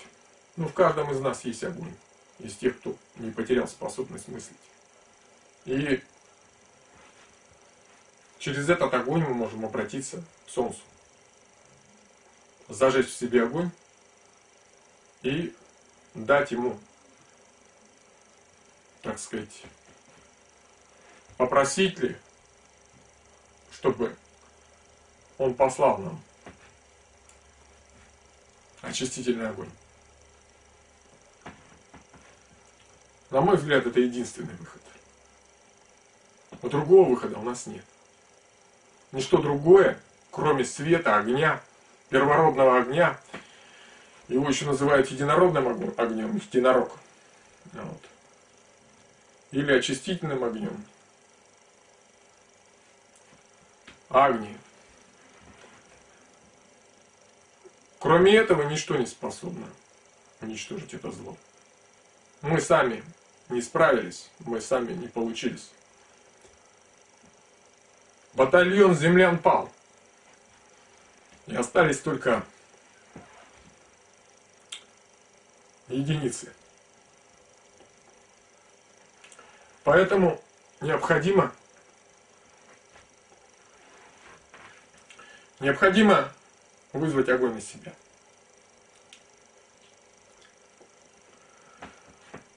Это единственное решение, которое существует.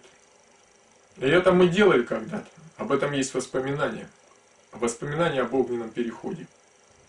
А может быть это не воспоминания, я не знаю. Но об этом есть легенды, предания. Предания об огненном переходе. Когда люди прошли сквозь огонь и очистились, а зло сгорело в огне.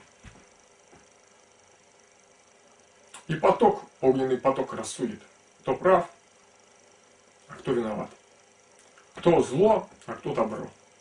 Не нам судить. Нам надо лишь вызвать огонь.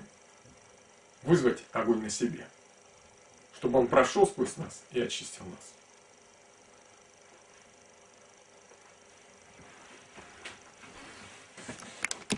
Поэтому, когда придут высокие вибрации, столкнувшись с низковибрирующими, то есть с нами, произойдет то же самое, что с дровами. Мы просто сгорим. Сгорим. Ну, древние послания говорят о том, что сгорят только грешники. Ну, значит, все грешники сгорят. И что надо вернуться к собственному я, кая идти, да? Вот я вам показал, как надо кая двигаться. И что нужно делать. Нужно не отгораживаться от этого мира. И признать, как говорится, вот это все. И тогда вот эта структура рухнет. Нет, можно, конечно, еще как-то более детально там разработать, но это для каждого отдельно, с каждым, у каждого свои, как говорится, тараканы в голове, и каждый свое по-своему немножко построена матрица, и свои какие-то эти подходики и ключики. Ну вот поэтому каждый сам должен подбирать себе вот эти вещи. Вот. Вот так вот. Кура снес яйцо, да, яйцо зла. Мы вот в этом яйце. Кто его разрушит? Мышка разрушит. Мы с вами мышки. Или кто-то другой мышка. Я не знаю. Но когда время придет. А время пришло, потому что резец зачеркал уже по-живому. Все. И все бегут во все стороны. С закрытыми глазами, по граблям, но бегут. Понимаете? Побег туда-сюда, это не побег никуда. Бегать туда-сюда, вот так метаться. Ну, потеряете вы силы. Что-то еще. В конечном счете вы никуда не убежите. Я тоже думал. И на землю там, и бегал на землю, и, как говорится, везде. Но в конце концов я понял, что это бесполезно. Что приходят следом, приходят и вырубают вашу любимую рощу, уничтожают, как говорится, ту речку и так далее, и так далее. Они все равно придут. Придут на запах вашей силы, на, то, что у вас есть, на ваш потенциал, они придут за ним. Вы его нарастили, они придут и отсосут. За короткий участок высосут с вас энергию. За короткий момент. Вот.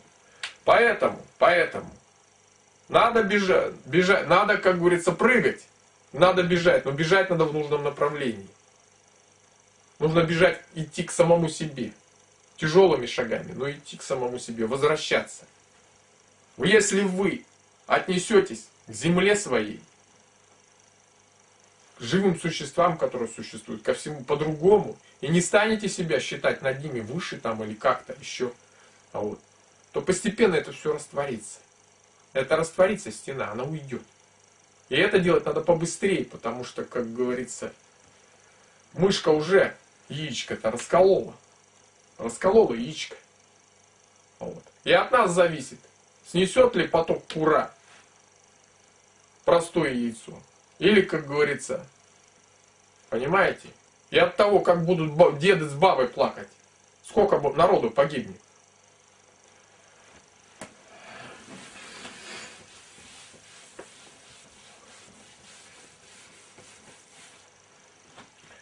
Поэтому я вижу свою задачу вот в чем. Я вижу свою задачу вот в чем, так сказать. Первое, что я хотел бы вот тем, что я рассказываю, увеличить число людей, которые, как говорится, смогут выжить в дальнейшем. Которые смогут построить в дальнейшем новую цивилизацию. Которые, так сказать, станут вот этим братством человечества на планете который исправит вот этот весь бардак, который тут сделан, и, как говорится, уберет все то, что нагажено, и восстановит все, что испорчено. Понимаете? Вот. Но этим людям, прежде всего, нельзя опираться на то, что было до нас. Оно не несет нам, без проверки, я имею в виду. И не брать много багажа, потому что идти придется быстро и по горной тропе. Поэтому здесь я вижу задачу в первую очередь, чтобы люди, как говорится, осознали необходимость. То есть первым и очередным, первоочередным является понимание того, где мы находимся, да? Понимание, что там дальше оставаться нельзя, то есть это вот именно для прыжка нужно. Вам нужно накопить энергию, понимание, что там оставаться нельзя. Что это смерть и подобное. И ощутить это всей своей кожей. И когда вы не сможете больше находиться там, вы прыгнете. И должны понять, что прыжок существует только, мы можем прыгнуть только в другую, в другую матрицу, другой вариант, другой вариант существования. То есть тот вариант, где мы будем творцами, где все живые существа, все, как говорится, планетарные системы, нам будут братьями. Понимаете? То есть необходимо отнестись соответственно вот именно к миру, таким вот по-другому, именно построить свои отношения. Я не говорю о какой-то там толерантности по отношению к каким-то врагам, разрушителям, убийцам, извращенцам. Нет. Я говорю о том, что нужно отнестись к тем, кто заслуживает этого. Так, как они этого заслуживают. Понимаете? Я говорю прежде всего о планете. Я говорю прежде всего о планете Земля, о месте нашей дома. Я говорю прежде всего о ее обитателях, о живых существах. Они заслужили нормальное отношение. Они заслужили. Они ни в чем не виноваты. Вот. А вот по отношению, как говорится, к вот сегодняшнему человечеству, это вопрос выборочный. Есть те, которые не заслужили или, скажем так, заслужили то, чего они несут. Они несут смерть, и смерть они заслужили. Так пусть они ее получат. Пусть они не мурыжат нас. Пусть получат то, к чему стремятся. И все будут, как говорится, счастливы. Мы тоже будем счастливы в результате. Но самое главное, я говорю вот, о чем. О том, что вот этот прыжок вам придется совершить. Либо вы его совершите, либо вы измените свое сознание. Именно сознание на противоположное, не сознание разрушителей. Потому и находитесь в этой матрице. Никто вас тут не держит. Вы сами там находитесь. Вы находитесь сами там по собственной воле. Никто вас не держит. Никто вас не заставляет придерживаться тех постулатов, которые вам повбивали в голову.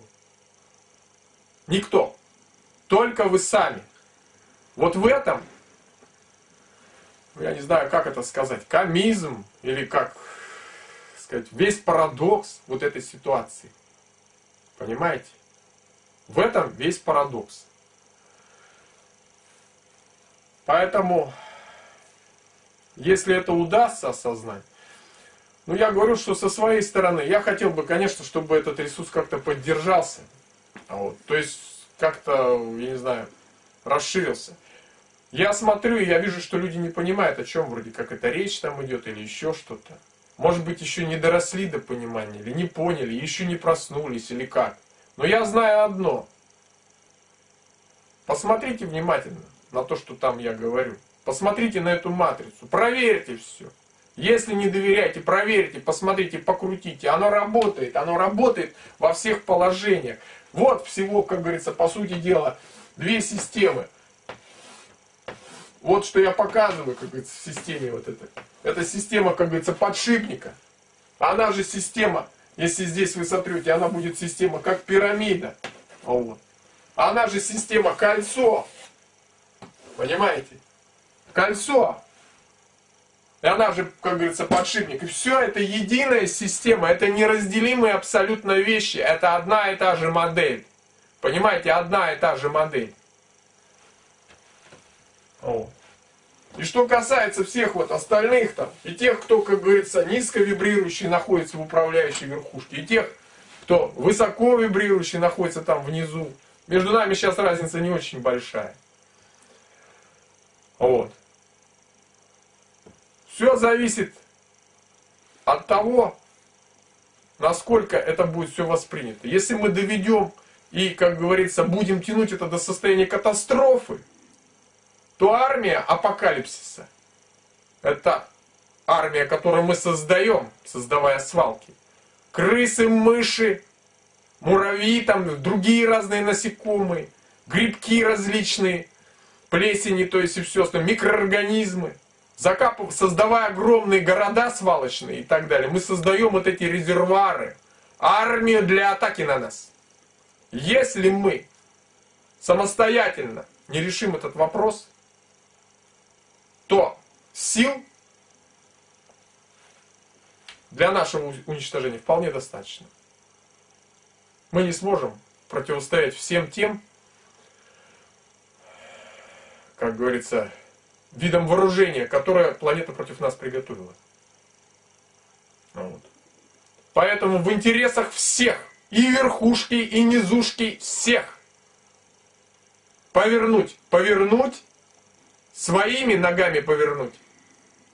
А они, как говорится, после, так сказать, того, как нас размажут, после этого практически, наверное, никого и не останется. Вот о чем идет речь. Понимаете? Добровольно, осознав, поняв. Вот, вот у меня есть, значит, email, вот.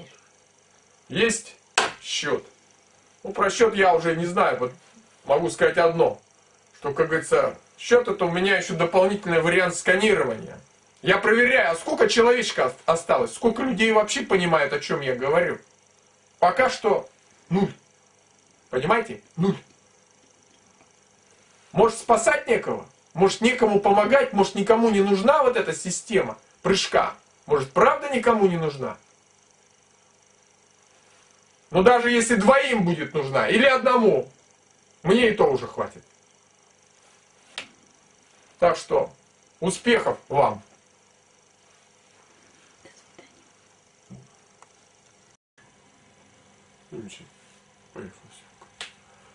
Здравствуйте. так сказать, товарищи. Сегодня я хочу с вами поговорить о тоже э, глобальной проблеме, вот, той же, что относится к снам апокалипсиса. Эта проблема называется война крови. Так я ее назвал.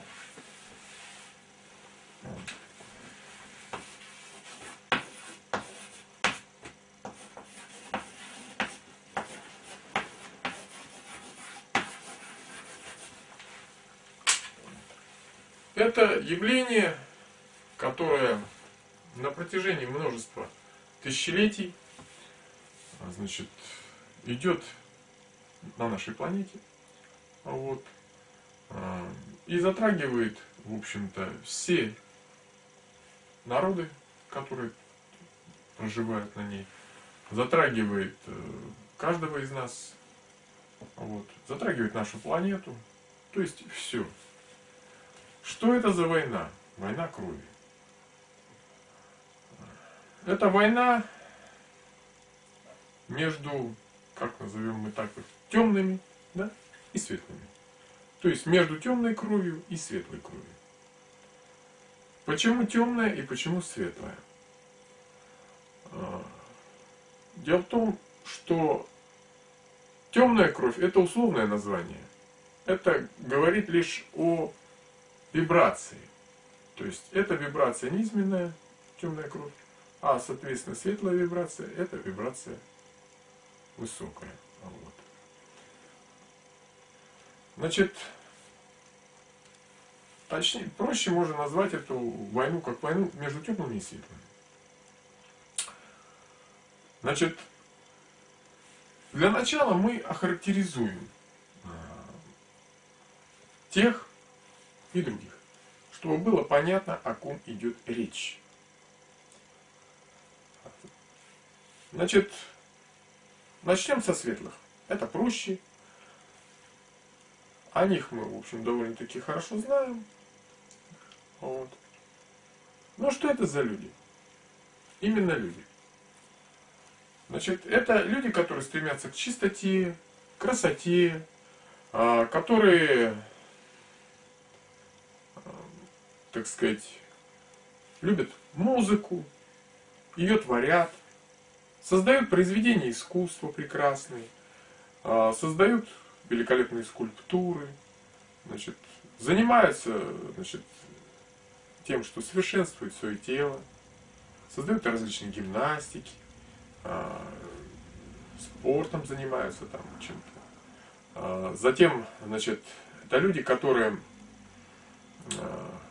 скажем так, а,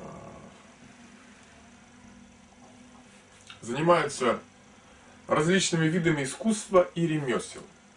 То есть э, достигают высоких совершенств в этих, значит, э, во всех делах. Науками в том числе. Значит, э, занимаются, также имеют различные виды знания, значит, письменность, э, то есть масса всего. Вот. Теперь темные. Кто это такие? О них как-то не принято говорить. Но это совершенная противоположность. Это люди, которые, если можно так назвать их, пренебрежительно относятся к чистоте, ненавидят красоту, а ненавидят все ремесла, культуры, науки, и все, все это ими презираемо. Презираемо. И они откровенно об этом говорят. Они не моются.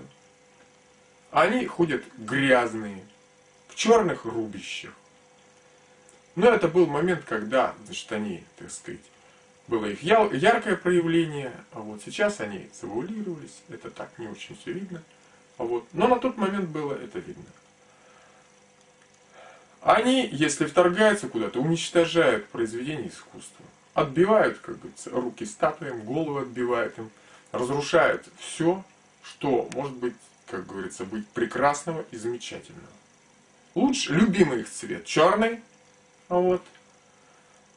Они ходят, в, соответственно, в грязной рваной одежде. Ну, это было поначалу. А вот.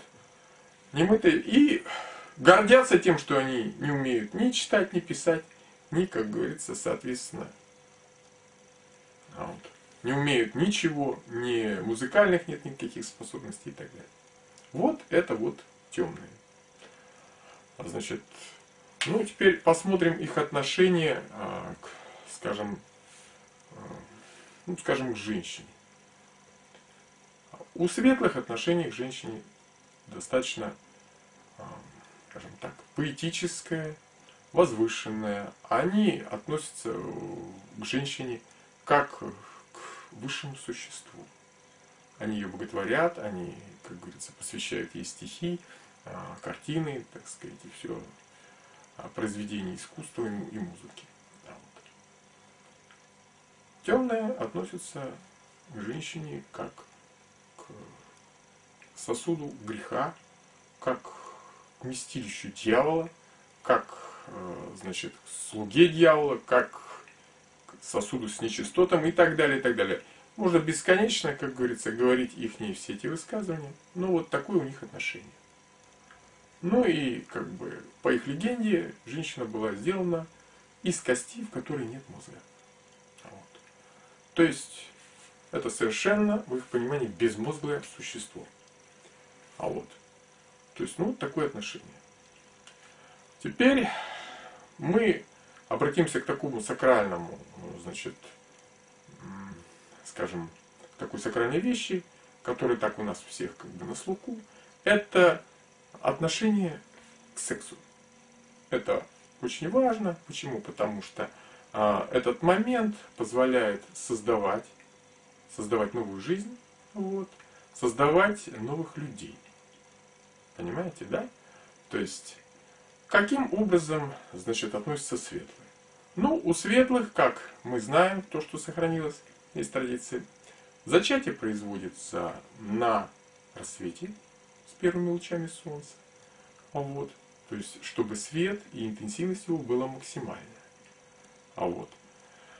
Также светлые создали для этого систему, которая позволяет, так называемая Камасутра, да, там указано сутра, а вот, которая позволяет синхронизироваться мужчине и женщине и достичь единовременно одновременного оргазма, который позволяет достичь наивысшей вибрации и в этой наивысшей вибрации зачать ребенка. То есть при, как говорится, взаимодействии э, множества стихий, когда, так сказать, вибрация наивысшая, это, вос, это восход солнца, да, и плюс еще взаимодействие мужчины и женщины. А вот. И благодаря этому, при отсутствии преград, то есть непорочное зачатие, да, а вот, а, вот этот вот поток мощнейший, образовывающийся из э, деяний двух, соития двух вот этих высших существ, таких как мужчина и женщина, а вот получался, соответственно, соответствующий ребенок, высоковибрирующий ребенок. А, значит, темные, соответственно, противоположно зачатие у них является грехом. Секс а, между мужчиной и женщиной также является грехом и порочной системой. Значит, зачатие они стремятся, если, так сказать, производить только ночью во тьме. А вот а, женщина при этом, как говорится, должна находиться в позе миссионера. Вот. И, как говорится, руки по швам, и, как говорится, как мини минимальная, то есть невозможность взаимодействия никакого. Соответственно, ни о каком синхронизации речи вообще не идет. То есть добиться как можно низшей степени, степени вибрации при момент зачатия. То есть это во тьме, это с минимальной, так сказать, э, взаимодействием между мужчиной и женщиной. Вот. А лучший вариант, чтобы вообще мужчины не было. То есть, чтобы зачатие было еще, как говорится, так сказать, как, вот тут они называют его непорочным. Это их понимание. То есть, как можно меньше была вибрация. То есть, получить в итоге а, низковибрирующее, существо. как можно менее вибрирующие. То есть с низменной вибрацией. Вот задачи одних и других. А вот. Ну, отношение к смерти. Вот это тоже характеризует. Когда светлые уходят, так сказать, из этого мира, они уходят потоком света. То есть те, кто достиг высшего развития, растворяются и превращаются в свет. Величайшие же из темных после смерти даже не гниют. То, то есть они настолько мертвы, что даже не гниют. Но у нас есть много негниющих, так сказать, вещей, они в основном, в основном ядовитые, поэтому не гниют. А вот.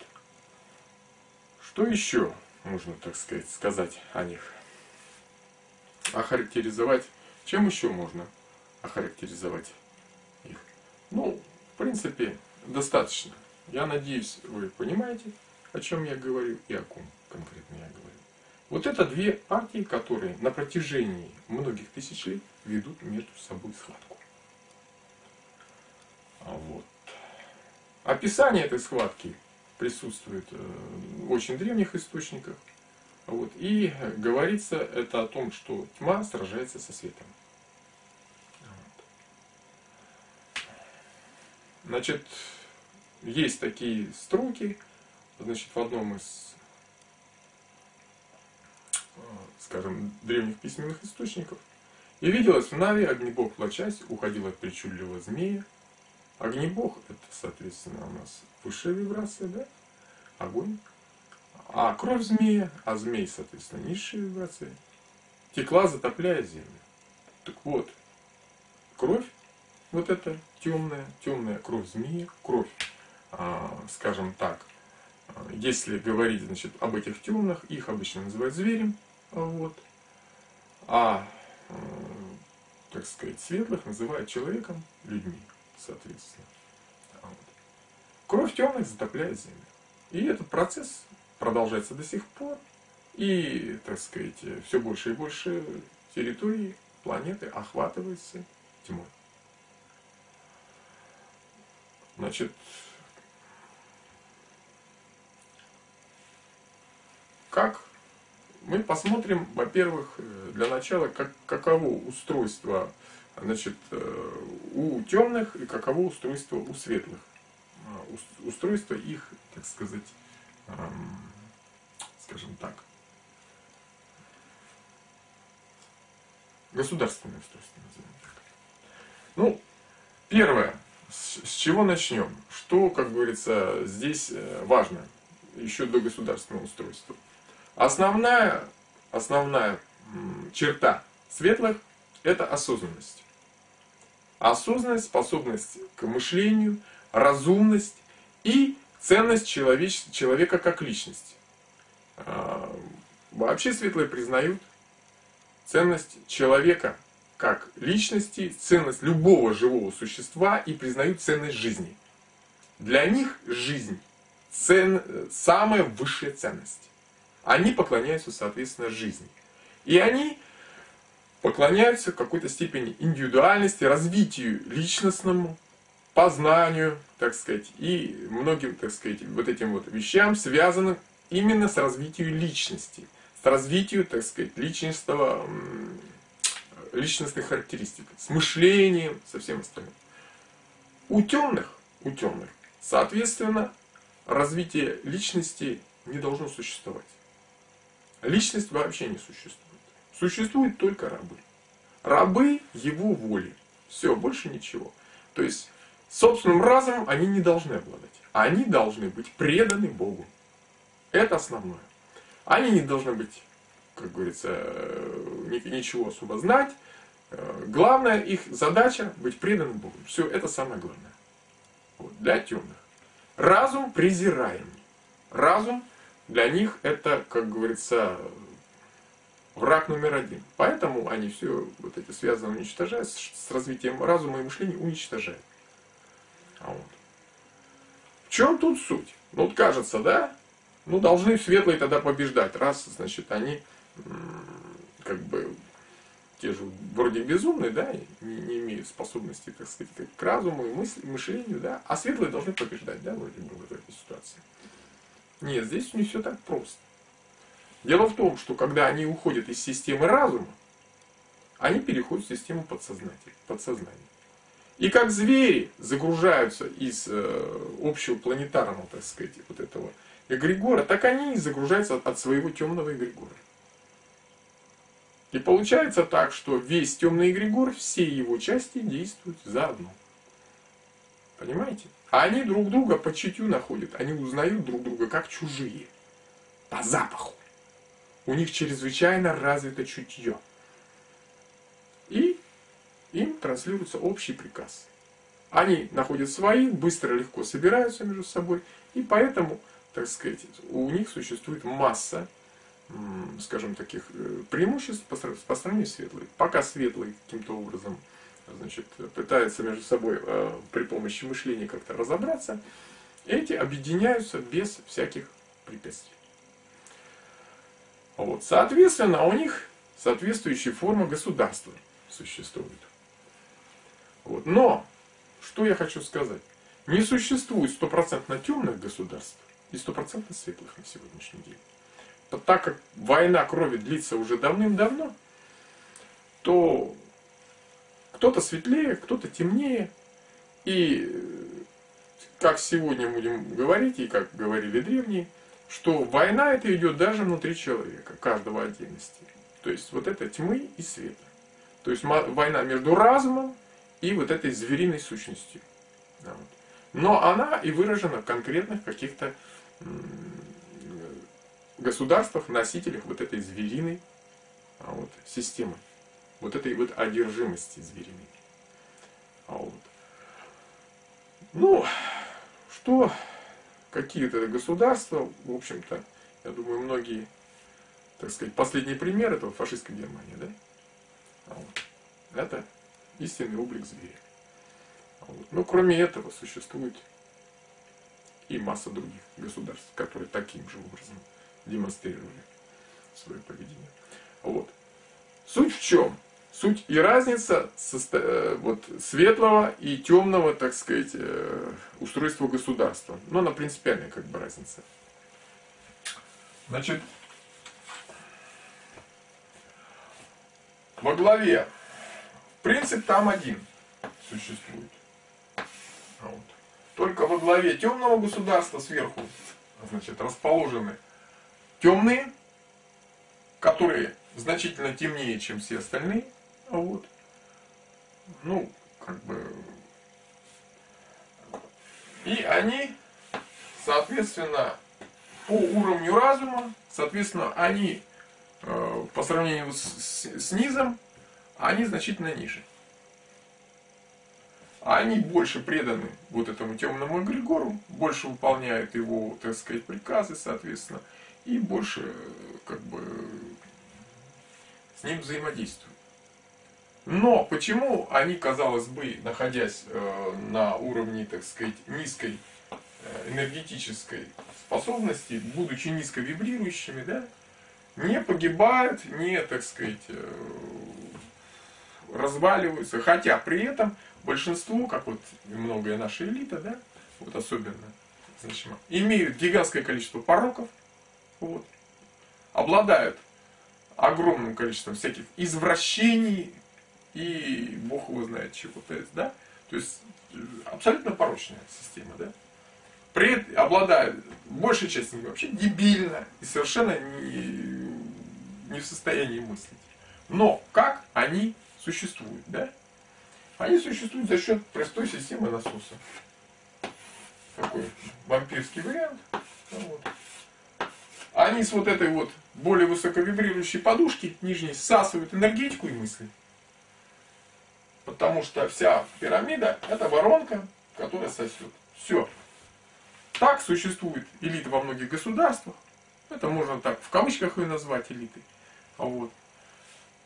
Но государство, имеющее вот такой вот как бы вариант, когда, значит, э, с высоковибрирующей структуры вытаскивается в низковибрирующую, оно движется в направлении низкой вибрации. То есть просто падает, извините, если посмотреть по телу человеческого, в задницу падает. Понимаете? То есть падает самый низ. В ад падает. Вот, потому что самый нижний, как говорится, отверстие, вот этот участок назывался адом. А вот. То есть идет падение в низкую вибрацию этого государства. Вот оно, вот таким вот образом. Соответственно, находясь на Земле, она также высасывает вот эти все ресурсы, все это разрушает, разрушает вокруг себя все, и вся задача вот именно того, чтобы, так сказать, запитывать вот эту огромную энергетическую дыру. Вот, вампирскую. Вот так существует государство темных. Назовем. Вот. Движется оно в направлении, вот там вот очень хорошо, там смерть. То есть оно движется в направлении смерти. В направлении тьмы. Недаром у них, как говорится, изначально черный цвет. Вот, вот таким образом. Значит, государство светлых, оно построено, в принципе, так же, да? Внешне, как бы, ну, мы просто берем это самое. Только здесь высоковибрирующий. Вот. Высоковибрирующий работает совершенно по другому принципу. Они воспринимают поток, идущий сверху. Вот усиливают его и сбрасывают его в подушку. Вот. Делясь со всеми, соответственно, и с планетой в том числе. То есть, они творцы. То есть, творцами является верхушка. Верхушка является творцами. Она захватывает поток, использует этот поток, трансформирует его, использует для, так сказать, насыщения высокой вибрации. И тех, кто пониже вибрирует, подтягивая тем самым их до, как говорится, своего уровня. И, э, значит, э, по, значит, и облагораживать всю землю вокруг. Вот подобным образом, подобным образом жило русское государство какое-то когда-то древнее. Когда, э, так сказать, все были равны, и русские больше давали, чем брали. То есть всем территориям, которые под них объединялись. Вот. Таким образом существовало древнее государство русское. Вот. Сейчас у нас совершенно другая ситуация. Сейчас у нас примерно вот такая ситуация.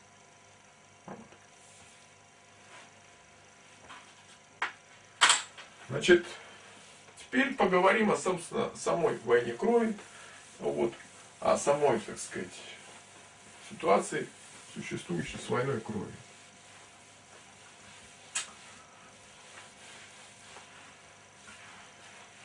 Находясь в окружении э, какие-то страны, да, допустим, более высоковибрирующие, находясь в окружении, так сказать, черных, да, вот, каких-то стран там, они подвергаются нападению.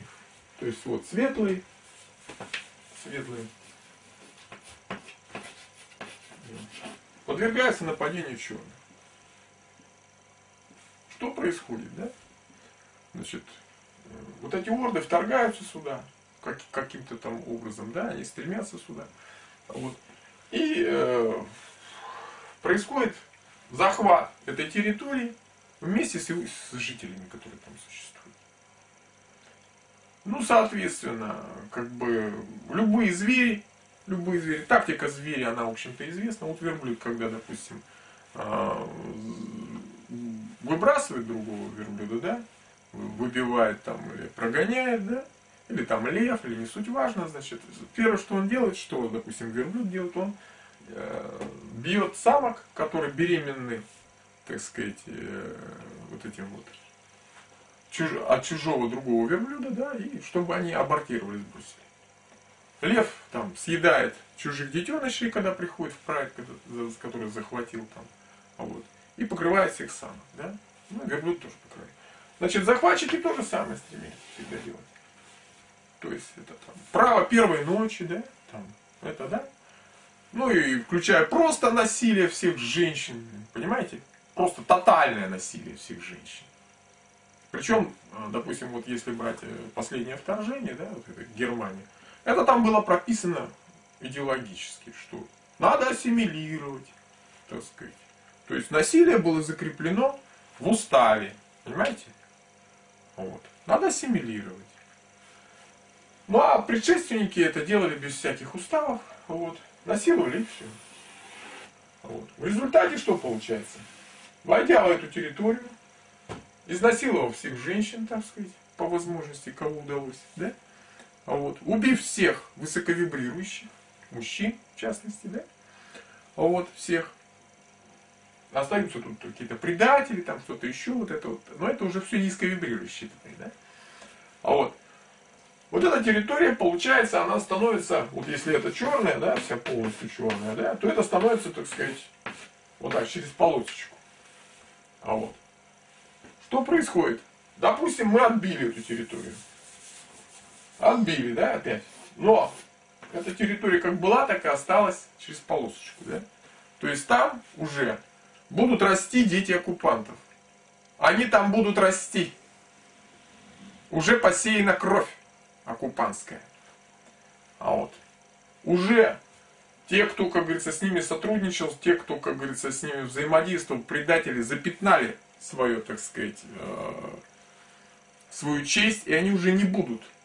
От них тоже не будут уже идти те высоковибрирующие, как говорится, те, тот, кто запятнал свою честь трусостью, подлостью, предательством, с, него уже не будет, как говорится, настоящего воина с его потомков, не будет никого, так сказать, этого самого, а, какого-то хорошего, сильного человека, высоковибрирующего, он уже будет в сторону низкой вибрации. Плюс разрушение территории, разрушение, вырубание деревьев, там, э, разрушение деревень, там, какой-то структуры, там все остальное. Структура разрушена. Здесь получается уже, как говорится, это территория разрушения. Территория опускается в низкую вибрацию. Если раньше там стояли прекрасные дома, жили прекрасные люди, было все хорошо, все, эта территория становится более низкой вибрирующей. Плюс тут растут дети оккупантов. Они растут, дети. Хорошо. Значит, отбили какое-то время. Здесь не это. Снова набег. Снова набег. Снова насилие. Снова убийство. Снова разрушение. Территория вновь становится еще более черной. И так далее, и так далее, и так далее. То есть и постепенно, постепенно что вы хотите, не хотите, эта территория через некоторое время будет вибрировать так же, как и это. Это, они будут братьями. Братьями по крови. Понимаете? Братьями по крови. Тут будет жить много братьев их по крови. А вот. И однажды они захватят эту территорию, как говорится, более окончательно, потому что тут сопротивляться особо будет некому, и введут для окончания свой язык язык. Это уже окончательно язык, это как звукорезонансный ряд для того, чтобы синхронизироваться народу между собой. А вот они вводят этот язык и все. Все. Это уже состояние необратимо. Пример в истории существует масса примеров вот такого явления. Войны крови, которая проходила и проходит. Когда-то вся территория Европы была заселена славянами. Это были люди, высоковибрирующие люди. А вот это не говорится о том, что это какая-то конкретная там это. Славяне это те, которые с любовью живут. Славой. Славяне. Славой, которые живут. У нас есть английская. С любовью там откуда-то, да? Славой откуда-то. Это вот славяне, они вот с любовью жили. Вот. И они заселяли всю территорию Европы. Мы это знаем, было типа как наподобие Западной Руси. Наверное, они не совсем были друг на друга похожи, это были разные люди в какой-то степени. Но это вибрировали они где-то близко. Поэтому между собой взаимодействовали и не воевали между собой. Вот. Но затем пришли вот эти вот темные. И начали постепенно, постепенно, постепенно, шаг за шагом, вот такими небольшими шажками, как говорится, очернять землю. Вот. Появилось сначала одно государство, а вот. Значит, потом второе, третье, четвертое. Вот сейчас, например, возьмите Германию. Да? В Германии очень много русских названий. Есть даже там э, у нас какие-то участки типа Пруссия, Австрия, там еще тоже много, как говорится, русских названий, да? А вот. Но, но, обратите внимание, допустим, на Первую мировую, на войны еще перед этим. С какой безжалостностью немцы уничтожали славян, других славян. Как так? Почему? Казалось бы, вчера они еще были братьями, да? Вчера они были еще братьями, да? Вот здесь вот, как говорится, общее было у них общность. А сегодня они их уже убивают, режут с такой страшной, как говорится, ненавистью. И они считают, что это не Почему? Да потому, что общий вот этот темный эгрегор, понимаете? Общий темный эгрегор. И они чувствуют, что эти вот там славяне вибрируют не так. Они не принадлежат этому эгрегору. Не принадлежат эгрегору зверя. А еще что я говорю, очень важно. Опускание в низкую вибрацию лишает человека способности быть разумным. Она опускает его до такого уровня, что он перестает мыслить, перестает думать, перестает, как говорится, жить осознанно. И уже он начинает подчиняться и начинает впадать в одержимость. Результаты впадения одержимости мы видим на Европе средневековой. То, что там творилось, это было как раз одержимостью. Те вещи, которые происходили и в Первую мировую, и во многих местах, когда вырезали людей, зверства вот эти. Многие солдаты впоследствии говорили, я не понимаю, как я это сделал. Я не понимаю, как я это сделал, как я мог вообще такое совершить. Это все результат одержимости. Работа темного эгрегора, захватывающего, так сказать, вот эти пространства одно за другим. А вот. Посмотрите, вот внимательно, да, вот немцы что творили, да, допустим, та же Пруссия, Австрия, это практически те же, как говорится, земли, бывшие вот славян, там еще жили славян, там еще названия остались все, и русские, и все остальное, и люди многие помнят, и там еще существуют какие-то кусочки, где, так сказать, территориально проживают практически люди, которые сохранили быт и обычаи близкие к русским. Непонятно. Откуда с этих территорий приходят люди, которые совершают такие ужасающие зверства против своих же братьев? Непонятно, да? Возьмите поляков. Это никто не скажет, что это не славянская нация. Это славянская нация. Но побыв некоторое время под э, властью тевтонов, а это и есть темные, рыцарских вот этих орденов, которые, так сказать, являются носителями темных, так сказать, вот этих э, темной идеи, темной идеологии и всего остального. Во что они превратились? Какие ужасы, какие зверства они делали над такими же славянами, как они? Что они творили на Украине и на Беларуси? Это ужасно. Представить это страшно. Такого зверства они за людей не считали. Такие же, как они. Даже внешне похожих и имеющих те же самые традиции. Как это возможно, скажете вы? А это возможно очень просто. Темный эгрегор. Они не принадлежат зверю, значит они не свои. Понимаете? И зверь, как вот в тех вот чужих, он приказывает уничтожить. Уничтожить тех, кто ему не принадлежит. И орды вот этих вот зверей гонит голод, голод центрального зверя, центрального эгрегора. Ему нужно захватывать. Новая энергия ему нужна, новые жертвы ему нужны. Он хочет есть.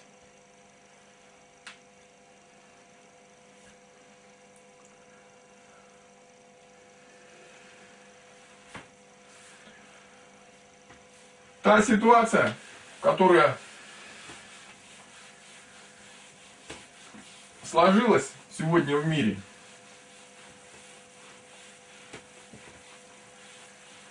показывает, показывает то, что эгрегор темных, эгрегор темных, он захватывает все больше и больше стран. Все больше и больше людей попадает под его власть. Да, в некоторых местах пытаются освободиться. Да, как говорится, происходят какие-то события, связанные с тем, что люди не хотят опускаться на самое дно. Не желают. Но, к сожалению, нету каких-то, ну скажем так, каких-то эффективных мер борьбы. Они не понимают, с чем они сражаются. В продолжении вот тех строк, которых я говорил, там есть такое, так сказать, окончание, что огнебог, плачась, уходила причудливая змея, значит, кровь змеи текла, затопляя землю, и, значит, пришел муж сильный и рассек змея, да, и стало два змея. И снова рассек, и стало четыре. Вот эта система тьмы. Бесполезно сражаться против нее с оружием. Она имеет не только вот такой вариант военного захвата, она имеет вариант и ползучего захвата. То есть она может вползать. Вползать в виде нищего, юродивого. Вползать в виде обиженного. В коллектив, в какое-то общество и все остальное. И разрушать его изнутри. Она имеет и такую возможность. Тьма, она способна обольщать, она способна высасывать энергию, опуская людей на низкую вибрацию. Это не просто так. Не просто так людям навеялись вот такие вещи, как, допустим, чужие, когда враг и противник настолько живуч, что как ты его не убиваешь, он все равно выживает. И здесь та же самая ситуация. Сколько великих воинов, сколько могучих богатырей сражались против тьмы. Они погибли, но не смогли одолеть их. Они убивали их тысячами. Они покрывали поля телами врагов. Но враги приходили вновь. И никто не может понять, откуда они берутся. Откуда берутся враги? Нам рассказывают, что где-то там в каком-то непонятном котле, прям как в этом самом, э, во «Властелине колец», там где-то в горах там их делают, что там где-то какие-то сюльминджуки, мульмульджуки, какие-то там, значит, где-то там, или какие-то монголы там где-то там затаились в каких-то там э, пустынях и песках, где есть совершенно нечего. И потом на своих могучих конях которые не больше там пони, да, вооруженный, как говорится, костями там, я не знаю, чего там, или деревянными палками, сумели победить русских богатырей на конях, как говорится, в три раза выше, с булатными мечами, полностью в этих самых, в булатных доспехах. Там даже дерева нет в этих пустынях, там даже плавить нечем. Металл. И эти люди, ничего не зная, не, не знали железа до длительных времен. Про что вы рассказываете? Суть состоит в том, что темных делают из светлых. Все очень просто. Все элементарно. Их не варят в котлах. Их не достают и откуда там это. И не сбрасывают на тарелках. Их варят из светлых. Понимаете? Очень просто. Их изготавливают из светлых. Есть такой замечательный э, рецепт. Они были эльфами, да, но темные силы поймали их, долго мучили, и они стали гоблинами. Вот это примерно оно и есть. Изготовление идет вот таким путем. Совершенно как вот здесь. То есть, есть некая империя, прекрасная, замечательная империя, да? Вот. Здесь, на окраинах империи, поселяется какая-то небольшая кучка темных. Темных. И эти темные потихонечку, шаг за шагом, не спеша, грызут эту территорию, сея свою кровь. Помаленечку, никуда не спеша. Все больше и больше, все больше и больше за заражая эту территорию, заражая, именно заражая эту территорию тьмой, ненавистью всем, как говорится, злобой, всеми этими пороками, опуская ее в низкую вибрацию. Постепенно, постепенно, шаг за шагом, шаг за, шаг за шагом. И вот эта маленькая группка, маленькая группка, постепенно заражает гигантскую территорию.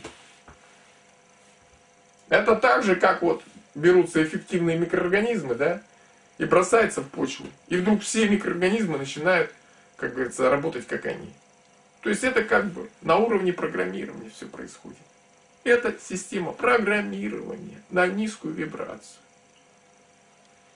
Это определенная система, когда из одного, при помощи одного, можно сделать тысячу.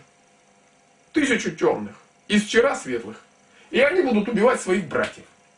И при этом будут орать, что это те враги, что это те злодеи, а не они. Вот. вот и все. Вот и вся технология. И никто никуда не приходил, и не все. Нет. Они были там, маленькая группа темных. Эффективно проработав, заразила все государство. И все государство, никто его не завоевывал. Оно все превратилось в империю тьмы. Понимаете? В империю тьмы. Просто и ясно. И никаких сложностей. Рассмотрим пример, который у нас перед глазами.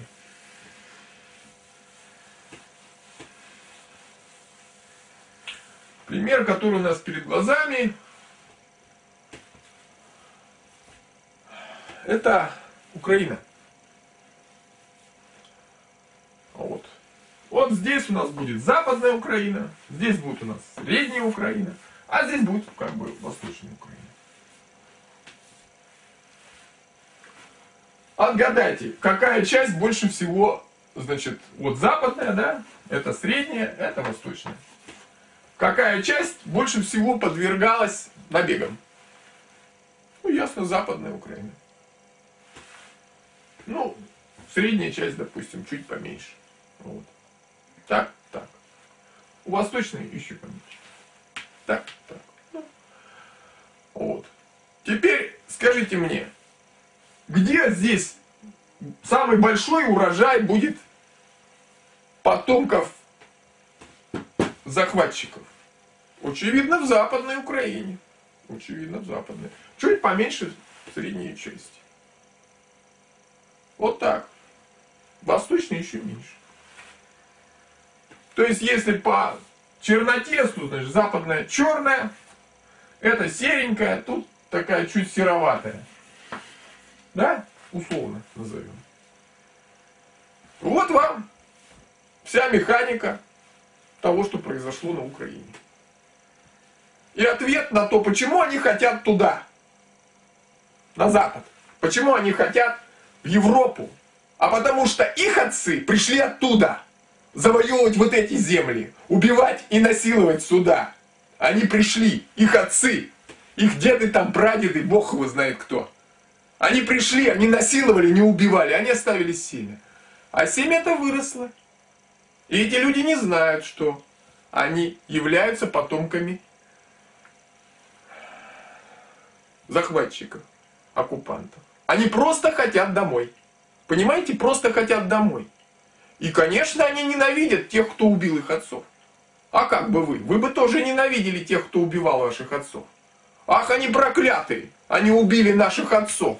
Мы хотим взять реванш. Мы хотим уничтожить. А те, кто живет, местное население здесь вот, существующее, они враги. Действительно, они враги для них.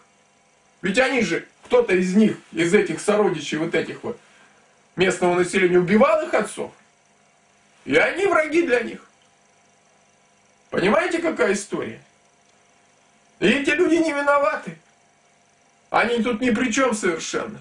Но так вышло, что те предшественники, которые уже, наверное, мертвы, погибли, так сказать, вот здесь в последующих битвах и так далее, и так далее.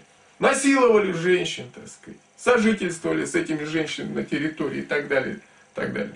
Оставили свое семя. Причем не на протяжении одного там поколения, а на протяжении многих поколений.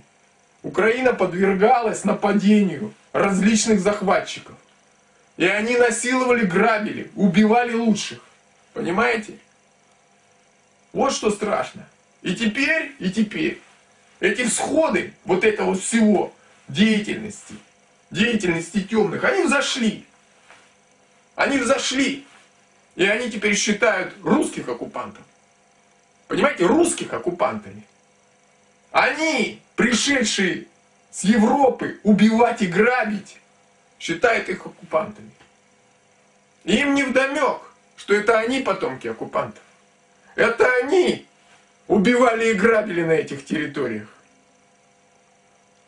Что-то их предшественники, их племя, их род, их кровь. А если нет, то почему они так хотят в Европу?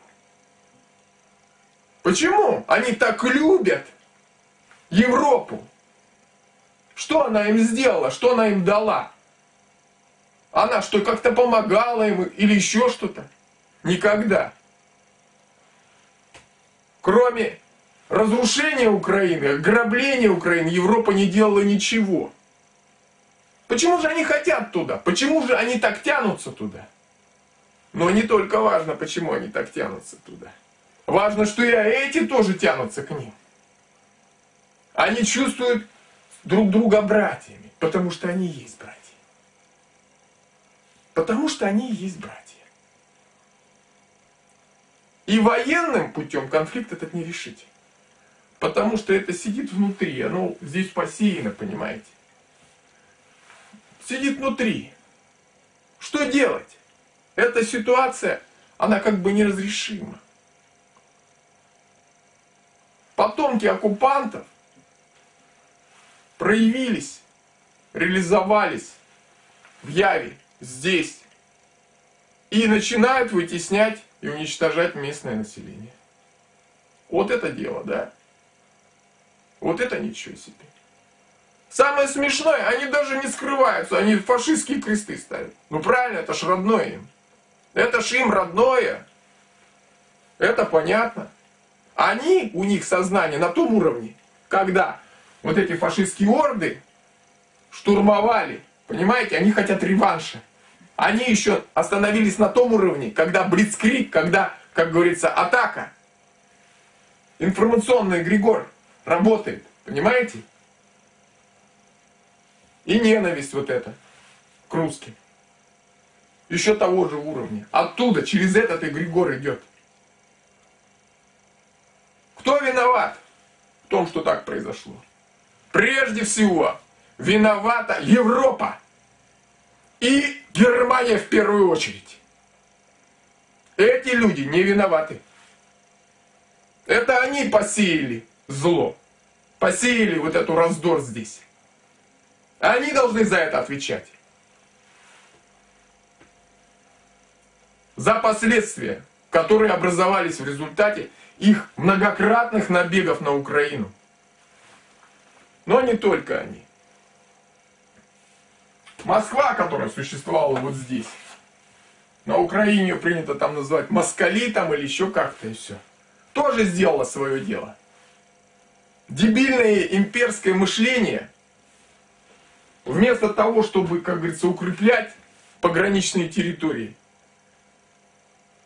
постоянно вытягивало отсюда лучших.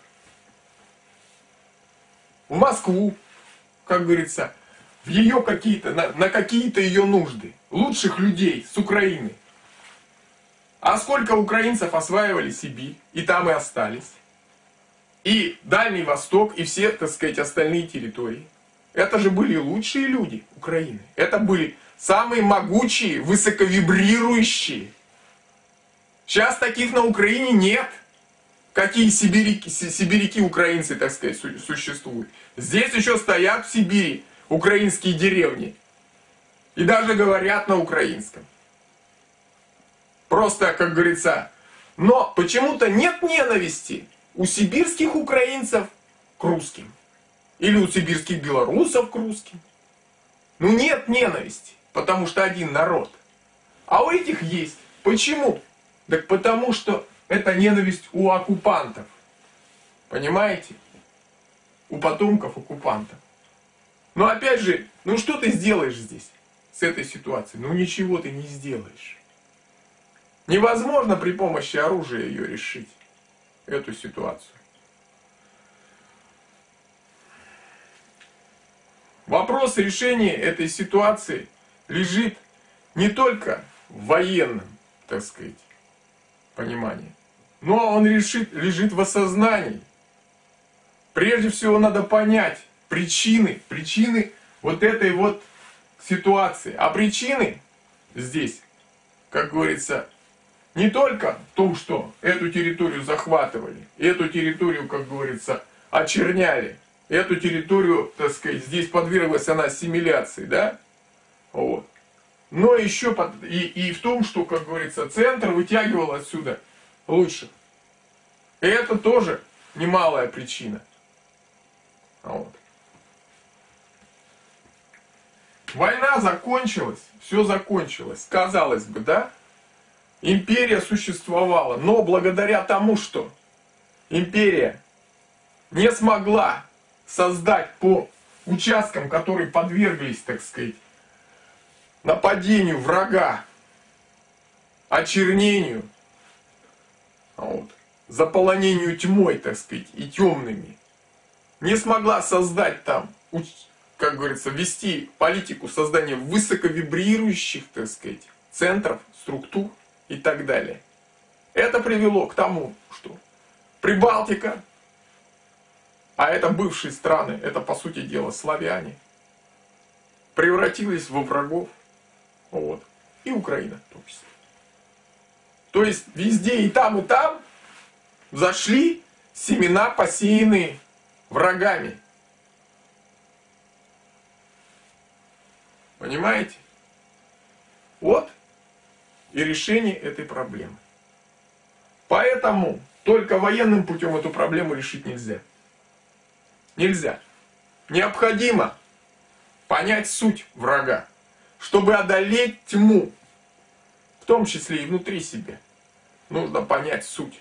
Суть врага. Понять, как он действует, в чем его преимущество, в чем его сила, в чем его э, тактика и так далее. То есть понять все, как он действует, как он проникает, как он, как говорится, распространяется.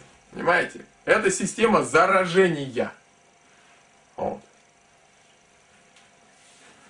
Вот. Вот. Это система заражения. Вот. Поэтому основная задача, наверное, так сказать, будем говорить,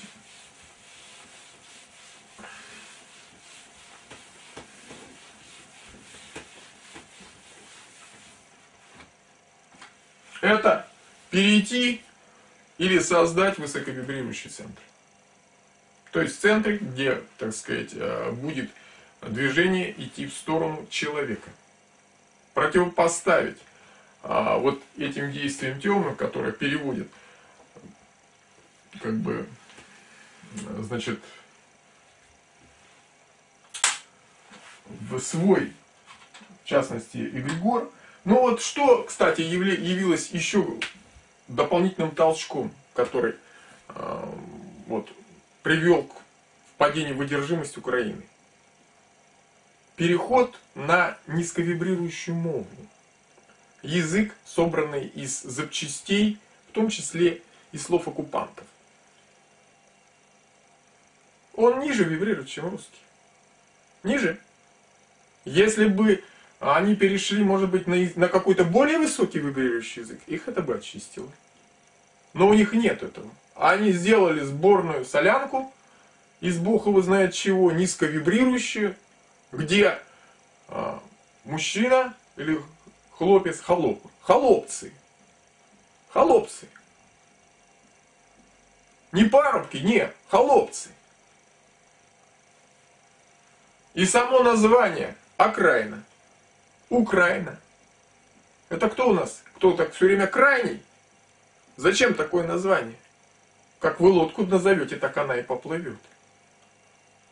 Это не Украина, это Южная Русь. Там стоит город Киев. Это Киевская Русь. Но оккупантам это, понятно, не нравится. Все, что угодно. Хоть Тырмандыровка, блин. Но лишь бы, как говорится, не родное название. Получается что? У Украины нет истории? Ведь при помощи введения вот этого названия она отказывается от истории. Зачем? Непонятно. Для того, чтобы, для того, чтобы остановить все это, остановить все это, остановить вот этот вот процесс, необходимо прежде всего разобраться, как создавать высоковибрирующий центр, как работать с э, вот этой системой, так сказать, ползучего вторжения, которая существует и без войны, и она как бы работает, и, так сказать, делает свое дело. Основная, наверное, задача – это осознать, понять, перейти в состояние осознанности. Что именно делать? Что именно делать? Что противопоставить? Вот. Тем более, что на территории, которая сейчас остается на Донецкой, там, э, значит, а вот Луганской, там вся территория будет низко вибрировать, потому что там разруха. Разрушенная территория всегда вибрирует низко. Выжженная земля, как говорится, останки людей и многое чего другое. Это уже сразу низкая вибрация. Ей надо что-то противопоставить. Иначе приведет это тоже к неприятным последствиям. А вот. Вот. Поэтому основная задача, основная задача, это касается не только, как говорится, Украины, это касается России, это касается всех стран, которые, как говорится, не хотят пасть в тьму, и вообще всех людей конкретно. Необходимо, так сказать, понять врага, понять, что нужно делать, чтобы остаться в высокой вибрации, как работать как, какие действия нужно произвести именно, чтобы остаться в высокой вибрации.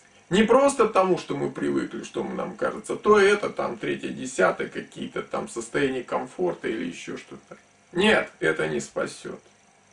Поймите, несмотря на то, что вся история нас учит, несмотря на то, что мы побеждали в войнах, мы все время проигрываем.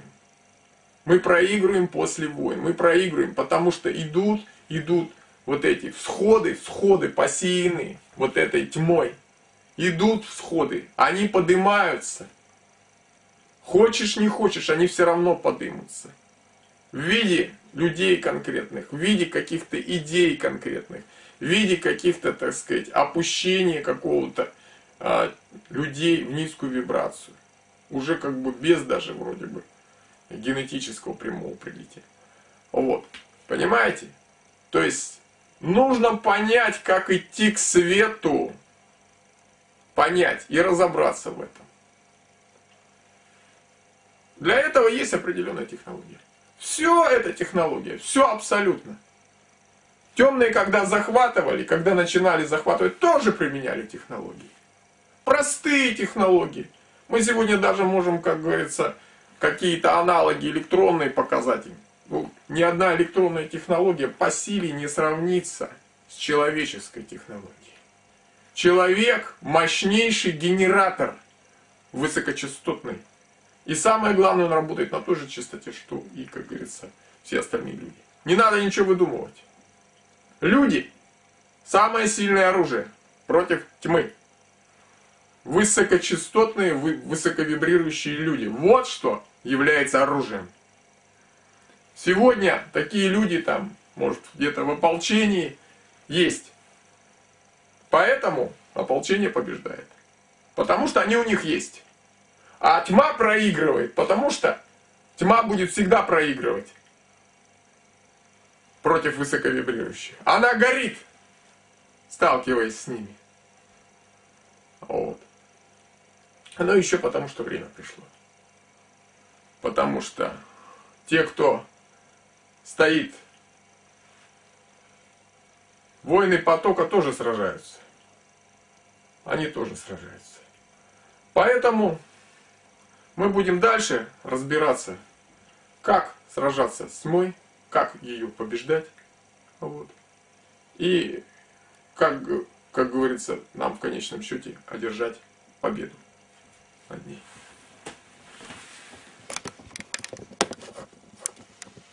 Сейчас мы будем э, значит, рассматривать это война крови, вторая часть.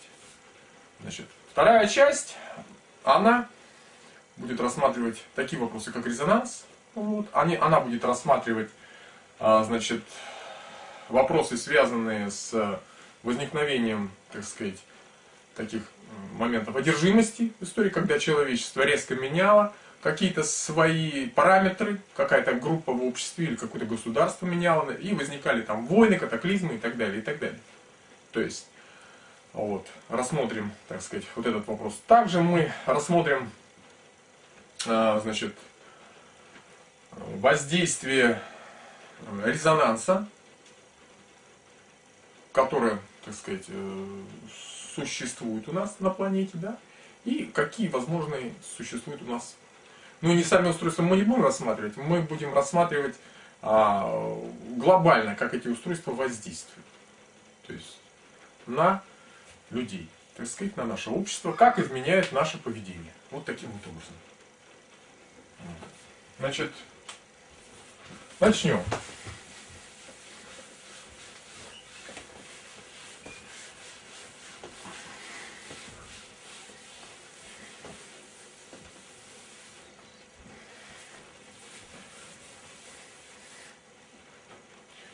Первый вопрос, который э, я хочу, так сказать, светить, он относится к значит, войне крови. Если кто-то помнит, в предыдущей войне крови я рассказывал про значит, э, явление резона... э, про вторжение значит, э, темных на территорию светлых и про переделывание находящихся там людей и вот этой территории уже в состоянии, так сказать, серого и черного, так сказать, цвета, да? То есть состояние через полосочку там. Для начала мы рассмотрим такой простой вопрос. А, это связано с э, действиями темных, вот, а, скажем так, с э, системой их работы, работы их эгрегора. Вот. Значит, Светлые привыкли через систему логики работать, а здесь работает совершенно другая система. Ну, значит, вот простое существует некий объект, да, какой-то. А, этот факт, в принципе, э, установлен. Значит, ученым есть некий объект, допустим, простейшее, да? Простейшее животное. Вот. Внутри простейшего животного, значит, э, существует там вот система каких-то органов, так сказать, а, ядро там и так далее, да? Вот. Или органел, будем говорить точнее, да? Вот. И, так сказать, находятся питательные вещества и так далее. По периферии там расположены там щупальца, ложноножки и так далее, реснички и все прочее. Вот. То есть объекты, э, значит, инструменты захвата, при помощи которых она захватывает пищу, питается и так далее. Вот установлено совершенно четко, что при а, значит, понижении электро... значит, э, при понижении питательных веществ, значит, подается сигнал на периферию, да, и щупальца активизируется. А вот. Природа этого сигнала электрическая, и работает она точно так же, никакого здесь э, ума и еще чего-то нету, а просто понижаясь потенциал, как в системах любых электрических, вызывает так сказать, повышение потенциала вот здесь вот на периферии. А вот. Так же, как э, в системах, э, допустим, если вы, к примеру, возьмете горячую ложку, сунете ее в холодную, так сказать, воду, вот, то можете обжечь руку. Соответственно, потому что пойдет тепловая волна. Если резко где-то происходит падение уровня воды, то от этого участка где вода, как говорится, опустилась, провалилась, значит, э, пойдет тоже волна. Ну и здесь идет электрическая волна от, от э, центра к периферии. Щупальца активизируются, начинается захват пищи. Никаких мыслительных процессов здесь нет. Вот. Но при этом животное питается и все. По сути дела, установлено, ну, в принципе, достаточно так давно, что это, по сути дела, простейшая это электрическая машина. Машина, которая управляется сигналами вот, при помощи вот этих электрических законов. Таким вот образом. Это как бы заход в сторону. Вот. Он нам пригодится. Ну вот явление электрорезонанса, так называемого, которого э, резонанса, которого мы, значит, рассматривали. Я не, не называл тогда это резонансом, вот. Когда территория становится через полосочку, вот такая территория. Вот. Значит, эта территория, соответственно, начинает работать по-другому и, э, как говорится, уже приближается по сигналу к вот этому, э, так сказать, к агрессору, к захватчику. А вот. Так вот, к сожалению, не могу, технических не хватает показать вот это явление резонанса, а вот фильм. Вот, но в дальнейшем, в дальнейшем, если вдруг происходит, ну, скажем так, дол, до, до, дополнительное вторжение сюда, то, значит, вот, вот этот центр, да, здесь тоже где-то центр находится, то явление вот этого сигнала, резонанса усиливается, и вот здесь образуется вот такая вот как бы полость. То есть э, такая уплотненная, ну, назовем ее темная область, да, через которую вот, по сути дела, вот это как бы через полосная система устремляется в направлении вот сюда. Вот. Ну, если мы будем рассматривать явление глобального резонанса, которое произошло, например, ну, на Украине, да, будем считать, что это ребята с запада Украины устремились на Майдан. Вот. Ну, так, устремились, да? Вот. Затем, когда система начинает даже вот этого сигнала двигаться, продолжает двигаться сюда, в направлении, вот, то происходит как бы охват, и возникают периферические такие волны, вот, которые в конечном счете пере, э, так сказать, переформировывать общий сигнал вот этого конкретного, так сказать, объекта. То есть это возникло явление, явление резонанса, два этих объекта срезонансировали, и образовался, по сути дела, другой объект. Понимаете? То есть, то есть, если смотреть на глобальном варианте, допустим, Майдана, то в какой-то момент ребята устремились к Киеву, там происходило вот это действие, а потом резонанс пошел по всей Украине. Ну, это вот такой глобальный вариант резонанса, да? Вот.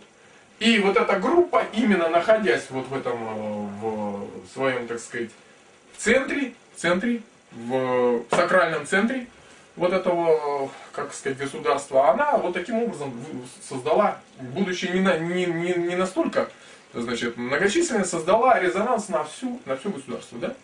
И основная масса людей была, так сказать, вот этой идеей заражена и заработала, да? Ну, не везде это вызвало, понятно, отклик, где-то тут возникли антирезонансы, да? Вот, но это уже, так сказать, более усложненная картина явления. Вот. А, значит, вот это явление резонанса, явление резонанса, которое ну, проходит на, так сказать, на информационном уровне, допустим, э, вот то, что мы видим, можем на Украине. Вот. А, если говорить, допустим, о явлении э, того же Крыма, да, условно говоря, мы можем именно так посмотреть, то там ситуация немножко другая, резонансная. Да, допустим, вот он Крым, вот. Вот здесь, грубо говоря, перекоп, да, вот. И вот здесь этот перекоп заняли люди, которые, так сказать, побывали на Майдане, которые изранены, которые, так сказать, являются мощными передатчиками, но другой частоты, другой системы. Воздействие на Крым, вот, как на эту систему. Здесь возник также эффект резонанса, вот, в Крыме, в Крыму. И 97%. Мама не горюй. Вот так вот. Понимаете? Все. Тоже явление резонанса.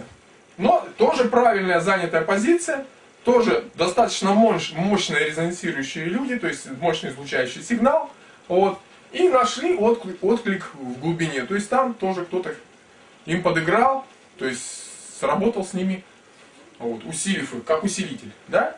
И получилось так, что вот, все. То же явление, очевидно, произошло и на Донбассе. То, есть, вот, то же явление резонанса. Такого явления резонанса человеческом обществе. То есть это не вот так вот под микроскопом рассматривать у себя где-то там в лаборатории, где-то там в глубине, а вот оно, пожалуйста, явление резонанса присутствует. Вот. Конечно, само явление резонанса искажается характерами, искажается а, какими-то событиями, искажается какими-то сооружениями, чем-то еще. И не получается, как в лаборатории, идеально все это сделать, да? Вот. Но в конечном счете, вот, вот то, что мы видим, оно в принципе по картине если смотреть вот эти вот э, формы резонанса, которые, так сказать, проходят в наших лабораторных различных там опытах и все остальное, нам, в принципе, по картине совпадает. Вот. Резонанс сигнала, резонанс, частотный резонанс. Вот. Вот таким образом. Значит, а, теперь мы рассмотрим а, вот это вот явление, а, скажем так, явление ну, назовем их а, май, майданов, да? Но мне больше нравится слово, а, потому что майдан, мой дан, это как бы это такой вот мой дан, ну дан мой, ну что значит, непонятно. А вот мой дан, это когда состояние, человек, грубо говоря, вот этот мой, даун, даун, понятно, да, вниз. То есть, когда человек озвереет, да, это очевидно, что он не вверх поднялся. Он пал вниз. Он, то есть, down. Понимаете? Вот. И после этого он начинает убивать, заживать, сжигать заживо людей, как говорится, стрелять по мирным жителям, расстреливать, как говорится, автобусы с детьми и женщинами и так далее. Вот это понятие down. Понимаете? Вот этот вот, который down. Так вот, рассмотрим это понятие в истории, да? Причем не будем брать какие-то такие сложные системы, посмотрим, которые вот прям совпадают. Практически это. Я насчитал три майдауна в истории. Таких вот ближайших историй, далеко не стал залазить. Французский, значит, Майдаун, когда орали «Ля, Вива ля Франс!» Немецкий, когда кричали «Хай Гитлер!» И теперь у нас есть украинский, когда кричат «Слава Украине!». И там, и там везде сильны были, значит, националистические настроения. Вот. И там, и там, перед а, вот этими майдаунами, вот, народ находился в состоянии, в подвешенном состоянии, достаточно плохо жил, вот, а, власть принадлежала казнокрадам, болтунам, власть была чрезвычайно слабая, так сказать, в стране была по сути дела, без власти разруха, постоянно были какие-то выборы, постоянно были какие-то разборки и так далее. То есть везде, при трех этих ситуациях, это, как говорится, присутствует. Вот. Значит, можно так более даже подробно посмотреть. Вот, например, во Франции был захват парламента, и неугодных депутатов выгнали, а угодных заставили писать новые законы. Да? Это во Франции. А на Украине мы это имеем. Все, все так же. Вот. Значит, далее что? Например, знаменитый поджог Рейстага, да? А, Германии.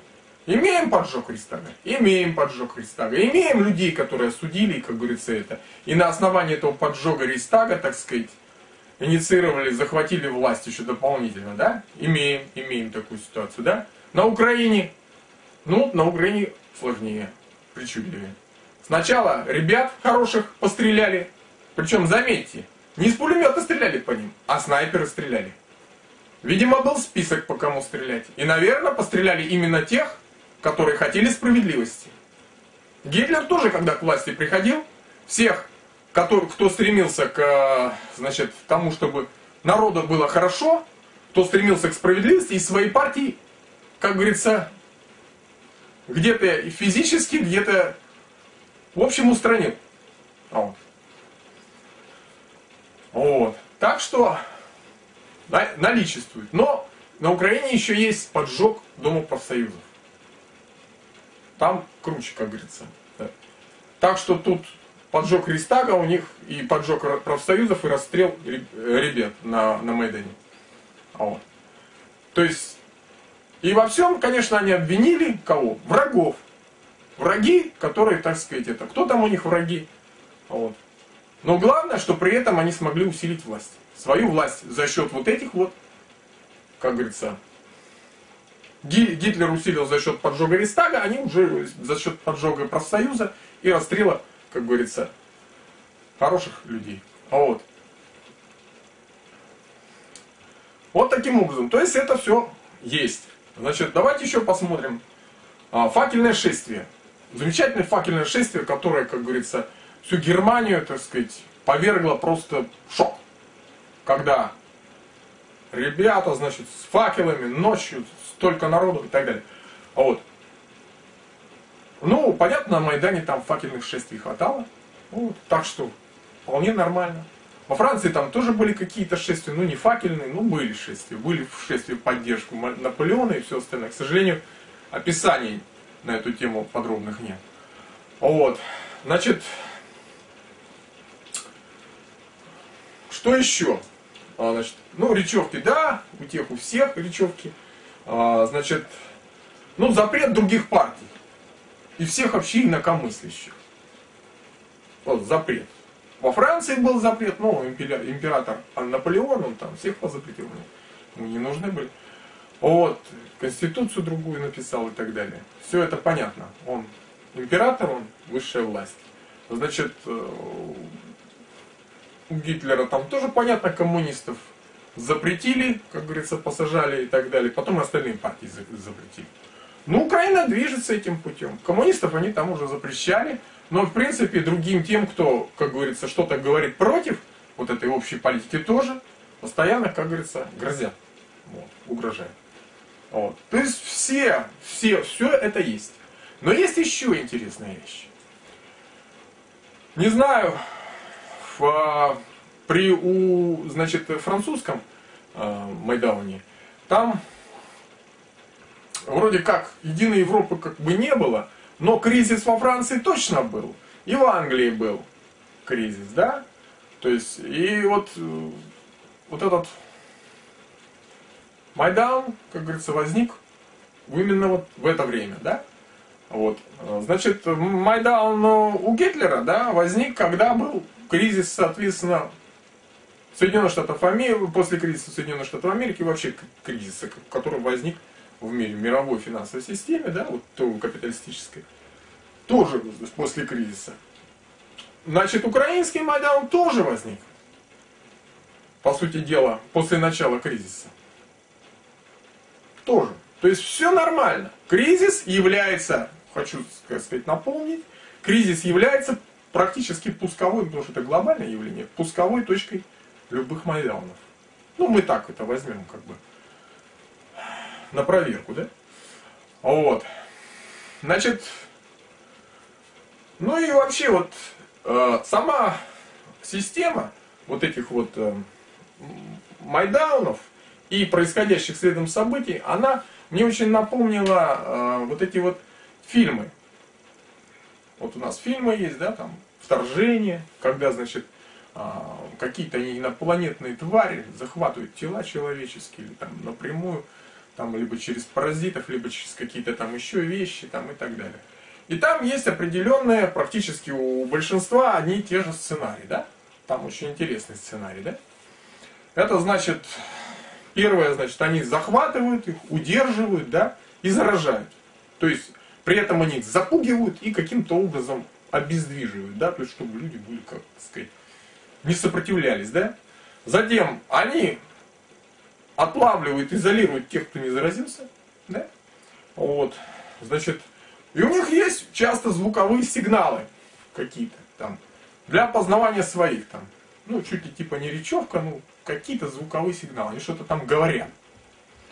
Вот.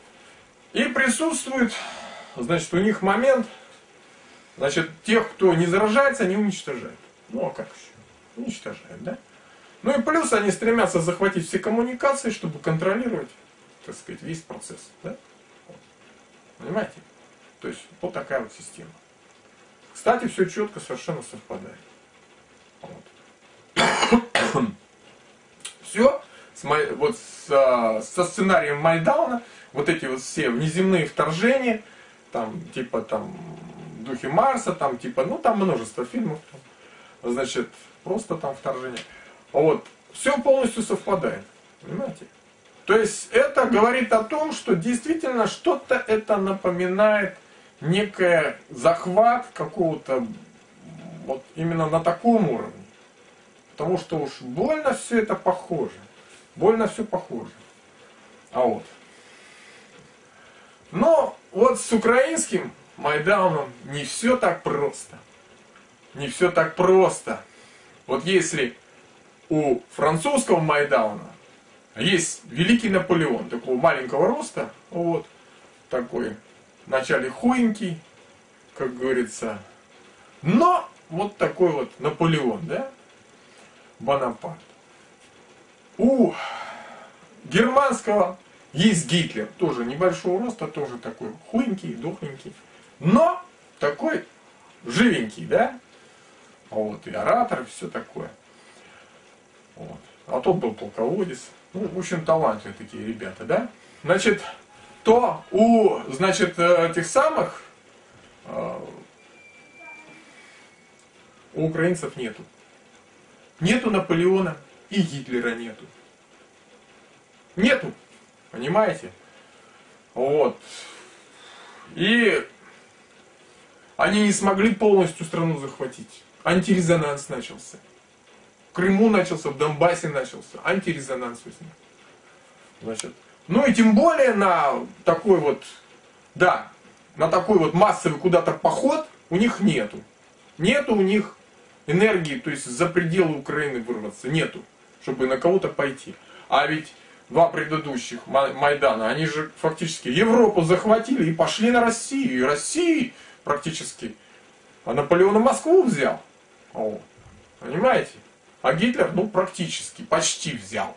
Ну, большую часть, как говорится, страны, большой кусок очень, смог захватить. То есть, так говорят, что потенциал был бешеный, да? Могучий вот этого сигнала был бешеный потенциал, чтобы поперли и всю Европу подмяли, и это, и в Африку полезли, и везде. То есть, и у Наполеона тоже. А тут никакого потенциала за пределы страны выйти не могут. А желание есть. Желание есть, идеи те же, все кажется тоже, но не могут. Остановились. То есть явный недостаток энергии. Не хватило энергии для полноценного, такого широкомасштабного, такого, как говорится, глубокого Майдауна. Не хватило. А вот. В связи с этим возникает вопрос. Почему не хватило-то? Что случилось? Чем вызвана вот эта вот такая нехватка? Чем этот Майдан выкидыш? Почему он такой получился какой-то, не такой? Вот. Должна быть причина. Вначале я вам говорил про то, что объединяет вот эти вот до, все три Майдана кризисы. При всех трех Майданах были кризисы. Мировые кризисы. Ну пусть там, как говорится, тогда еще по Франции центральной мировой системы такой не было глобальной. Но все-таки, все-таки на том уровне это был кризис на тот момент. Вот. То есть объединяет кризис. Сейчас опять кризис. Вот. Он, пусть, как говорится, сейчас велотекущий, но есть он, он присутствует. Из него выйти как мировая система не может. То есть кризис определенным образом вызывает это. Как же он вызывает это? Ну, очевидно, так же, как Помните, я вот рисовал вам? Простейшее, да? Вот здесь упал потенциал, и щупальцы зашевелились. Щупальцы по периферии зашевелились. Надо кушать, надо кушать. Электрическая машинка заработала. Понимаете? Очевидно, что так. Ну, понятно, что не в каждой стране это срабатывает, наверное, да? Вот. Если из э, общих принципов еще сказать, что все-таки во Франции люди голодали, да, там было достаточно все плохо. И бардак был, и население было подавлено всеми теми условиями, в которых оно жило. Германия после, значит, вот этой вот подписания этого Версальского мира была унижена. Немцы голодали, безработица. То есть очень тяжело жили и все остальное. То есть население было подавлено, оно долгий какой-то период перед этим было в состоянии депрессии, назовем так, застоя депрессии. Вот. На Украине то же самое. Олигархи, все это просто душили народ. Поэтому, в принципе, наверное, среди тех, кто пошел на Майдан, были и хорошие люди, которые хотели и справедливости, и все остальное. Может быть, и сейчас они-то там есть. Вот. Хотели лучшего, хотели, как говорится, это. Но произошло обман, подмена произошла. И подменили вот на вот эту вот штуку. На вот это вот впадение, вот в эту низменность, в одержимость. Вот на что подменили. Желание, как говорится, выйти вот на свет, да, жить лучше и все остальное. Но народ поддался на это. Почему поддался? Да потому что был подавлен вот этими тяжелыми условиями жизни. Подавлен вот этой вот безнадегой и всем остальным. Как и во, в, предыд... в этих предыдущих других странах, да, на Украине также произошло. То есть, очевидно, сигнал, значит, идет, но он должен достиг, достигая цели он при, том, при той ситуации, если а, вот эти вот объекты, которые, допустим, там находятся где-то, вот это будем говорить народ, да, значит, вот если сигнал пошел на этот народ, как мы рисовали, да, то народ, он не сражается, не отвечает, он пассивен. И это позволяет его перепрограммировать и захва- а, осуществить захват центра государства, значит, сделать, так сказать, а, замену, перейти на другую вид вибрации, так сказать, down, опустить вниз. Понимаете? То есть это народ вымотан, и это позволяет.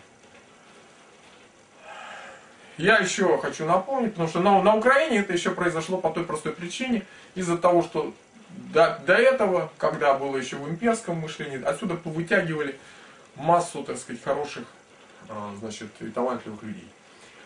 Вот.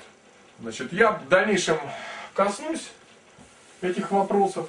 Это такая схема, когда идет подмена власти, вот, когда подмена идет власти, когда в революционном движении, движении людей, которые а, желают, значит, а, изменить к лучшему, происходит такая подмена и как бы, значит, вместо чистых борцов, сверху становятся деляги, жулики, мерзавцы-проходимцы. Как вот сейчас произошло, в принципе, на Украине. Да?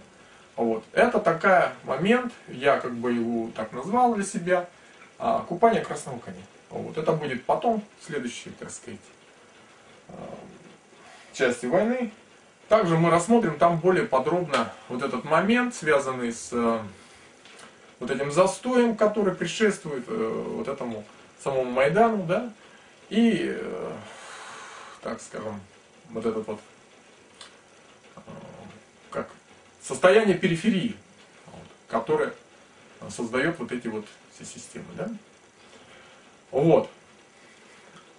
Значит, а сейчас мне хочется э, рассмотреть очень интересный вопрос, связанный с тем, почему почему вот этот Майдан, Майдауни, вот, а, выкидышем.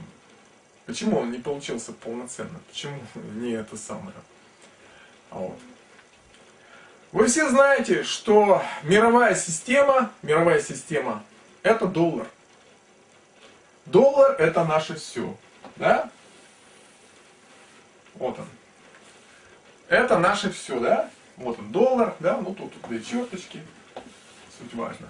Это наше все. За это мы продаемся все, за это продается, как говорится, а, все, что только у нас есть. Доллар фактически реально это как бы а, это символ и денежных всех средств всего мира, и всех вот этих активов, и ценных бумаг, и всего-всего остального, и потоков энергии и ресурсов. Вот. Это и потоков людских, и человеческих мыслей. Вот. За доллар продается все. Весь мир, все потоки, вот все, все, что для нас важно, все идет через доллар, потому что это мировая валюта. Он управляет всеми этими потоками. Он создает все эти потоки. Доллар, именно доллар. Понимаете? Он стоит, значит, значком на этом самом, а, на долларе, на самом бумажке, да? И именно он является значит, знаком мирового господства. Но является знаком мирового господства. А кто знает, что это такое? Чему на Земле соответствует вот этот значок, кто знает? Не знаю, знает ли кто, но мы сейчас с вами это легко выясним.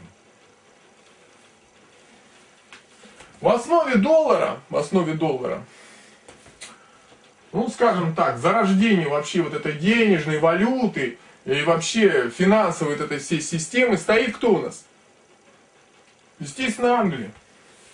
Вот она в голове вот здесь, да? Условно говоря. Вот Англия у нас. Какая замечательная Англия. Вот. Значит, ну, а кто у нас является номер два? Кто является самим хранилищем вот этой всей системы? Кто является, где Форт Нокс, где все, так сказать, это все? Где все вот это долларовское? Понятно? Значит, это у нас Соединенные Штаты Америки, да? Да? Вот. А теперь я вам задаю вопрос. Вот это Америка, а вот это Англия. А что бы это могло быть? М? Вот эта штучка, штучка создает погоду и климат во всей практически, вот здесь Европа, да? Европа.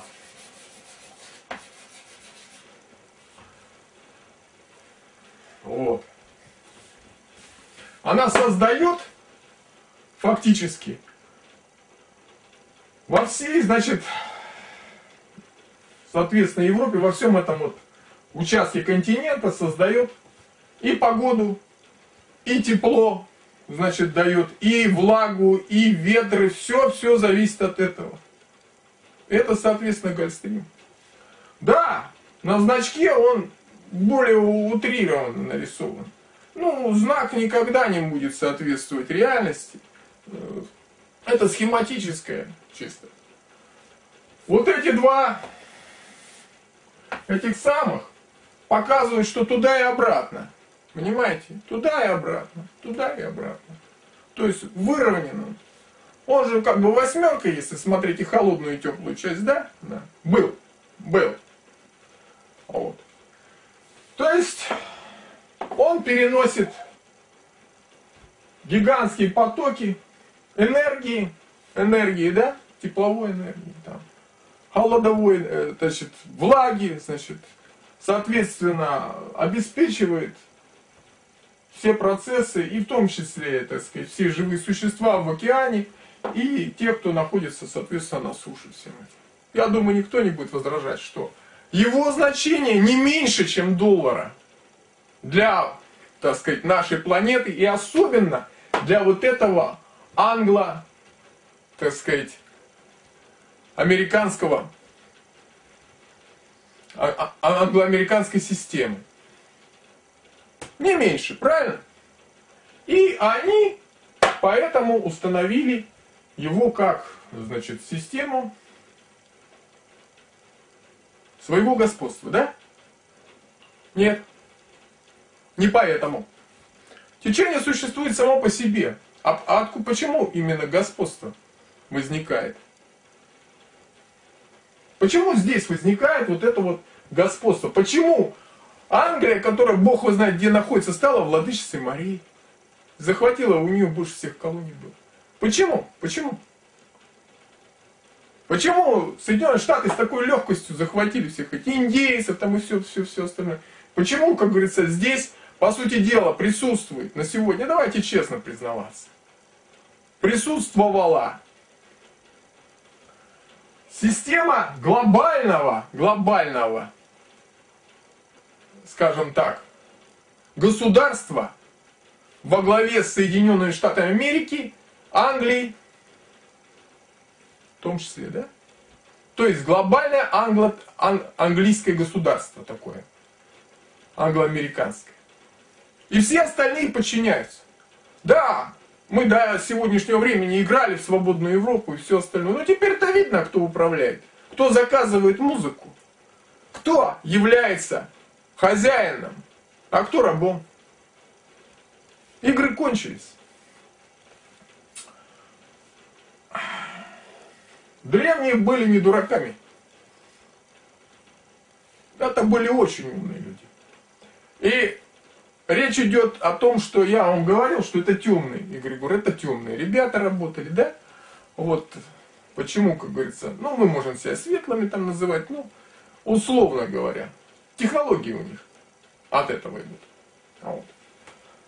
Значит, если кто-то из вас когда-то знает биологические законы, биологические системы, то, допустим, у всех растений, у всех, значит, э, скажем так, ну не животных, вот у растений это очень хорошо прослеживается. Есть такое, такая система, называемая фитонциды. Да? Вот, к примеру, дуб выделяет фитонциды. Да? И другие деревья в зоне его вот этой корневой, где выделяются фитонциды, он, они там плохо растут. А вот дубы там тут отлично растут. То есть вот дубом, условно говоря, выделяется вибрация такая, да, которая не позволяет, не позволяет другим растениям, значит, там чувствовать себя вольготно. Другим, так сказать, деревьям. Вот. Не растениям, деревьям. Значит, вот так вот. И также многие-многие другие растения. То есть они растения своего вида, своей, как говорится, крови, да, чужие нет. Понимаете? Вот в чем система. То есть для своих создается полная, полная, так сказать, свобода, зеленый свет, дорога. Они как бы усиливаются за счет вот этого резонанса, усиливаются за счет резонанса, да? А те, кто чужие, они подавляются. Эта система резонанса их подавляет. Фитонцидная ли. Так вот, представьте себе. Вот здесь расположены были излучатели. Они сейчас там, наверное, есть, да? Вот, которые, вода является записывающим так сказать, она фиксирует прекрасно на себе информацию, да? И с этих излучателей, что это? Что это за сооружения? Это какие-то культовые сооружения, очевидно, да? Ну, известно какие-то культовые сооружения, да? Шла определенная вибрация, связанная такого уровня, как бы, кровного, да? Что, значит, на вот эту воду, а отсюда именно подходит холодная вода, на холодную воду лучше всего записывается, да? Потому что она более твердая, более хорошо содержит. Записывалась информация вот здесь, вот в этом участке, да? Где-то. Вот. Записывалась информация, и эта информация двигалась вот сюда, в эти котлы, здесь вот. Здесь вода нагревалась, вот, тут она вот везде, тут и ниже, вот, нагревалась, и эту информацию, соответственно, как бы проигрывала, сбрасывала, она вибрировать начинала, и информация это пошла. И, соответственно, на вот этой территории, на всей гигантской, которую покрывал вот этот вот гигантский излучатель, мощнейший, то есть вот, мощнейшее записывающее устройство природное, да, вот. Соответственно, была дорога, как говорится, была именно, так сказать, именно были те, так сказать, в, лучшем положении, да? Те усиливались, кто находился вот в родстве с вот тем, кто, собственно говоря, создавал вот этот вот излучатель. Понимаете? И теперь ничего удивительного, в принципе, получается. Теперь вполне объяснимо, что, собственно говоря, почему не так много людей, и они кровно между собой связаны, владеют всеми мировыми, так сказать, запасами, потоками и так далее, и так далее, денежных, так сказать, финансовых и всех всех остальных средств, да? ресурсных и прочее. Ничего удивительного, потому что они резонируют, резонировали с этой системой. Понимаете? А все остальные угнетались этой системой. Благодаря этому было создано мощное, прочное, гигантское государство. Такое супергосударство, понимаете? Где во главе стояли те, кто лучше всего резонировал с вот этой вот частотой, которая тут передавалась. Вот. А остальные. И вот этим обеспечивалось мировое господство. Вот так вот. Просто элементарно, да? Большая такая машинка, она, как говорится, работает и обеспечивает все, как говорится, все цели. И поэтому, именно поэтому она стояла, как говорится, как символ мирового господства. Именно поэтому. У кого-то есть сомнения? Вот. Стояла и работала. Вот. Темные так поставили. Молодцы, ребята, да? Какие штуки умели делать, да? Вот. Но, как говорится, светлые тоже не спали и на рассвете атаковали. В итоге они остановили этот поток. Машинка сломалась. Усё. Сломалась машинка. А они не уследили. И вот теперь кто-то будет говорить, что они обладают великими знаниями, они управляют миром и все остальное. Вот это наследство им досталось, вот это все, а они его не уберегли. Не уберегли. Потому что, извините, они ни черта не знают, очевидно. А надо было следить за там какой, каким-то наследством, которое было оставлено, которое работало, которое обеспечивало, так сказать, их высокое благосостояние и все остальное. А теперь все это государство начинает разваливаться. Разваливаться на куски. Все хотят отсоединяться. И в последнем своем выдохе зверь попытался дотянуться до своего, очевидно, врага, лютого, как, который, видимо, нанес вот удар по вот этой машине. Потому что они же тоже, наверное, соображают. Ну, такое предположение. И, как ни странно, как ни странно, да, удар этот пришелся по Украине. А что же за территория такая Украина? Кто ж там был такой? Кто ж мог быть такой и соотноситься? Тоже, видимо, как-то кровью связан был с теми, кто, так сказать, нанес удар по их машинке, сломал ее. А?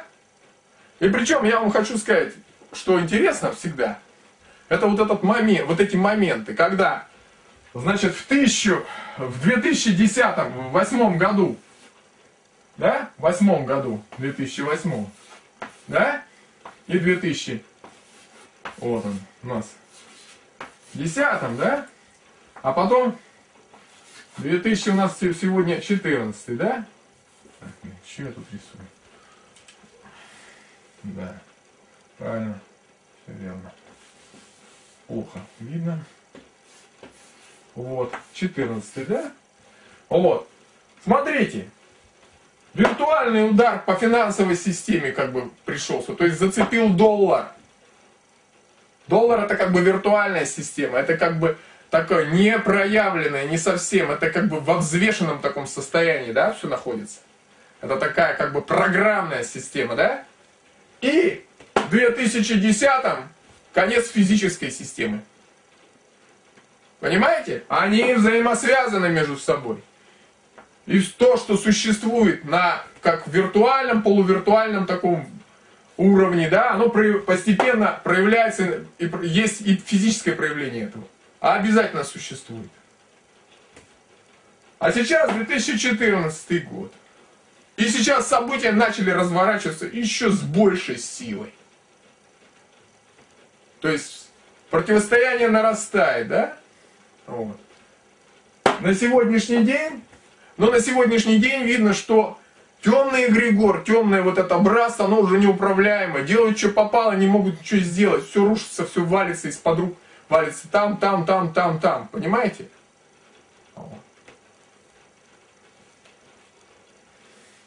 И вот этот выброс вибраций, мой мощнейший выброс вибраций, вот он, выброс вибрации, он пошел во все стороны. Он не только на Украину попал. Начались, активизировались действия и, значит, э, на Ближнем Востоке. По всему миру войны начались. Пусть они такие локальные какие-то, но, как говорится, пожар войны, пожар вот этого по всему миру. А темный эгрегор, как известно, темный эгрегор питается смертью. Чем больше смертей, тем, как говорится, это. И вот на последнем этапе, да, вот в этом выдохе он что-то смог активизировать. Бросить какую-то энергетику. Хотя центр уже поражен. А вот. Почему же он именно на Украину, так сказать? Дело в том, что Украина, как бы сказать-то, это территория русского княжества. Да, территория русского княжества. Был такой князь Святослав. Русский князь Святослав. И вот так вышло, что Украина вдруг оказалась на территории русского княжества. Княжества Святослава. А вот. Вроде не захватывали, но почему-то оказались. Так вот, Святослав известен тем, что он победил хазарский каганат. Хазарский каганат очень интересное государство. Оно настолько интересно, что, как говорится,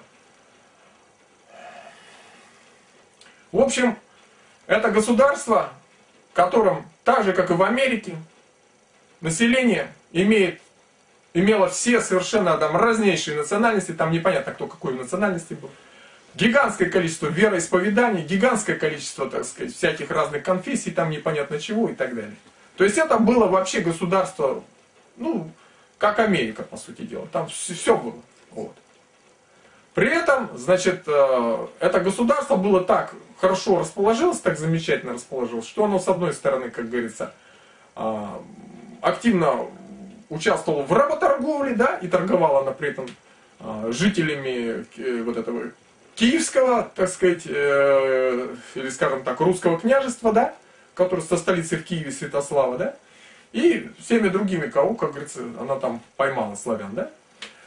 Вот, и потоки все контролировала, товарооборот весь полностью. То есть это было государство, денежный мешок. Денег там было, золота там было бесконечное количество. Соответственно, желающих, как говорится, пограбить, так сказать, и напасть на это государство было много. Они были недовольны тем, что, как говорится, их превращают в рабов. Другие были недовольны тем, что, как говорится, они захватили, так сказать, весь товарооборот, а, товарооборот и, как говорится, все деньги. Третьи были еще чем-то недовольны, четвертым хотелось там золото, и так далее, так далее. То есть, в общем, было много желающих, да?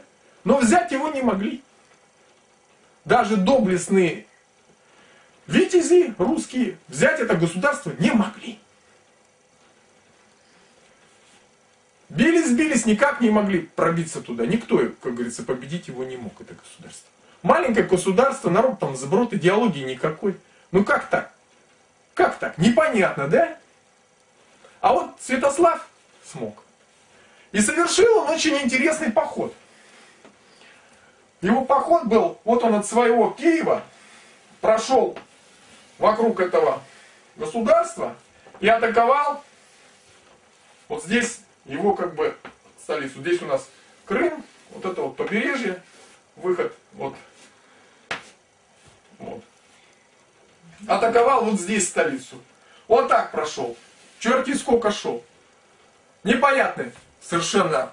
Историки наши, они что попало на эту тему, говорят, вот, что там он что-то там какого-то чего-то, это самое, вот.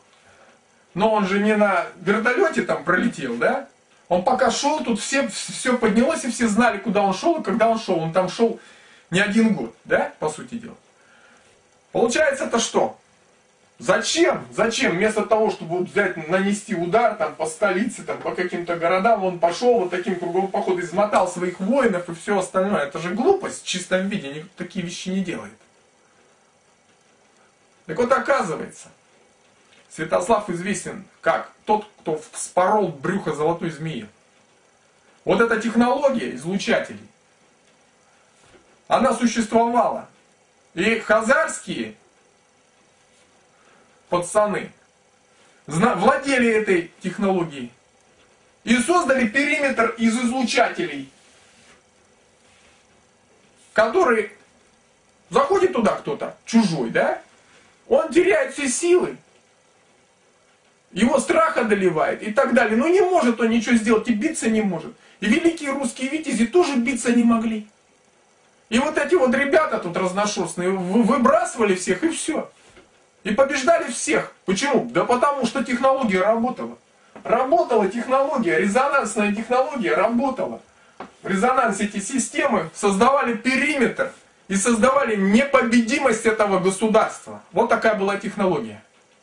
Соответственно, что взял? Святослав взял, как я понимаю, хакеров, и они взломали этот периметр. Постепенно, один за другим размыкая контакты. И только после этого он смог напасть. Понимаете, насколько защита была крутая? О, технология. Очевидно, после того, как отсюда их выпер Святослав, они подались туда, в Англию. Потому что, ну, про другие машинки неизвестно, да? А вот этому, про эту машинку мы знаем. И создали там вот такую замечательную машинку, которая создала еще больше государства, чем Хазария. Но такое же богатое, но такое же разношерстное, им все равно там кто, да? Вот. Это Хазария, Хазария. И вот этот вот гигантский этот самый, это а, есть одно. Понимаете? И тогда на последнем издыхании зверь нанес удар в сторону своего, как говорится, прошлого врага. Наверное, он считал, что это потомки Святослава ударили по его, так сказать, этому, по его устройству, по его этой системе. А может знал. Понимаете? По крайней мере, те ребята, которые сражаются на Донбассе, и те, которые, как говорится, отстояли Крым, те, они уж точно, как говорится, и как минимум из тех, кто, так сказать, из Святославовых воинов потомки. Понимаете? То есть мы с вами живем, и вокруг существует масса технологий. Древние не были глупцами. Это мы ничего не понимаем. Понимаете? Есть такое стихотворение. У поэта они способны, так сказать, прозревать такие вещи, которые ученые наши бестолковые не могут. А вот есть такое стихотворение Кобзева, значит, скифы, отрывочек.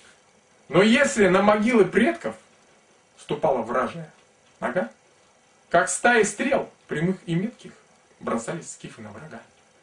И те священные могилы творили магию свою. Они своих потомков силы могли утраивать в бою. Понимаете?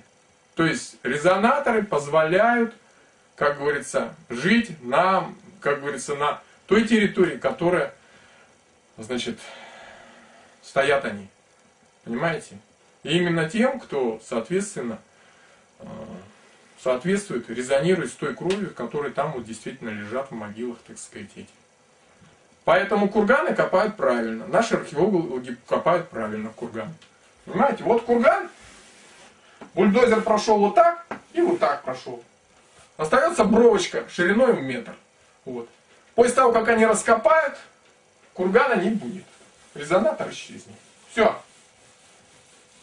И еще есть очень интересный факт свидетельствует о том, что Московское княжество, когда а, планировало, так сказать, э, захват, так сказать, освоение Сибири, оно создало такую, из сброда такую, как говорится, движение, как бугровщики.